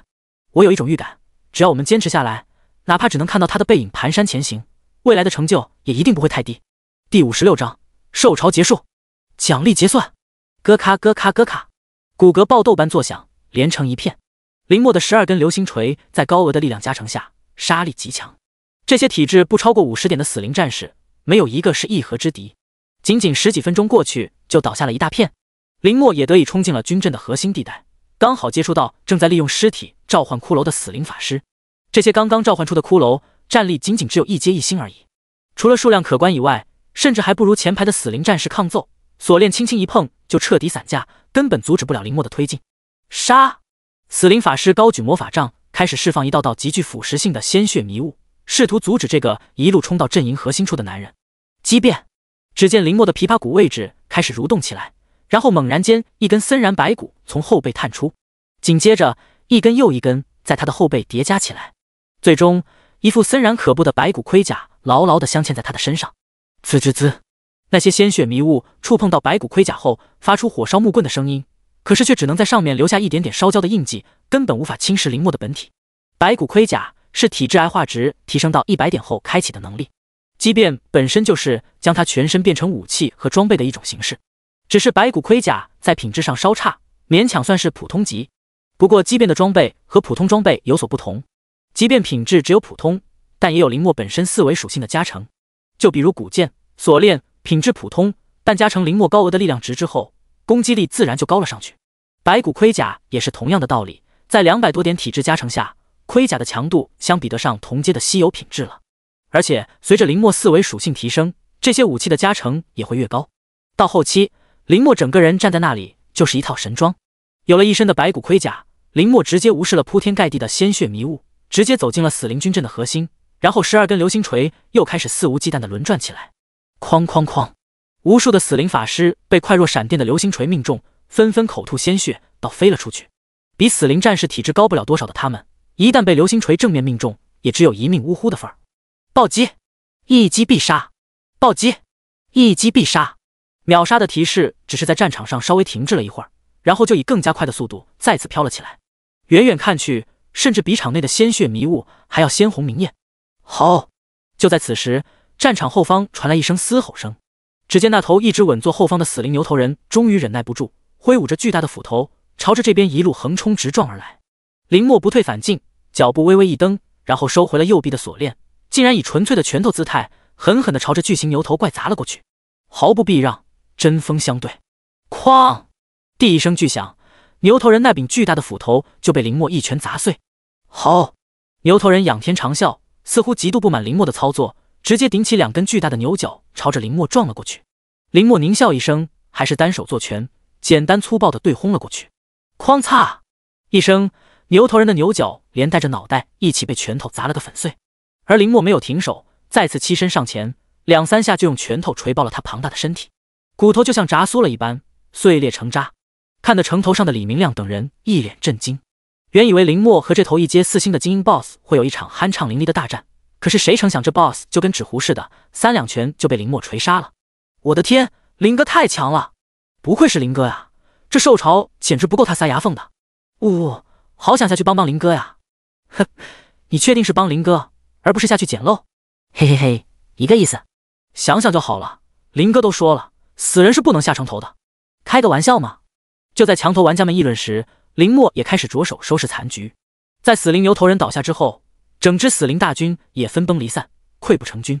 很快就被他抡起十二根小流星锤清扫一空。等到最后一只怪物倒下，系统公告也及时响起：九百一十一区公告，恭喜九百一十一区成功镇守主城，全体玩家获得奖励，时间 B 加十，白银宝箱 X 一。主城移动速度正百分之十，主城属性力量增幅正百分之十。九百一十一区公告：幸存玩家达到百分之九十二以上，恭喜玩家林墨完成村长的职责，获得九百一十一区村长职务。除了两个区域公告以外，林墨还接连收到不少提示。叮！恭喜完成支线任务：一、村长的职责奖励黄金宝箱 X 一村长头衔。叮！恭喜完成支线任务：二、战场的勇士，击杀怪物数量一万八千二百三十五只。排名第一，结算奖励黄金宝箱 X 一勇士头衔。叮！恭喜完成支线任务三，BOSS 的天敌击杀 BOSS 数量 X 十，结算奖励白银宝箱 X 十。叮！恭喜完成支线。一连多条提示响起，林墨的背包里也多了许多奖励。他没有第一时间查看奖励，而是探出锁链刺入牛头人的尸首之中。进化点加十，力量癌化值加十。除了两条提示以外，还有一条无限进化的提示。叮！吸收死灵牛头人完毕，无限进化，畸变武器强度。好消息是，无限进化时隔十几个小时，终于有了提示。坏消息是，死灵牛头人生命层次太低，无法给林墨提供太多的价值。即便武器的强度还是普通，没有因此的而升级到精良。林墨轻轻抖了抖身体，那副白骨盔甲撑开皮肤，慢慢往身体里回缩，还是太弱了。他喃喃道。不过林墨倒是丝毫不担心狩猎缺乏猎物。这所谓的受潮工程，本就是附近的异族部落对这座新建主城的一种示威。其中，这支死灵军团背后的死灵部落最为强大。到了后期，城墙之外就属这支死灵部落最让蓝星玩家感到棘手，主要是因为那位死灵军团背后真正的首领，在未来会是一尊极其恐怖的死灵王座，距离永恒境也仅差一线。这尊死灵王座会不断进化，给蓝星的边境造成了不小的麻烦。三天两头就是一场袭击，让蓝星玩家死伤无数。最后，还是在林墨的带领下，才成功击败那个几乎可以与永恒亡灵族媲美的死灵王座。林墨摸摸下巴，思索着。按照时间线推的话，那家伙现在的实力应该还处于低阶，是二阶还是三阶呢？想到这里，他的眼神之中闪过一丝明显的杀意。第五十七章，杀气最重，白骨长城，牛逼啊！宝箱一开，我又多了几十个币，哈哈，这一下又可以升级了。二十级，我来了！百米城头之上，九百一十一区的玩家们正在为获得的丰厚奖励而欢呼。融合了十座顶级资源地的九百一十一区果然很夸张。这主城开放才短短几个小时的时间，几乎每一个玩家除了通关受潮工程的奖励以外，都开出一笔数额不少的时间币。他们恨不得马上把这笔时间币投入到经验条之中。可是区域聊天频道再次发送了一条艾特全村人的消息：林墨村长记得还钱，艾特所有人。李明亮和江元基对视一笑，又是熟悉的味道。当时刚刚收到等级榜结算奖励时，就是这么被林墨直接压榨了。现在轮到其他接待的玩家了，不过被催着还钱的玩家们。没有了之前被坑的哭丧脸，他们之前最多也就借了两三个币，即便翻十倍还债，其实手中时间币还是有结余。哈哈，马上就转给您，林哥已经赚了，你对一下账。赚了赚了，他们还钱还的极为爽利，丝毫不拖泥带水。眨眼间，林墨的时间币又快速飙涨了数百币。林哥，你太强了，爱死你了，林哥。呜，我没达标，林哥，我能不能留下来？以后我赚到的时间币分你五成。我也是，我也是，求求你了，林哥！除了真心感谢林墨的玩家以外，还有一小撮没有完成任务目标的玩家，却借机跟林墨求情。他们刚才在城头上看过游戏论坛了，其他新手区根本就不配和他们九百一十一区比，要不就是几百人挤着抢一两只低级怪物，要不就是根本接不到任务，找不到怪物。更有甚者，在探索的过程中招惹了高阶的存在，现在整个村子的门口都被堵满了怪物，压根出都出不去，迟早耗尽所剩不多的时间。与等死无异。相比起来，九百一十一区的受潮工程虽然凶险，可是却有林墨坐镇，就算是实力普通的一阶玩家，也都捞到了不少的时间币。仅仅是开始这几个小时，他们就和其他村庄拉开了距离，一步先，步步先。长此以往，九百一十一区的玩家迟早成为人人羡慕的对象。他们可不想离开这个会下金蛋的金窝窝，撒泼打滚的在区域聊天频道哀求。可是，没等他们多说什么，区域公告的提示就传来。九百一十一区域公告：玩家罗阳被逐出九百一十一区。九百一十一区域公告：玩家玉雨石被逐出九百一十一区。九百一十一区域公告：玩家陆洋洋被逐出九百一十一区。随着十几条消息提示传来，一个个玩家的身影消失在了城头，回到了刚才休息的房间内。这些被驱逐出境的玩家可以自行选择其他愿意接纳他们的新手村。若是没有，他们自然就会在这间房间里等死。当然，相比起其他玩家来说，他们还是幸运的。起码手中有时间币，只要愿意付钱，相信找到一个能够接纳他们的新手村不难。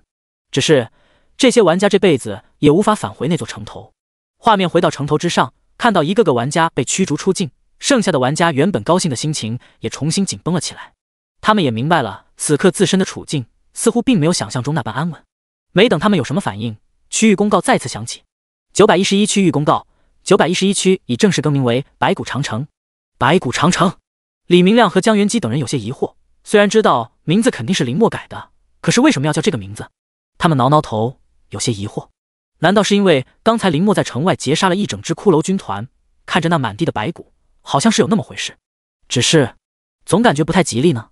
没等他们思索多久，忽然脚下的这座城头开始震动起来。咦？玩家们有些疑惑，但却不至于慌张，因为城头震动感比较轻微，没有地裂山崩的剧烈震动。片刻后。这种震动感就停了下来，玩家们有些疑惑，但只以为是一次震级不强的地震而已。此刻，所有人之中，只有远在城墙外的林墨看到了城墙震动的真正原因。那是因为整座百米城墙硬生生的往上拔高了几寸，又往外延伸了几分。对于百米高、数百米长的城墙来说，这点高度和宽度并不算多。但林墨知道，这只是一个开始而已。白骨长城可不是他随随便便取的名字。相比起其他炎国其他的顶级主城。这座白骨长城的城墙具有一个特殊的作用，那就是在这座城头迎敌击杀的敌人数量可以不断叠加起来，使得这座城头不断成长。换句话说，这座城墙就像是一件可以成长的武器，杀敌越多，杀气越重，越是牢固，越是高大。到了后期，即便是永恒族面对城墙这滔天的杀气，都不敢轻易越过城头，一旦越过，就会被杀气压胜，实力也会大打折扣。这一堵城墙就是蓝星最坚实的壁垒，没有之一。林墨看着升起来几寸的城墙，眉目如远山一般飞扬。这一次，他不仅要这座城墙再拔高千丈，还要那些永恒族王者都不敢轻易越过城头。管你什么永恒巨龙，还是永恒天翼种，见到城墙都给我老老实实的从天上坠下去。想上城头，用手爬。林墨的手臂重新化为锁链，快速的在战场上移动，榨干这些白骨最后一丁点价值。进化点。加零点一，加零点一，加零，加零点一，癌化值加零点一，加零点一，加零点一。提示不断刷新的同时，林墨又抽空看了一眼自己的系统界面上多出的村长选项，往下一滑就可以看到白骨长城的玩家名单：林墨、李明亮、江元基、任强、李飞。经过这一轮的测试以及淘汰，如今的新手村内就只剩下不到六十人了。相比起一座放眼整个蓝星都可以堪称顶级的新手村来说，这人数确实太少了，有一部分顶级新手村在完成村长任务后，就已经开始在游戏论坛里开始大肆的招人了。只要经过双方村长的同意，就可以像林墨淘汰刚才那些玩家一样进行换村的操作。但就在那些未来的圣地已经开始着手人才储备的时候，林墨却没有这个打算。起码目前而言，这座城墙不需要兵在精而不在多。林墨稍微操作了一下界面，然后就把村内管事的职务分配给了李明亮。又把行事的职务分配给了江元基，最后他给两人发送了私聊消息：以后每人每天必须上城头或者出城狩猎，每日狩猎数量不能低于一百只怪物，一个月以后翻倍，以此类推。每月按例缴纳时间币作为城建费用，第一个月三十个币，之后每个月涨幅百分之十。逾期未缴者和没有完成狩猎目标的，一律淘汰。当然，这两条规则对你们两人来说也一样。第五十八章永恒国度第二篇章大势之争。两条消息也可以相当于白骨长城最先发布的两条村规：杀敌和保护费。李明亮和江元基两人摸摸脑袋，暂时只能这样理解了。就目前看来，一个月三十个时间币的保护费似乎并不算多，只是在城墙御敌这件事却没有那么好完成。李明亮和江元基还好，勉强算是留有余力，但还有不少玩家都只是刚刚好过线。明天还能不能过线，就得看运气了。但这就是林墨制定的规则。李明亮和江元基可不敢跟他讨价还价，他们只能执行。所以此刻他们二人即便身兼职务，可是却没有半分开心，因为这两项工作无论哪一样都不太好执行。相比起来，李明亮稍微干脆了一点，直接就当着众人的面宣布了两条白骨长城的新村规。刚刚才有一批玩家被淘汰出去，此刻就算有人有点意见，却不敢多说什么，而且大部分人也没什么意见，甚至还开始吹捧起来。林哥就是林哥，这两条规矩一立。咱们白骨长城瞬间就像那么回事儿了。对啊，规矩立的好啊！我第一个月多交十个币，我说的。我也可以多交点钱。那个狩猎数量能不能稍微减点？呃，那你自己去跟林哥说。那就算了，我就那么一提，嘿嘿。李明亮对着江元基眨了眨眼睛，看吧，根本不需要我们操心什么。就林墨大佬目前的威慑力，还需要解释？江元基挠挠头，好像是这么回事。就在李明亮和江元基互换眼神之际。忽然，城头之上的天空猛然震动，紧接着便出现了一道道的金光大字。与此同时，所有玩家的耳畔也传来了世界公告：世界公告，蓝星区所有新手村已融合完毕，永恒国度蓝星区开启第二篇章大势之争。世界公告，蓝星区所有。世界公告重复了五遍，但城头上的九百一十一区玩家们还是没搞懂第二篇章到底是个什么东西。直到系统提示传入所有人耳中，叮。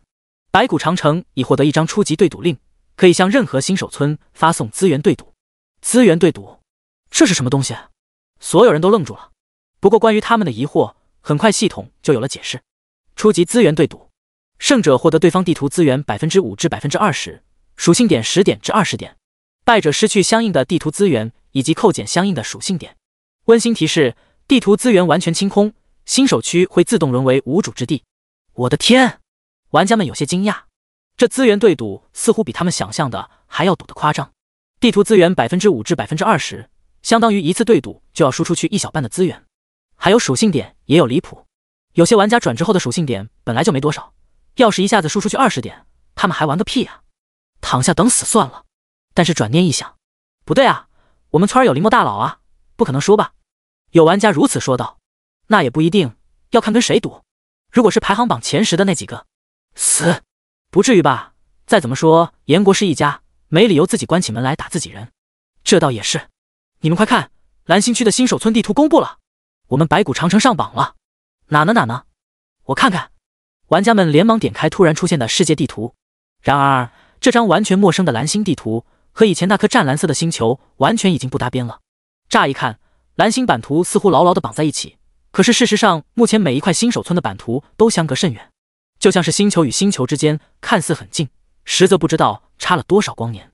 不过这些散乱不堪的地图之中，标记出数量不少的资源圣地，其中数量最多的是灯塔国，足足有十五座；其次就是炎国，有十一座；接着灰熊国十座，日耳曼十座，大英国九座，法兰西九座，樱花国九座，飞饼国八座。一国七座，被标红的顶级资源地，大大小小一共有五百座之多，但其中大部分都被掌握在二十个国区之中，而九百一十一区就是此时的白骨长城，也是其中之一，只是排名比较靠后，刚好卡在四百五十名的位置。看到这里，李明亮等人似乎猜想到了什么，脸上浮现出一丝苦笑。事实上，能够上榜的五百座顶级资源地，都是融合了十座 SSS 级的无主之地。至于为什么排名有先后？想来跟挑选主城区的位置是有关系的。当初他们就觉得这座荒漠里的废墟看上去不咋地，周围一眼看上去就知道是鸟不拉屎的地方。果不其然，白骨长城在五百座顶级资源地的位置非常靠后。当然，即便如此，也足够令无数玩家艳羡了。蓝星目前还存活几十亿玩家，可是能够享受顶级资源地的玩家只有不到百万之数。他们能够成为其中一员，可不是靠的什么实力，而是林墨这条粗壮的大腿。嘿嘿。白骨长城果然是好地方啊！就是就是，我可舍不得离开这里。哈哈，白骨长城可是香饽饽。不对啊，如果是这样的话，忽然有人反应了过来，然后更多的人神情有些慌张。果不其然，还没等到他们多说什么，无数条系统提示就在区域公告之中响了起来。区域公告：樱花国二十二号地向白骨长城发起对赌令挑战。区域公告：灯塔国幺二二号地向白骨长城发起对赌令挑战。区域公告。飞饼国幺四四五号地向白骨长城发起对赌令挑战。区域公告：大韩民国二十一号地向白骨长城发起对赌令挑战。区域一连数百条对赌令挑战赫然出现在所有人面前，惊得在场的众人下巴都快掉到地上了。刚刚就想到了会有人对他们发起对赌令，可是谁也没有想到他娘的会有这么多啊！而且对赌挑战的公告还在持续上涨，丝毫没有要停下来的意思。不过在场的玩家都没有资格接下这些挑战。只有城下那道只身孤立于荒漠的身影才有这个资格。怎么办？要不要问一问林大佬？李明亮有些担忧。虽然林墨很强，可是白骨长城就这么点人，真要接下这些对赌令，怕是很难应付得下来。而且可以预见的是，从现在开始，被架在五百座顶级资源圣地位置上的白骨长城不会再有安稳的日子了。江元基自然也无法做出决定，暂时算是白骨长城管事的两人只好发消息联系林墨，而城下的林墨。自然也看到了那无数条的对赌挑战，也收到李明亮他们的消息。他冷笑一声，说道：“怕什么？那就打呀！”第五十九章对赌令，成全你。大势之争篇章，也是蓝星区内斗最严重的篇章。对赌令是其中重要的一环。林墨对于这件事的态度并不是反对，相反，他比任何人都支持这种对赌。乱世自然要靠争斗才逐鹿群雄，登顶高位。进化之路也是如此。目前白骨长城虽然看上去范围很大，根本不像一个小村庄，不过在系统的定位里面，其实还属于村的范畴。如果想要从村升级到镇，还需要融合十座村庄；而从镇升级到真正的城，那就需要融合百座小镇。要想白骨长城变成真正的城池，那就需要不断的吞噬地图资源，不断的融合其他村庄或者城镇。所以林墨甚至都没有多想，直接伸出手，在公告之中顺手接下了对赌令。第一轮对赌令只能接一张，林墨挑选了一张对赌额度最高的对赌令。定，是否接受灯塔国四零五六号的对赌令？对赌内容：全村击杀怪物数量达到三万，最低一阶三星起。对赌额度：地图资源总额的百分之二十，属性点二十点。对赌的额度已经到了初级对赌令的最高限额。很显然，对面想要白骨长城的欲望已经达到了极限。林墨又是冷笑一声，想要给白骨长城送钱，我答应了。说完，他就伸出手点击了接受。区域公告：白骨长城已接下灯塔国四零五六号地海王之星对赌令，双方聊天频道临时开放，截止到对赌令结束。区域区域公告连续播放三遍之后，白骨长城的玩家们聊天频道忽然就涌入了无数的灯塔国账号。修士安琪罗，哈哈，愚蠢的燕国人，爸爸们来了！兰伯特、芜湖，在我们脚下跪着唱征服吧！菲利斯，头降输一半，要不你们还是先认输吧！克里琴斯、凯罗尔，区区炎国，拿下拿下！迈尔斯，东亚人都太瘦了，哪有我们灯塔国人强壮？戈德温盖，爱丽丝无敌！直到这些玩家涌入频道，李明亮等人才知道，原来发起对赌的不是其他人，而是旗帜争夺战里的老熟人。海神爱丽丝，卧槽，这不就是那个林哥的手下败将吗？手下败将还敢这么嚣张？哼，区区爱丽丝，咱们林哥一手一个。白骨长城的玩家自然也是不甘示弱，纷纷在频道里和这些灯塔国的玩家开始互喷。系统自带有翻译，即便是和异族之间的对话，也可以自行翻译成玩家们能够听懂的意思。所以语言不同并不影响双方在频道里互喷。等到对喷了好一阵子，正主爱丽丝才。在频道里出现，爱丽丝，哈哈，林墨呢？死哪去了？给本大爷滚出来！这话一出，李明亮等人岂能忍？于是又是一阵怒喷。卧槽，这家伙以为自己是谁呢？不会是忘了刚刚被林哥怎么暴揍了的吧？哼，我看他就是想死。你谁啊？你让林哥出来就出来。你算老几？就是配钥匙呢？配几把？爱丽丝懒得理会这些普通玩家，只是在聊天频道里疯狂艾特林墨。终于在千呼万唤之下，林墨回应了。林墨想死，简简单单两个字，却让白骨掌成城头的玩家们士气大振。哈哈，不愧是林哥，就是这么霸道，爱死你了，林哥！干他丫的，林哥！玩家们就像是找到主心骨似的，气势更加上涨了一些。反观灯塔国这边的玩家，在看到林墨真的出现后，反倒是消停了不少。就连屏幕那头的爱丽丝看到林墨名字出现的那一刻。脑海中不自觉地回想起在战场里被对方掏腰子的事情，忽然浑身一颤。咦？原本蹲在自己下面的金发美女疑惑道。爱丽丝烦躁地将其一脚蹬了出去，滚开！给老子弄痛了！金发美女被踢飞了三米远，口吐鲜血，可是却不敢露出半点怒色，只是默默的挪动身体退出了房间。爱丽丝眼中闪过一丝戾气，继续在频道上发送消息。爱丽丝，林墨，你别得意，也不看看这次的对赌内容是什么。看到他这样说，白骨长城的玩家们才反应过来，纷纷查看起对赌内容。啊，对赌内容是击杀三万只一阶三星的怪物。卧槽，这不公平！我们村才多少人？他们村子可是有一千多人，就是差了何止十倍！狗日的，爱丽丝不当人啊！玩家们纷纷骂道：“爱丽丝，别以为我不知道，你们九百一十一区只有几十人，拿什么和我们比？”果然，对方对他们的情况很了解。之所以提出这次的对赌，就是因为拿捏了白骨长城人数不多这点，而且最关键的是，爱丽丝跟林墨交过手，知道对方擅长近战，没有大范围的杀伤技能。相比较起来，爱丽丝在战场上杀的玩家人数都要远远超过林墨。所以，爱丽丝在看到自己领到的那张初级对赌令，对赌内容竟然是比击杀怪物的总数，她就已经觉得自己能赢了。起码在击杀效率这块，她是高于林墨的。其次，她带领的海王之星新手村人数。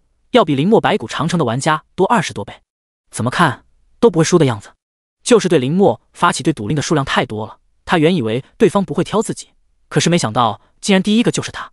哈哈，林墨，你拿到了十面 SSS 级旗帜又如何？还不是只有乖乖被我抢过来。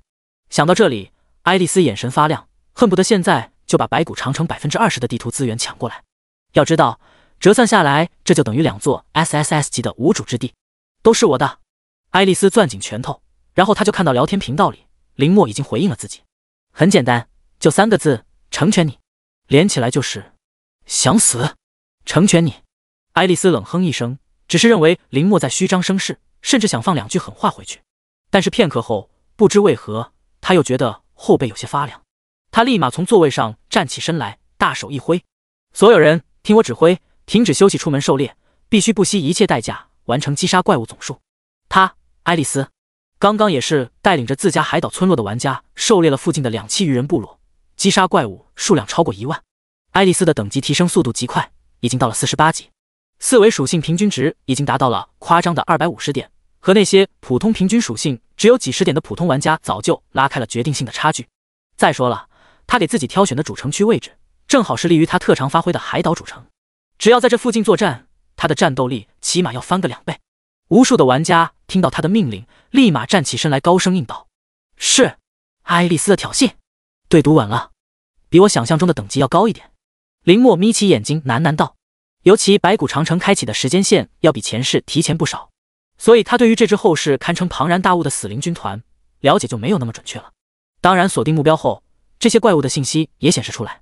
相对比较熟悉的死灵战士、死灵法师以及死灵牛头步兵等级都提升了不少。”最低的死灵战士等级也提升了十级左右，战力评价随之提升到一阶三星。死灵法师提升到一阶四星，死灵牛头人没有了 BOSS 的标签，可是战力评价不降反升，达到了一阶五星。除此之外，战场上的那一抹猩红也浮现出怪物信息：死灵血气，等级六十至七十，技能一饮血，二冲锋，三提击，战力评价一阶六星。暴龙血旗 BOSS 稀有级，等级。九十，技能一嗜血印记，二污血龙焰，战力评价一阶九星。抛开那尊战力达到一阶顶点的暴恐血旗不谈，死灵血旗的数量也不少，起码有上百只。至于其他怪物就更多了，加在一起数量超过一万有余，在附近的戈壁之中绝对称得上一方霸主。不过林墨知道，目前这支死灵军团的分部之一还处于最弱小的状态，随着主城的等级不断提升，这附近的怪物也会不断升级。最终成为白骨长城的隐患之一。林墨倒是没有马上动手，而是静静的等待，在山丘之上，双手自然垂落，目光看着对赌令的倒计时一秒一秒的临近开始。十九七一，随着倒计时结束，林墨往前轻轻踏出一步，整个人如自由落地一般从山丘之上坠落，然后在要落地之际，以拳捶地，发出轰的一声巨响，无数黄沙冲天而起。剧烈的声响吸引了不远处峡谷里死灵军团的注意力。嗯吼！死灵们朝着林墨发出恐怖的嚎叫，声音响彻峡谷，传至千米之外，让人不寒而栗。落地的林墨伸出手挠挠耳朵，不耐烦地说道：“吵死了！”话音一落，他整个人如同炮弹一般朝着天空弹射而起，然后在荒漠之中连续弹跳两三下，重重的砸入了死灵军阵之中。哐！一根流星锤样式的锁链扫中一只死灵战士。骷髅架瞬间散开，暴击，一击必杀，叮，时间币加一，四十级的死灵战士能够提供时间币已经达到一枚了。林墨嘴角微微扬起，很好，又是一笔进账。还没有完成狩猎，他已经将这支死灵军团视为囊中之物了。畸变，下一刻，十二根流星锤样式的锁链完全展开，吼吼吼！死灵们的怒吼声跌宕起伏，响彻峡谷。喊杀声和金属碰撞声不绝于耳，一场猝不及防的杀戮在峡谷中展开。与此同时，灯塔国的海王之心村庄也开启了一场浩浩荡荡的狩猎活动。哈哈，海浪潮汐，爱丽丝踩着一波波冲天巨浪，直接将一只只上岸厮杀的杀人冲得七零八落。芜湖，杀呀！冲冲冲！下面的玩家们看到机会，举起刀枪棍棒就冲了上去，一边将一只只残血的怪物收割。一边还不忘了吹彩虹屁，爱丽丝大人牛逼，爱丽丝大人无敌，爱死你了，爱丽丝大人！浑身赤果果的爱丽丝仰天大笑，又驾驭起浪头，继续冲刷杀人群，让新手村的其他玩家在他胯下持续输出。一波波浪潮在超过两百多点的精神力加成下，对于这些一阶三星的杀人来说，绝对是致命的打击。即便只是浪头冲刷一遍，大部分杀人也被打得半死不活。对于下面那些实力稍显不济的玩家来说，纯粹就是躺着捡漏而已，哈哈，太爽了！我又捡了一颗头，我来了，时间币！呜，感谢上帝的馈赠，感谢你妹的上帝，感谢爱丽丝！玩家们欣喜若狂，由爱丽丝来压低血量，打残杀人，剩下的玩家们就快速收割。对于双方而言，操作都相对简单，也不需要有多默契的配合，但狩猎效率速度却不慢，相反还是比较快的。对赌令才刚刚开始没一会儿，狩猎数量。就已经超过一百了，并且还在快速上涨。哈哈，这才十分钟不到，这么快就一百三十只了。爱丽丝看向村长的界面，上面显示了一阶三星怪物的击杀数量。她脸上露出满意的笑容，这效率杠杠的。不过，唯一可惜的是看不到九百一十一区的击杀数量。即便如此，爱丽丝也对自己新手区的狩猎效率十分满意。她可是发动了所有的玩家，整整一千多人都加入到这场狩猎行动之中。那个更名为白骨长城这个鬼名字的炎国九百一十一区，只有区区六十人而已。你林墨再强又如何？怎么填上这一千多人的空缺？能打是一回事，但人力上的差距又是另一回事。否则的话。爱丽丝也不会把这些怪物的人头让给手底下的这些玩家，当然也不是真的全部让出去。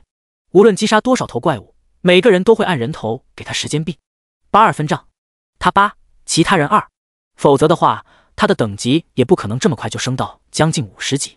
当然，要是谁敢当面问他凭什么，那就是一个海浪直接拍死。一面 SS 级旗帜，还有一面 SSS 级旗帜，可都是他从林墨那狗贼手中拼死夺回来的。嗨嗨，好歹最后放了一句狠话，勉强可以这么说吧。爱丽丝咳嗽一声，忽然她像是想到了什么，嘿嘿一笑，直接打开白骨长城的区域聊天频道，把对赌令上的击杀数字发送了过去。爱丽丝所有人，黄皮猴子们，快来看本大爷的战绩！图片点 JPG。爱丽丝怎么样？怕了没？是不是已经后悔接下对赌令了？当然，迎接他的是无数的脏话。爱丽丝不怒反笑，心中一片了然。如果对方的击杀数量高于自己，又怎么会任由自己在频道里叫嚣？肯定会亮出击杀数量的截图。但是没有，频道里除了谩骂以外，什么都没有，连一句像样的反驳都没有。爱丽丝嗅到了一丝色厉内荏的味道，所以这场对赌稳了。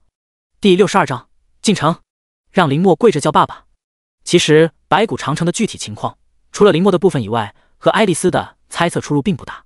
李明亮和江元基带领着玩家出门狩猎。运气非常好，出门就遇到了一群一阶三星的兽群。沙漠里的战蜥，数量大概在十几只左右，不算多。可是就这点数量的凶兽群，就让李明亮等人如临大敌。饶是李明亮和江源积费尽功夫，才保证队友们一个不死的撤离出战斗范围。最终的战绩击杀了一只一阶三星，但李明亮和江元基两人血量大残，最后还是带着人回到城门附近，这些战蜥才停止了追击。完全可以用出师未捷身先死来形容。还没有开始，所有人都残血了。他娘的，我们就这么弱吗？李明亮用力地捶打着地面，眼神里充满了不甘。江元基和其他玩家的神情也没有好到哪里去。原来没有林哥，我们真的就是废物。呜呜，给林哥拖后腿了。我们就是废物。城头的氛围很是低迷，大家都有想到，在一阶三星的兽群面前，他们如此的不堪一击。其实就白骨长城的这些玩家而言，起点已经要比其他新手村的玩家好很多了，主城才融合没几个小时的时间，他们大部分都升到了二十级左右。如果安排得当，对抗一阶一星和一阶二星的小型兽群没什么问题。换做其他新手村的玩家，只要没有 A 级或者 A 级以上的职业者，想要越级对抗一阶三星的怪物，简直就是痴人说梦。而且现在大部分的新手村还在满地图找怪，哪像他们出门就能够碰上一阶三星的兽群？不过怪物资源多是好事，也是坏事。起码对于现在李明亮等人来说，不算是好事情。怎么办？那边数量都破百了，我们才击杀了一只。有人焦急的说道。还能怎么办？只能相信林哥了。也不知道林哥那边情况怎么样了。可是那边可是有一千多名玩家，又不是在擂台上分生死，比的是狩猎怪物的数量。林哥一个人怎么比？要不我们再去试试？得了吧，就是把你命赔在那里，也宰不了一只一阶三星的怪物。所有人都唉声叹气，觉得前路迷茫。甚至有人在想，不接受对赌不就好了，不就没有这些事情了吗？只是对赌令，即便是不接海王之心，也必须接受其他村落的，一周必须接一次，这是规则。他们村庄人数太少，即便是换一个对赌内容，也未必能够稳操胜券。就在这时，爱丽丝就发来一张截图。爱丽丝，哈哈，炎国的孙子们，海王之心已经击杀两百三十多只一阶三星怪物了，你们怎么说？图片点 JPG，爱丽丝。干脆投降算了吧，哈哈哈！下面还跟着一群灯塔国玩家嘲笑，哈哈！不愧是爱丽丝大人，黄皮猴子就是不行，哪有我们白种人强大？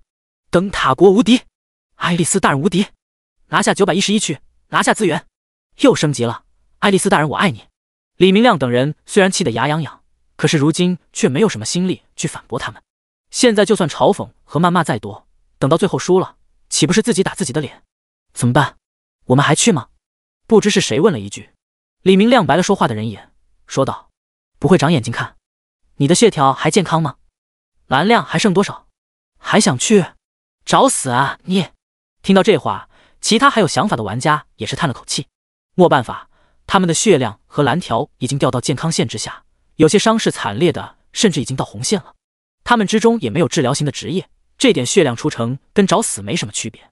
片刻后，有人摸摸下巴，思索道：“既然出不了城，”那我们要不进城里探索一下？这话倒是引起不少人的注意，就连被灯塔国玩家言论气得火冒三丈的李明亮都回过神来。对啊，主城融合了这么久，他们至今只在城头上待过，还没有到城内搜寻过。可以啊，万一城内有治疗药剂什么的呢？对，要是血量能够恢复正常，我们也能够重新杀回去啊。有道理啊。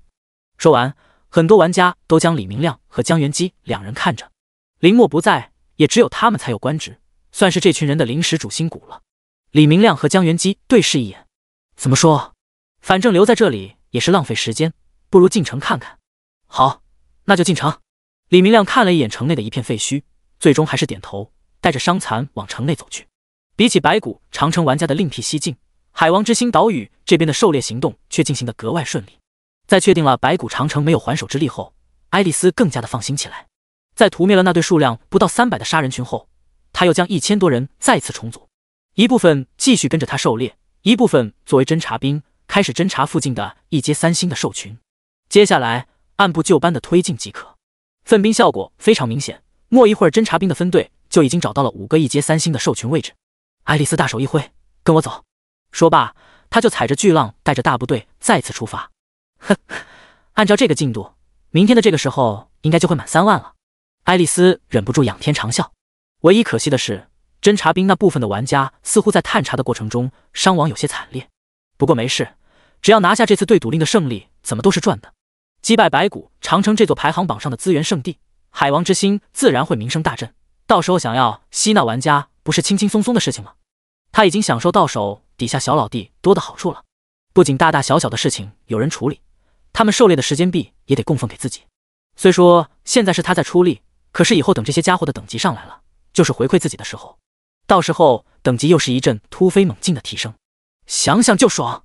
然后等到下一次对赌令的时候，就继续挑衅林墨，把白骨长城的资源全部都抢回来。不对，不是抢，是拿回来。本来就是这家伙从我手上抢过去的东西。想到这里，爱丽丝又是一阵牙痒痒，手不自觉地摸摸已经恢复如初的后腰子。你等着，林墨，迟早有一天让你跪在地上叫爸爸。爱丽丝冷哼一声道：“第六十三章。”冲阵！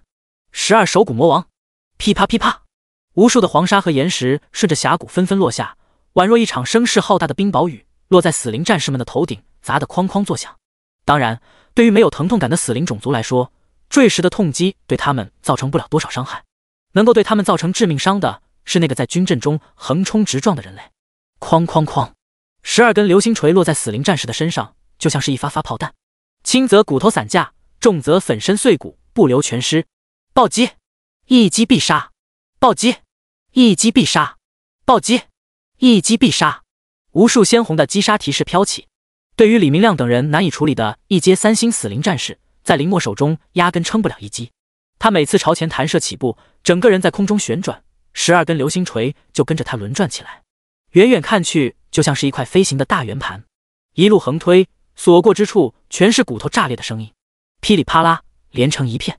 等到他落地之际，周围死伤的死灵战士不下一百之数。如此反复三两下，击杀的数量就已经超过了海王之星击杀一阶三星的怪物总数。只不过林墨没有注意聊天频道，或许就算看到了，也不会搭理爱丽丝。对他而言，这场对赌就没有输的可能性，一丁点都没有。至于为什么，原因在只有林墨可以看到的对赌令信息那栏，一阶三星击杀数量三千八百六十四，差了何止十倍。而这也仅仅只是开始而已。战场上的死灵战士陆陆续续已经阵亡的差不多，后方的死灵法师以及死灵牛头步兵开始慢慢加入战场，就连后面那抹猩红也开始蠢蠢欲动。虽然对赌令标注的是击杀一阶三星怪物，但只要是一阶三星的以上的怪物都快计入总数之中。同阶四星怪物当做两只三星的怪物，同理五星怪物又当做两只四星的怪物，以此类推。只要林墨将这支死灵军团完全清空。就可以轻松达到对赌令对赌的击杀数量。哐哐哐，又是一次起跳弹射，大圆盘再次撞碎上百只死灵战士的身板，骨头漫天飞舞，散落一地。林墨重重落地后，周围已经出现了一大片的真空地带。他抬起头，朝着不远处死灵军团后方的阵营看去，只见那些缩在后方的高星死灵兵种似乎还没有出动的迹象。林墨眉间闪过一丝不耐烦，随后冷笑一声：“既然你们不过来，那我就去找你们。”言罢，他的双脚开始快速扭曲变形。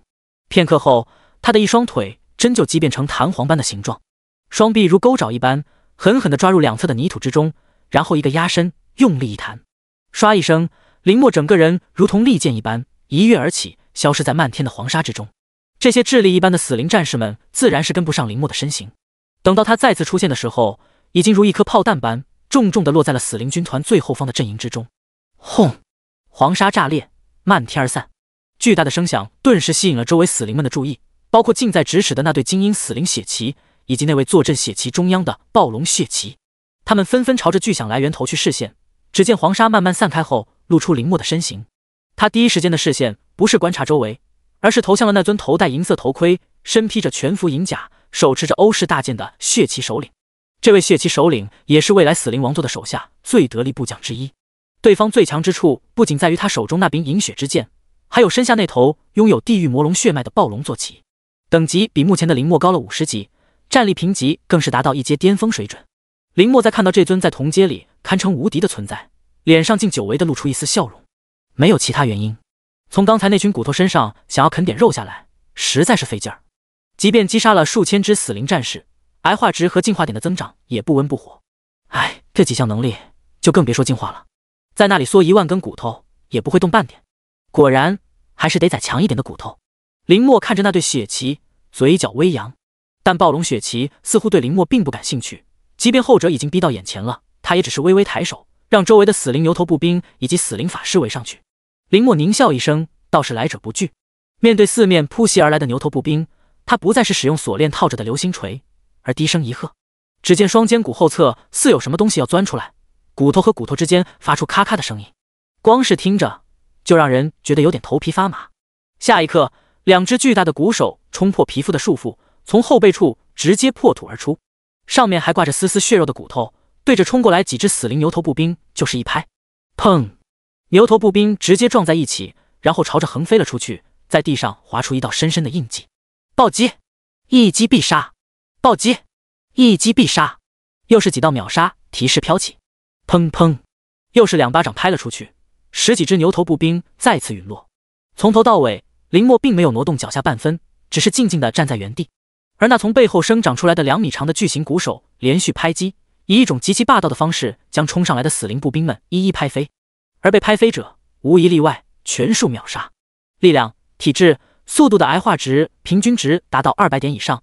畸变的形态也变得多种多样。比起古剑、锁链这些普通冷兵器形态，其实鼓手才是林墨前世的招牌攻击方式。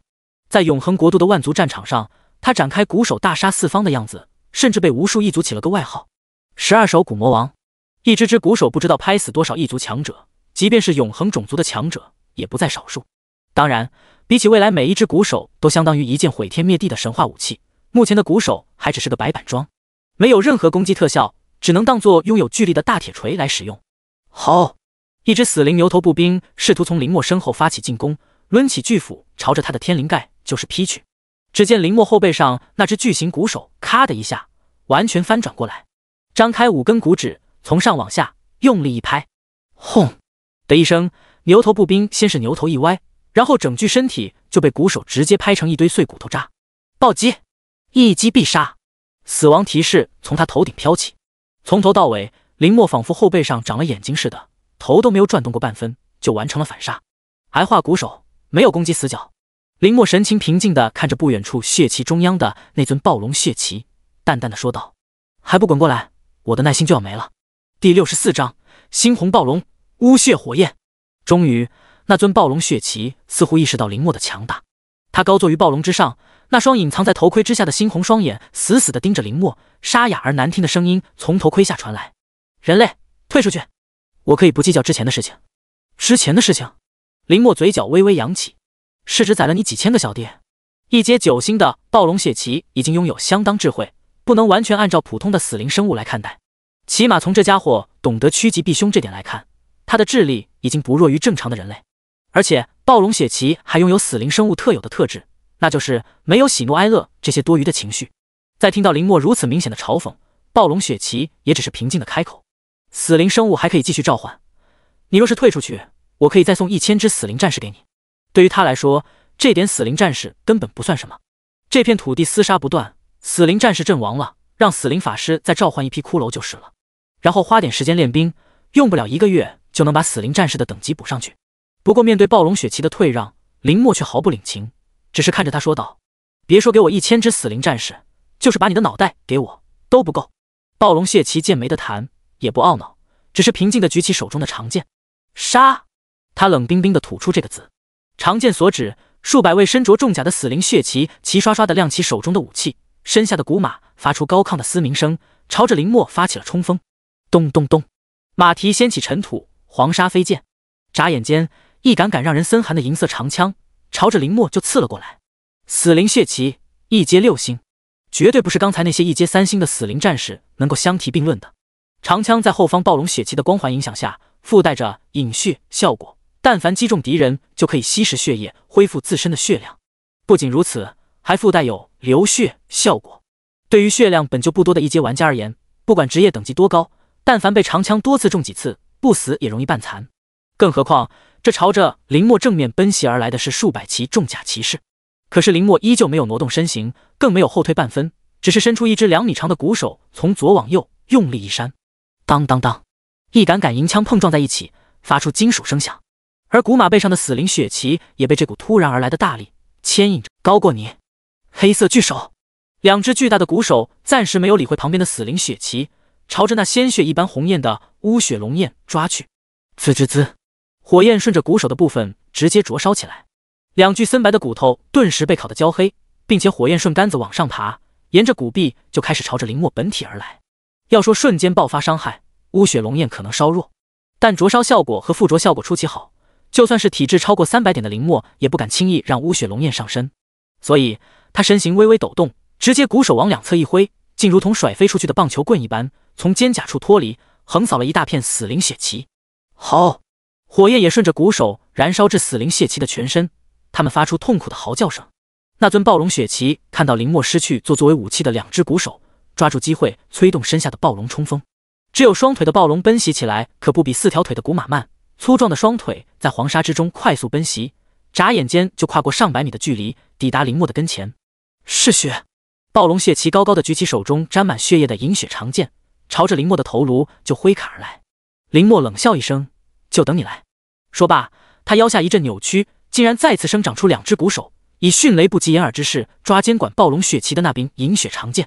当，银血长剑杀力十足，顺着骨指缝一路往下劈砍。原本能够将死灵血气拍死的鼓手，在这柄古剑之下，似乎显得极其脆弱，整只手掌就要被竖着分为两半，然后再顺着缝隙砍到林墨头颅上。但后者对此似乎早有预料，另一只鼓手没有进行防御，反而径直往暴龙血气的面门抓去。好，坐下，暴龙嘶吼一声，张开血盆大口，就想咬住那只巨大的鼓手。有你什么事？滚开！林墨冷哼一声，右脚如鞭子一般甩了过去。直接把暴龙的大脑袋踢得打偏，刚好错过鼓手的攻击路径。雪骑士见状，也只能收剑回防。银血长剑瞬间从骨缝之中抽离，轻松回挡，将林墨另一只鼓手也砍了个半烂。这一切都发生在电光火石之间，只是短暂的交手后，双方又撤开一段距离。林墨刚刚生长出来的两只鼓手都吊着半截骨头，只差一点点就被完全削成两半。无限增值！林墨低喝一声。只见血红色的经脉就如同一根根蠕动的丝线一般，将一节节森然白骨的缝隙缠绕在一起。很快，两只差点烂掉的骨手就被修复如初。第一次交锋，林墨吃了一个不大不小的亏。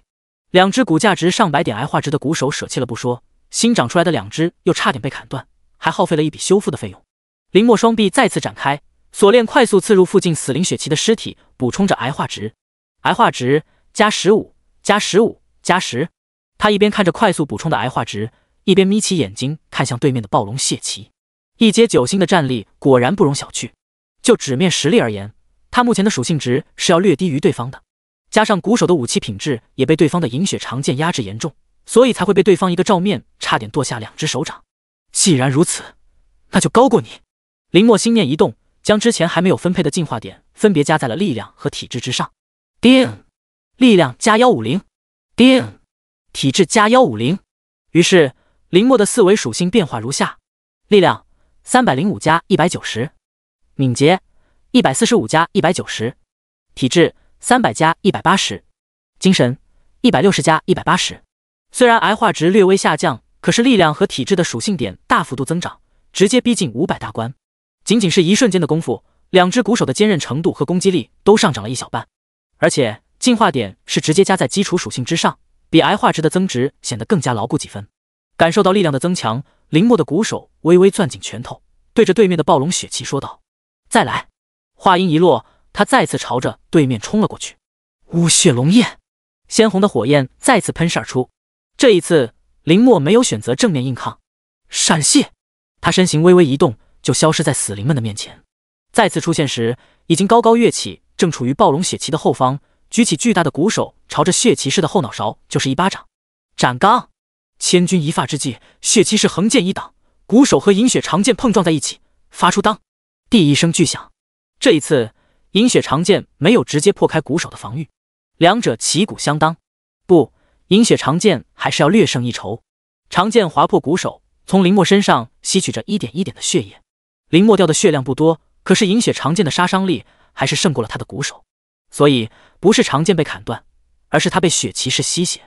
呵呵，林墨眼神微凝，对此早有预料，自有另一只鼓手从而至下拍击而来。血骑士闷哼一声，双手持剑用力一顶。再次挥向另一只鼓手，当，又是一声响彻峡谷的清脆剑鸣。紧接着，林墨落地暴龙之下，以鼓手作剑，与血骑士一柄银血长剑正面对砍。当当当当，一时间火花四射，碰撞声不绝于耳。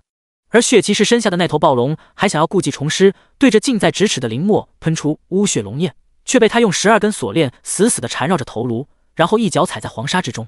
暴龙头晕目眩，暂时无法得以动弹。一阶八星与九星只差一星，却难以插手林墨和血骑士之间的战斗，更别提周围那些一阶六星的死灵血骑。但凡不小心靠近附近，就会沦为林墨补充癌化值的营养品。长剑和鼓手的交锋并不简单的互砍，比起林墨之前和那头米诺陶洛斯幼崽简单粗暴的对攻，与血骑士的对战更像是高手之间的过招，一次次进攻都是别有心机的试探。血骑士的战斗经验不可谓不丰厚，只是血骑士却越打越疑惑。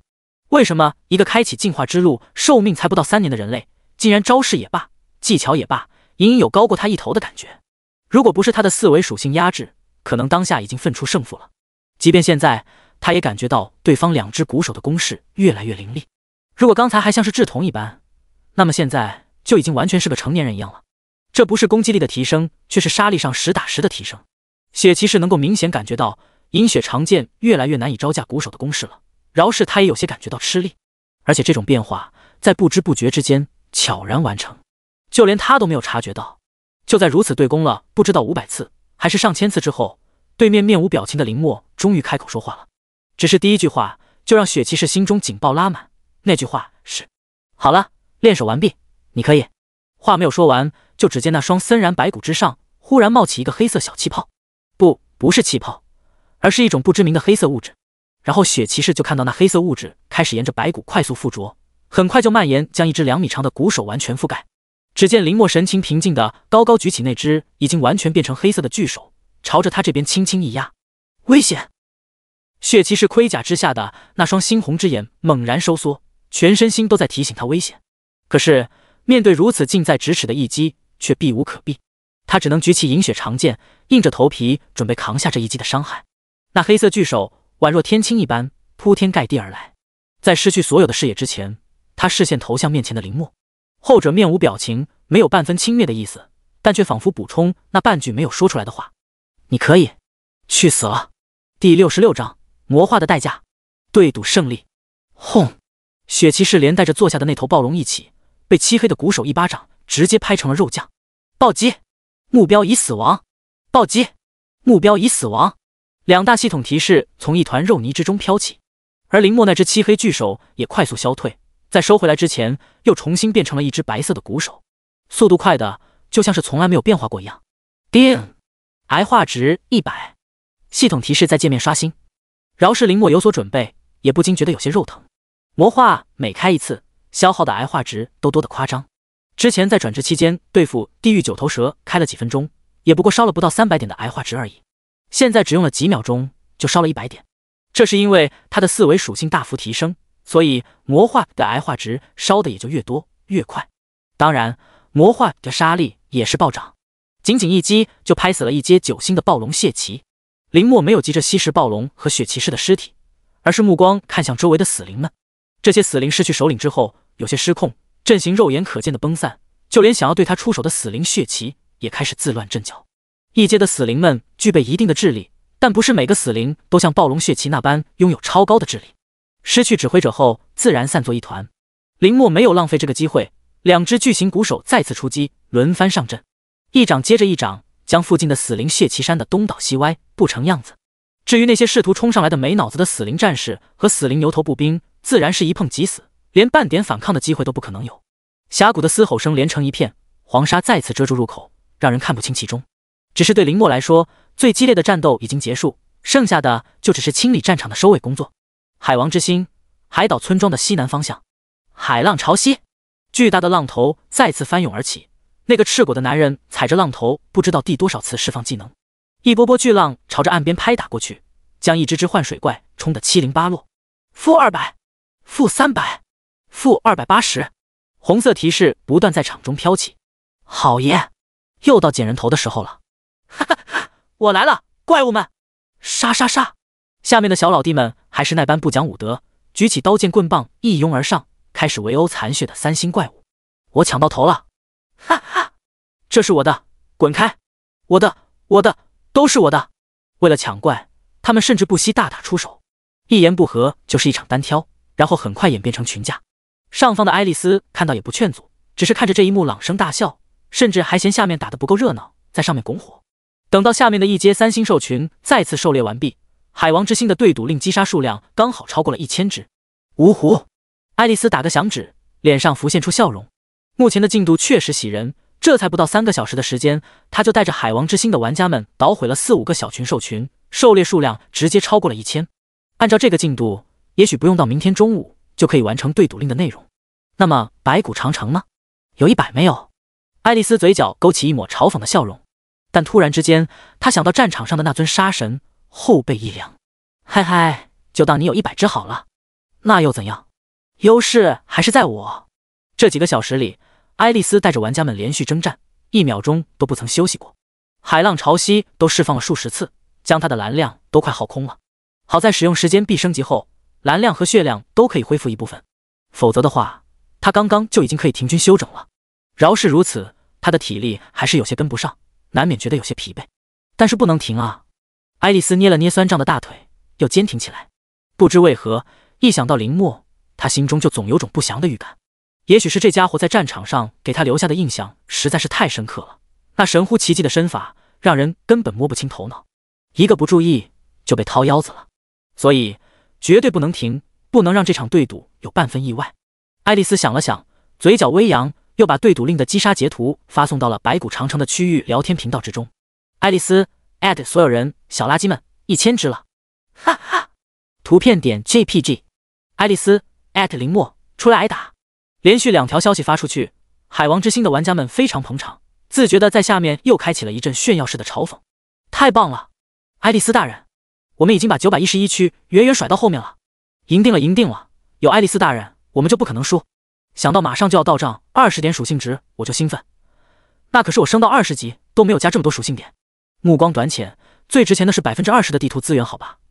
那可是世界前五百的资源圣地。只要到时候，到时候时间币装备都不愁了。就是就是，今天抢完这座，明天去抢白夜的，把好东西全都抢过来。燕国那群黄皮猴子们也配享受这么好的资源？爱丽丝大人，我太崇拜您了，我是您的所有物，请尽情享用我吧。正在城内搜寻的李明亮等人看到聊天频道这些消息，气得牙痒痒。这些海王之心的玩家完全已经将对赌的资源和属性点视作囊中之物，这些家伙实在是欺人太甚了。江元基将手中的长枪用力一杵，嘴角却溢出一丝鲜血，很明显伤势还没有得到有效的缓解。李明亮白了他一眼，说道：“你快消停点，本来血量就快见底了，多来两下你就可以彻底闭眼了。”说到这里，他扫了一眼聊天频道的消息，叹了口气：“习惯就好，估计到对赌令结束之前，这群家伙会一直这样。”江元基咬着牙说道：“我们还是太废。”好了，这话说过几遍就行了，烦不烦人？李明亮烦躁的说道：“再说了，你说这么多有什么用？还不如多想想怎么这座荒废的治疗阵怎么重新运转。”李明亮和江元基带着剩余的玩家进城，没走多远就找到了位于城门口附近的治疗魔法阵，而且还不止一座，大大小小总数有十座治疗魔法阵。一开始他们还很惊喜，只是惊喜过后才发现这些魔法阵似乎处于荒废状态。至于怎么重新启用，他们还没有头绪。即便把这附近搜了个遍，也没找到开启魔法阵的开关或者线索。你说这上面显示的数字到底是什么东西？李明亮摸着下巴思忖着。治疗魔法阵的上面标记着一串数字零一千。江元基摇摇头，其他玩家也是一脸懵逼。李明亮抠破脑袋也想不清，最后极其烦躁的说道：“M.D，你们就不能动动脑子吗？如果对赌令真的输了，被林哥赶出白骨长城是小事。”但这也算是我们炎国的地盘，输给灯塔国算是怎么回事？江元基等人听到这话，也是攥紧手心，实在难以想象白骨长城会丢掉百分之二十的地图资源。他们此刻只懊悔自己的实力不足，不能帮到林墨哪怕一丁点的忙。一只一阶三星的怪物，这战绩都不好意思说出去。就在白骨长城玩家们唉声叹息之际，忽然一道公告骤然在白骨长城的上空乍现：区域公告，白骨长城一阶三星怪物数量已超过三万。白骨长城与海王之心对赌令宣告结束，由白骨长城获得对赌胜利。区域公告：白骨长城。连续三遍区域公告后，李明亮等人先是一愣，随后又听到耳边系统提示响起：“叮，恭喜白骨长城获得对赌令胜利，奖励地图资源扩充百分之二，全体玩家属性点加二十。”第六十七章：淹没的海岛和拔高的山丘。啊！李明亮等人先是愣了愣，随后有个玩家瞪大眼睛说了一句：“卧槽！”林哥完成任务了，这句话直接惊醒了众人。什么情况？我们赢了！林哥一个人宰了三万只一阶三星的怪物，这这也太离谱！他妈给离谱开门，离谱到家了！我没看错吧？我个人面板里真的多了二十点属性值？没有没有，我刚看到你身上有一阵白光闪过，就跟升级了似的。操，你也有？哇呜！我的属性点翻倍了，好爽啊！哈哈，现在给我来一头一阶三星的怪物！我感觉能赢，林哥牛逼！我们赢了，你们快看，地图上的绿点和红点变多了。艾特爱丽丝，滚出来挨打！芜湖，海王之心的人都滚出来说话！怎么不继续跳了？众人纷纷查看起地图，只见那代表着怪物的红绿点真的肉眼可见的增多了不少。不仅如此，他们隐隐感觉面前的这座白骨长城似乎变高了一点，又变宽了一点。远处黄沙之中的山丘似乎也拔高了几寸，也不知道是不是错觉。不管如何，他们赢了，好梦话，我是不是在做梦啊？李明亮挠挠头，觉得眼前的一切都不太真实，实在是太快了。即便他们对林墨其实抱有一点希望，可是也没有想过对方可以三个小时内就完成了任务，这速度着实离谱了。那不是三百只一阶三星，而是三万，就算是一秒钟宰一只，那也需要八九个小时的时间吧？而且还是在怪物充足，并且中间不休息、不间断的情况下。李明亮不知道的是。林墨确实是一秒一只怪物，只不过击杀的怪物数量不是三万，而是一万只数。质量上，这一万只怪物却比三万只一阶三星的怪物还要高。林哥，这强的过分了！李明亮脸上露出笑容，只觉得刚才胸中那股憋闷之气全都吐了出来，取而代之的是无比的畅快。江元基等人也是恨不得马上点开区域聊天频道嘲讽回去。相比起他们的皆大欢喜，海王之心在收到对赌令失败的消息后，所有玩家都蒙圈了，而且。还没有等他们反应过来，就看见岛屿附近的海水猛地掀起数十丈的浪潮，然后朝着他们扑打而来，转瞬之间就淹没岸边，然后不断往内部冲刷着。树木、山石、怪物，顷刻间被浪潮覆灭，地图上大把大把资源骤然间就消失不见了。等到他们反应过来时，整座宽阔的岛屿已经被海水沉没了百分之二十的土壤，不多一分，不少一寸，甚至不少正在岸边搜寻的玩家都遭了殃。被翻涌的海水直接裹挟着卷了起来，运气好点的还能够游到岸边，运气差点的被卷入深海，直接去世。站在浪头上的爱丽丝，就算被海浪裹挟，也不会有半点事情。只是她现在的心情就像坐过山车一样，刚刚明明还是直入云霄的快感，现在就跟跌入地狱一般，心瓦凉瓦凉的。白骨长城已经完成对赌令内容了，这怎么可能？我们才击杀了一千只左右的一阶三星怪物，他就完成了三万只的数量，这家伙作弊了吧？爱丽丝的想法也不是没道理的，起码现在海王之心的玩家们哀嚎遍野，也是不敢置信他们竟然会输。我的上帝啊！我的妻子被海水卷走了，谁来救救她？我们才狩猎一千只，他们就满三万了，作弊，一定是作弊，没错，就是作弊，这不公平。可恶！我的武器被海水卷走了，那可是我花了十个时间币买的呀！呜呜，我的装备也都掉了，好不容易才又回来，完了完了，属性点暴跌，直接扣了二十点！卧槽，我的属性点都快扣成负的了，怎么办啊？白升级了，属性点全他妈扣完了！F X X K，是谁发起的对赌令？是谁说的一定能赢？还我属性点，老子十级的属性点啊，全都搭进去了！该死，爱丽丝，你发起什么对赌令？我们的属性点啊！这下海王之心的玩家们彻底崩溃了。不仅岛屿被海水淹没了不少，就连他们的属性点也全都亏了进去。要知道，大部分的普通玩家二十点属性值，各战区的反应，魔化的攻击特效。虽说各个国区的游戏论坛暂时无法相通，可是经过之前短暂的世界聊天频道开通，不少玩家私底下都加了联系方式。如此一来，就算是游戏论坛互不相通，但一些小道消息还是流通的。尤其是关于最近的热门话题——资源圣地一事，世界五百座顶级资源圣地，有一部分地区已经接下了对赌令，有一部分却还在观望之中。反正一周一次，只要在限定时间内接受对赌令，就不算违反规则。而且实在不想接对赌令，还可以对其他地区发起对赌令，也算是合理利用规则。但能够如此迅速的就决出胜负的，白骨长城和海王之心的对赌绝对算头一份。这才几个小时啊！除非实力相差悬殊，否则的话，一张有分量的对赌令怎么可能这么快就决出胜负？白骨长城是炎国目前的第十一人，在旗帜争夺战之中击败了一众异国强者，而海王之心的海神爱丽丝其实也不弱，在 SS 级职业玩家之中算得上第一档，战法双修，实力高强，毋庸置疑。虽然之前在与林墨的争斗之中惨败，可是对赌令的内容对海王之心来说优势很大，甚至在林墨接下这张对赌令后。很多国区的论坛都讨论过，认为林墨太过自大。谁知道白骨长城竟然赢了？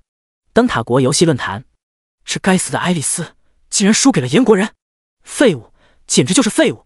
什么垃圾 SS 级职业玩家，竟然被区区东亚病夫连续打败了两次？海海神，什么垃圾东西也被称之为神？好弱的神！废物爱丽丝，废物海王之心，竟然输掉了属于我们灯塔国的版图！灯塔国玩家从来都是崇尚强者为尊，对于爱丽丝这种连续输给炎国玩家两次的人，他们自然是极尽嘲讽，不留丝毫情面。一时间，饶是爱丽丝身为为数不多的 SS 级职业玩家，也被全体灯塔国玩家抵制，甚至被称之为灯塔国之耻。相比起灯塔国玩家们的激烈言论，其他战区的游戏论坛却没有那么偏激。樱花国游戏论坛，这林墨实力强悍，绝对是我们大樱花国的一大劲敌。没错。要想征服炎国，就要把他们榜单上的强者一一拿下。我们大樱花国的忍者青麻衣，以及阴阳师周杜大，还有武士雨夜一真这些人，可都是 SSS 级强者，哪一个不比林墨强？就是只要他们出手，拿下林墨也轻轻松松。不要小看炎国玩家，在林墨之上还有十位顶级强者。灰熊国游戏论坛，炎国果然很强大，但我们才是最强的。没错，灰熊国无敌。乌拉！大韩民国游戏论坛。快去查查，这叫林墨的玩家祖上是不是出自我们大韩民国？不用查了，我们大韩民国也有灵性，肯定是我们大韩民国的人。快联系他，让他加入我国战区。飞饼国游戏论坛，可恶，不能让炎国玩家冒头。有谁愿意带兵去攻打炎国吗？没错，亚洲的老大是我们，我们才是人口第一大国，世界第一强国。让我来，一个炎国十一人而已，我就算只有 A 级天赋，也能够轻松拿捏。对赌令已经发送了。让他们知道，知道我们飞饼国的厉害。当然，这场炎国和灯塔国的对赌令只是大势之争的一个开胃菜，算是正式揭开了大势之争的篇章。接下来会有更多的资源圣地加入其中，甚至是互相针锋相对。只有强者才能够在这场豪赌之中大快朵颐，赚得盆满钵满，而弱者只能够被强者蚕食殆尽，连骨头渣都不会剩。荒漠之上，峡谷之下，死亡的气息沿着荒凉的峡谷蔓延出去。浓郁的杀气，即便是隔着数百米远，也能够被周围的兽群感知到，只敢绕道行，不敢踏足其中。刷刷刷，在空寂的峡谷之下传来一声声破空声，然后就是骨头碎裂的声音，在峡谷之中飘荡出去，似有回声。进化点加一加一加零点一加零，癌化值加二加一加零点一加零点一。系统提示不断刷新。作为此刻被全世界讨论的核心人物，林墨还在不辞辛苦地吸食着地上的尸体。击杀怪物没有浪费多少时间，反倒是清理战场浪费了不少时间。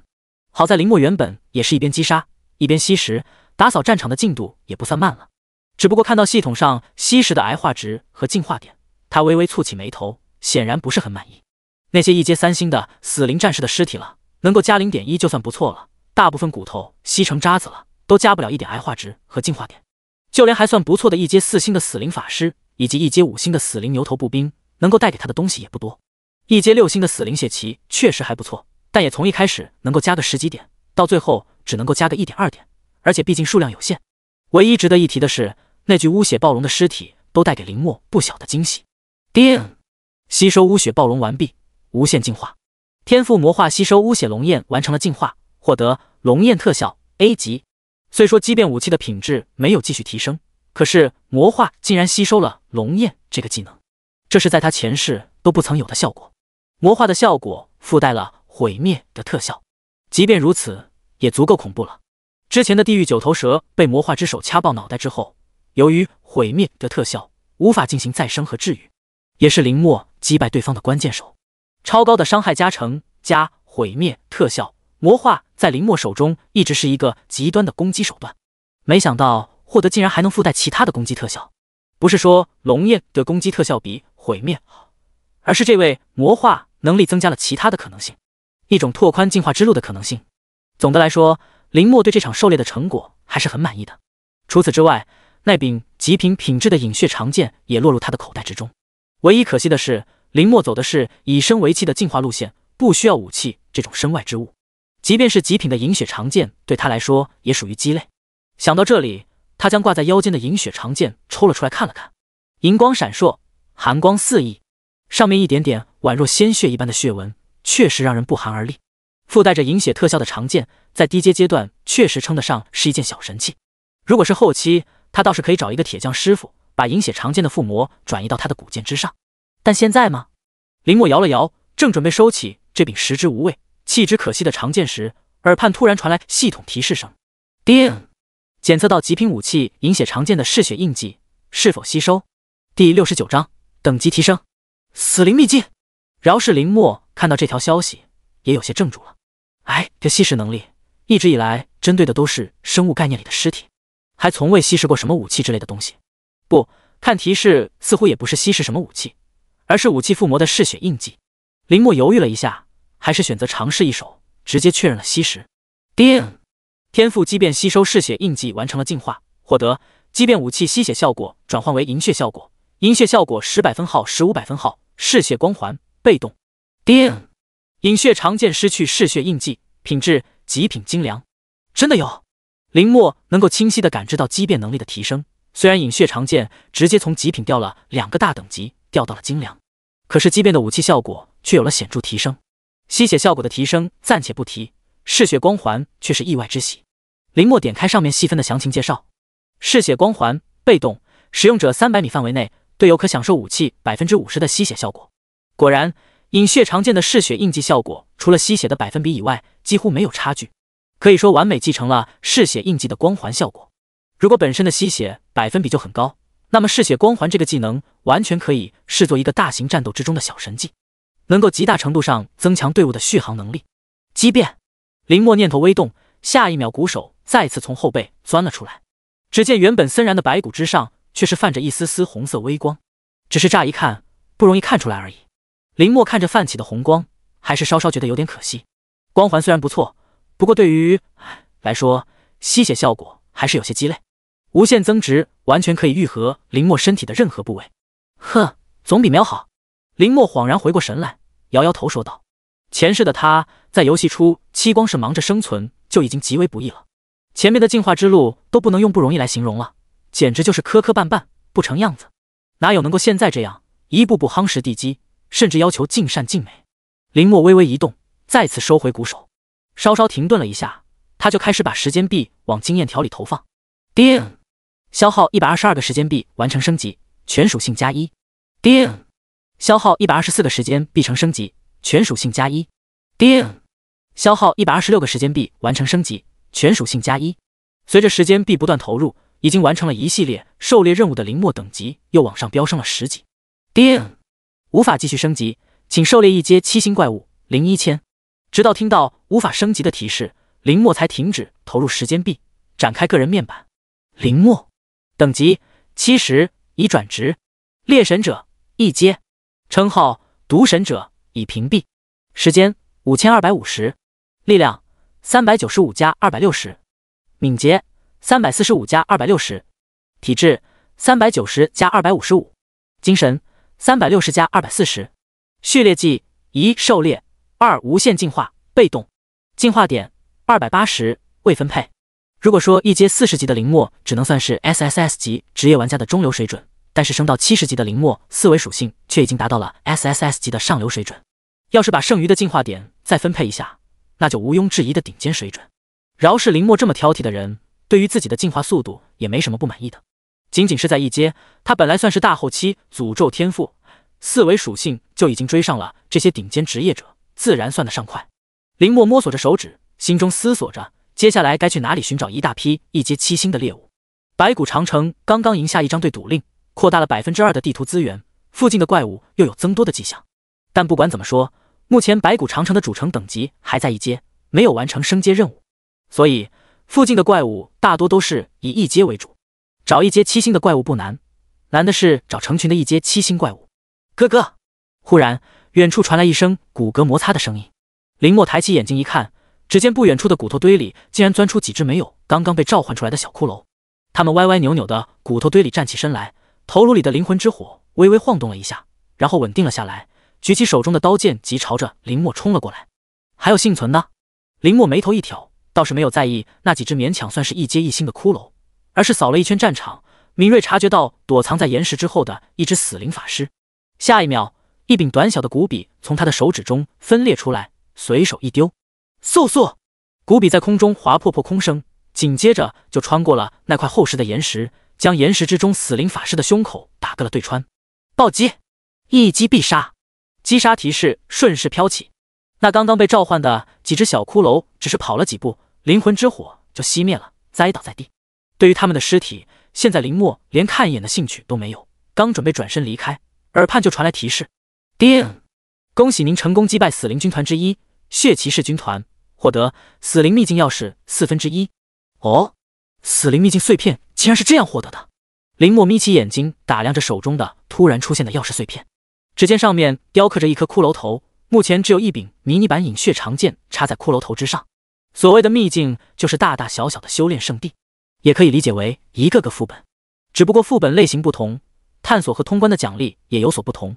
有些人在秘境中一瞬千年，出来后就获得了千年的时间币，直接成为蓝星最大的财阀；有些人在秘境里一待就是百年，出来后蓝星都快战败了，自己却还只是个一阶的废物。有的秘境择人而逝，即便是顶级职业者进入其中，也是危险重重，难以自救。而这死灵秘境。就是那位死灵王座的修炼圣地，只不过当时林墨和这位死灵王座开战的时候是在白骨城外。按理说死灵秘境的资源应该极为丰厚才对，否则那位死灵王座不可能一步步登高，最终成为白骨长城的隐患。只是当时对方的秘境随着阵亡一起被销毁，自然也就无人踏足。没想到这一次还能够找到你老巢的钥匙。林墨嘴角微扬，将那块钥匙碎片顺手收入囊中。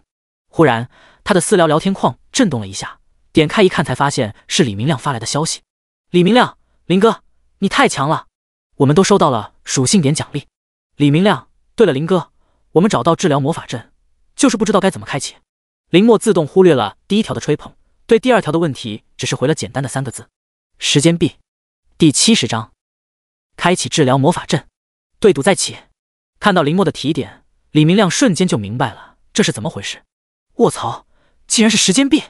江元基疑惑的看着他，问道：“什么时间币？”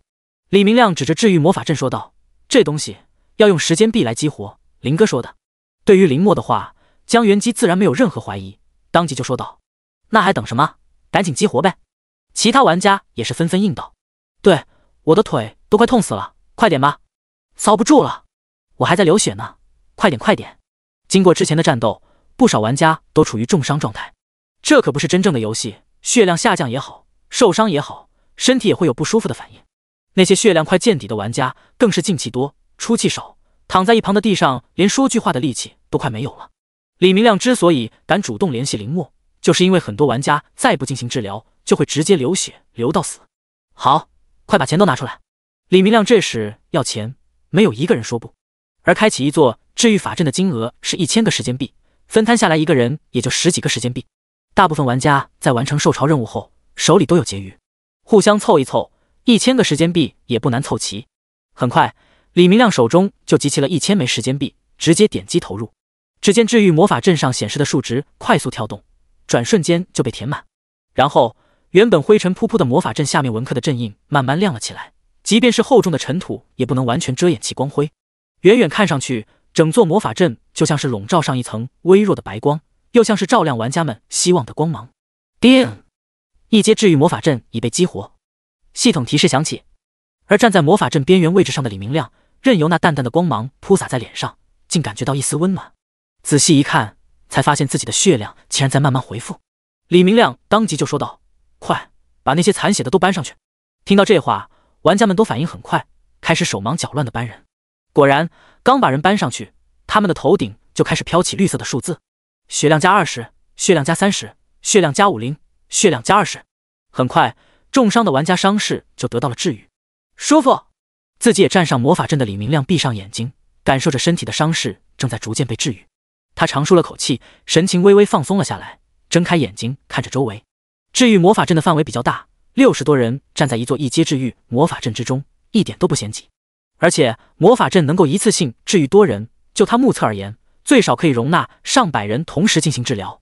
李明亮还细心的发现，激活治愈魔法阵之后。上面显示的数字并没有消失，而随着他们的伤势缓慢被治愈，上面的数字正在慢慢减少。九百九十九点八，九百九十九点七，九百九十九点六。李明亮摸摸下巴，看到时间币低于九百九十九之后，又往里面投了一枚时间币。叮！一阶治愈魔法阵时间币加一。系统提示响起，果然，上面的数值很快又恢复到一千。也就是说，这魔法阵是永久的，时间币就像是余额。只要还有余额，就可以重复使用。李明亮摸索了半天，算是暂时把治愈魔法阵搞清楚了。几分钟后，所有玩家的血量都回到了健康线之上。呜，我活过来了！鬼门前走一遭，差点尿裤子，爽了爽了，浑身得劲，差点就去见太奶，吓死老子了！玩家们都是露出后怕的表情。李明亮这时看了一眼治愈法阵上面的数字，九百九十五点二一千，加上他刚才投进去的时间币，治愈六十多人的伤势，只花了不到六个币。这么少，李明亮都有些疑惑，随后脸上露出喜色。这治愈魔法阵真是个好东西啊！只是他不知道的是，这种一阶的治愈魔法阵不是每个村庄都有的，大部分的村庄都没有这个东西。玩家们前期只能靠自身的恢复速度慢慢恢复血量。然而，这其实是一件非常耗时间的事情，很多时间血量恢复健康了，一天的时间就过去了。这不仅代表着你比别人落后一天，还代表着要浪费一天的时间币。所以。有治疗魔法的职业玩家在前期会非常受欢迎，至于像白骨长城这种自带治疗魔法阵的村庄，更是少之又少。在融合新手村领地的时候，起码要融合一面 S 级以上的无主之地，才能够有一阶治疗魔法阵。而白骨长城却拥有这样的魔法阵，整整十座，这是顶级资源圣地才有的东西。而且随着白骨长城的主城不断建设升级，这些魔法阵的等级还会逐步提升。其他没有治疗法阵的村庄。就只能够后期花费大量的金钱来打造了，清爽。旁边的江元基长枪一杵，也是恢复了活力。轻点，别把魔法阵磕坏了。李明亮吓得连忙跪在地上检查起魔法阵。好在一阶魔法阵也不是纸糊的，长枪并没有在上面留下一丁点的印痕。尽管如此，李明亮还是狠狠地白了江元基一眼，后者只是尴尬的挠挠头。就在李明亮还想说点什么的时候，忽然看到头顶再次闪烁出金光大字：区域公告在线。区域公告：白骨长城已接下樱花国十四号的对赌令，双方聊天频道临时开放，截止到对赌令结束。区域公告：白骨长城已接下大韩民国五十四号的对赌令，双方聊天频道临时开放，截止到对赌令结束。连续两道提示让李明亮等人刚刚松懈下来的心情瞬间再次紧绷起来。又来了，玩家们只觉得头皮发麻。林墨的节奏实在是太快。按理说，白骨长城这周已经接受了一次对赌，可以拒绝接下来的对赌令挑战。可是林墨不仅没有拒绝对赌令，还一次性接了两张。紧接着，界面上的系统提示也响起了：三方对赌内容已统一，全村击杀怪物数量达到一万，最低一阶五星起。对赌额度：地图资源总额的百分之二十，属性点二十点。好好好，又是击杀怪物是吧？这次从一阶三星直接跳到了一阶五星，而且数量依旧不少，一万。李明亮和江元基互相对视一眼，都看到彼此眼中的苦涩。摊上这样的村长，真是他们的福气。第七十一章找死！你也配？和之前的对赌令一样，区域公告和系统提示结束之后，白骨长城的聊天频道一下子就涌入了不少樱花国和大韩民国的游戏账号。游戏炎国的玩家们，我们来啦，请多指教。炎国的玩家们。还有林莫桑，那么客气做什么？我们可是来踢馆的。让那个叫林墨的混蛋滚出来！八格牙路，雨夜一真大人说过了，不准对世界五百强的强者那么无礼。是我的错，对不起，林墨大人，雨夜一真大人。相比起灯塔国玩家一上来的嘲讽，樱花国的玩家们看似还比较礼貌。不过李明亮等人清楚，这些小日子过得还行的玩家，从来都是喜欢笑里藏刀，当面一套背后一套，尤其是暗藏在语言里的挑衅。其实看起来也不少，当然，比起他们来，大韩民国的玩家更像是一群奇葩。林墨呢？让他出来，我倒要问问他，祖上是不是我们大韩民国的人？这还用问？我们大韩民国的先辈无敌于世，东亚版图上多少种族都有我们的血脉。没错，我看过《安世成》这部电影，就连唐太宗都被我们射瞎了一只眼睛。唐太宗算个啥？就连当初称霸亚欧大陆的成吉思汗都惨败于我辈先祖。啊！成吉思汗不是我们大韩民国的吗？李明亮等人看到这些聊天记录都被气笑了。这特娘的到底是过来认亲的，还是过来挑战的？而且成吉思汗一个蒙古人都变成他们韩国的了，不要太离谱！别说他们看不下去，就连聊天频道里的樱花国人都看不下去了。呸！不要脸！就你们那点文化底蕴，就连文字都是从燕国传过去的，还想偷成吉思汗？就是国民都是燕国皇帝赐的，装什么呢？一群整容脸！恶心，不像我们自然美。面对樱花国玩家的反驳，大韩民国的玩家也是气急败坏的反击。于是李明亮等人目瞪口呆的看着双方人马在自家的聊天频道里互喷。这种事情既让他们感到意外，又觉得好像在情理之中。一直以来，三方国区的人都是如此，争吵不休，纷争不断。没想到这种争执有一天会以对赌令的形式再次上演。区域聊天频道争论了好一阵，终于以一个玩家的现身。而终止了这场争吵。雨夜一真大人要说话了，都给我闭嘴！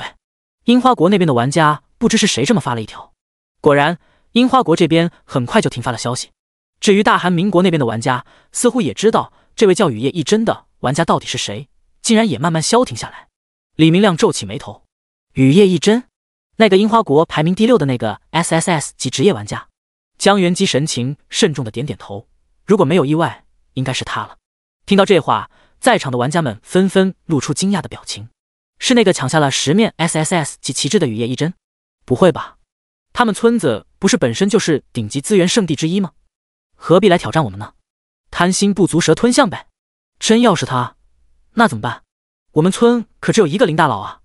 莫等他们议论完，就看到自家的聊天频道刷新了两条消息：雨夜一真、林莫桑，请出面一聊。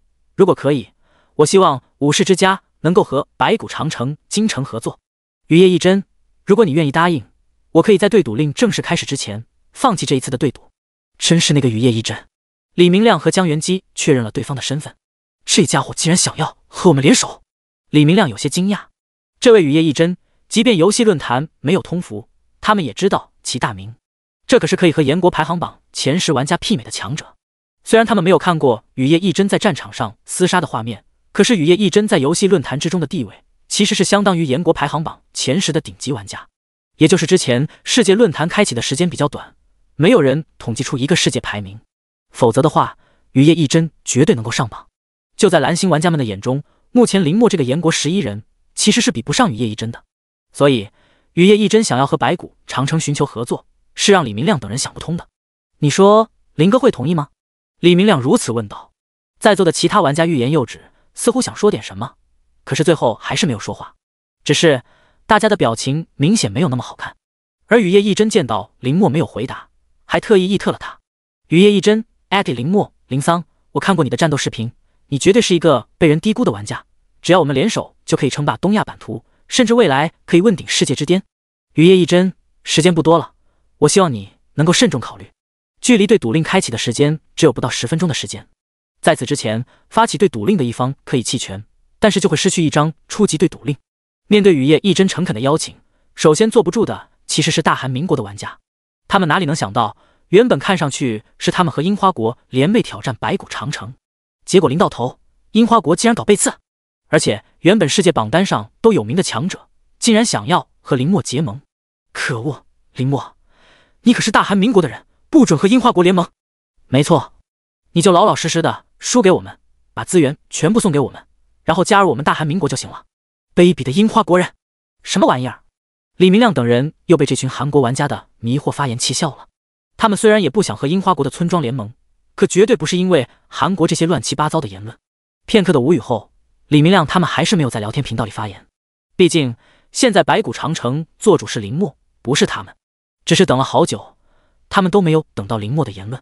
直到对赌令快开始之前，林墨终于出现在聊天频道内。他先是艾特了那条韩国玩家让他无条件献出资源的消息，在下面回复道：“林墨找死。”然后又是艾特了雨夜一真那条求合作的消息：“林墨，你也配？”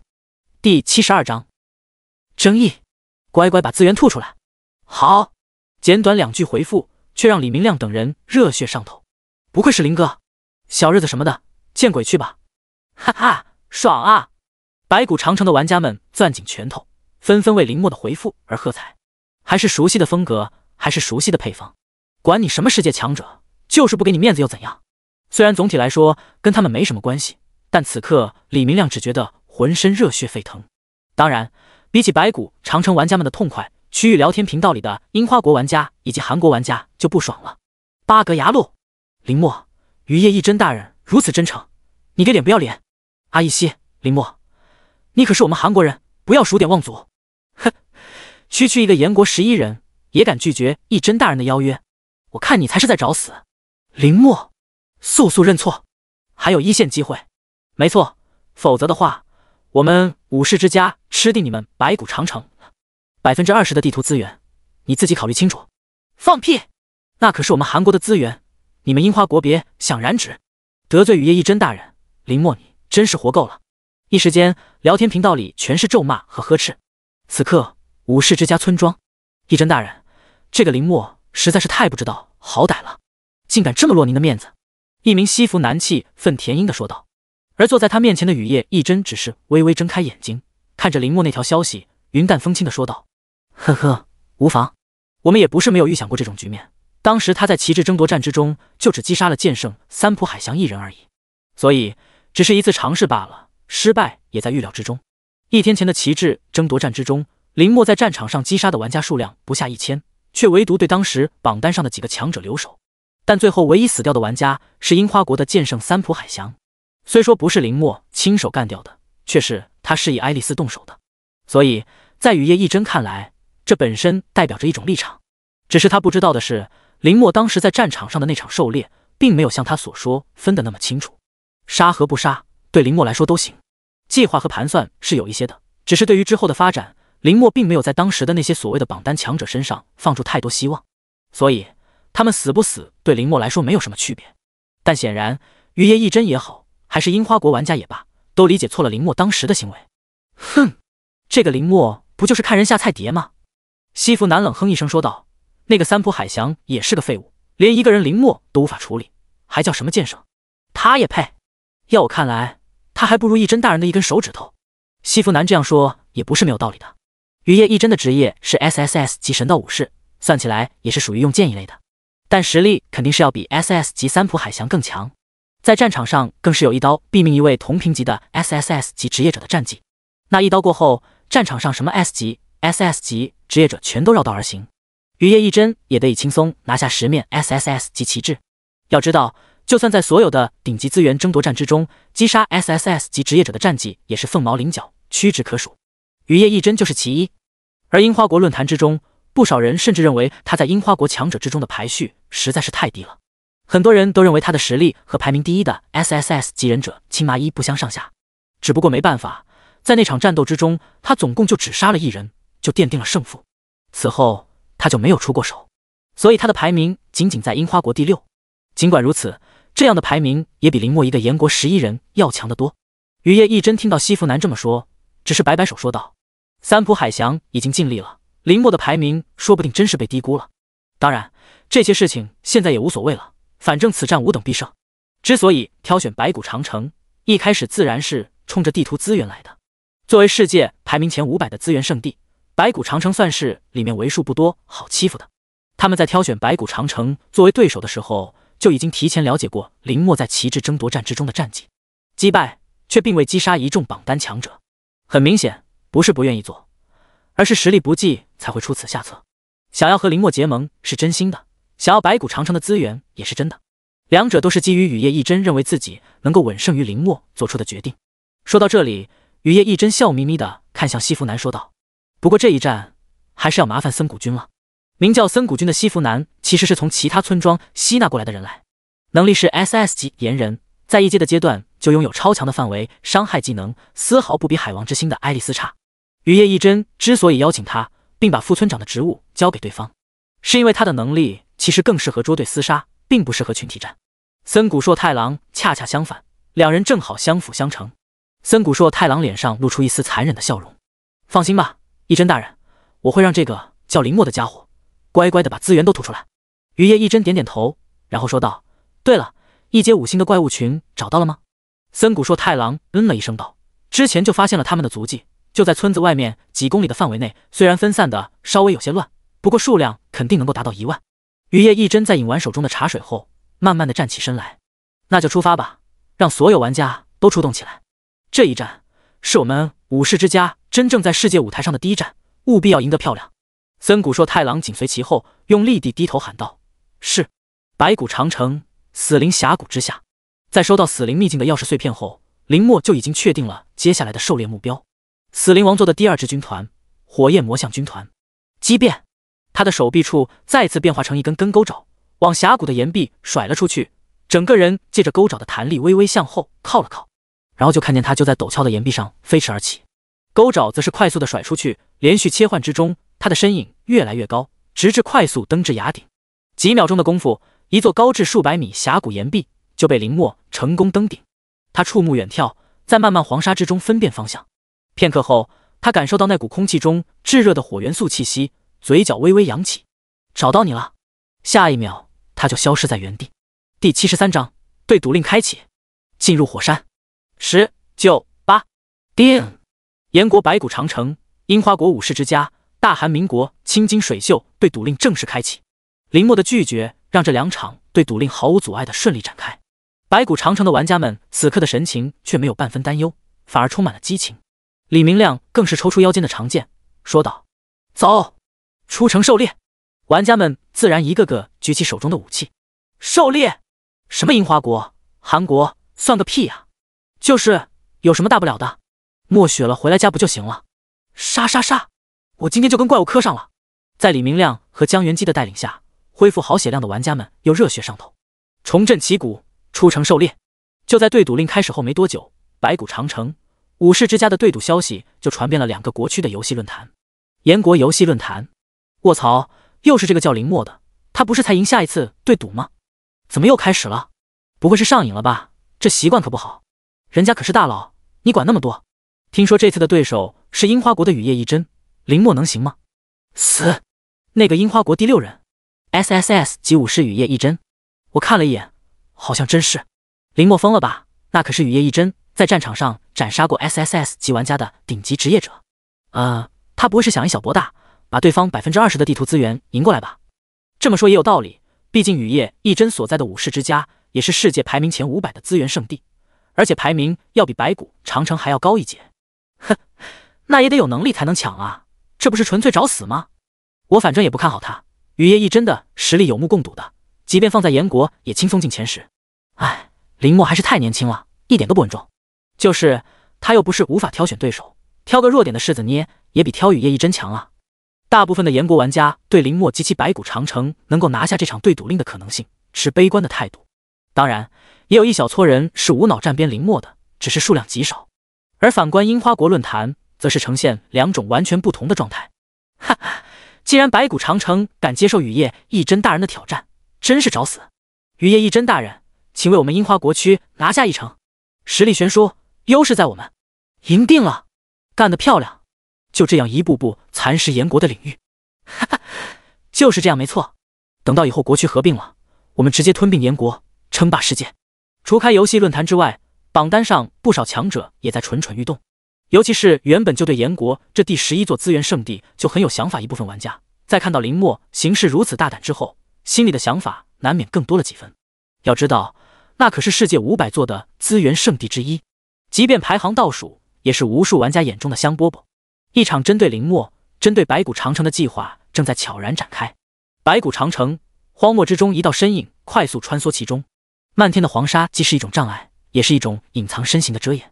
即便这片荒漠之中存在无数的怪物，可是却没有一只怪物能够察觉到身影的动向。嗖嗖，一根根黑色的锁链宛若一条条荒漠毒蛇，迫在黄沙之中骤然钻出，刺入一只只凶兽的要害。暴击，一击必杀！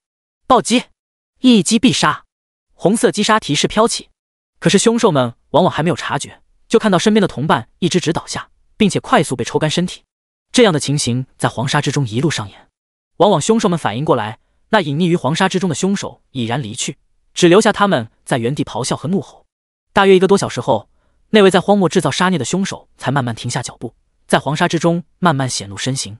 而他停步的和显露身形的是同一样东西。那就是不远处的那座缓缓流淌着岩浆的火山，隔着数百丈远也能够感受到火山温度极高。那些飘荡而去的黄沙粒子全都被炙热的温度烤化，如天降火雨般纷纷落入岩浆之中，成为火山的一员。寻常玩家但凡走入其中，光是应对这些火雨就得头皮发麻。一滴滴的，虽然伤害不高，可是胜在持久而细密，宛若春雨一般，行走在其中避不可避。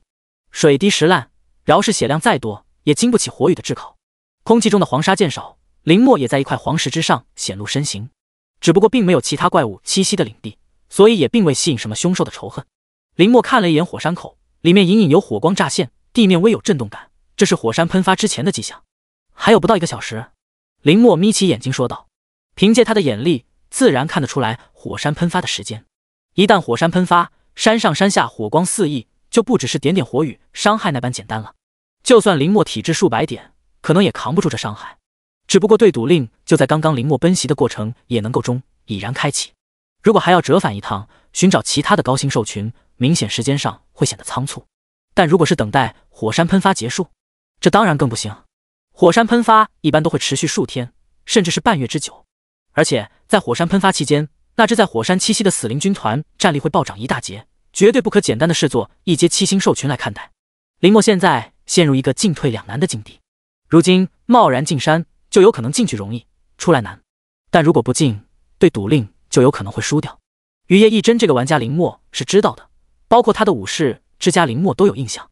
在大势之争的初期，武士之家确实发展的极为不错，抢占不少资源，吸纳了不少强者。与海王之心那种不上不下的中流势力完全不是一个档次的。虽说狩猎怪物的等阶从一阶三星提升到一阶五星，但经过几个小时的预热。相信有不少顶级职业者等级已经追上来了。那些拥有超强范围伤害技能的职业者，说不定已经触摸快触碰到一阶的瓶颈了。战力自然不能简单的看作是刚转职的一阶玩家。林墨也不是傻子，自然不会真正的轻视这些在初期镜头很猛的顶级职业者。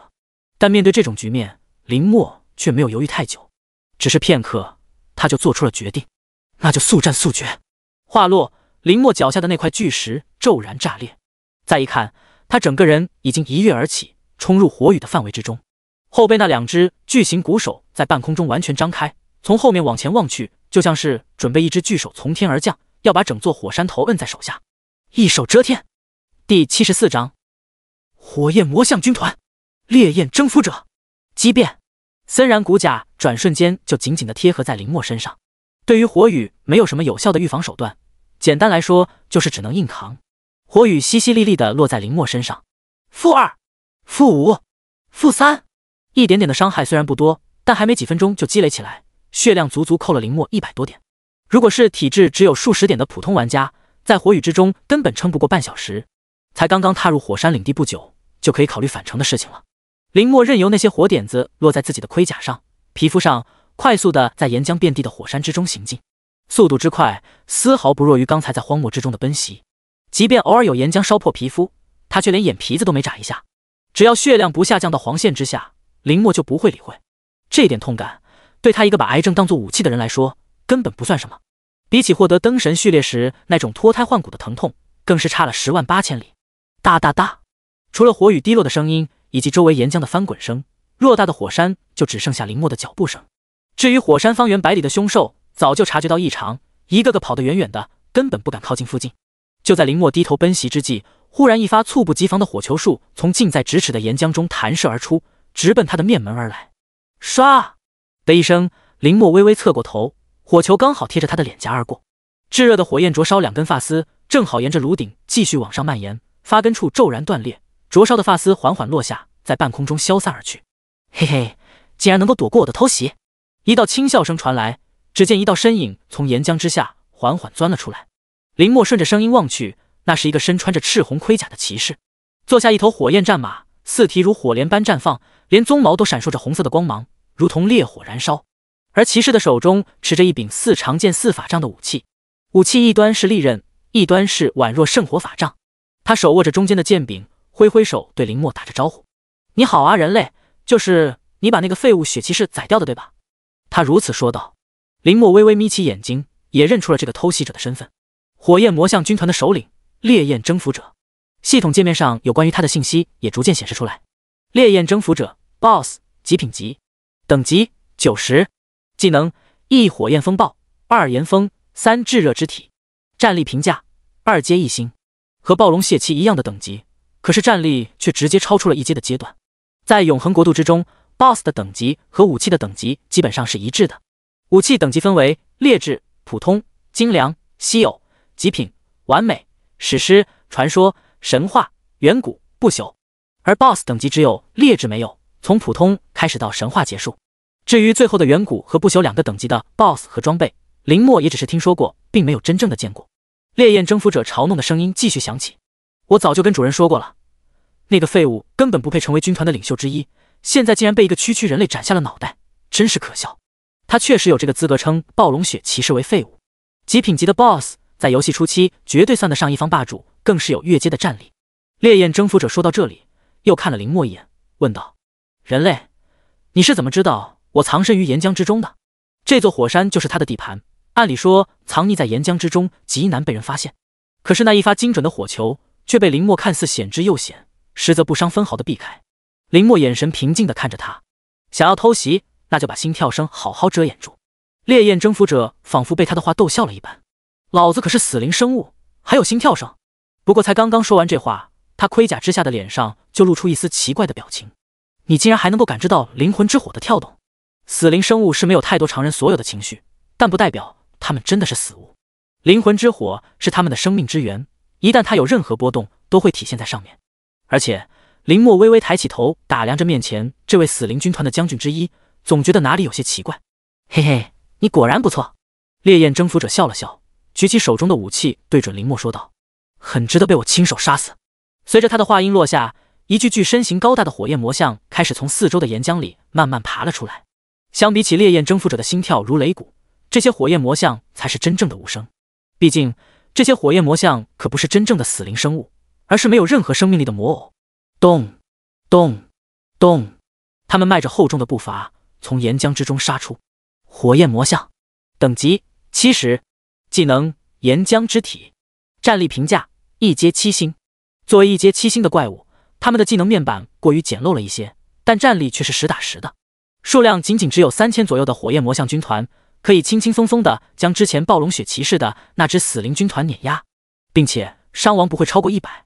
这也是烈焰征服者骂暴龙血骑士废物的原因之一。嘿嘿，你已经被包围了。烈焰征服者笑嘻嘻的说道。和那位暴龙血骑士比起来，这位烈焰征服者实在是不像一个真正的亡灵生物。林墨却没什么表情，心里面大致知晓这是怎么一回事。亡灵生物确实不该有情绪。更不可能发出这种与自身身材极为不符的笑声。但如果的是那位的手下，那就没什么奇怪的了。呼！只见林墨的身影毫无征兆的消失在原地，下一刻，他整个人宛如一根离弦之箭般弹射而出，直奔这位火焰魔像军团的首领。嘿嘿，你算是挑错对手了。烈焰征服者倒是没有避让，而是攥紧手下的烈马鬃毛，挥舞着长剑，直接对冲了过去。严峰，他举起手中的长剑，长剑另一头的火焰瞬间燃烧起来，蔓延至剑刃，然后转瞬之间就朝着外蔓延了一大截。原本只有一米多长的长剑，瞬间变成一柄三四米长的火焰巨剑，迎着奔袭而来的林墨就是当头一剑，闪现！忽闪而过的熏风吹拂着烈焰征服者的脸颊，他眼睛一花，林墨就消失在原地。随后，他的后脑勺处便传来了林墨的声音：“你废话太多了。”他下意识转过头去，只见一只漆黑如墨的巨大鼓手朝着他的面门直直的拍了下来，仿佛要将他和身下的烈焰战马一起拍成肉酱。第七十五章：恐惧的情绪。鼓手的能力拓展，轰！场中发出一声巨响，无数的火光混合着礁石炸裂开来。原本就要喷薄而出的火山，此刻在剧烈的震动之下又加剧了几分。首当其冲的烈焰征服者已经退开那个巴掌打出的深坑数十米远的距离，同时他的胸口中的灵魂之火剧烈的跳动起来。显而易见，他对刚才林墨的那一击后怕不已。但凡当时没有那一点的福至心灵，让他放弃了与那只漆黑巨手硬碰硬的打算，全力撤离远处。现在的他估计已经再死一次了，不过他是险之又险的逃了出来，但麾下的那匹烈焰战马却直接被林墨拍成了肉酱。后者眉头微蹙，似乎很疑惑，他竟然能够逃出去，像是在对他说话，又像是在自言自语道：“看来那家伙对你的改造有点意思，难怪。”林墨没有说完的那句话说是：“难怪后来的死灵军团会如此强大，给原本没有恐惧、不知道痛感的死灵生物加上恐惧的情绪，这既是一种束缚，又是另一种意义上的进化。”如果不是因为恐惧，烈焰征服者刚才不会有什么福至心灵，直接会像之前的血骑士一样，连人带坐骑被他拍成肉泥。烈焰征服者后怕的看着场中的林墨，又看了一眼那还没有发挥半点作用的战马，说道：“那可是主人给我的战马，要是主人知道会杀了我的。杀！把他给我做掉，我要拿他的脑袋抵债。”烈焰征服者催促着火焰魔像上前。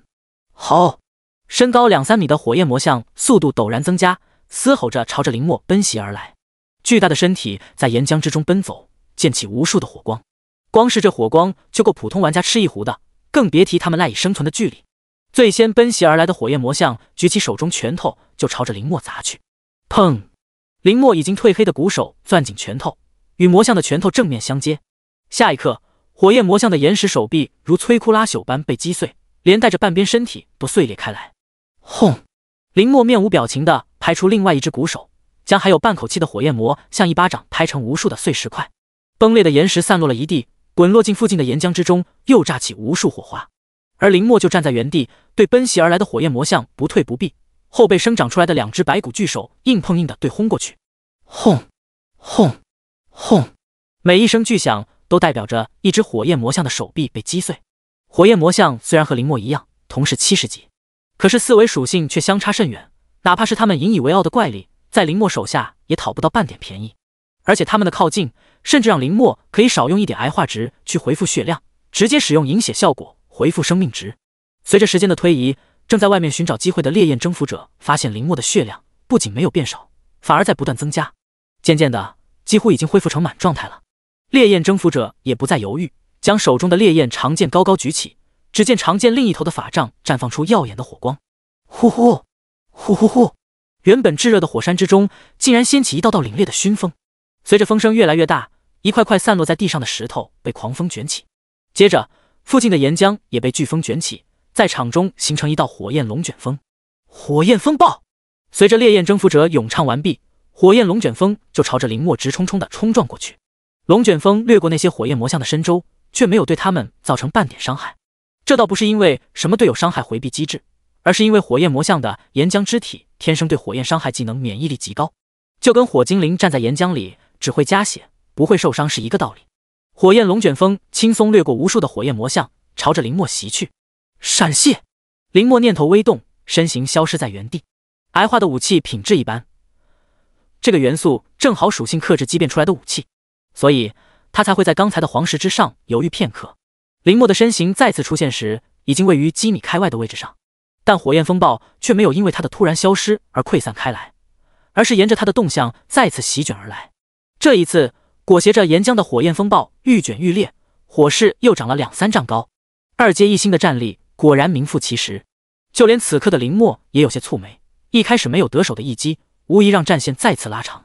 若是等到火山喷发，眼前这位烈焰征服者的战力还会再次暴涨，不知道还会长几颗星的战力。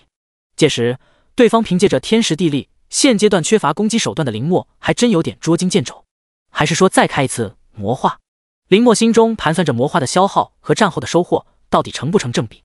忽然，像是想到什么一般，轻声低吟一声：“龙焰，速速！”忽的。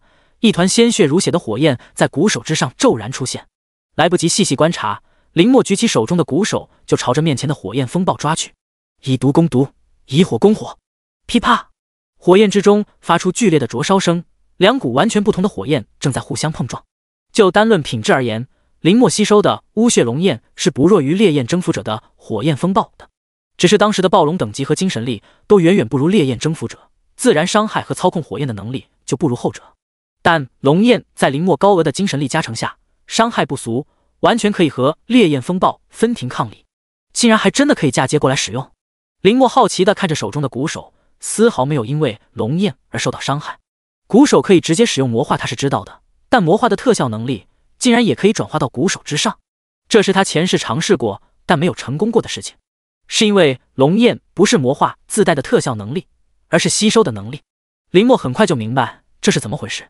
随后，他看向对面盔甲下已经出现恐惧之色的烈焰征服者，嘴角微扬。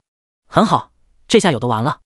第七十六章，放火烧山，拔刀一斩，嘶嘶嘶嘶，一道道土信子的声音从丛林之中传出来，让附近的玩家们只感觉头皮发麻。一只只憎恶蛇人从树丛之中慢慢爬行出来，他们金色的树瞳死死地盯着玩家们，不紧不慢地吐着蛇信子。憎恶蛇人，等级。五十，技能一弯刀攻击，二脚缠，三毒素。战力评价一阶五星。光是五十级和一阶五星的战力就足够吓退大部分的普通玩家。如果不是身后有大佬，这些玩家根本不敢轻易踏足憎恶蛇人的领地。都给我让开！我来这些小杂碎！人群的后方传来一声嚣张的叫喊，然后玩家们就自动让开一条道路。从里面走出来的正是武士之家的村长和副村长雨夜一真。森谷硕太郎穿着武士服的雨夜一真一脸沉稳，神情淡然；反倒是穿着笔挺西服的森谷硕太郎神情嚣张至极，飞扬跋扈的像个小混混一般。雨夜一真自然没有对森谷硕太郎的先声夺人有什么意见。身为 SSS 级武士，他的能力其实比较偏门，极其擅长捉对厮杀，同时又极其不擅长多人对战，所以这次的对赌令注定森谷硕太郎的主场。都让开让开，本大爷来了！森谷硕太郎高呼一声，脚下一蹬，忽然火光炸裂，只是一瞬间的功夫，浑身就似着火了似的。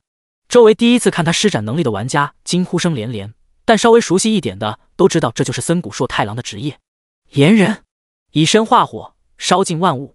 呵呵，一真大人，我上了。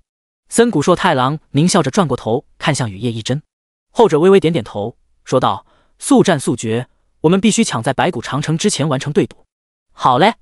话音刚落，他那双脚下宛若装了喷射器一般，喷出两道火焰，整个人直接朝着丛林里的憎恶蛇人冲去。杀！下一刻，丛林之中火光冲天，喊杀声连成一片，无数的火焰在灌木丛之中烧了起来，远远看去就像是放火烧山。雨夜一真只是一只手握着剑柄，一只手插在胸口的武士服内，静静的看着这一幕。按照拥有探查能力的玩家报告，这座山头之上的拥有相当数量的蛇人群，且等级都在一阶五星之上。只要把这座山头的蛇人部落清理干净，那么达到对赌令的一万之数并不是什么难事，而且还可以收获一大笔的时间币。森谷硕太郎不仅放火的能力强，而且移动速度也极快，双脚的等离子喷射宛若火箭一般，迅速以自身为火种，将整座山头烧了起来。而那些天生喜好阴冷的蛇人，刚好被火系属性克制，面对伤害颇高的火系魔法，只能够抱头鼠窜。雨夜一真看到时机差不多了，对着身边的下属吩咐道：“吩咐下去。”进山狩猎，等待已久的玩家们听到这话，神情纷纷兴奋起来，迫不及待的开始分批次入山收割。哈哈，小蛇人们，我们来了！杀！时间币都是我的。快点快点，我还有差点时间币就升满了。武士之家的玩家们浩浩荡荡的开始冲入了山中。武士之家的狩猎策略和爱丽丝的海王之心差不多，都是依靠顶级职业者冲在前面压制兽群，这些普通玩家跟在后面捡漏。不得不说，这样的狩猎策略在游戏初期可以大大的增强狩猎效率，提升村庄整体实力。而且武士之家的作战计划比海王之心更加细致一些，还给玩家们分批次组成了一支支小队，这样的狩猎效率就会再次提升。过程中虽然会有伤亡，可是却能够很好的控制。站在山脚下的雨夜一真没有挪动脚步，跟随这些玩家一起上山。他只是轻轻闭上眼睛，还保持着那个一手握剑柄的姿势，静静站在原地。大约大半个小时过后，山间传来一声惊呼：“一真大人！”只见山头之上，森谷硕太郎踩着火焰从上至下疾驰而来，而他身后竟然跟着一头参天巨蟒，身约数十丈，碾碎了无数的树木枝干以及来不及躲闪开来的玩家。就连森谷硕太郎的火烧，对他也只能伤及表面。丝毫不会影响到他的行动。雨夜一真慢慢睁开眼睛，看向那头巨蟒，凶兽的信息在界面上显示出来：擎天蟒，BOSS，稀有，等级九十，技能一蛇眼幻视，二蛇尾缠绕，三蛇形如风。战力评价一阶九星，一阶九星战力在一阶之中绝对堪称顶级。难怪身为 SS 级还升到八十多级的森谷硕太郎会被这条巨蟒追着跑。雨夜一真的眼神之中也流露出一丝认真。他在这里等待，就是预防这样的意外发生。没想到一阶五星的兽群竟然隐藏着这么一位大 boss。交给我，他沉声说道，左手微微往下挪移几分，把住剑鞘的同时，用大拇指微微推翘几分。而那只一直揣着衣服兜里的右手慢慢握住剑柄，眼神死死地盯着追逐着森谷硕太郎快速朝这边靠近的擎天蟒，慢慢蹲下身子，坐马不装。噼啪，一道细小的雷霆在露出的一小节剑刃中闪烁。无数的剑气在朝着剑鞘之中聚拢，集中一点，登峰造极。雨夜一针轻声低吟，唰的一声，森谷硕太郎从他的上空掠过，而那头擎天蟒就要逼近他的身前，用庞大的身体直接将他碾成肉泥。就在这条巨蟒已经逼到身前数十米的距离时，下一秒，雨夜一针猛地拔出剑刃，拔刀斩。此刻，在山头之上的玩家们同时听到一道响彻天际的雷鸣。而已经掠过此处的森谷硕太郎听得最为真切，他惊讶地回过头望去，耳边似有雷龙作响，电光火石之间，雨夜一针已经和那条数十丈的巨蟒交错身形，暴击，一击必杀。随着上空飘起一道红色的击杀提示，巨蟒瞬间一分为二，轰然倒地。没等森谷硕太郎高呼，就看见雨夜一针正好收回剑鞘，满脸虚弱的半跪在地。前者自然顾不上其他，连忙冲了过去，扶住即将倒地的雨夜一针。一真大人，您没事吧？他担心的问道。雨夜一真脸色惨白的摆摆手说道：“暂时的脱力罢了，无妨。这就是他有且唯一的技能——拔刀斩，集中所有的力气斩其一点，伤害自然是高到爆表。可是同时也有超强的后遗症，就是耗费的体力需要时间去休息，也可以理解为技能 CD 极长。所以当初在旗帜争夺战的战场上，他斩杀了一名 SSS 级职业者后，就没有击杀过其他玩家。不是不想。”而是不能，一真大人牛逼啊！不远处的山头上也有不少人看到这一幕，大家纷纷欢呼起来。哈哈，我就说有一真大人在，没有意外。连一阶九星的凶兽一真大人都只用一击，这也太强了吧！我们赢定了！嘿嘿，我把刚才的视频录下来了，发到论坛上去，给咱们樱花国的玩家看看，我们一真大人有多么牛逼！面对欢呼的玩家们，雨夜一真脸上挤出一丝笑容，然后对着森谷硕太郎说道：“森谷君。”接下来就看你的了。森谷硕太郎用力地点点头，放心吧，一真大人，我一定会完成任务的。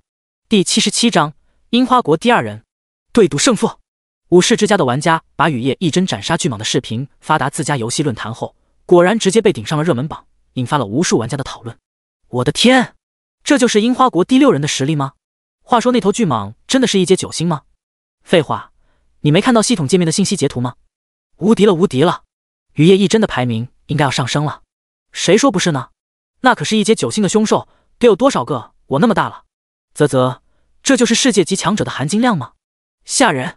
这一下对赌令彻底没有悬念了。在视频发布的几分钟后，就有人在论坛对雨夜一真当时的排名进行了调整。几番争执过后，雨夜一真的排名竟然从第六名直接提升到了樱花国第二名，仅次于那名 SSS 级忍者的青麻衣之下。尽管论坛里的争议还是很大。可是很多人还是认为之前的雨夜一真实力确实是被低估了。身处于山下的雨夜一真本人自然也看到了这条热门消息，他脸上扬起一丝笑意。说实话，之前他就对第六名这个排名不太满意。他看过樱花国排行榜上那些强者，实力确实不错，手段也是层出不穷。可是要单纯论杀力以及单对单的能力，雨夜一真有这个自信，不输给榜单上的任何一个，包括那位问鼎樱花国的青麻衣。呼，他长长的吐出一口气。而在他的示意之下，这视频几经流转，竟然也通过私聊的形式传播到了燕国的游戏论坛之上，同样的也引起了广泛的关注。卧槽，这是雨夜一真，这伤害太夸张了吧？这么多大条巨蟒，拍电影呢？废话，没看到这视频下面说的吗？这可是一阶九星的凶兽，一阶顶级战力，怎么被一刀就宰了？离谱，就他妈离谱！这才开放地图不到一天，这些玩家就已经进化到这种地步了。谁说不是呢？我他妈才升了几级？呜，我才升了一级，而且现在兜里时间并不多了，还在找明天的窝囊废呢。楼上的，我也是，我连兜里就几个小时了，再不挣钱，今晚都挺不过。那你还水个集贸视频？赶紧去打怪啊！哎，这回林墨和白骨长城算是栽在雨夜一针的手上了。林墨还是大意了，不该接这发对赌令的。他哪是大意，分明就是自大。本来就已经完成了这周的对赌任务，还非得给自己加难度在。这下好了，那可是顶级资源圣地，一下子输出去百分之二十。啧啧，与其这样，还不如输给我们炎国人，分点给我们村庄多好。就是啊，我们村庄附近好不容易刷出一头野兽，几十个人上去抢，MD，旱的旱死，涝的涝死。两个论坛因为白骨长城和武士之家的对赌令争论不休。可是大部分的玩家都对林墨和白骨长城持不太看好的态度，一是因为在对赌令正式开始之前。他们就已经认为雨夜一真实力强劲，排名绝对在林墨之上。第二，自然是因为刚才的视频，雨夜一真再次证明了自己的实力，排名再度上升。即便在严国自己人眼中，雨夜一真也能够与自家榜单的前五相提并论了。而林墨只是严国十一人而已，比不上雨夜一真也属于正常。就连雨夜一真本人也是这样想的。在看到下属发来两个论坛的一些评论后，他脸上露出一丝笑意。尽管他没有像爱丽丝一样。在对方的区域聊天频道里公布对赌令的击杀数量，可事实上武士之家的进度要比他想象中更快。在解决了那头一阶九星的凶兽后，森谷硕太郎在山头的放火彻底没有了顾忌，踩着火浪在山头不断翻滚，肆意放火，火焰冲天而起。别说一阶五星的憎恶蛇人了，就连不少玩家都不得不在这冲天火势之下退出去，只能逮住那些残血逃离山头的蛇人捡漏。整体来说，狩猎效率却不减反增。这才一个多小时。整座山头几乎要被烧个干干净净。雨夜一真看着村长界面上的击杀数字：六千六百六十五、六千六百六十六、六千六百六十七、六千六百六十八，几乎每过一分钟，数字就会狂飙一大截。按照这个进度下去，也许至多一个小时就可以完成对赌令。雨夜一真稍微估计了一下数字，林墨之前完成那数量三万的对赌令也用了大几个小时，现在对赌令升级，怕是耗时更长。而他们武士之家只需要两个小时左右的时间就可以完成对赌内容，无论怎么看都不会输。雨夜一真轻笑一声，说道：“呵呵，赢定！区域公告：白骨长城一阶五星怪物数量已超过一万。白骨长城与武士之家对赌令宣告结束，由白骨长城获得对赌胜利。区域公告：白骨长城。连续三道区域公告的提示响彻云霄，无论是在白骨长城玩家的头顶上方，还是在武士之家的上空，纷纷出现了一个个的金光大字。”尤其是武士之家的玩家，有人看到那道金光大字公告，甚至下意识喊出口：“好耶，赢了！”可是才喊出口两秒钟，他就愣在了原地，因为周围没有一个人附和他的欢呼声，而是目瞪口呆的看着上空的大字。他挠挠头，仔细又看了一眼区域公告，这也没错。等等，白骨长城赢了！他瞪大眼睛，脸上写满了不可置信。但他并不是最惊讶的，最惊讶的当然是雨夜一真本人。雨夜一真的笑容僵硬在脸上。一时间也不知道是该哭还是该笑，可是心中的震惊却无以复加。白骨长城已经完成了对赌令，这怎么可能？武士之家经过前期的招募，人数可是多达五千多人，加上他和森谷硕太郎一起坐镇此处，共同狩猎，效率绝对放眼全世界都属于一流水准。如果说地图资源，那么武士之家也是融合了十座 SSS 及无主之地的顶级资源圣地，主城的排名比白骨长城要高出一百多名。放眼整个世界，也属于中下水准。一个小小的白骨长城，区区几十人的村庄，凭什么能够这么快？第七十八章，我说什么时候结束就什么时候结束。白骨长城火山口附近。时间回到十分钟以前。砰！随着一声惊天巨响，那座火山终于将蕴藏一月之久的岩浆喷发出来，无数的火花冲天而起，射入高高的半空，随后又穿透云雾，朝着地面撞了下来。说是撞，丝毫不为过。每一颗包裹着岩浆的巨石落地，就像是陨星坠落般，发出剧烈声响后，又在地上砸出一个个深坑。火焰的温度骤然飙升，而空气中的火元素自然而然的也上涨起来。对于火焰魔像这种魔偶来说，火元素浓郁起来自然是好事情。那具本身就强壮的火焰躯体都硬生生的拔高了几分。而对于那位烈焰征服者来说，更是如鱼得水般，原本就鲜红的盔甲更是隐隐有火焰溢出。虽然身下已经没有了烈焰战马，但比起刚才，更像是从地狱走出来的烈焰死神。哈哈，终于等到了，终于等到了！头盔不知道被打飞到哪里去的烈焰征服者狂喜道。他原本就狰狞的一张脸上露出更加扭曲的表情，拿着长剑指着林墨说道：“人类，你死定了！”虽然是在放狠话，可是他的样子却是凄惨至极。经过之前的交手，如果不是他拼尽全力，也许现在已经去世了。饶是如此，他也狼狈至极。火焰魔像军团已经所剩无几，剩下的就算是战力飙升后，作用也不大了。起码对面前的这个实力恐怖的人类来说，已经无法构成威胁了。而他自己受伤严重。血量也下降到红线之下。不过，经过火山 buff 的加持，烈焰征服者的战力已经从二阶一星直线飙升到了二阶三星，足足涨了两颗星。千万别小看这两颗星的差距，比起一阶的星级，二阶的星级之间差距更大。更何况，眼前的人类等级甚至没有达到一阶瓶颈期，这提升自然不可谓不大。但尽管如此，烈焰征服者还是没有贸然上前。他在提防林墨之前的那招漆黑的巨大鼓手，让他至今都心惊胆战。如果不是因为这个，刚才的交手之中，他也不会如此狼狈，起码血量不该掉的这么厉害。林墨对于他的挑衅，只是微微扬了扬后背的鼓手，吓得烈焰征服者瞬间再次暴退数十米，然后才发现林墨站在原地根本就没有动弹。他咬着牙瞪着林墨说道：“呵呵，别以为我不知道，你那招肯定使用限制极大，要不就是 CD 极长。说白了，你现在根本就无法使用那杀力最强的一招，所以。”尽管我现在的血量是劣势又如何？我只要继续和你耗下去，火山迟早把你吞没。他说这话的底气并不是很足，但却不完全是色厉内荏，因为火山还在持续喷发。烈焰征服者以及火焰魔像这些本来就算是火系怪物的，自然没什么事情。不过林墨就算有龙焰，本身也无法在这样的火山之中待太长时间，一旦陷入拉锯战，对他极为不利。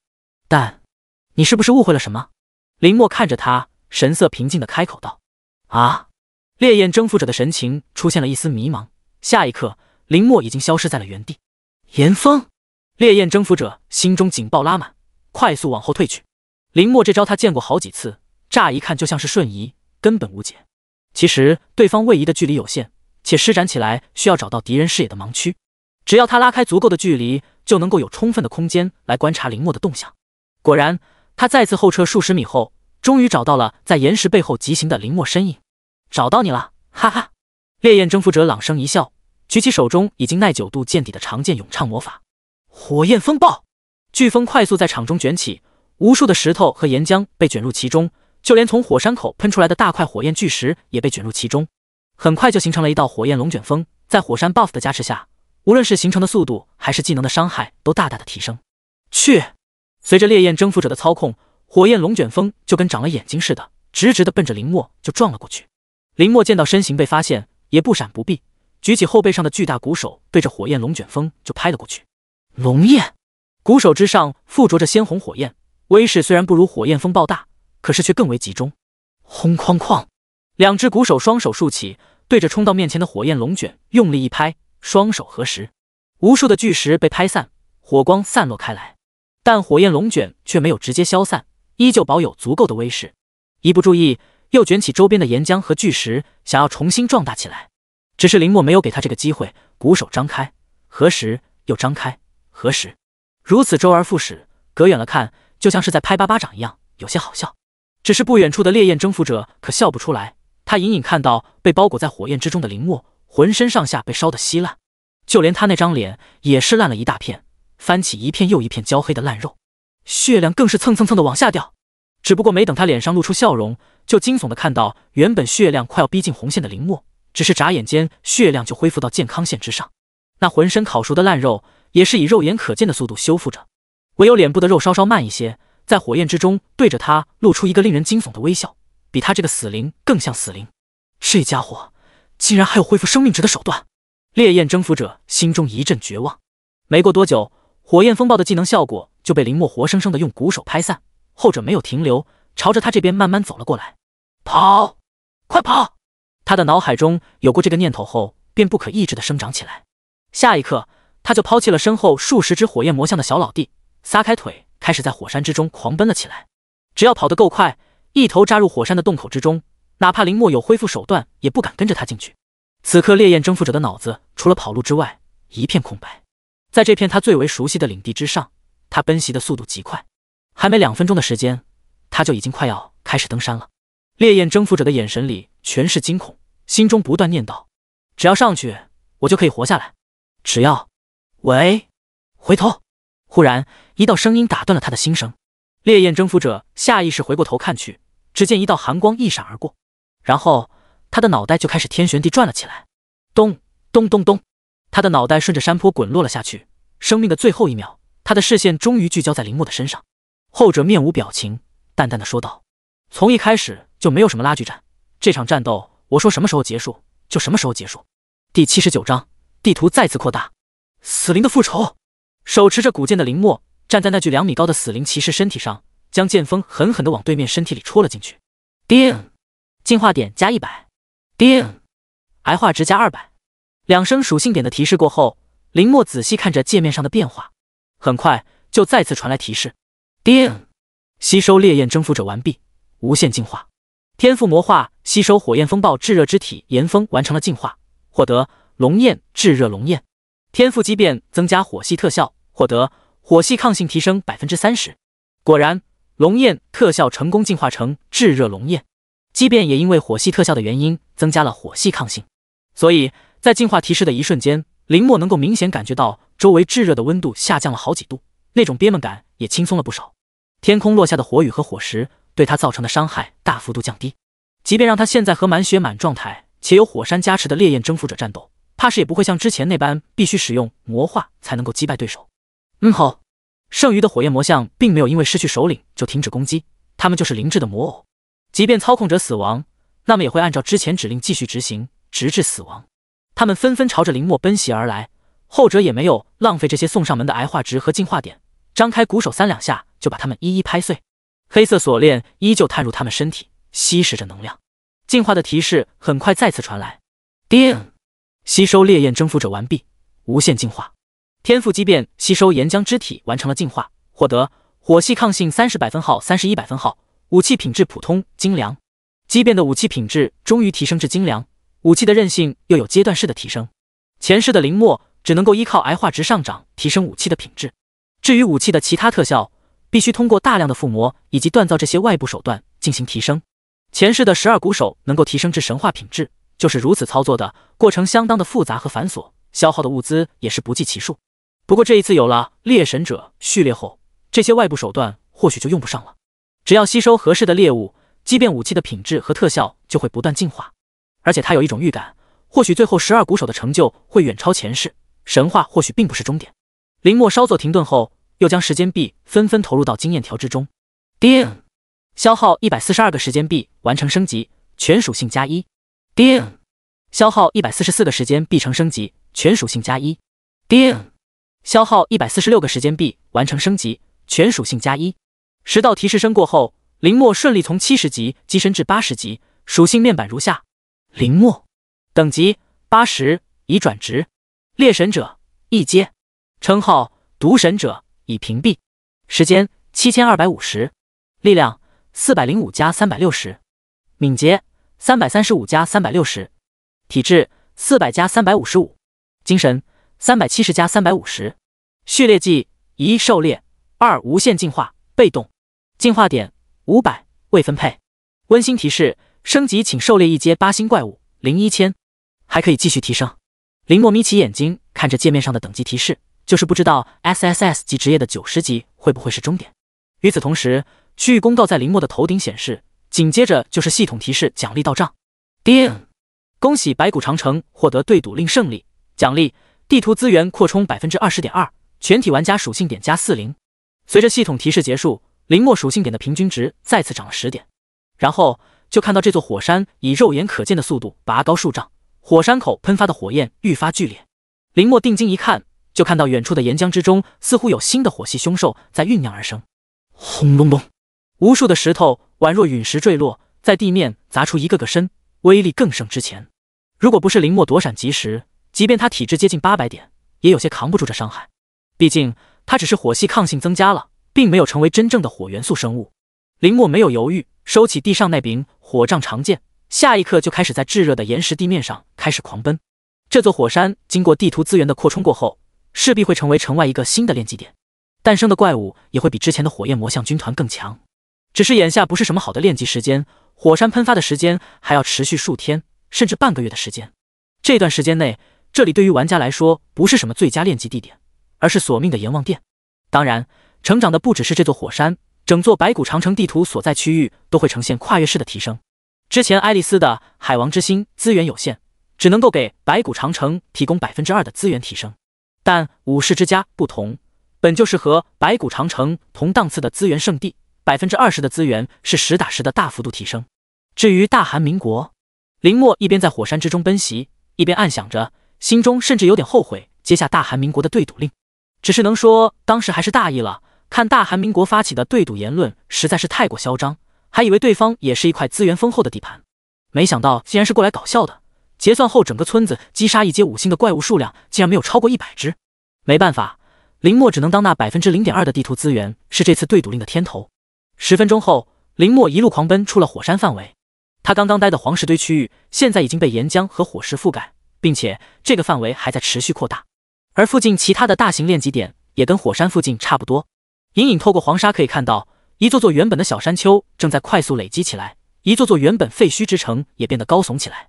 荒漠之中传来一声声恐怖至极的嚎叫，且一声比一声更大。原本就危机四伏的戈壁变得更加恐怖起来。此刻，远处正在狩猎的李明亮等人也来不及高兴地图资源扩充。面对周围逐渐增多的兽群，只能一步步退回到城墙之上。当然，对于普通玩家来说，现在快速扩张的荒漠是地狱；但对于林墨来说，无异于是天堂了。就在他准备继续沿着这条线刷怪时，忽然耳畔传来系统提示声：“叮，任务提示：由于您击败两大死灵军团，现已开启死灵的复仇任务，是否领取任务？”第八十章，浪潮再来，最低一阶七十级，死灵的复仇。林墨眉头一挑。看着屏幕上出现的任务，难不成是狩猎那个家伙？他心中猜测着，但没有过多犹豫，直接点击了领取任务的选项。叮，您已领取大型怪物工程任务——死灵的复仇。发布任务一：坚守阵地，抗击兽潮。发布任务二：击杀死灵怪物。又是工程任务。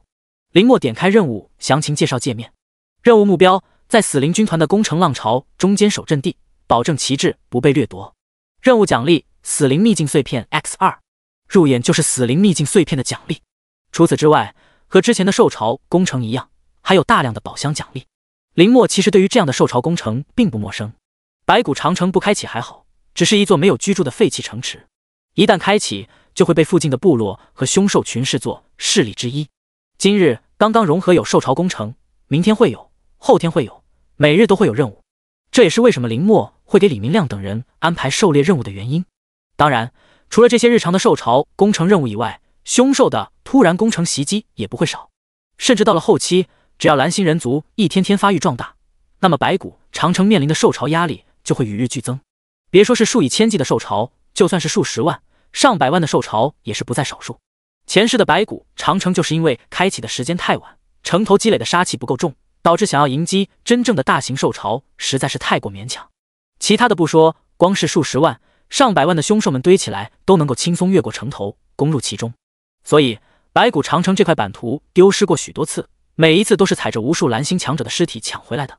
想到这里，林墨看向界面上的任务，脸上露出一丝冷笑：“很好，我就喜欢受潮，越多越好。”此时，一颗从火山口中喷发出来的巨大火石，正越过火山的边界，穿透无数的升腾而起的水蒸气，刚好朝着林墨的位置坠落下来。轰！伴随着火山石坠落在地，发出剧烈的爆炸声，将方圆数十米的范围砸出一个不小的坑洞。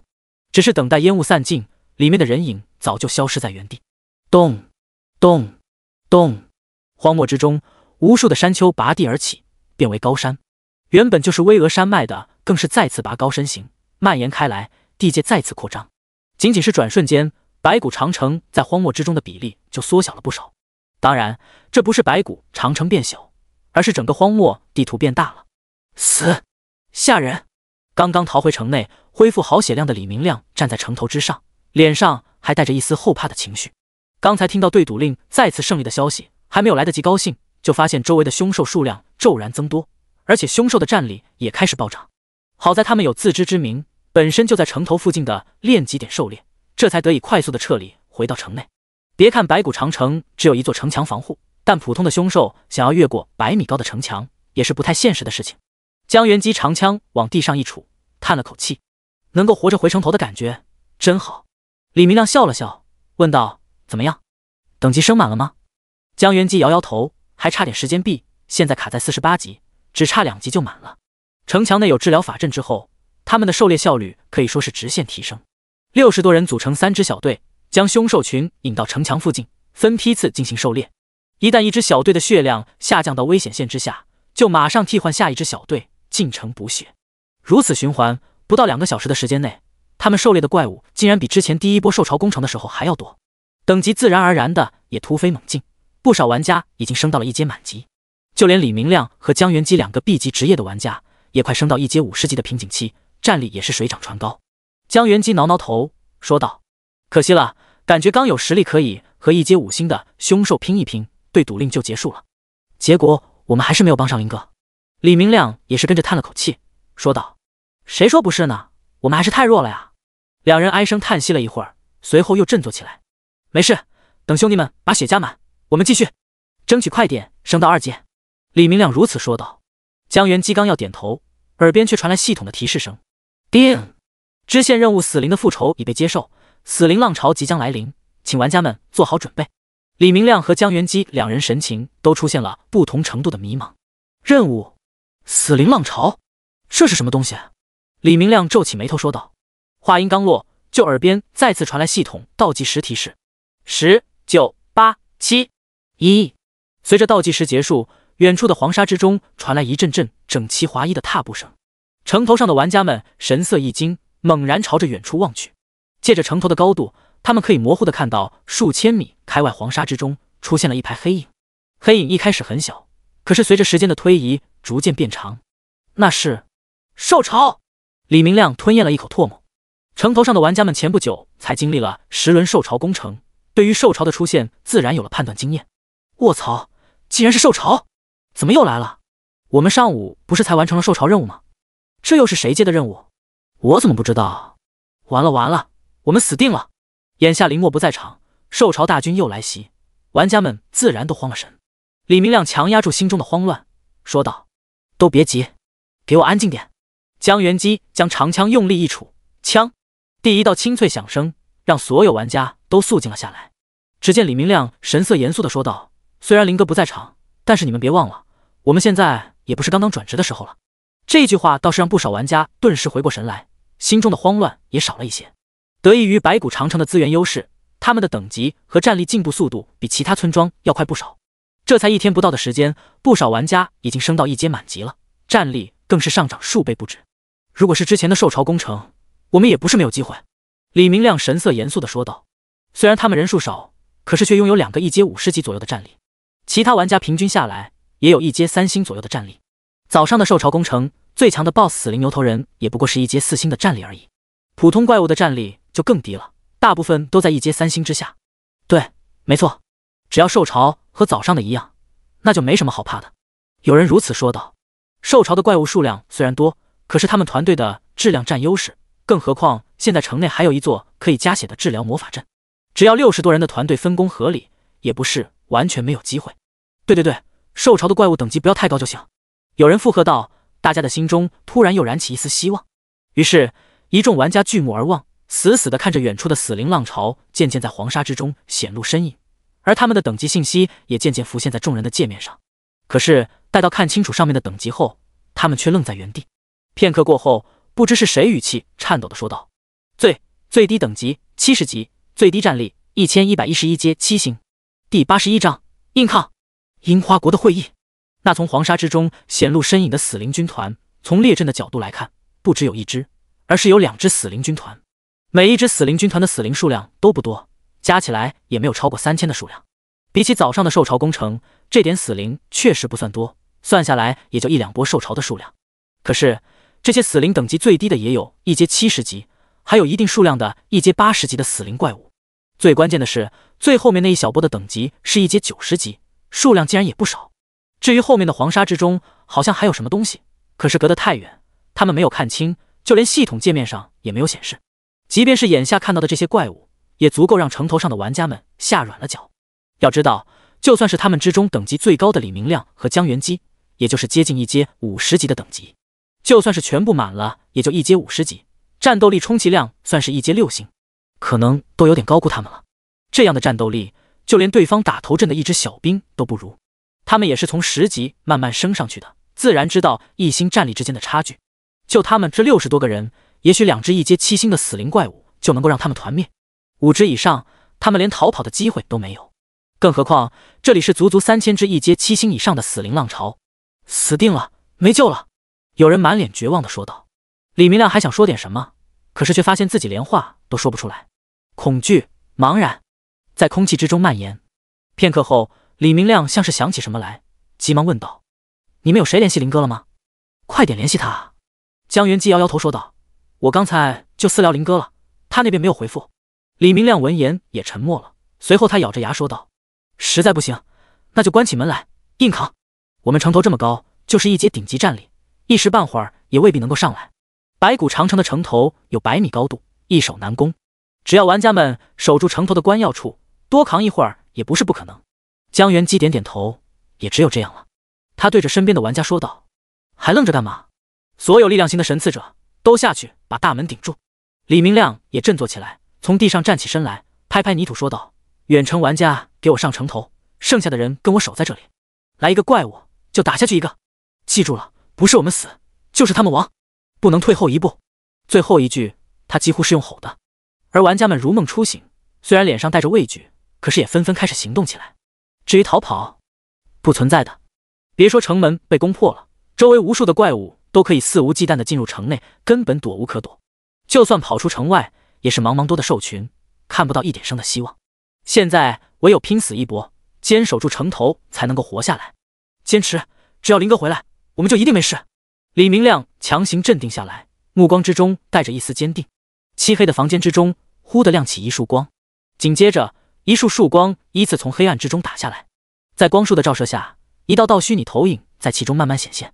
呵呵。这房间有点意思，一道低沉的声音传来。不过是一个临时的会议房间而已，就是跨境开启的费用有些高，一次就需要一百枚时间币。坐在主人位的虚拟投影笑眯眯的说道：“堂堂樱花国第二的 SSS 级阴阳师周度大，这一百枚时间币算什么？”有人如此说道。被称为周度大的玩家轻摇着折扇，笑着说道：“哼，现在是第三名了，被某个废物挤下来了。”周度大，一道怒吼传来。如果有人在场。肯定认得出来，这就是刚刚输给林墨和白骨长城的武士之家村长雨夜一真。此刻，即便只是虚拟投影下的他，也看得出来神情极其震怒。输给白骨长城，武士之家丢失了百分之二十的地图资源，村子外面的山头直接大幅度缩水，就连溪流都变窄了许多。练级点就更别说了，虽说怪物没有直接凭空消失，可是刷新的速度和数量也远不及从前。想要恢复到以前的水平，就需要重新通过对赌的方式。一次次地把损失弥补回来，这也就算了。关键是自家国区的游戏论坛里，玩家们的情绪异常激动，甚至有人直言让他切腹自尽。饶是自认为修养不错的他，也是火冒三丈，所以此刻情绪才会一点就炸。雨夜一真冷声道：“别以为你是樱花国玩家，我就不敢杀你。”被如此赤果果威胁的周度大倒是没有生气，依旧笑着说道：“呵呵，一真大人别生气啊，我就开个小玩笑，暖暖场而已。再说了，输给炎国。”难道不是事实吗？就算你战力超强，把我的脑袋砍下来，就能够堵住悠悠众口，改写事实吗？面对他阴阳怪气的责问，雨夜一真又想骂人，但又不知道该怎么回击。忽然，黑暗中传出来一道声音：“可以了。”听到这话，周度大才闭上嘴，也将脸上那丝戏谑收敛了起来。说话的人正是樱花国当之无愧的第一名青麻衣。之所以青麻衣能够位居樱花国的榜一，是因为在之前的旗帜争夺战之中表现出惊人的战斗力。一手飞影斩，仅仅用了一击就击杀了场上三千之数的敌人，一跃成为战场上杀人最多、杀力最强的选手。要知道，这三千之中甚至有不少 S 级以上的玩家，而且他可不像植物医生慕容淘淘，自己的召唤物都控制不了，敌我不分地团灭所有人。青麻衣战力爆表，且控制精准，不会伤及到任何一名自己的队友。如果不是炎国第三圣火玫瑰洛莲枝出手阻止，也许青麻衣能够将那座战场彻底收割。即便是自诩捉对厮杀一流的雨夜一真，在看过对方的战斗视频后，也自叹不如。他那一击之力的爆发力，也许能够高过对方，可是后者身形诡谲，让人捉摸不透。真要是在战场上遇见他，连施展拔刀斩的机会都没有。周度大点头说道：“好的，青麻衣大人。”雨夜一真也把想要骂人的脏话咽了回去。坐在座位上闭目养神，那蒙着黑色面罩的女子忍者这才语气平静的开口道：“接下来可以谈正事了。”周度大微微点头，抬起脸时，表情之中又带着一丝笑意，不过却不是调侃。诸位应该都知道，大樱花国想要称霸世界，就必须先拿下炎国疆域，所以此次会议的内容就是拿下炎国资源圣地白骨长城。第八十二章，主城的升阶挑战，针对白骨长城的阴谋。雨夜一真听到周度大的话，眉头紧皱，忍不住开口道：“说的轻松，哪有那么简单？即便到现在，他也不明白林墨是怎么完成对赌令内容的。那可是一万指一阶五星的怪物，就凭借林墨一个人，真的能够做到吗？答案显然是不可能。黑暗中有人也开口应和道：‘没错，白骨长城不像看上去那样简单，背后绝对还有帮手，说不定还有一个和林墨差不多实力的人隐藏在背后。’雨夜一真就像找到了知己一样。”语气顿时就激动起来，肯定是这样的，否则一个炎国十一人凭什么能够跟我比？你们别看白骨长城的人数少，但别忘了当初旗帜争夺战之中，白骨长城就只上场了一个林墨，那六十多人的玩家里，未必没有能够和林墨旗鼓相当的对手。他说出这话，就连刚开始和他针锋相对的周度大都点了点头，说道：“确实有道理，摆在明面上是林墨，不排除还有隐藏在暗地里的强者。”在座的玩家们纷纷点头，算是认可这个说法。雨夜一真见状也是松了口气。要知道，现在会议里的人都是目前樱花国的榜单强者，完全可以算是樱花国最强的一批人，也是未来在樱花国里最有话语权的一批人。他自然也是其中之一，但却不想因为一次对赌的失利被排除在外。雨夜一真微微调整情绪，说道：“就算我们针对白骨长城一直发起对赌令，也未必真的有效。林墨不是傻子，一旦我们一起下场。”肯定会有所提防。周度大轻轻摇着折扇，笑眯眯的说道：“林墨虽然不是傻子，但却足够自大。换句话说，他对自己的实力过于自信了。从他接受对赌令的态度就看得出来。”于夜一真还是摇摇头。即便如此，又能怎样？说到这里，他看了一眼在黑暗之中青麻衣，说道：“林墨个人实力就算不如我们，但是白骨长城的综合实力，我想不会弱于我们在座的任何一个村庄。比拼村庄的实力，即便是青麻衣大人。”我想也，他没有说完，但是意思很明显，武士之家做不到的事情，在座的其他村庄也未必做得到。周度大没有反驳他，反而点头道：“确实如此，所以我们不会通过单纯的对赌令去针对白骨长城，而是通过二阶的主城任务。”雨夜一真眉头微蹙：“你们的主城已经可以升阶了？这么快？”周度大摇摇头：“我的还没有，不过青麻衣大人的主城已经领取了升阶任务了。”接着。他就将主城升阶任务解释了一遍。于夜一真听完之后，才明白这次会议的目的。原来主城升阶任务其实就跟对赌令的任务类似，但却是升级版的玩法。主城升阶就必须合并其他村庄，两座一阶主城可以合并为一座二阶主城，之后的三阶主城也是如此。当然，也不是说一座村庄合并另一座村庄后，另外的村庄就彻底消失了，而是两者和其一，两个村庄的玩家自然也是合并到一起。但以谁为主，那就要看合并的方式了。如果是正常合并，那就是看双方村长的抉择和商议的结果。即便是选了对方的村庄作为主城区，那么入住其中的玩家待遇和地位也不会受到影响。但如果通过战斗的方式进行抉择，那么败者一方就必须无条件听从赢家。且败者村庄的玩家，就算融合主城之后，也会沦为主城区的二等公民，在赢家面前没有话语权，随时可以被赢家驱逐出主城区。所谓的赢家通吃。就是这样，雨夜一真听完主城升阶的规则之后，好奇道：“那是青麻衣大人准备对白骨长城发起主城合并的挑战吗？林墨会同意吗？万一他临阵退缩了怎么办？莫等周度大说话，青麻衣清冷的声音就在会议室里响起：“不会的。”听到这话，别说是雨夜一真了，就连在座的其他樱花国玩家也是一愣，似乎没有料到青麻衣会这么笃定。只听对方顿了顿，说道：“我看过他的战斗视频，他和我是一样的人，我们都在追求最强二字，所以他不会拒绝。每一句话都干净利落，语气更是斩钉截铁，似笃定般。”在座的众人一愣，随后看向黑暗中的青麻衣，对方唯一露在外面的那双眼睛中似有星辰闪耀，浑身上下战意盎然。即便只是虚拟投影，众人也感觉得到那股杀意，宛若实质一般，让人不寒而栗。这就是樱花国第一人的实力吗？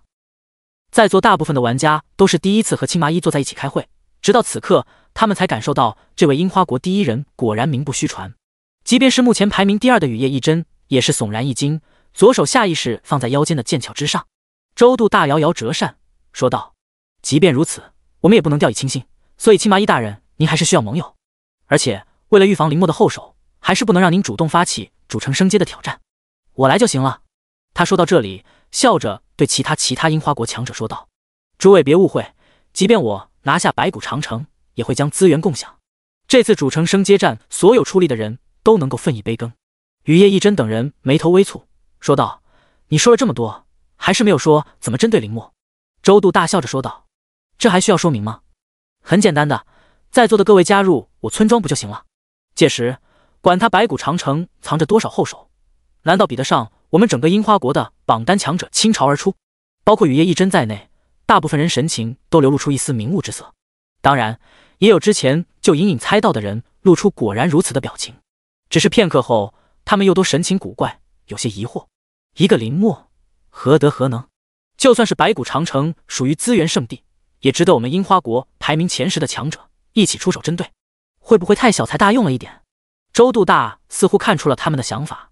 轻摇着折扇，笑眯眯的说道：“诸位，我们樱花国不出动则已，一出手势必宛若雷霆，必须一击即中，抢占先机。”说到这里，他啪的一声收起折扇，也收起脸上所有的笑意，神情严肃地站起身来，低下头。所以，恳请诸位大人助我一臂之力。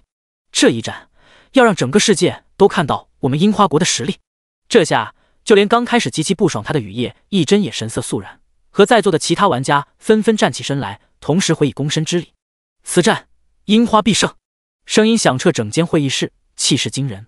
黑暗中，只有那樱花国第一人静坐于位置之上，对于那即将到来的强敌，心中期待不已。第八十三章：越城强者死杀！喊杀声冲破天际。白骨长城的城头之上，玩家们一个个脸上都沾满了血迹。他们站在城头之上，对着城下试图攀爬城头的死灵们释放着技能。操！砍死你妈的！李明亮举起长剑，与江元基一起站在死灵怪物最多的区域。每攀爬上来一只死灵，他们就会用手中的长剑和长枪用力将其劈砍下去。此时距离死灵浪潮开始已经过去了十几分钟了。饶是他们自己也没有想到，他们带着这仅仅六十多人，实力与死灵军团宛如天差地别，竟然能够坚持到现在。当然，李明亮和江元基也不是傻子，知道这是因为他们在主城内作战，拥有百分之十的战力。和移速加成，且对面的死灵生物不知为何到了城下却没有选择破门而入，而是选择登高上，而且他们的攀爬速度比他们预想之中的还要慢很多，似乎这座城头有什么东西压制着这些死灵生物，让他们的四肢变得沉重无比。也就是这样，实力相差悬殊的玩家们才能够坚持这么久，而且目前还没有出现阵亡的玩家。饶是如此，他们撑到现在也有些力有未逮了。短短不到半小时。六十多人已经轮换了好几次去补血，如果不是那座治疗魔法阵撑着，即便有主城的场地优势，也只有死路一条。此刻的李明亮也好，江元基也罢，或是其他的玩家，脑子里早已没有了关于林墨赶来救他们的念头。不是不想，而是没时间想。光是疲于应付这些攀爬城墙的掘墓者，就足够让他们拼尽全力了。除了杀杀杀以外，脑子里一片空白，什么都没有。老子怕你吗？杀！砍啊！砍他妈的！那边那边，不要让他爬上来了！哈哈，孙子们，你们的爷爷又回来了！去死去死去死！玩家们一个个状若癫狂，一边口吐鲜血，一边破口大骂。没办法，一阶七星的怪物防御力实在是太强了，他们之中大部分人的战力就算有百分之十的增强，可是依旧很难对其造成伤害，只能凭借一股拼尽全力的力道让其跌落下去。至于击杀和反击，自然是不可能的。而武器传来的反震之力，足以让大多数人受伤、扣血不止，所以每隔两三分钟就必须下去补一次血。好在治疗魔法阵的补血速度够快，勉强能够支撑他们轮换。好，死灵们的嘶吼声距离城头越来越近，李明亮等人心头着急，可却无可奈何。刚才他们拼尽全力，也只是和这支死灵军团的先锋部队维持一个微妙的平衡。对方无法爬上墙头，他们也无法对其造成伤害。可是，随着城下的死灵怪物越来越多，他们需要应付的城头缺口也越来越多。六十多人根本不够！吼吼吼！忽然，一道恐怖的嚎叫从耳畔传来，有人惊呼一声：“快看，那边的爬上来了！”李明亮猛地回头看去，只见一个手持铲子的掘墓者已经一只手爬上了城头，一只脚也跨在了城头的一端，只需要稍稍翻身就能够彻底翻过来，算是登上城头了。看到这一幕。李明亮只觉得头皮发麻，一只一阶七星的掘墓者，他可没有信心在城头的平地之上和对方交手，即便是大家一起上，也未必能够将其赶下去。更何况攀爬城墙的死灵生物越来越多，他们哪里腾得出手去对付这只掘墓者？完了！李明亮心中下意识冒出这个念头，这只掘墓者就像是打破那微妙平衡的一根稻草，等到对方翻身上来，城头就算是彻底失守了，只能往后撤退。可是。他们又能撤到哪里去呢？就在李明亮愣神之际，忽然一道破风声在耳边响起，接着他眼前一花，那只已经半个身子都在城头上的掘墓者忽然之间就消失不见了。轰！宛若爆炸的声音在耳边响起，李明亮等人下意识回过头望去，只见一道身影就像是从天而降一样，重重的砸在了城头之上。莫等众人反应过来，就看到烟尘之中那道熟悉的身影。林哥！有人率先惊呼道。尘埃散尽。林墨没有理会周围玩家的惊喜，单手捏着那只想要爬上城头的掘墓者的脑袋，低着头看着他说道：“没有我的允许，你是怎么赶上来的？”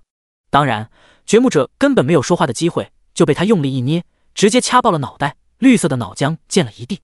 暴击，一击必杀！被命中要害的掘墓者灵魂之火瞬间熄灭，红色击杀提示也随之飘起。那只一阶七星的掘墓者就这么在他的手中软了下来，然后被林墨随手一甩。丢下了城头，随后林墨望向城头之上的玩家们，李明亮激动的都快哭出来了，语气带着颤音的说道：“林林哥！”林墨眼皮子抬了抬，扫了他们一眼，淡淡的说道：“自救者天救，自助者天助，自弃者则天弃。算你们还算有点脑子，没有放弃守城，直接选择跑路。否则，就算你们跑了，我也会把你们一个个抓回来，然后一个个拍死在这里。”不知为何，再次听到林墨这近乎威胁的话。李明亮和江元基等人却没有半点害怕的情绪，反而热泪盈眶，满脸泪水。M D，终于把大腿等回来了。李明亮还想说点什么，后脑勺忽然感觉一凉，他下意识回过头去，只见一只掘墓者虽然没有越过城头，可是举起手中的铲子正要朝着自己挥过来，但对方的动作仅止于此，因为他的额头上钉着一枚锋利的骨笔，整个身体稍稍僵直过后，然后直直的向后栽倒，砰，地一声坠落下去。砸倒一大片想要攀爬的同伴，莫等李明亮反应过来，面前的林墨已经动了起来，十二根锁链完全展开，在空中快速轮转起来，无数的骨笔从锁链之中射出，就像是一柄柄自动锁敌的飞刀，无比精准的命中那些想要距离城头最近的掘墓者的头部。下一刻，红色的击杀提示在城头之上飘了起来，砰砰砰，掘墓者们一直只的向后栽倒，砸在死灵军团的阵营之中，局势在短短的一瞬间。完全扭转了过来，守城的玩家们纷纷松了口气，随后目光灼热的看着那道已经站在城墙外沿上的身影，冰冷而充满杀气的声音传遍整座城头：“越城强者死！第八十四章二阶怪物，死灵堕落黑骑士。”说完那句话后，林墨就以一种自由落地的方式朝着城下直直的坠落下去，而他所过之处，十二根黑色锁链无限延伸，将正在攀爬城墙的掘墓者一一扫落。说是扫落。其实站在城头上的李明亮等人看到那些掘墓者落地后，不是脑袋被流星锤彻底砸烂，就是胸口被锤出一个巨大的窟窿，大部分直接去世，有小部分还没有去世的也丧失了彻底行动能力。看得城头上的李明亮等人连连啧舌，不愧是林哥，这也太强了！呜，林哥，你就是我的神！泪目了，终于不用死了，终于活下来了！众人气喘吁吁地坐在城头之上，光是看着那道跃下城墙的身影，他们就觉得安全感十足。李明亮和江元基自然也是如此，只是前者虽然松了口气，但想了想，忽然开口说道：“总觉得林哥那句话不像是说给这些怪物听的，像是说给我们听的。”玩家们听到他这话，纷纷一愣，他们自然知道李明亮说的是那句“越城强者死”，说给这些死灵们听，确实没必要。这些怪物懂个球啊！好像真是说给我们听的。江元基挠挠头，虽然反应要比李明亮慢半拍，但也回过味来了。其他玩家也是似有明悟。呜呜，林哥终于愿意跟我们说话了。回想起林墨那句“自救者天救”，有人泪目道：“虽然那句话杀意腾腾，可是众人却没有丝毫害怕的感觉。众人甚至还有一丝丝的感动，那就像是在无边的黑暗中忽然出现了一道阳光，让人忍不住想要抓住它。”江元基想了想，说道：“两段话也许都是说给我们听的。”大概是，守城真的很重要。李明亮点点头，或许林哥是想告诉我们，城墙就像是我们村子的脸面和尊严一样，就算是豁出命也得守住。其他玩家也纷纷点点头，认同这个说法。误打误撞，李明亮算是揣摩出林墨话里的一层意思，只是因为当下的情形还未到那个时候，他们并不明白林墨话里更深层的意思，更不明白所谓的“豁出命”三个字的意义到底有多重。轰！就在他们思索之际，战场之上再次传来一声巨响。只见林墨不知何时已经将后背上的巨大鼓手直接展开，面对不断扑上来的掘墓者们左右开弓。砰砰砰，一巴掌就能够扇飞一大片。对于李明亮等人来说，难以对付的掘墓者，在林墨手中就像如同蝼蚁一般，压根撑不过一击之力。要知道，林墨可还是离开了城头，独自在城外作战。要是在城墙之上有战力加持，有城头压胜。对付这些死灵怪物，起步更像是砍瓜切菜般轻松。当然，现在也差不多。且不说两只巨大的鼓手完全展开，让林墨就如同那传说中的魔王将士一般恐怖，一路横推，霸道至极。光是那十二根锁链，杀力也不是普通玩家能比的，宛若索命的死神一般，一次次探出，将一具巨掘墓者的尸体吸成干尸。纵使李明亮等人看过很多次林墨吸食尸体的画面，还是觉得手脚冰凉，一身寒意。不过转念一想，刚才这些掘墓者把他们逼得有多么恼火，此刻这个下场又着实让他们无比畅快。杀！林哥，把他们全杀了！有玩家咬着牙在城头上给林墨助威，有些血量很残的玩家连去治愈魔法阵加出手。亡鬼爆裂斩！轰！林墨挥舞着鼓手在死灵军阵之中横冲直撞，掘墓者死伤一片，根本无法阻止他的行动。仅仅只用了十几分钟。就横推进到黑暗之斧的阵营之中。黑暗之斧，等级八十，技能一冲锋，二黑暗砍击，战力评价一阶八星。虽说名为黑暗之斧军团，可是却是一支数量不下一千的死灵骑士团。无论个体战力还是综合战力，都要比当初暴龙血骑士的血骑团要高出大一截。杀！古怪而沙哑的声音响起，为首的那几个黑暗之斧的小 boss 首领举起手中的斧枪，就朝着林墨冲了过来。咚咚咚。咚咚咚咚咚咚，黑色古马的马蹄声在战场上响起，沉重而整齐。由慢渐快，由远及近。林墨神情平静，不退不避，双手环于胸前，展开两只巨大的鼓手，整个人站定在原地，就像是等着黑暗之斧的骑士团撞过来。冲在最前面的那位一阶九星的黑暗之斧 BOSS，挥舞着巨斧就想要斩掉林墨的头颅。凭借着骑士团的冲锋加成，他这一击的战力其实是超过了一阶九星的。甚至达到了二阶一星的战力水准，就连城头上的李明亮等人看到这一幕，心弦都下意识紧绷起来。可是林墨展开两只鼓手，就像是拥人入怀一般，两只手丝毫不管那柄巨大的斧枪，而是朝着前面包了过去。当，斧枪还真的命中林墨的脖颈处，只是被上面的白骨盔甲挡住，斧刃死死的卡在了森然白骨之中，暂时无法拔出。好死不死，这位黑暗之斧的 BOSS 还想把巨斧抽回去，只是下一秒。林墨巨大的鼓手用力一拍，啪！地声清脆巴掌声，那尊战力一阶九星的黑暗之斧 BOSS 就这么被拍成了一堆七零八落的骨头。暴击，一击必杀！随着击杀提示飘起，后面的黑暗之斧骑士并没有因为首领的阵亡而退缩半分，纷纷举起手中斧枪朝着林墨砍来。炙热龙焰，附着着火焰特效的巨大鼓手再次左右开弓，将冲锋而来的死骑士们连人带马的掀翻在地。砰砰砰！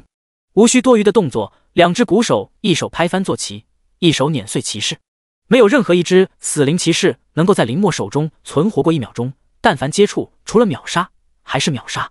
这些和林墨同等级的死灵骑士，在他的手中毫无还手之力。主要是纸面上的属性差距实在是太大，林墨无需使用什么技巧，简单的一路横推即可。他的双臂再次击变成锁链，其中两根将还卡在脖颈处的斧枪用力一拔就拔了出来。林墨扫了一眼上面，见系统没有提示可以吸食，微微摇了摇头，丢弃在一边。吸食武器的条件似乎比吸食尸体更为苛刻，跟武器的品质肯定有一定的联系，但却不是完全与之相关。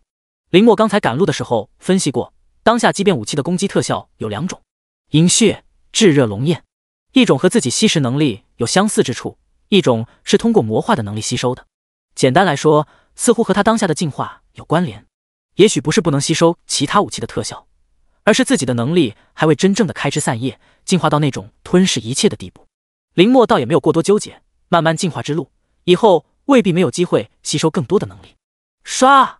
就在他沉思之际，又是一只黑暗之斧的 BOSS 再次从侧翼骑马偷袭而来。同样的斧枪，同样的冲锋，但角度更为刁钻。林墨冷笑一声，以鼓手握拳，用力一轰，砰！那头 BOSS 的两米多长的斧枪，在林墨鼓手之下，直接被锤得稀巴烂，连带着对方半条胳膊肘也被锤得完全翻折过去。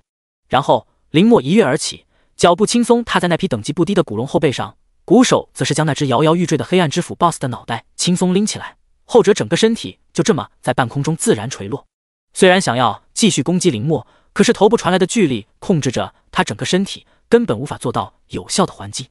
而林墨却没有看他，而是眼神穿过无数的死灵怪物，看向军阵的最后方，淡淡开口道：“再不出来，我就把他们全部宰光了。”话音落下后，军阵之中除了死灵骑士们的冲杀声，依旧一片沉默。就在林墨眉头微蹙，不耐烦的准备直接杀过去时，忽然，一道低沉的声音传来：“你就是击杀血骑士和烈焰的人类。”林墨微微眯起眼睛，只见一个右手扛着一柄三米长死神镰刀的盔甲骑士慢慢走出来。说是骑士，但其实对方坐下并没有坐骑。死灵堕落黑骑士，等级一百三十，技能一诅咒光环，二王鬼爆裂斩，三吞噬亡魂。战力评价二阶五星。果然，这位黑骑士的等阶超过了二阶，战力更是达到了二阶五星。比之前在火山 buff 加持下的烈焰征服者最高战力还要高出两颗星。黑骑士身着一整套的漆黑盔甲，浑身上下散发着幽绿色的荧光，灵魂之火跳动的极其雀跃，就像是在欢迎林墨。林墨挑眉，又是一头不像死灵的死灵生物。黑骑士盔甲之下的猩红双眼死死地瞪着林墨，用沙哑的亡灵语说道：“人类，我再问一次，就是你杀了血骑士和烈焰？”黑骑士浑身上下迸发出惊人的战意。没错。就是战意，一种不该出现在死灵生物身上的情绪，却出现在黑骑士的身上，就像是之前的烈焰征服者身上有恐惧的情绪一样。很显然，黑骑士也被那家伙注入了某些东西。但比起烈焰征服者的恐惧，这种类似杀意的情绪似乎更值得林墨多看几眼。林墨淡淡的看着他，是又如何？黑骑士听到林墨回答，呵呵一笑，道：“那就好办了，打死你，然后把你的尸体带回去给主人。”主人那两个字还未落地，他就一个暴冲。举起手中的死神镰刀，挥砍了过来。王鬼爆裂斩，绿色刀气宛若实质，即便隔着数十米远，也能够感受到其凌厉至极的杀意。黑骑士出手击杀招，第八十六章崩裂的骨甲，被压制的林墨，炙热龙焰。林墨有心想要试试对方的技能，将鼓手的龙焰效果开到最大，以鼓手攥拳用力轰了过去。当，鼓手在半空与绿色刀气碰撞，发出刺耳的金属摩擦声。火光在两者之间飞溅，僵持片刻后，那道绿色的刀气骤然炸裂开来，几乎是当场，林墨的鼓手就被炸毁了一大半。而且炸裂的刀气并没有完全消失，而是变成了更加细小的刀气，朝着林墨面门而来。林墨眼神微凝，下一刻身上的十二根锁链就停止了吸食尸体，开始轮转起来。当当当当，清脆的金属声在场间响起，绿色的小刀被锁链一一挡下，打飞出去。仅仅是飘出去的一瞬间。刀气就消散在空中，就像是没有存在过一样。一道王鬼爆裂斩，林墨足足接了半分钟，才把这些刀气一个不落的全部接下。才刚刚收手，他就听到耳边传来一声嗤笑：“哼，也没有想象中那么强啊。”话音刚落，林墨就看到身材高大的黑骑士已经逼近他的跟前，举起散发着绿色荧光的巨大镰刀挥舞了过来。他反应极快，直接举起另一只左手挡了过去。当。一股巨力从鼓手之上传来，林墨整个身躯竟被稍稍压弯了腰。只是瞬间，他又重新站直，但他整个人却往地里下陷了好几分。呵呵，黑骑士讥讽一笑，手中力气再次加重几分。砰！林墨下肢直接被一股大力压得陷入沙地之中，暂时无法动弹。好强的怪力！他眼神微凝，但马上又发现不对。凭借他目前的属性值，只要不碰上二阶的永恒族，即便是这种 BOSS 级的死灵生物，四维属性也未必真的能够压制住他。是诅咒光环！林墨很快就察觉到身上附着着一层淡黑色的光芒，颜色很浅，但是却能够让他在黑骑士的光环范围内行动滞缓。这也是为什么刚才林墨没有闪避过这一击的主要原因。虽然黑骑士没有什么火山 buff 的加成，可是在这个光环之下的他，无疑战力暴涨，完全可以视作一个二阶六星，甚至是二阶七星的存在看待。还行，竟然能够抗住我的力量，难怪能够宰了那两个废物。盔甲之下的黑骑士露出一个笑容，然后又说道：“希望你能够让我尽兴。”话音一落，他右手握着死神镰刀，开始疯狂地朝着嵌入沙地中的林墨挥击而来。当当当当，林墨只能举起手中仅剩的鼓手与之对抗。火光不断的乍现，交手快若雷霆，而城头上的玩家们则是一脸震惊。我没看错吧？林哥竟然被压制住了！操，这什么鬼东西啊？可以站着和林哥对轰？也难怪他们会惊讶。回看之前的战斗，林墨在他们眼中一直战无不胜、攻无不克的战神，无论是新手试炼也好，还是旗帜争夺战也罢，总是刷新他们的见识。之前的两次对赌令更是赢得匪夷所思。甚至现在炎国的游戏论坛还有人讨论白骨长城的对赌令，还有炎国玩家提议把林墨原本十一人的排名提一提，只是也有不少人反对，就是了。反对的理由很简单，那就是毕竟没有看过林墨和 SSS 级职业真真正的交过手，而且也无从得知林墨是如何赢下对赌令胜利的，所以无法确认他真实的战力。当然，话说回来，不管林墨进不进炎国前十，在李明亮等人心中的地位却无人可以替代。哪怕是炎国第一的施剑仙白夜也不行，而场中的死灵怪物竟然能够和林墨打个五十五开，而且看样子还隐隐占据了上风，实在是匪夷所思。卧槽，那 BOSS 是二阶五星的！有人忽然惊呼道。由于之前关注点都在林墨身上，直到此时他们才关注到刚刚刷新在界面上的信息。什么东西？二阶五星？众人一脸不可思议。我的天，不要脸了吧？林哥都还没升到二阶吧？我们主城也在一阶。怎么会有二阶的受潮工程？就是啊，这系统判定不合理。而且我看其他玩家的村庄连受潮工程都没有，凭什么我们这里一天来两次？靠！这狗日的游戏系统怎么搞的？是想要给我们加难度是吧？这不公平！但不管他们怎么说，都无法改变战场上的局面。他们也只能站在城头上干着急。怎么办？要不让林哥回来补补血？有人问道。你觉得可能吗？真以为那种战斗是小孩子过家家呢？还能中途叫暂停？有人翻个白眼吐槽道：“我的意思是，我们在城头顶着，让林哥回来加满血再去。”那人挠挠头说道。李明亮对这个说法却是摇摇头，说道：“别想了，我们顶不住的。别说二阶的死灵 BOSS 了，就算是城下那些一阶七星的掘墓者，他们光是应付起来就足够吃力了。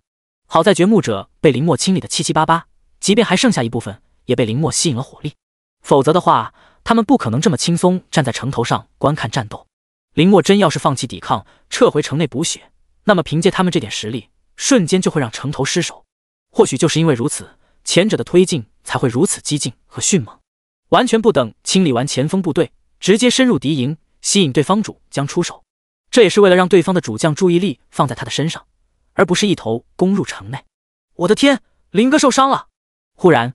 城头上的玩家再次传来惊呼，李明亮等人仔细一看，虽然林墨和黑骑士交手的动作他们完全看不清楚，远远看去就只看得见一阵耀眼的火光在闪烁，但此时凝神一看，却发现林墨的肩膀、腰间以及身体多处部位似乎都有鲜血溢出，而对方头顶的血条似乎也在急速下降，很快就降到了黄线之下，正在快速逼近红线。玩家们下意识攥紧拳头，可对于面前发生的一切完全无能为力。操！不知是谁骂了一声。此刻战场上，太慢了，太慢了，太慢了！黑骑士狰狞着脸，嘴里不断嚷嚷着，手中的死神镰刀快若闪电，不断的劈砍在林墨身上。而后者虽然勉强接下了所有攻击，可却无法完全阻挡那些溢出去细小的绿色刀气，只能任由刀气切割着他的身体。好在身上还有白骨盔甲，能够抵挡一阵子，但也仅止于此了。咔嚓，白骨盔甲之上再次发出清脆的碎裂声，已经满目疮痍的白骨上又增添了一丝裂痕。第八十七章，战力暴涨，来继续！太弱，太弱，太弱了！黑骑士一边狂笑着，一边挥砍。你这么弱，是怎么击杀烈焰那蠢货的？此时的林墨半个身子都镶嵌在泥沙之中，无法动弹。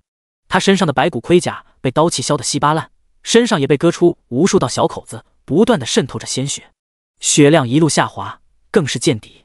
全是从外形来看，确实跟李明亮等人看到的情况一样，林墨已经陷入岌岌可危的境地。但林墨自始至终神情平静，一如往常般。即便他的一只骨手已经彻底碎裂，另一只骨手也几近破碎，随时有可能在黑骑士的死神镰刀之下碎裂。林墨全场没有要从泥沙之中重新出来的意思，只是以残破的一只鼓手不断和死神镰刀互换招式。被死灵王座添加了某些东西的黑骑士，展现出来的战斗素养已经不是低阶怪物所能拥有的。别看只是简单的挥砍，可是那肆意的刀气并没有通过使用技能的方式释放，而是随着他的劈砍就流淌出来。这是中阶战士，甚至是高阶战士才会使用的战斗技巧。即便这技巧黑骑士使用的还很生疏，或者说潦草至极。但这也是刀器，一种甚至比斩钢还要难学的技巧。不愧是那个家伙制造出来的死灵生物，这才低阶就已经这么难缠了。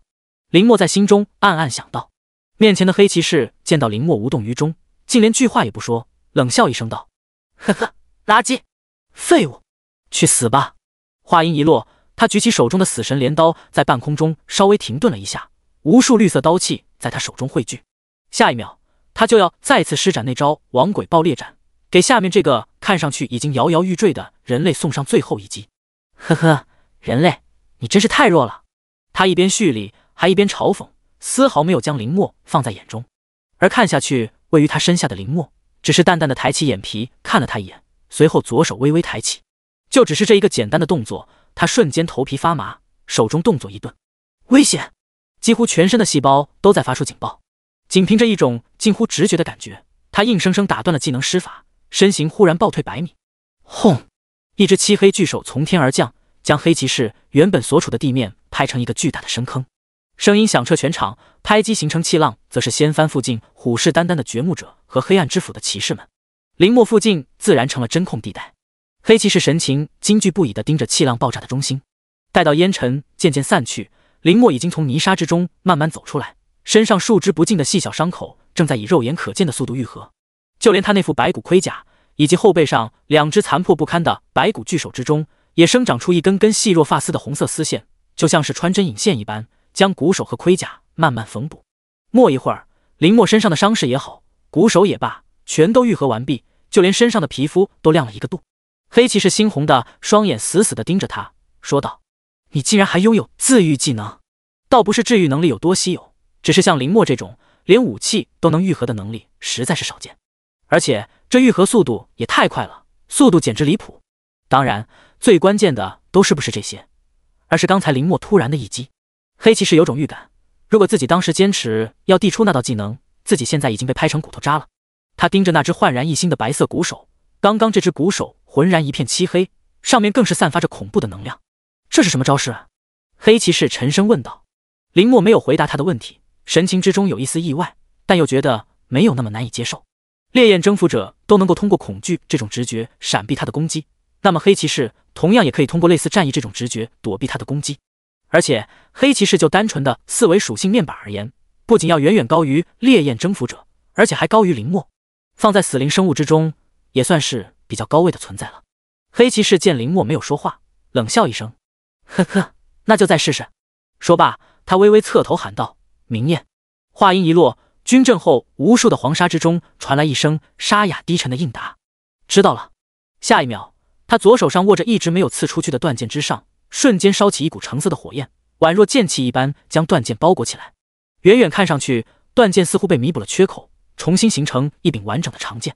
九域明焰巫妖看到这股火焰，林墨自然就清楚了隐藏在黄沙之中的存在，只是对方借助黄沙或是其他隐匿手段。没有直接出手，所以系统也无法探测出其存在。但一般的死灵生物，就算隐匿身形，也不会像对方这般完全充当一个局外人。很显然，这又是一头被添加过某种东西的死灵生物，有点意思了。林墨眯起眼睛，淡淡的说道。黑骑士似乎听到他这句话，冷笑一声道：“有点意思。哼，我接下来会让你知道什么才是真的有意思。”只见那柄燃烧着橙色火焰的断剑，以及那柄隐隐流露出绿色火焰的死神镰刀，被黑骑士一左一右的握在手中，就像是两道缠绕在身上的火龙，遥相呼应。仅仅是一瞬间的功夫，他身上的气息暴涨，系统面板上的二阶五星战力直线飙升了两颗星，变成了二阶七星。如果再加上黑骑士身上的诅咒光环，那么只要和其近身作战，他的战力还会上涨一个台阶，无限接近于二阶的巅峰战力。这样的战力。对任何一个一阶的玩家来说都是致命的。林墨看着战力暴涨的黑骑士，冷冷的说道：“真以为就你会加战力？”莫等黑骑士说话，他顺手就将时间币全部投入经验条之中。叮，消耗一百六十二个时间币完成升级，全属性加一。叮，消耗一百六十四个时间币成升级，全属性加一。叮，消耗一百六十六个时间币完成升级，全属性加一。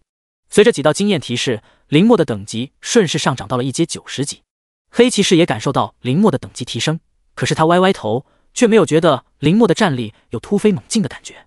就这，他刚想说话，就顿时察觉出不对劲。怎怎么会？黑骑士愣了愣，因为站在百米开外的林墨战力顿时暴涨，但他能够察觉到，这不像是某种技能的增幅，而是一种实打实的提升。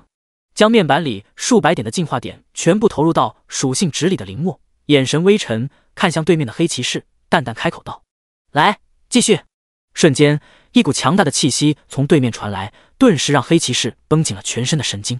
第八十八章，九域明燕巫妖现身。合击，亡鬼爆裂斩！黑骑士毫不犹豫，再次释放了刚才的杀招。战力猛然暴涨的他，让这招亡鬼爆裂斩的杀伤力也骤然提升了一大截。死神镰刀在空中划出一道绿色的刀气，朝着林墨就冲了过来。林墨这一次没有站在原地，而是不退反进，向前冲杀了过去。闪现，他轻轻一动，亡鬼爆裂斩就失去了目标，重重的沿着地面挥了出去，竟然砍杀了不少黑暗之斧。黑骑士一愣，似乎没有预先知道林墨竟可以闪避这道攻击。当林墨再次出现时，近乎已经逼到他跟前了，后背上巨大的鼓手再次伸出来，朝着他重重拍了下来。黑骑士下意识就想闪避，可是发现林墨的鼓手似乎没有异变。便停下身形，咬着牙挥动着死神镰刀劈砍过去。只不过这一次还要加上他左手燃烧着橙色火焰的断剑。当鼓手和死神镰刀接触一瞬间，双方都被一股巨大的反震力稍稍震退开来。然后就是令旁观者看不清出招的对攻。当当当当，场中火光再次溅射开来，不绝于耳的金属碰撞声响彻战场。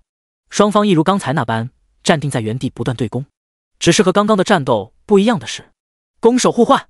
如果说刚才是黑骑士将林墨压制在泥沙之中，无法移动，必须硬生生的扛下他所有的攻击，那么现在的黑骑士就如同刚刚的林墨一样，被林墨的攻击死死的锁定在原地。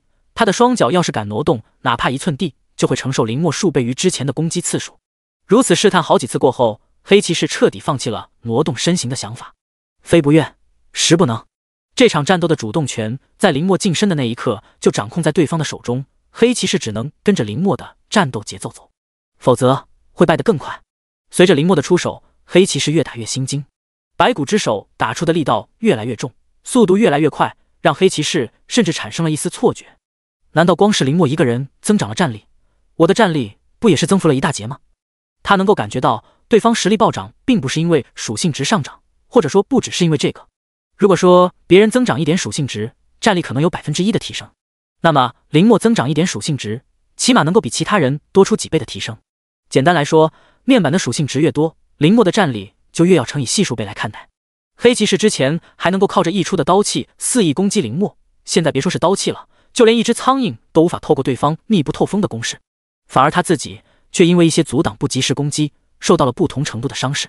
局势的骤然转变让城头上的众人看得目瞪口呆，因为在李明亮等人看来。仅仅是不到一分钟的时间，双方的攻守就互换了。他们完全不清楚到底发生了什么事情。林哥优势了，好半天，他们才后知后觉的察觉到不对。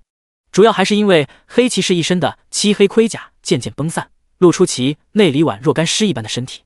很明显，这是林墨攻击导致的。林哥牛逼啊，二阶五星都能压着打。不对，这家伙怎么战力飙升到二阶七星了，好吓人！再吓人又如何？不还是打不过林哥吗？林哥无敌，死！林哥的战力果然是一个永远也无法解开的谜。关于林墨的战力，李明亮和江元基两人简直是深有体会。一开始的新手试炼，再到后面的旗帜争夺战，然后是受朝攻城、对赌令，每一次他们认为林墨会输的时候，林墨都能够刷新他们的认知。李明亮攥紧拳头，神情激动万分，身边的其他玩家也同样如此，脸色涨红，恨不得把嗓子喊破。回到战场，可恶，可恶，可恶！黑骑士越打越急躁，可越急躁，手中的攻击纰漏就越多，随之而来的后果。自然就是身上伤势不断增多，血量不断扣减。渐渐的，他原本上万点左右的血量已经砍掉将近一半，慢慢下滑到黄线之下了。但是黑骑士对此却没有任何办法，连身形都无法轻易移动，更别谈其他的了。又过了几分钟，血量再次下滑，直线逼近红线。黑骑士实在无法坚持，大声怒喝道：“你再不出手，我就真的死了！你也别想完成主人的任务！”直到听到了最后一句话。那一只一直隐藏在黄沙之中的九域明焰巫妖才缓缓显露身形，他浑身长满了黑色尖刺，脸上就像是被人剥过皮一般，露出底层血淋淋的筋肉，没有双目，面目崎岖而显得异常狰狞。最值得关注的是，九域明艳巫妖手持着一柄漆黑的法杖，法杖之上闪烁着幽冷的橙色火焰，整个人在明艳之下显得格外阴森和恐怖。明明手持火焰法杖，可刚刚出现就让周围的空气冷了好几度。沙哑恐怖的声音从他口中传来：“地狱幽魂束缚链。”和黑骑士一样，明艳巫妖也是开口即杀招。咏唱完技能的一瞬间，林墨周围的黄沙地顿时变得漆黑无比，然后就弹射出无数根带着明火的锁链，以迅雷不及掩耳之势就将林墨的四肢连带着两只巨大的鼓手一起死死的捆绑住。黑骑士终于得到了短暂的空隙，对着身后的九域明艳巫妖吼道：“一起出手，不要留手，宰了他！”黑骑士脑海中有一种预感。他就只有这一次主动出手的机会，错过这次，也许之后都不会再有了。而九域明艳巫妖也没有耽误时机，甚至不用黑骑士说话，已经自主开始咏唱攻击魔法。橙色的火焰不断在法杖之中环绕，低沉而诡谲的咒语在空中流淌。而黑骑士也举起手中的死神镰刀和断剑，开始距离。片刻后，他们一前一后同时出手，亡鬼爆裂斩，明艳行彩，一道绿色刀气。一道橙色火焰冲击波同时撞向被固定住全身的林墨，包括九域明艳巫妖在内，两者都属于二阶高星的战力，甚至可以说是二阶中的顶尖战力。两者合击相辅相成，伤害完全可以视作无限逼近三阶战力的一击。就算是林墨，要是被正面命中，不死也会脱层皮。只见他眼神微沉，冷声吐出两个字：魔化。第八十九章，地震，城头在长。下一刻。林墨不只是鼓手，浑身上下附着上一层漆黑的物质，乍一看并不像是什么畸变的武器附着上去了，而像是一种漆黑如墨的菌群爬满了林墨的全身，而且这黑色物质时不时的跳动几下，就像是活物一般。转瞬间，林墨全身就变得漆黑无比，比对面的黑骑士还要黑。黑骑士见到这一幕，心中那股不祥的预感再次拉满，危险！他下意识想要撤退出去，可是来不及。林墨仅仅用了一瞬的功夫，就挣脱了九域明艳巫妖引以为傲的束缚技能——地狱幽魂束缚链，然后再一个闪身，轻松避开刀气和明艳冲击波。等到他眼睛捕捉到林墨身形时，对方已经站定在他的身后。他下意识就想挥动手中的死神镰刀砍过去，可是林墨一只魔化鼓手已经摁在他的头顶之上。黑骑士动作一僵，停下了手中的攻击。他有预感，只要动一下就会死。黑骑士全身上下的神经疯狂跳动。在心里疯狂怒吼着：“九玉，九玉呢？”可是下一秒，他的耳畔响起林墨冰冷的声音：“你在找他吗？”黑骑士微微偏过头，刚好看到了林墨另一只漆黑的巨大鼓手，将他的同伴九玉明燕乌妖那颗被包过皮的血腥大脑袋紧紧攥在手中。后者的身体半悬挂在空中，随着风微微摇动，手中的法杖早就掉落到地上。和他一样，在漆黑鼓手的压制下，根本生不起半分反抗的想法。这下。黑骑士彻底哑火，林墨抓起他的脑袋，微微往身前提了提。被魔化后的双眼没有瞳孔，被填满了黑色，就这么看着黑骑士。他淡淡的吐出三个字：“太弱了。”随后，莫等黑骑士有任何动作，就被他单手捏爆了脑袋，绿色的汁液溅了一手。另外一边的九域明燕巫妖见状，似乎准备拼死一搏，可是林墨没有给他这个机会，只听咔嚓一声，头骨被直接捏碎。暴击，一击必杀！暴击，一击必杀！战场之上先后飘起两道红色的击杀提示，城头上的玩家们先是一愣，随后爆发出前所未有的欢呼声。卧槽，那是什么东西？牛逼啊！林哥，靠靠靠靠！林哥竟然击杀两只二阶高星的 BOSS！呜，这个世界还有什么是林哥做不到的吗？林哥无敌，白骨长城无敌！李明亮等人实在没有想到，一眨眼的功夫，林墨就完成了压制。又一眨眼的功夫，连带着刚刚出现的一只二阶 BOSS 都被林墨单手捏爆了脑袋，局势一下子就明朗了。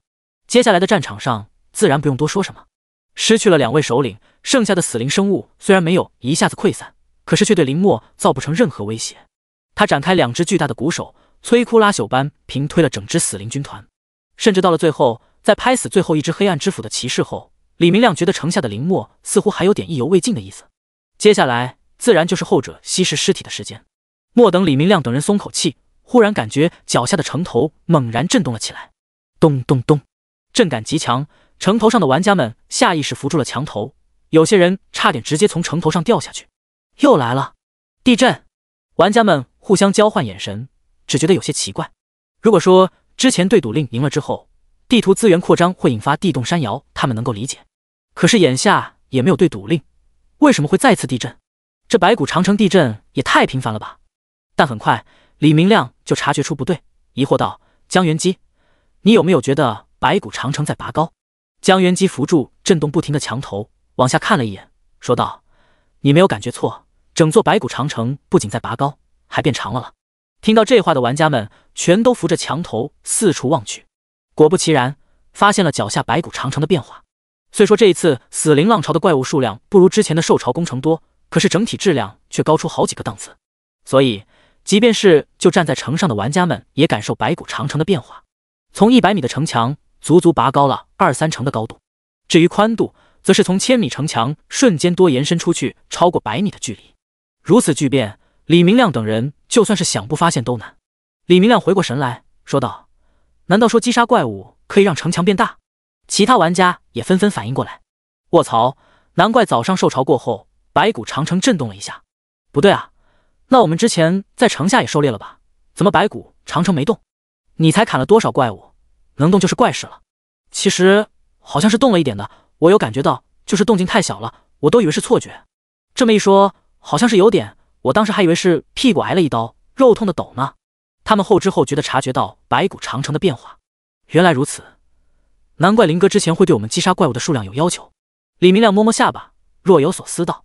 其他玩家倒是没有想那么多，哈，白骨长城变得更高大才好啊！以后那些怪物岂不是爬都爬不上来？可不是吗？这一次也是多亏了百米城头，否则我们根本撑不住林哥回来。升，给我升的高高的！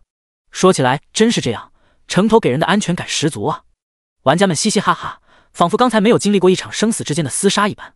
而城头之下的林墨并没有理会他们。十二根锁链飞速探出，将一具具尸体吸食干净。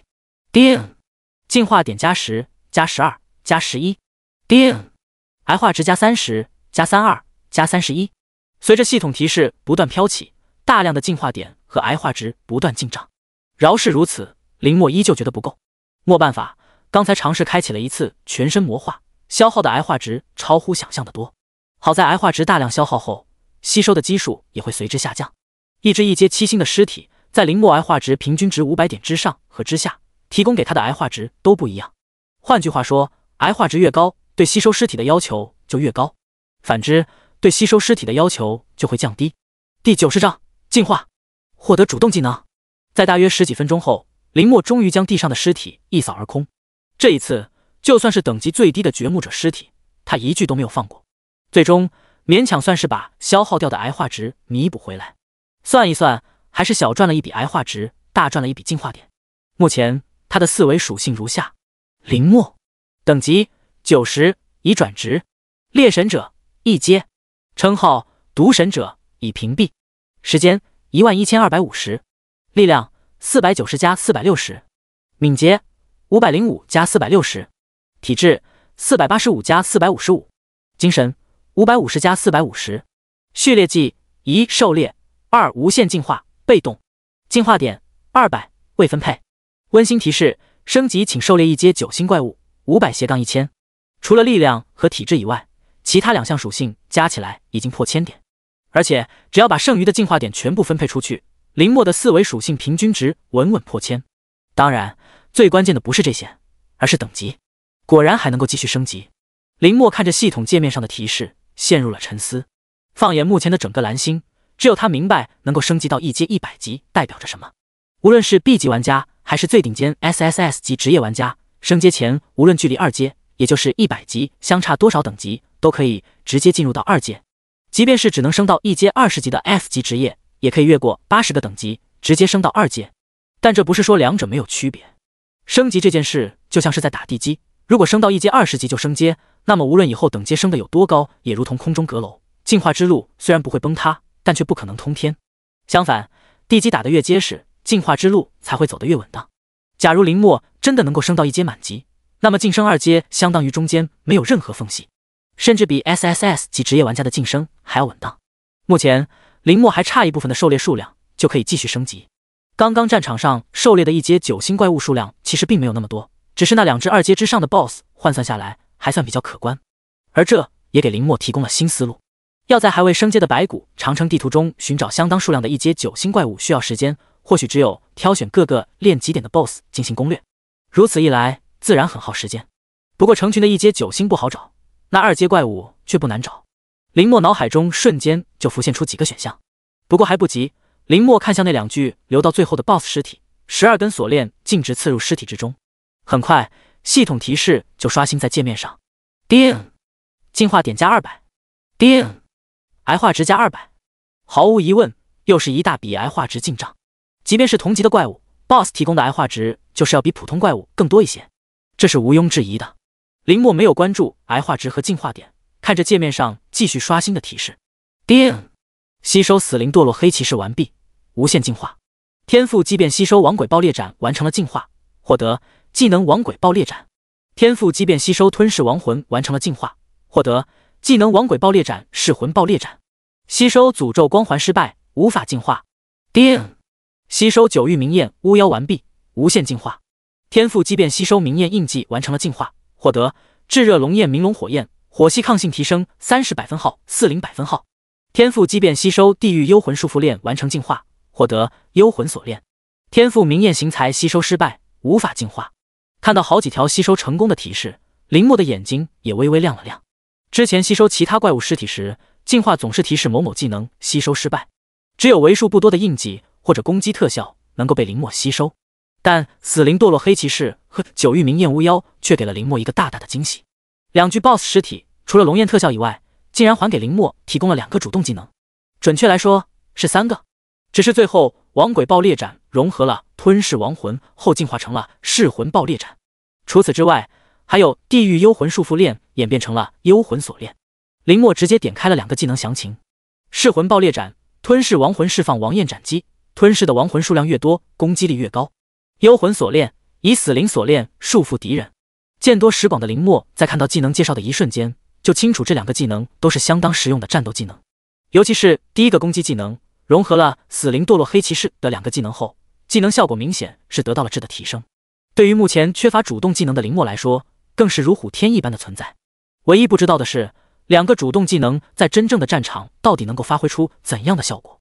就在林墨沉思之际，忽然一个个金光大字骤然乍现在白骨长城的上空，玩家们耳边传来区域公告：区域公告一，恭喜白骨长城已达成主城升阶条件，完成升阶挑战后即可升阶。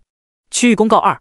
樱花国九号大化阴阳对炎国白骨长城发起主城升阶融合挑战，是否接受？连续两道区域公告让白骨长城的玩家们愣了愣。主城升阶任务，这是什么？这还用问？没玩过即时战略游戏，总玩过某某农场吧？升级主城就是升级地图资源呗？这么快吗？我们就可以进行主城升阶了？好像主城融合还没有一天了吧？也差不多了，主要还是靠林哥。玩家们倒也没有猜错。主城融合除了看玩家们的平均等级以外，还有额外的要求。但每座主城的升阶要求不同，就单单白骨长城而言，主要还是靠积累狩猎的怪物数量，提升城头的高度。城头的高度达标，就可以进行主城升阶。经过第一天的受潮工程，以及林墨中途赢下的两次对赌令，再加上刚刚的死灵浪潮，白骨长城完全已经达成了升阶的要求。作为资源圣地，升阶速度却不弱于普通的主城，林墨可谓是功不可没。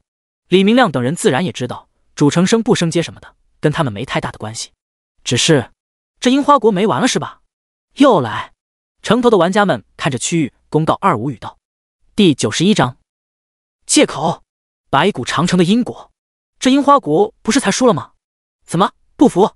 李明亮皱起眉头说道：“这群小日子就盯上我们白骨长城了，可不是嘛？就跟狗皮膏药似的，烦死了。对了，这大话阴阳又是谁？这好像是樱花国的榜单强者，之前排名还挺高的，叫什么周度大的 SSS 级职业玩家。死，又是 SSS 级，卧槽，这不是比那个雨夜一真还难缠？这倒是未必，这个叫什么度大的家伙，目前排名比雨夜一真要低一些。呵呵。”那又是过来送人头的。白骨长城的玩家们自然不是对自己有信心，而是对城下的林墨有信心。在他们心中，林墨似乎对上任何人，甚至是任何凶兽都能赢。末等玩家们议论完毕，区域公告再次响起。区域公告：大话阴阳请求接通白骨长城的区域聊天频道，请问是否同意？城头玩家有些惊讶，不过是否同意的权利在林墨这个村长手中。林墨微微挑眉。倒是想要看看这些小日子想说点什么，出乎意外的没有拒绝接通的邀请。叮，您已接受大话阴阳聊天频道的接通邀请。随着一声系统提示结束，双方村庄的聊天频道也被接通。和之前对方玩家一窝蜂涌入白骨长城的情形不同，双方聊天频道接通后，樱花国的玩家并没有直接上来就发出各种嘲讽的言论，只是有一个人率先在频道里开口：“周度大，冒昧来访，打扰了。”林墨村长。语气出奇的客气，白骨长城的玩家们神情有些意外，但更多的是疑惑。而城下的林墨看到这条消息，则是冷笑一声，没有语气寒暄的意思。对方等了大概一会儿，但也没有等到林墨开口，于是继续发着消息：“周度大，既然林墨村长喜欢开门见山，那我就直抒胸臆了。周度大，大话阴阳有意与白骨长城共治天下，只要林墨村庄同意与我们村庄的强强联合，届时两座顶级资源圣地的融合，也代表着……”我们两国可以精诚合作，共同争霸世界。呵呵，林墨又是无声冷笑。从对方发第一句话，他就知道这家伙压根没憋好屁。什么共治天下、争霸世界，不过是想要抢占白骨长城资源的借口罢了。要知道前世也有不少村庄就是被一些类似的借口蒙骗，大意与其他村庄融合，结果融合后自家村庄的玩家处处被他人排挤，资源被他人抢占，惨一点的，甚至最后。还会被一个个踢出村庄，之前争取到的一切资源全都沦为他人的嫁衣，这就涉及到融合后到底哪方能够成为村长，掌握最大的权力这个点。不过接下来区域聊天频道里倒是出现了一条让林墨意外的消息，不是周度大的消息，而是李明亮竟然开始发消息质问。李明亮说的那么好听，我就问你一句，两家的主城融合后谁做村长？莫等对面回答，又发了一句：李明亮，你们排名第二的那什么宵夜一真才输给我们林哥。不会，你这个排名不知道二三四六七的家伙想要当村长吧？不会吧，不会吧？林墨有些意外，没想到李明亮竟然无师自通，察觉到主城升阶融合的关键之处，而且言语犀利，两句话阴阳怪气的反驳恰到好处。一时间，S S S 级阴阳师周度大竟然也被对的不知道说什么好。只是过了一阵，就连林墨在内的炎国玩家们都低估了对方的脸皮。周度大，关于村长一事，其实很简单。在下其实，在末日之前就是樱花国一家事务所的社长，对于管人这块可以说是小有经验。周度大，如果林墨村长不介意，在主城融合后，大可以把村长丢给我，由我来负责处理杂事。您只需要放心的打怪升级即可，无需理会这些杂物。这话一出，城头上的玩家们忍不住了，直接在频道里开喷：“呸！不要脸的东西，还你负责！人长得丑，想的倒是美，给点颜色就开染房是吧？什么东西？”你脸比你屁股大，癞蛤蟆插毛，你算飞禽还是走兽？真羡慕你的皮肤保养的这么厚。一条条脏话跃出屏幕，系统的自带翻译功能终于让全世界都领略到炎黄语言的魅力。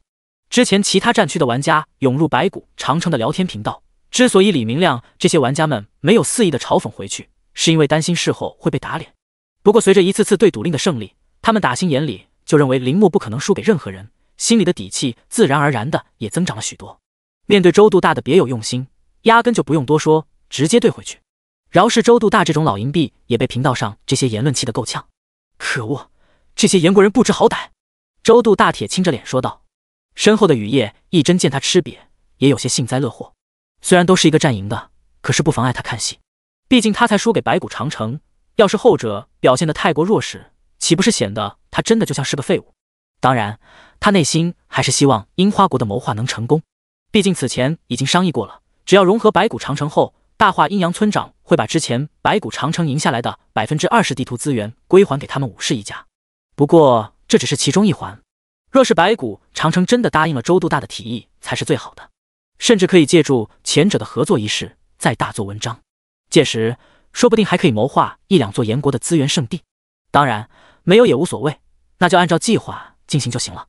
周度大强行压制住心中的怒火。倒也没有继续跟这些白骨长城的普通玩家纠缠，继续发消息道：“林墨村长，要是不同意我的提议也行，为什么不亲自出现说句话？难道是怕了我们大化阴阳的升阶挑战了？很蹩脚的挑衅。不过周度大等人研究过林墨，在他们看来，林墨应当是一个无比狂妄自大又贪婪成性的人物，不会怕樱花国排名第二的雨夜一真，自然更不会怕排名更低的他。所以无论如何，林墨也是会接受这场升阶挑战的。”毕竟大化阴阳也是顶级资源圣地之一，周度大就不信林墨能够忍得住咬这口送上门的鱼饵。林墨看到周度大的这条消息，神情顿时又冷了几分。还想要融合白骨长城？白骨长城就是林墨为蓝星立起来的先手，可谓是重中之重。若是以后异族大军压境，踏足我人族边境，就算你樱花国所有玩家切腹自尽，也无济于事。凭你樱花国区区弹丸之地，担得起这份因果吗？第九十二章。此地无银三百两。林墨的回复，看到区域聊天频道里林墨迟迟没有回复，周度大也是神情不爽。虽然你林墨是击败了雨夜一真的武士一家，可是凭什么如此傲气？难道真以为自己有实力击败樱花国的强者？说实话，之前那场会议之中，虽然大家都认为不能轻视白骨长城的综合战力，但是对林墨的个人实力而言，或多或少都有些轻视。他们观看过之前林墨在旗帜争夺战之中的战斗视频。对于普通玩家来说，自然还算是不错。可是对于他们这些 SSS 级玩家而言，林墨的战绩真的只能算一般。九十五号场地虽然有顶尖资源气质，可是排序偏低，而且战场平均战力普普通通。换做樱花国前十的任何一个人都可以收割整座战场，而且绝对要比林墨做得更为轻松。林墨强吗？强，但没有他们强。白骨长城之所以能够战胜武士一家，也许是因为背后还有另一个等同于林墨的战力。不过无所谓，樱花国榜单倾巢而出，一个区区白骨长城又怎在话下？前提是要这家伙接受升阶挑战。雨夜一真如此说道。周度大也是皱起眉头，谁说不是？不过这家伙有点反常，难道是知道我们的谋划了？房间里有人冷笑，哼，你的意思是我们之中有叛徒？周度大连忙举起道，嗨嗨，我不是这意思，而且这也不可能，只是这家伙确实不对劲，好半天没反应了。雨夜一真点点头道：“确实不像是他的作风。林墨的作风从头到尾就像是个突然得志的小人，目空一切，认为自己天下无敌，才击败了樱花国第二人雨夜一真，没理由会拒绝送上门的周度大。他们自认为这场谋划不说是天衣无缝，但却是恰到好处。只是片刻后，周度大等人终于等到了林墨的回复，不过却让在座的所有人有些惊讶。林墨想合成，可以，但你一座主城不够。”好大的口气！于夜一真冷哼一声道：“一座主城不够，那要基座。”大家有些惊讶的同时，又觉得这才合理。才吃掉一座顶级资源圣地百分之二十地图资源的白骨长城，肯定已经感受到资源所带来的巨大好处。在主城升阶时，又怎么会只贪图仅仅一座主城？周度大却笑了笑：“很好，鱼儿终于肯咬钩了。”周度大想了想，在聊天频道上回复：“周度大，那林墨村长觉得几座主城合适？”我在樱花国战区还是有几分面子的，多叫几座村子合并也不是什么难事。这还真不是吹牛。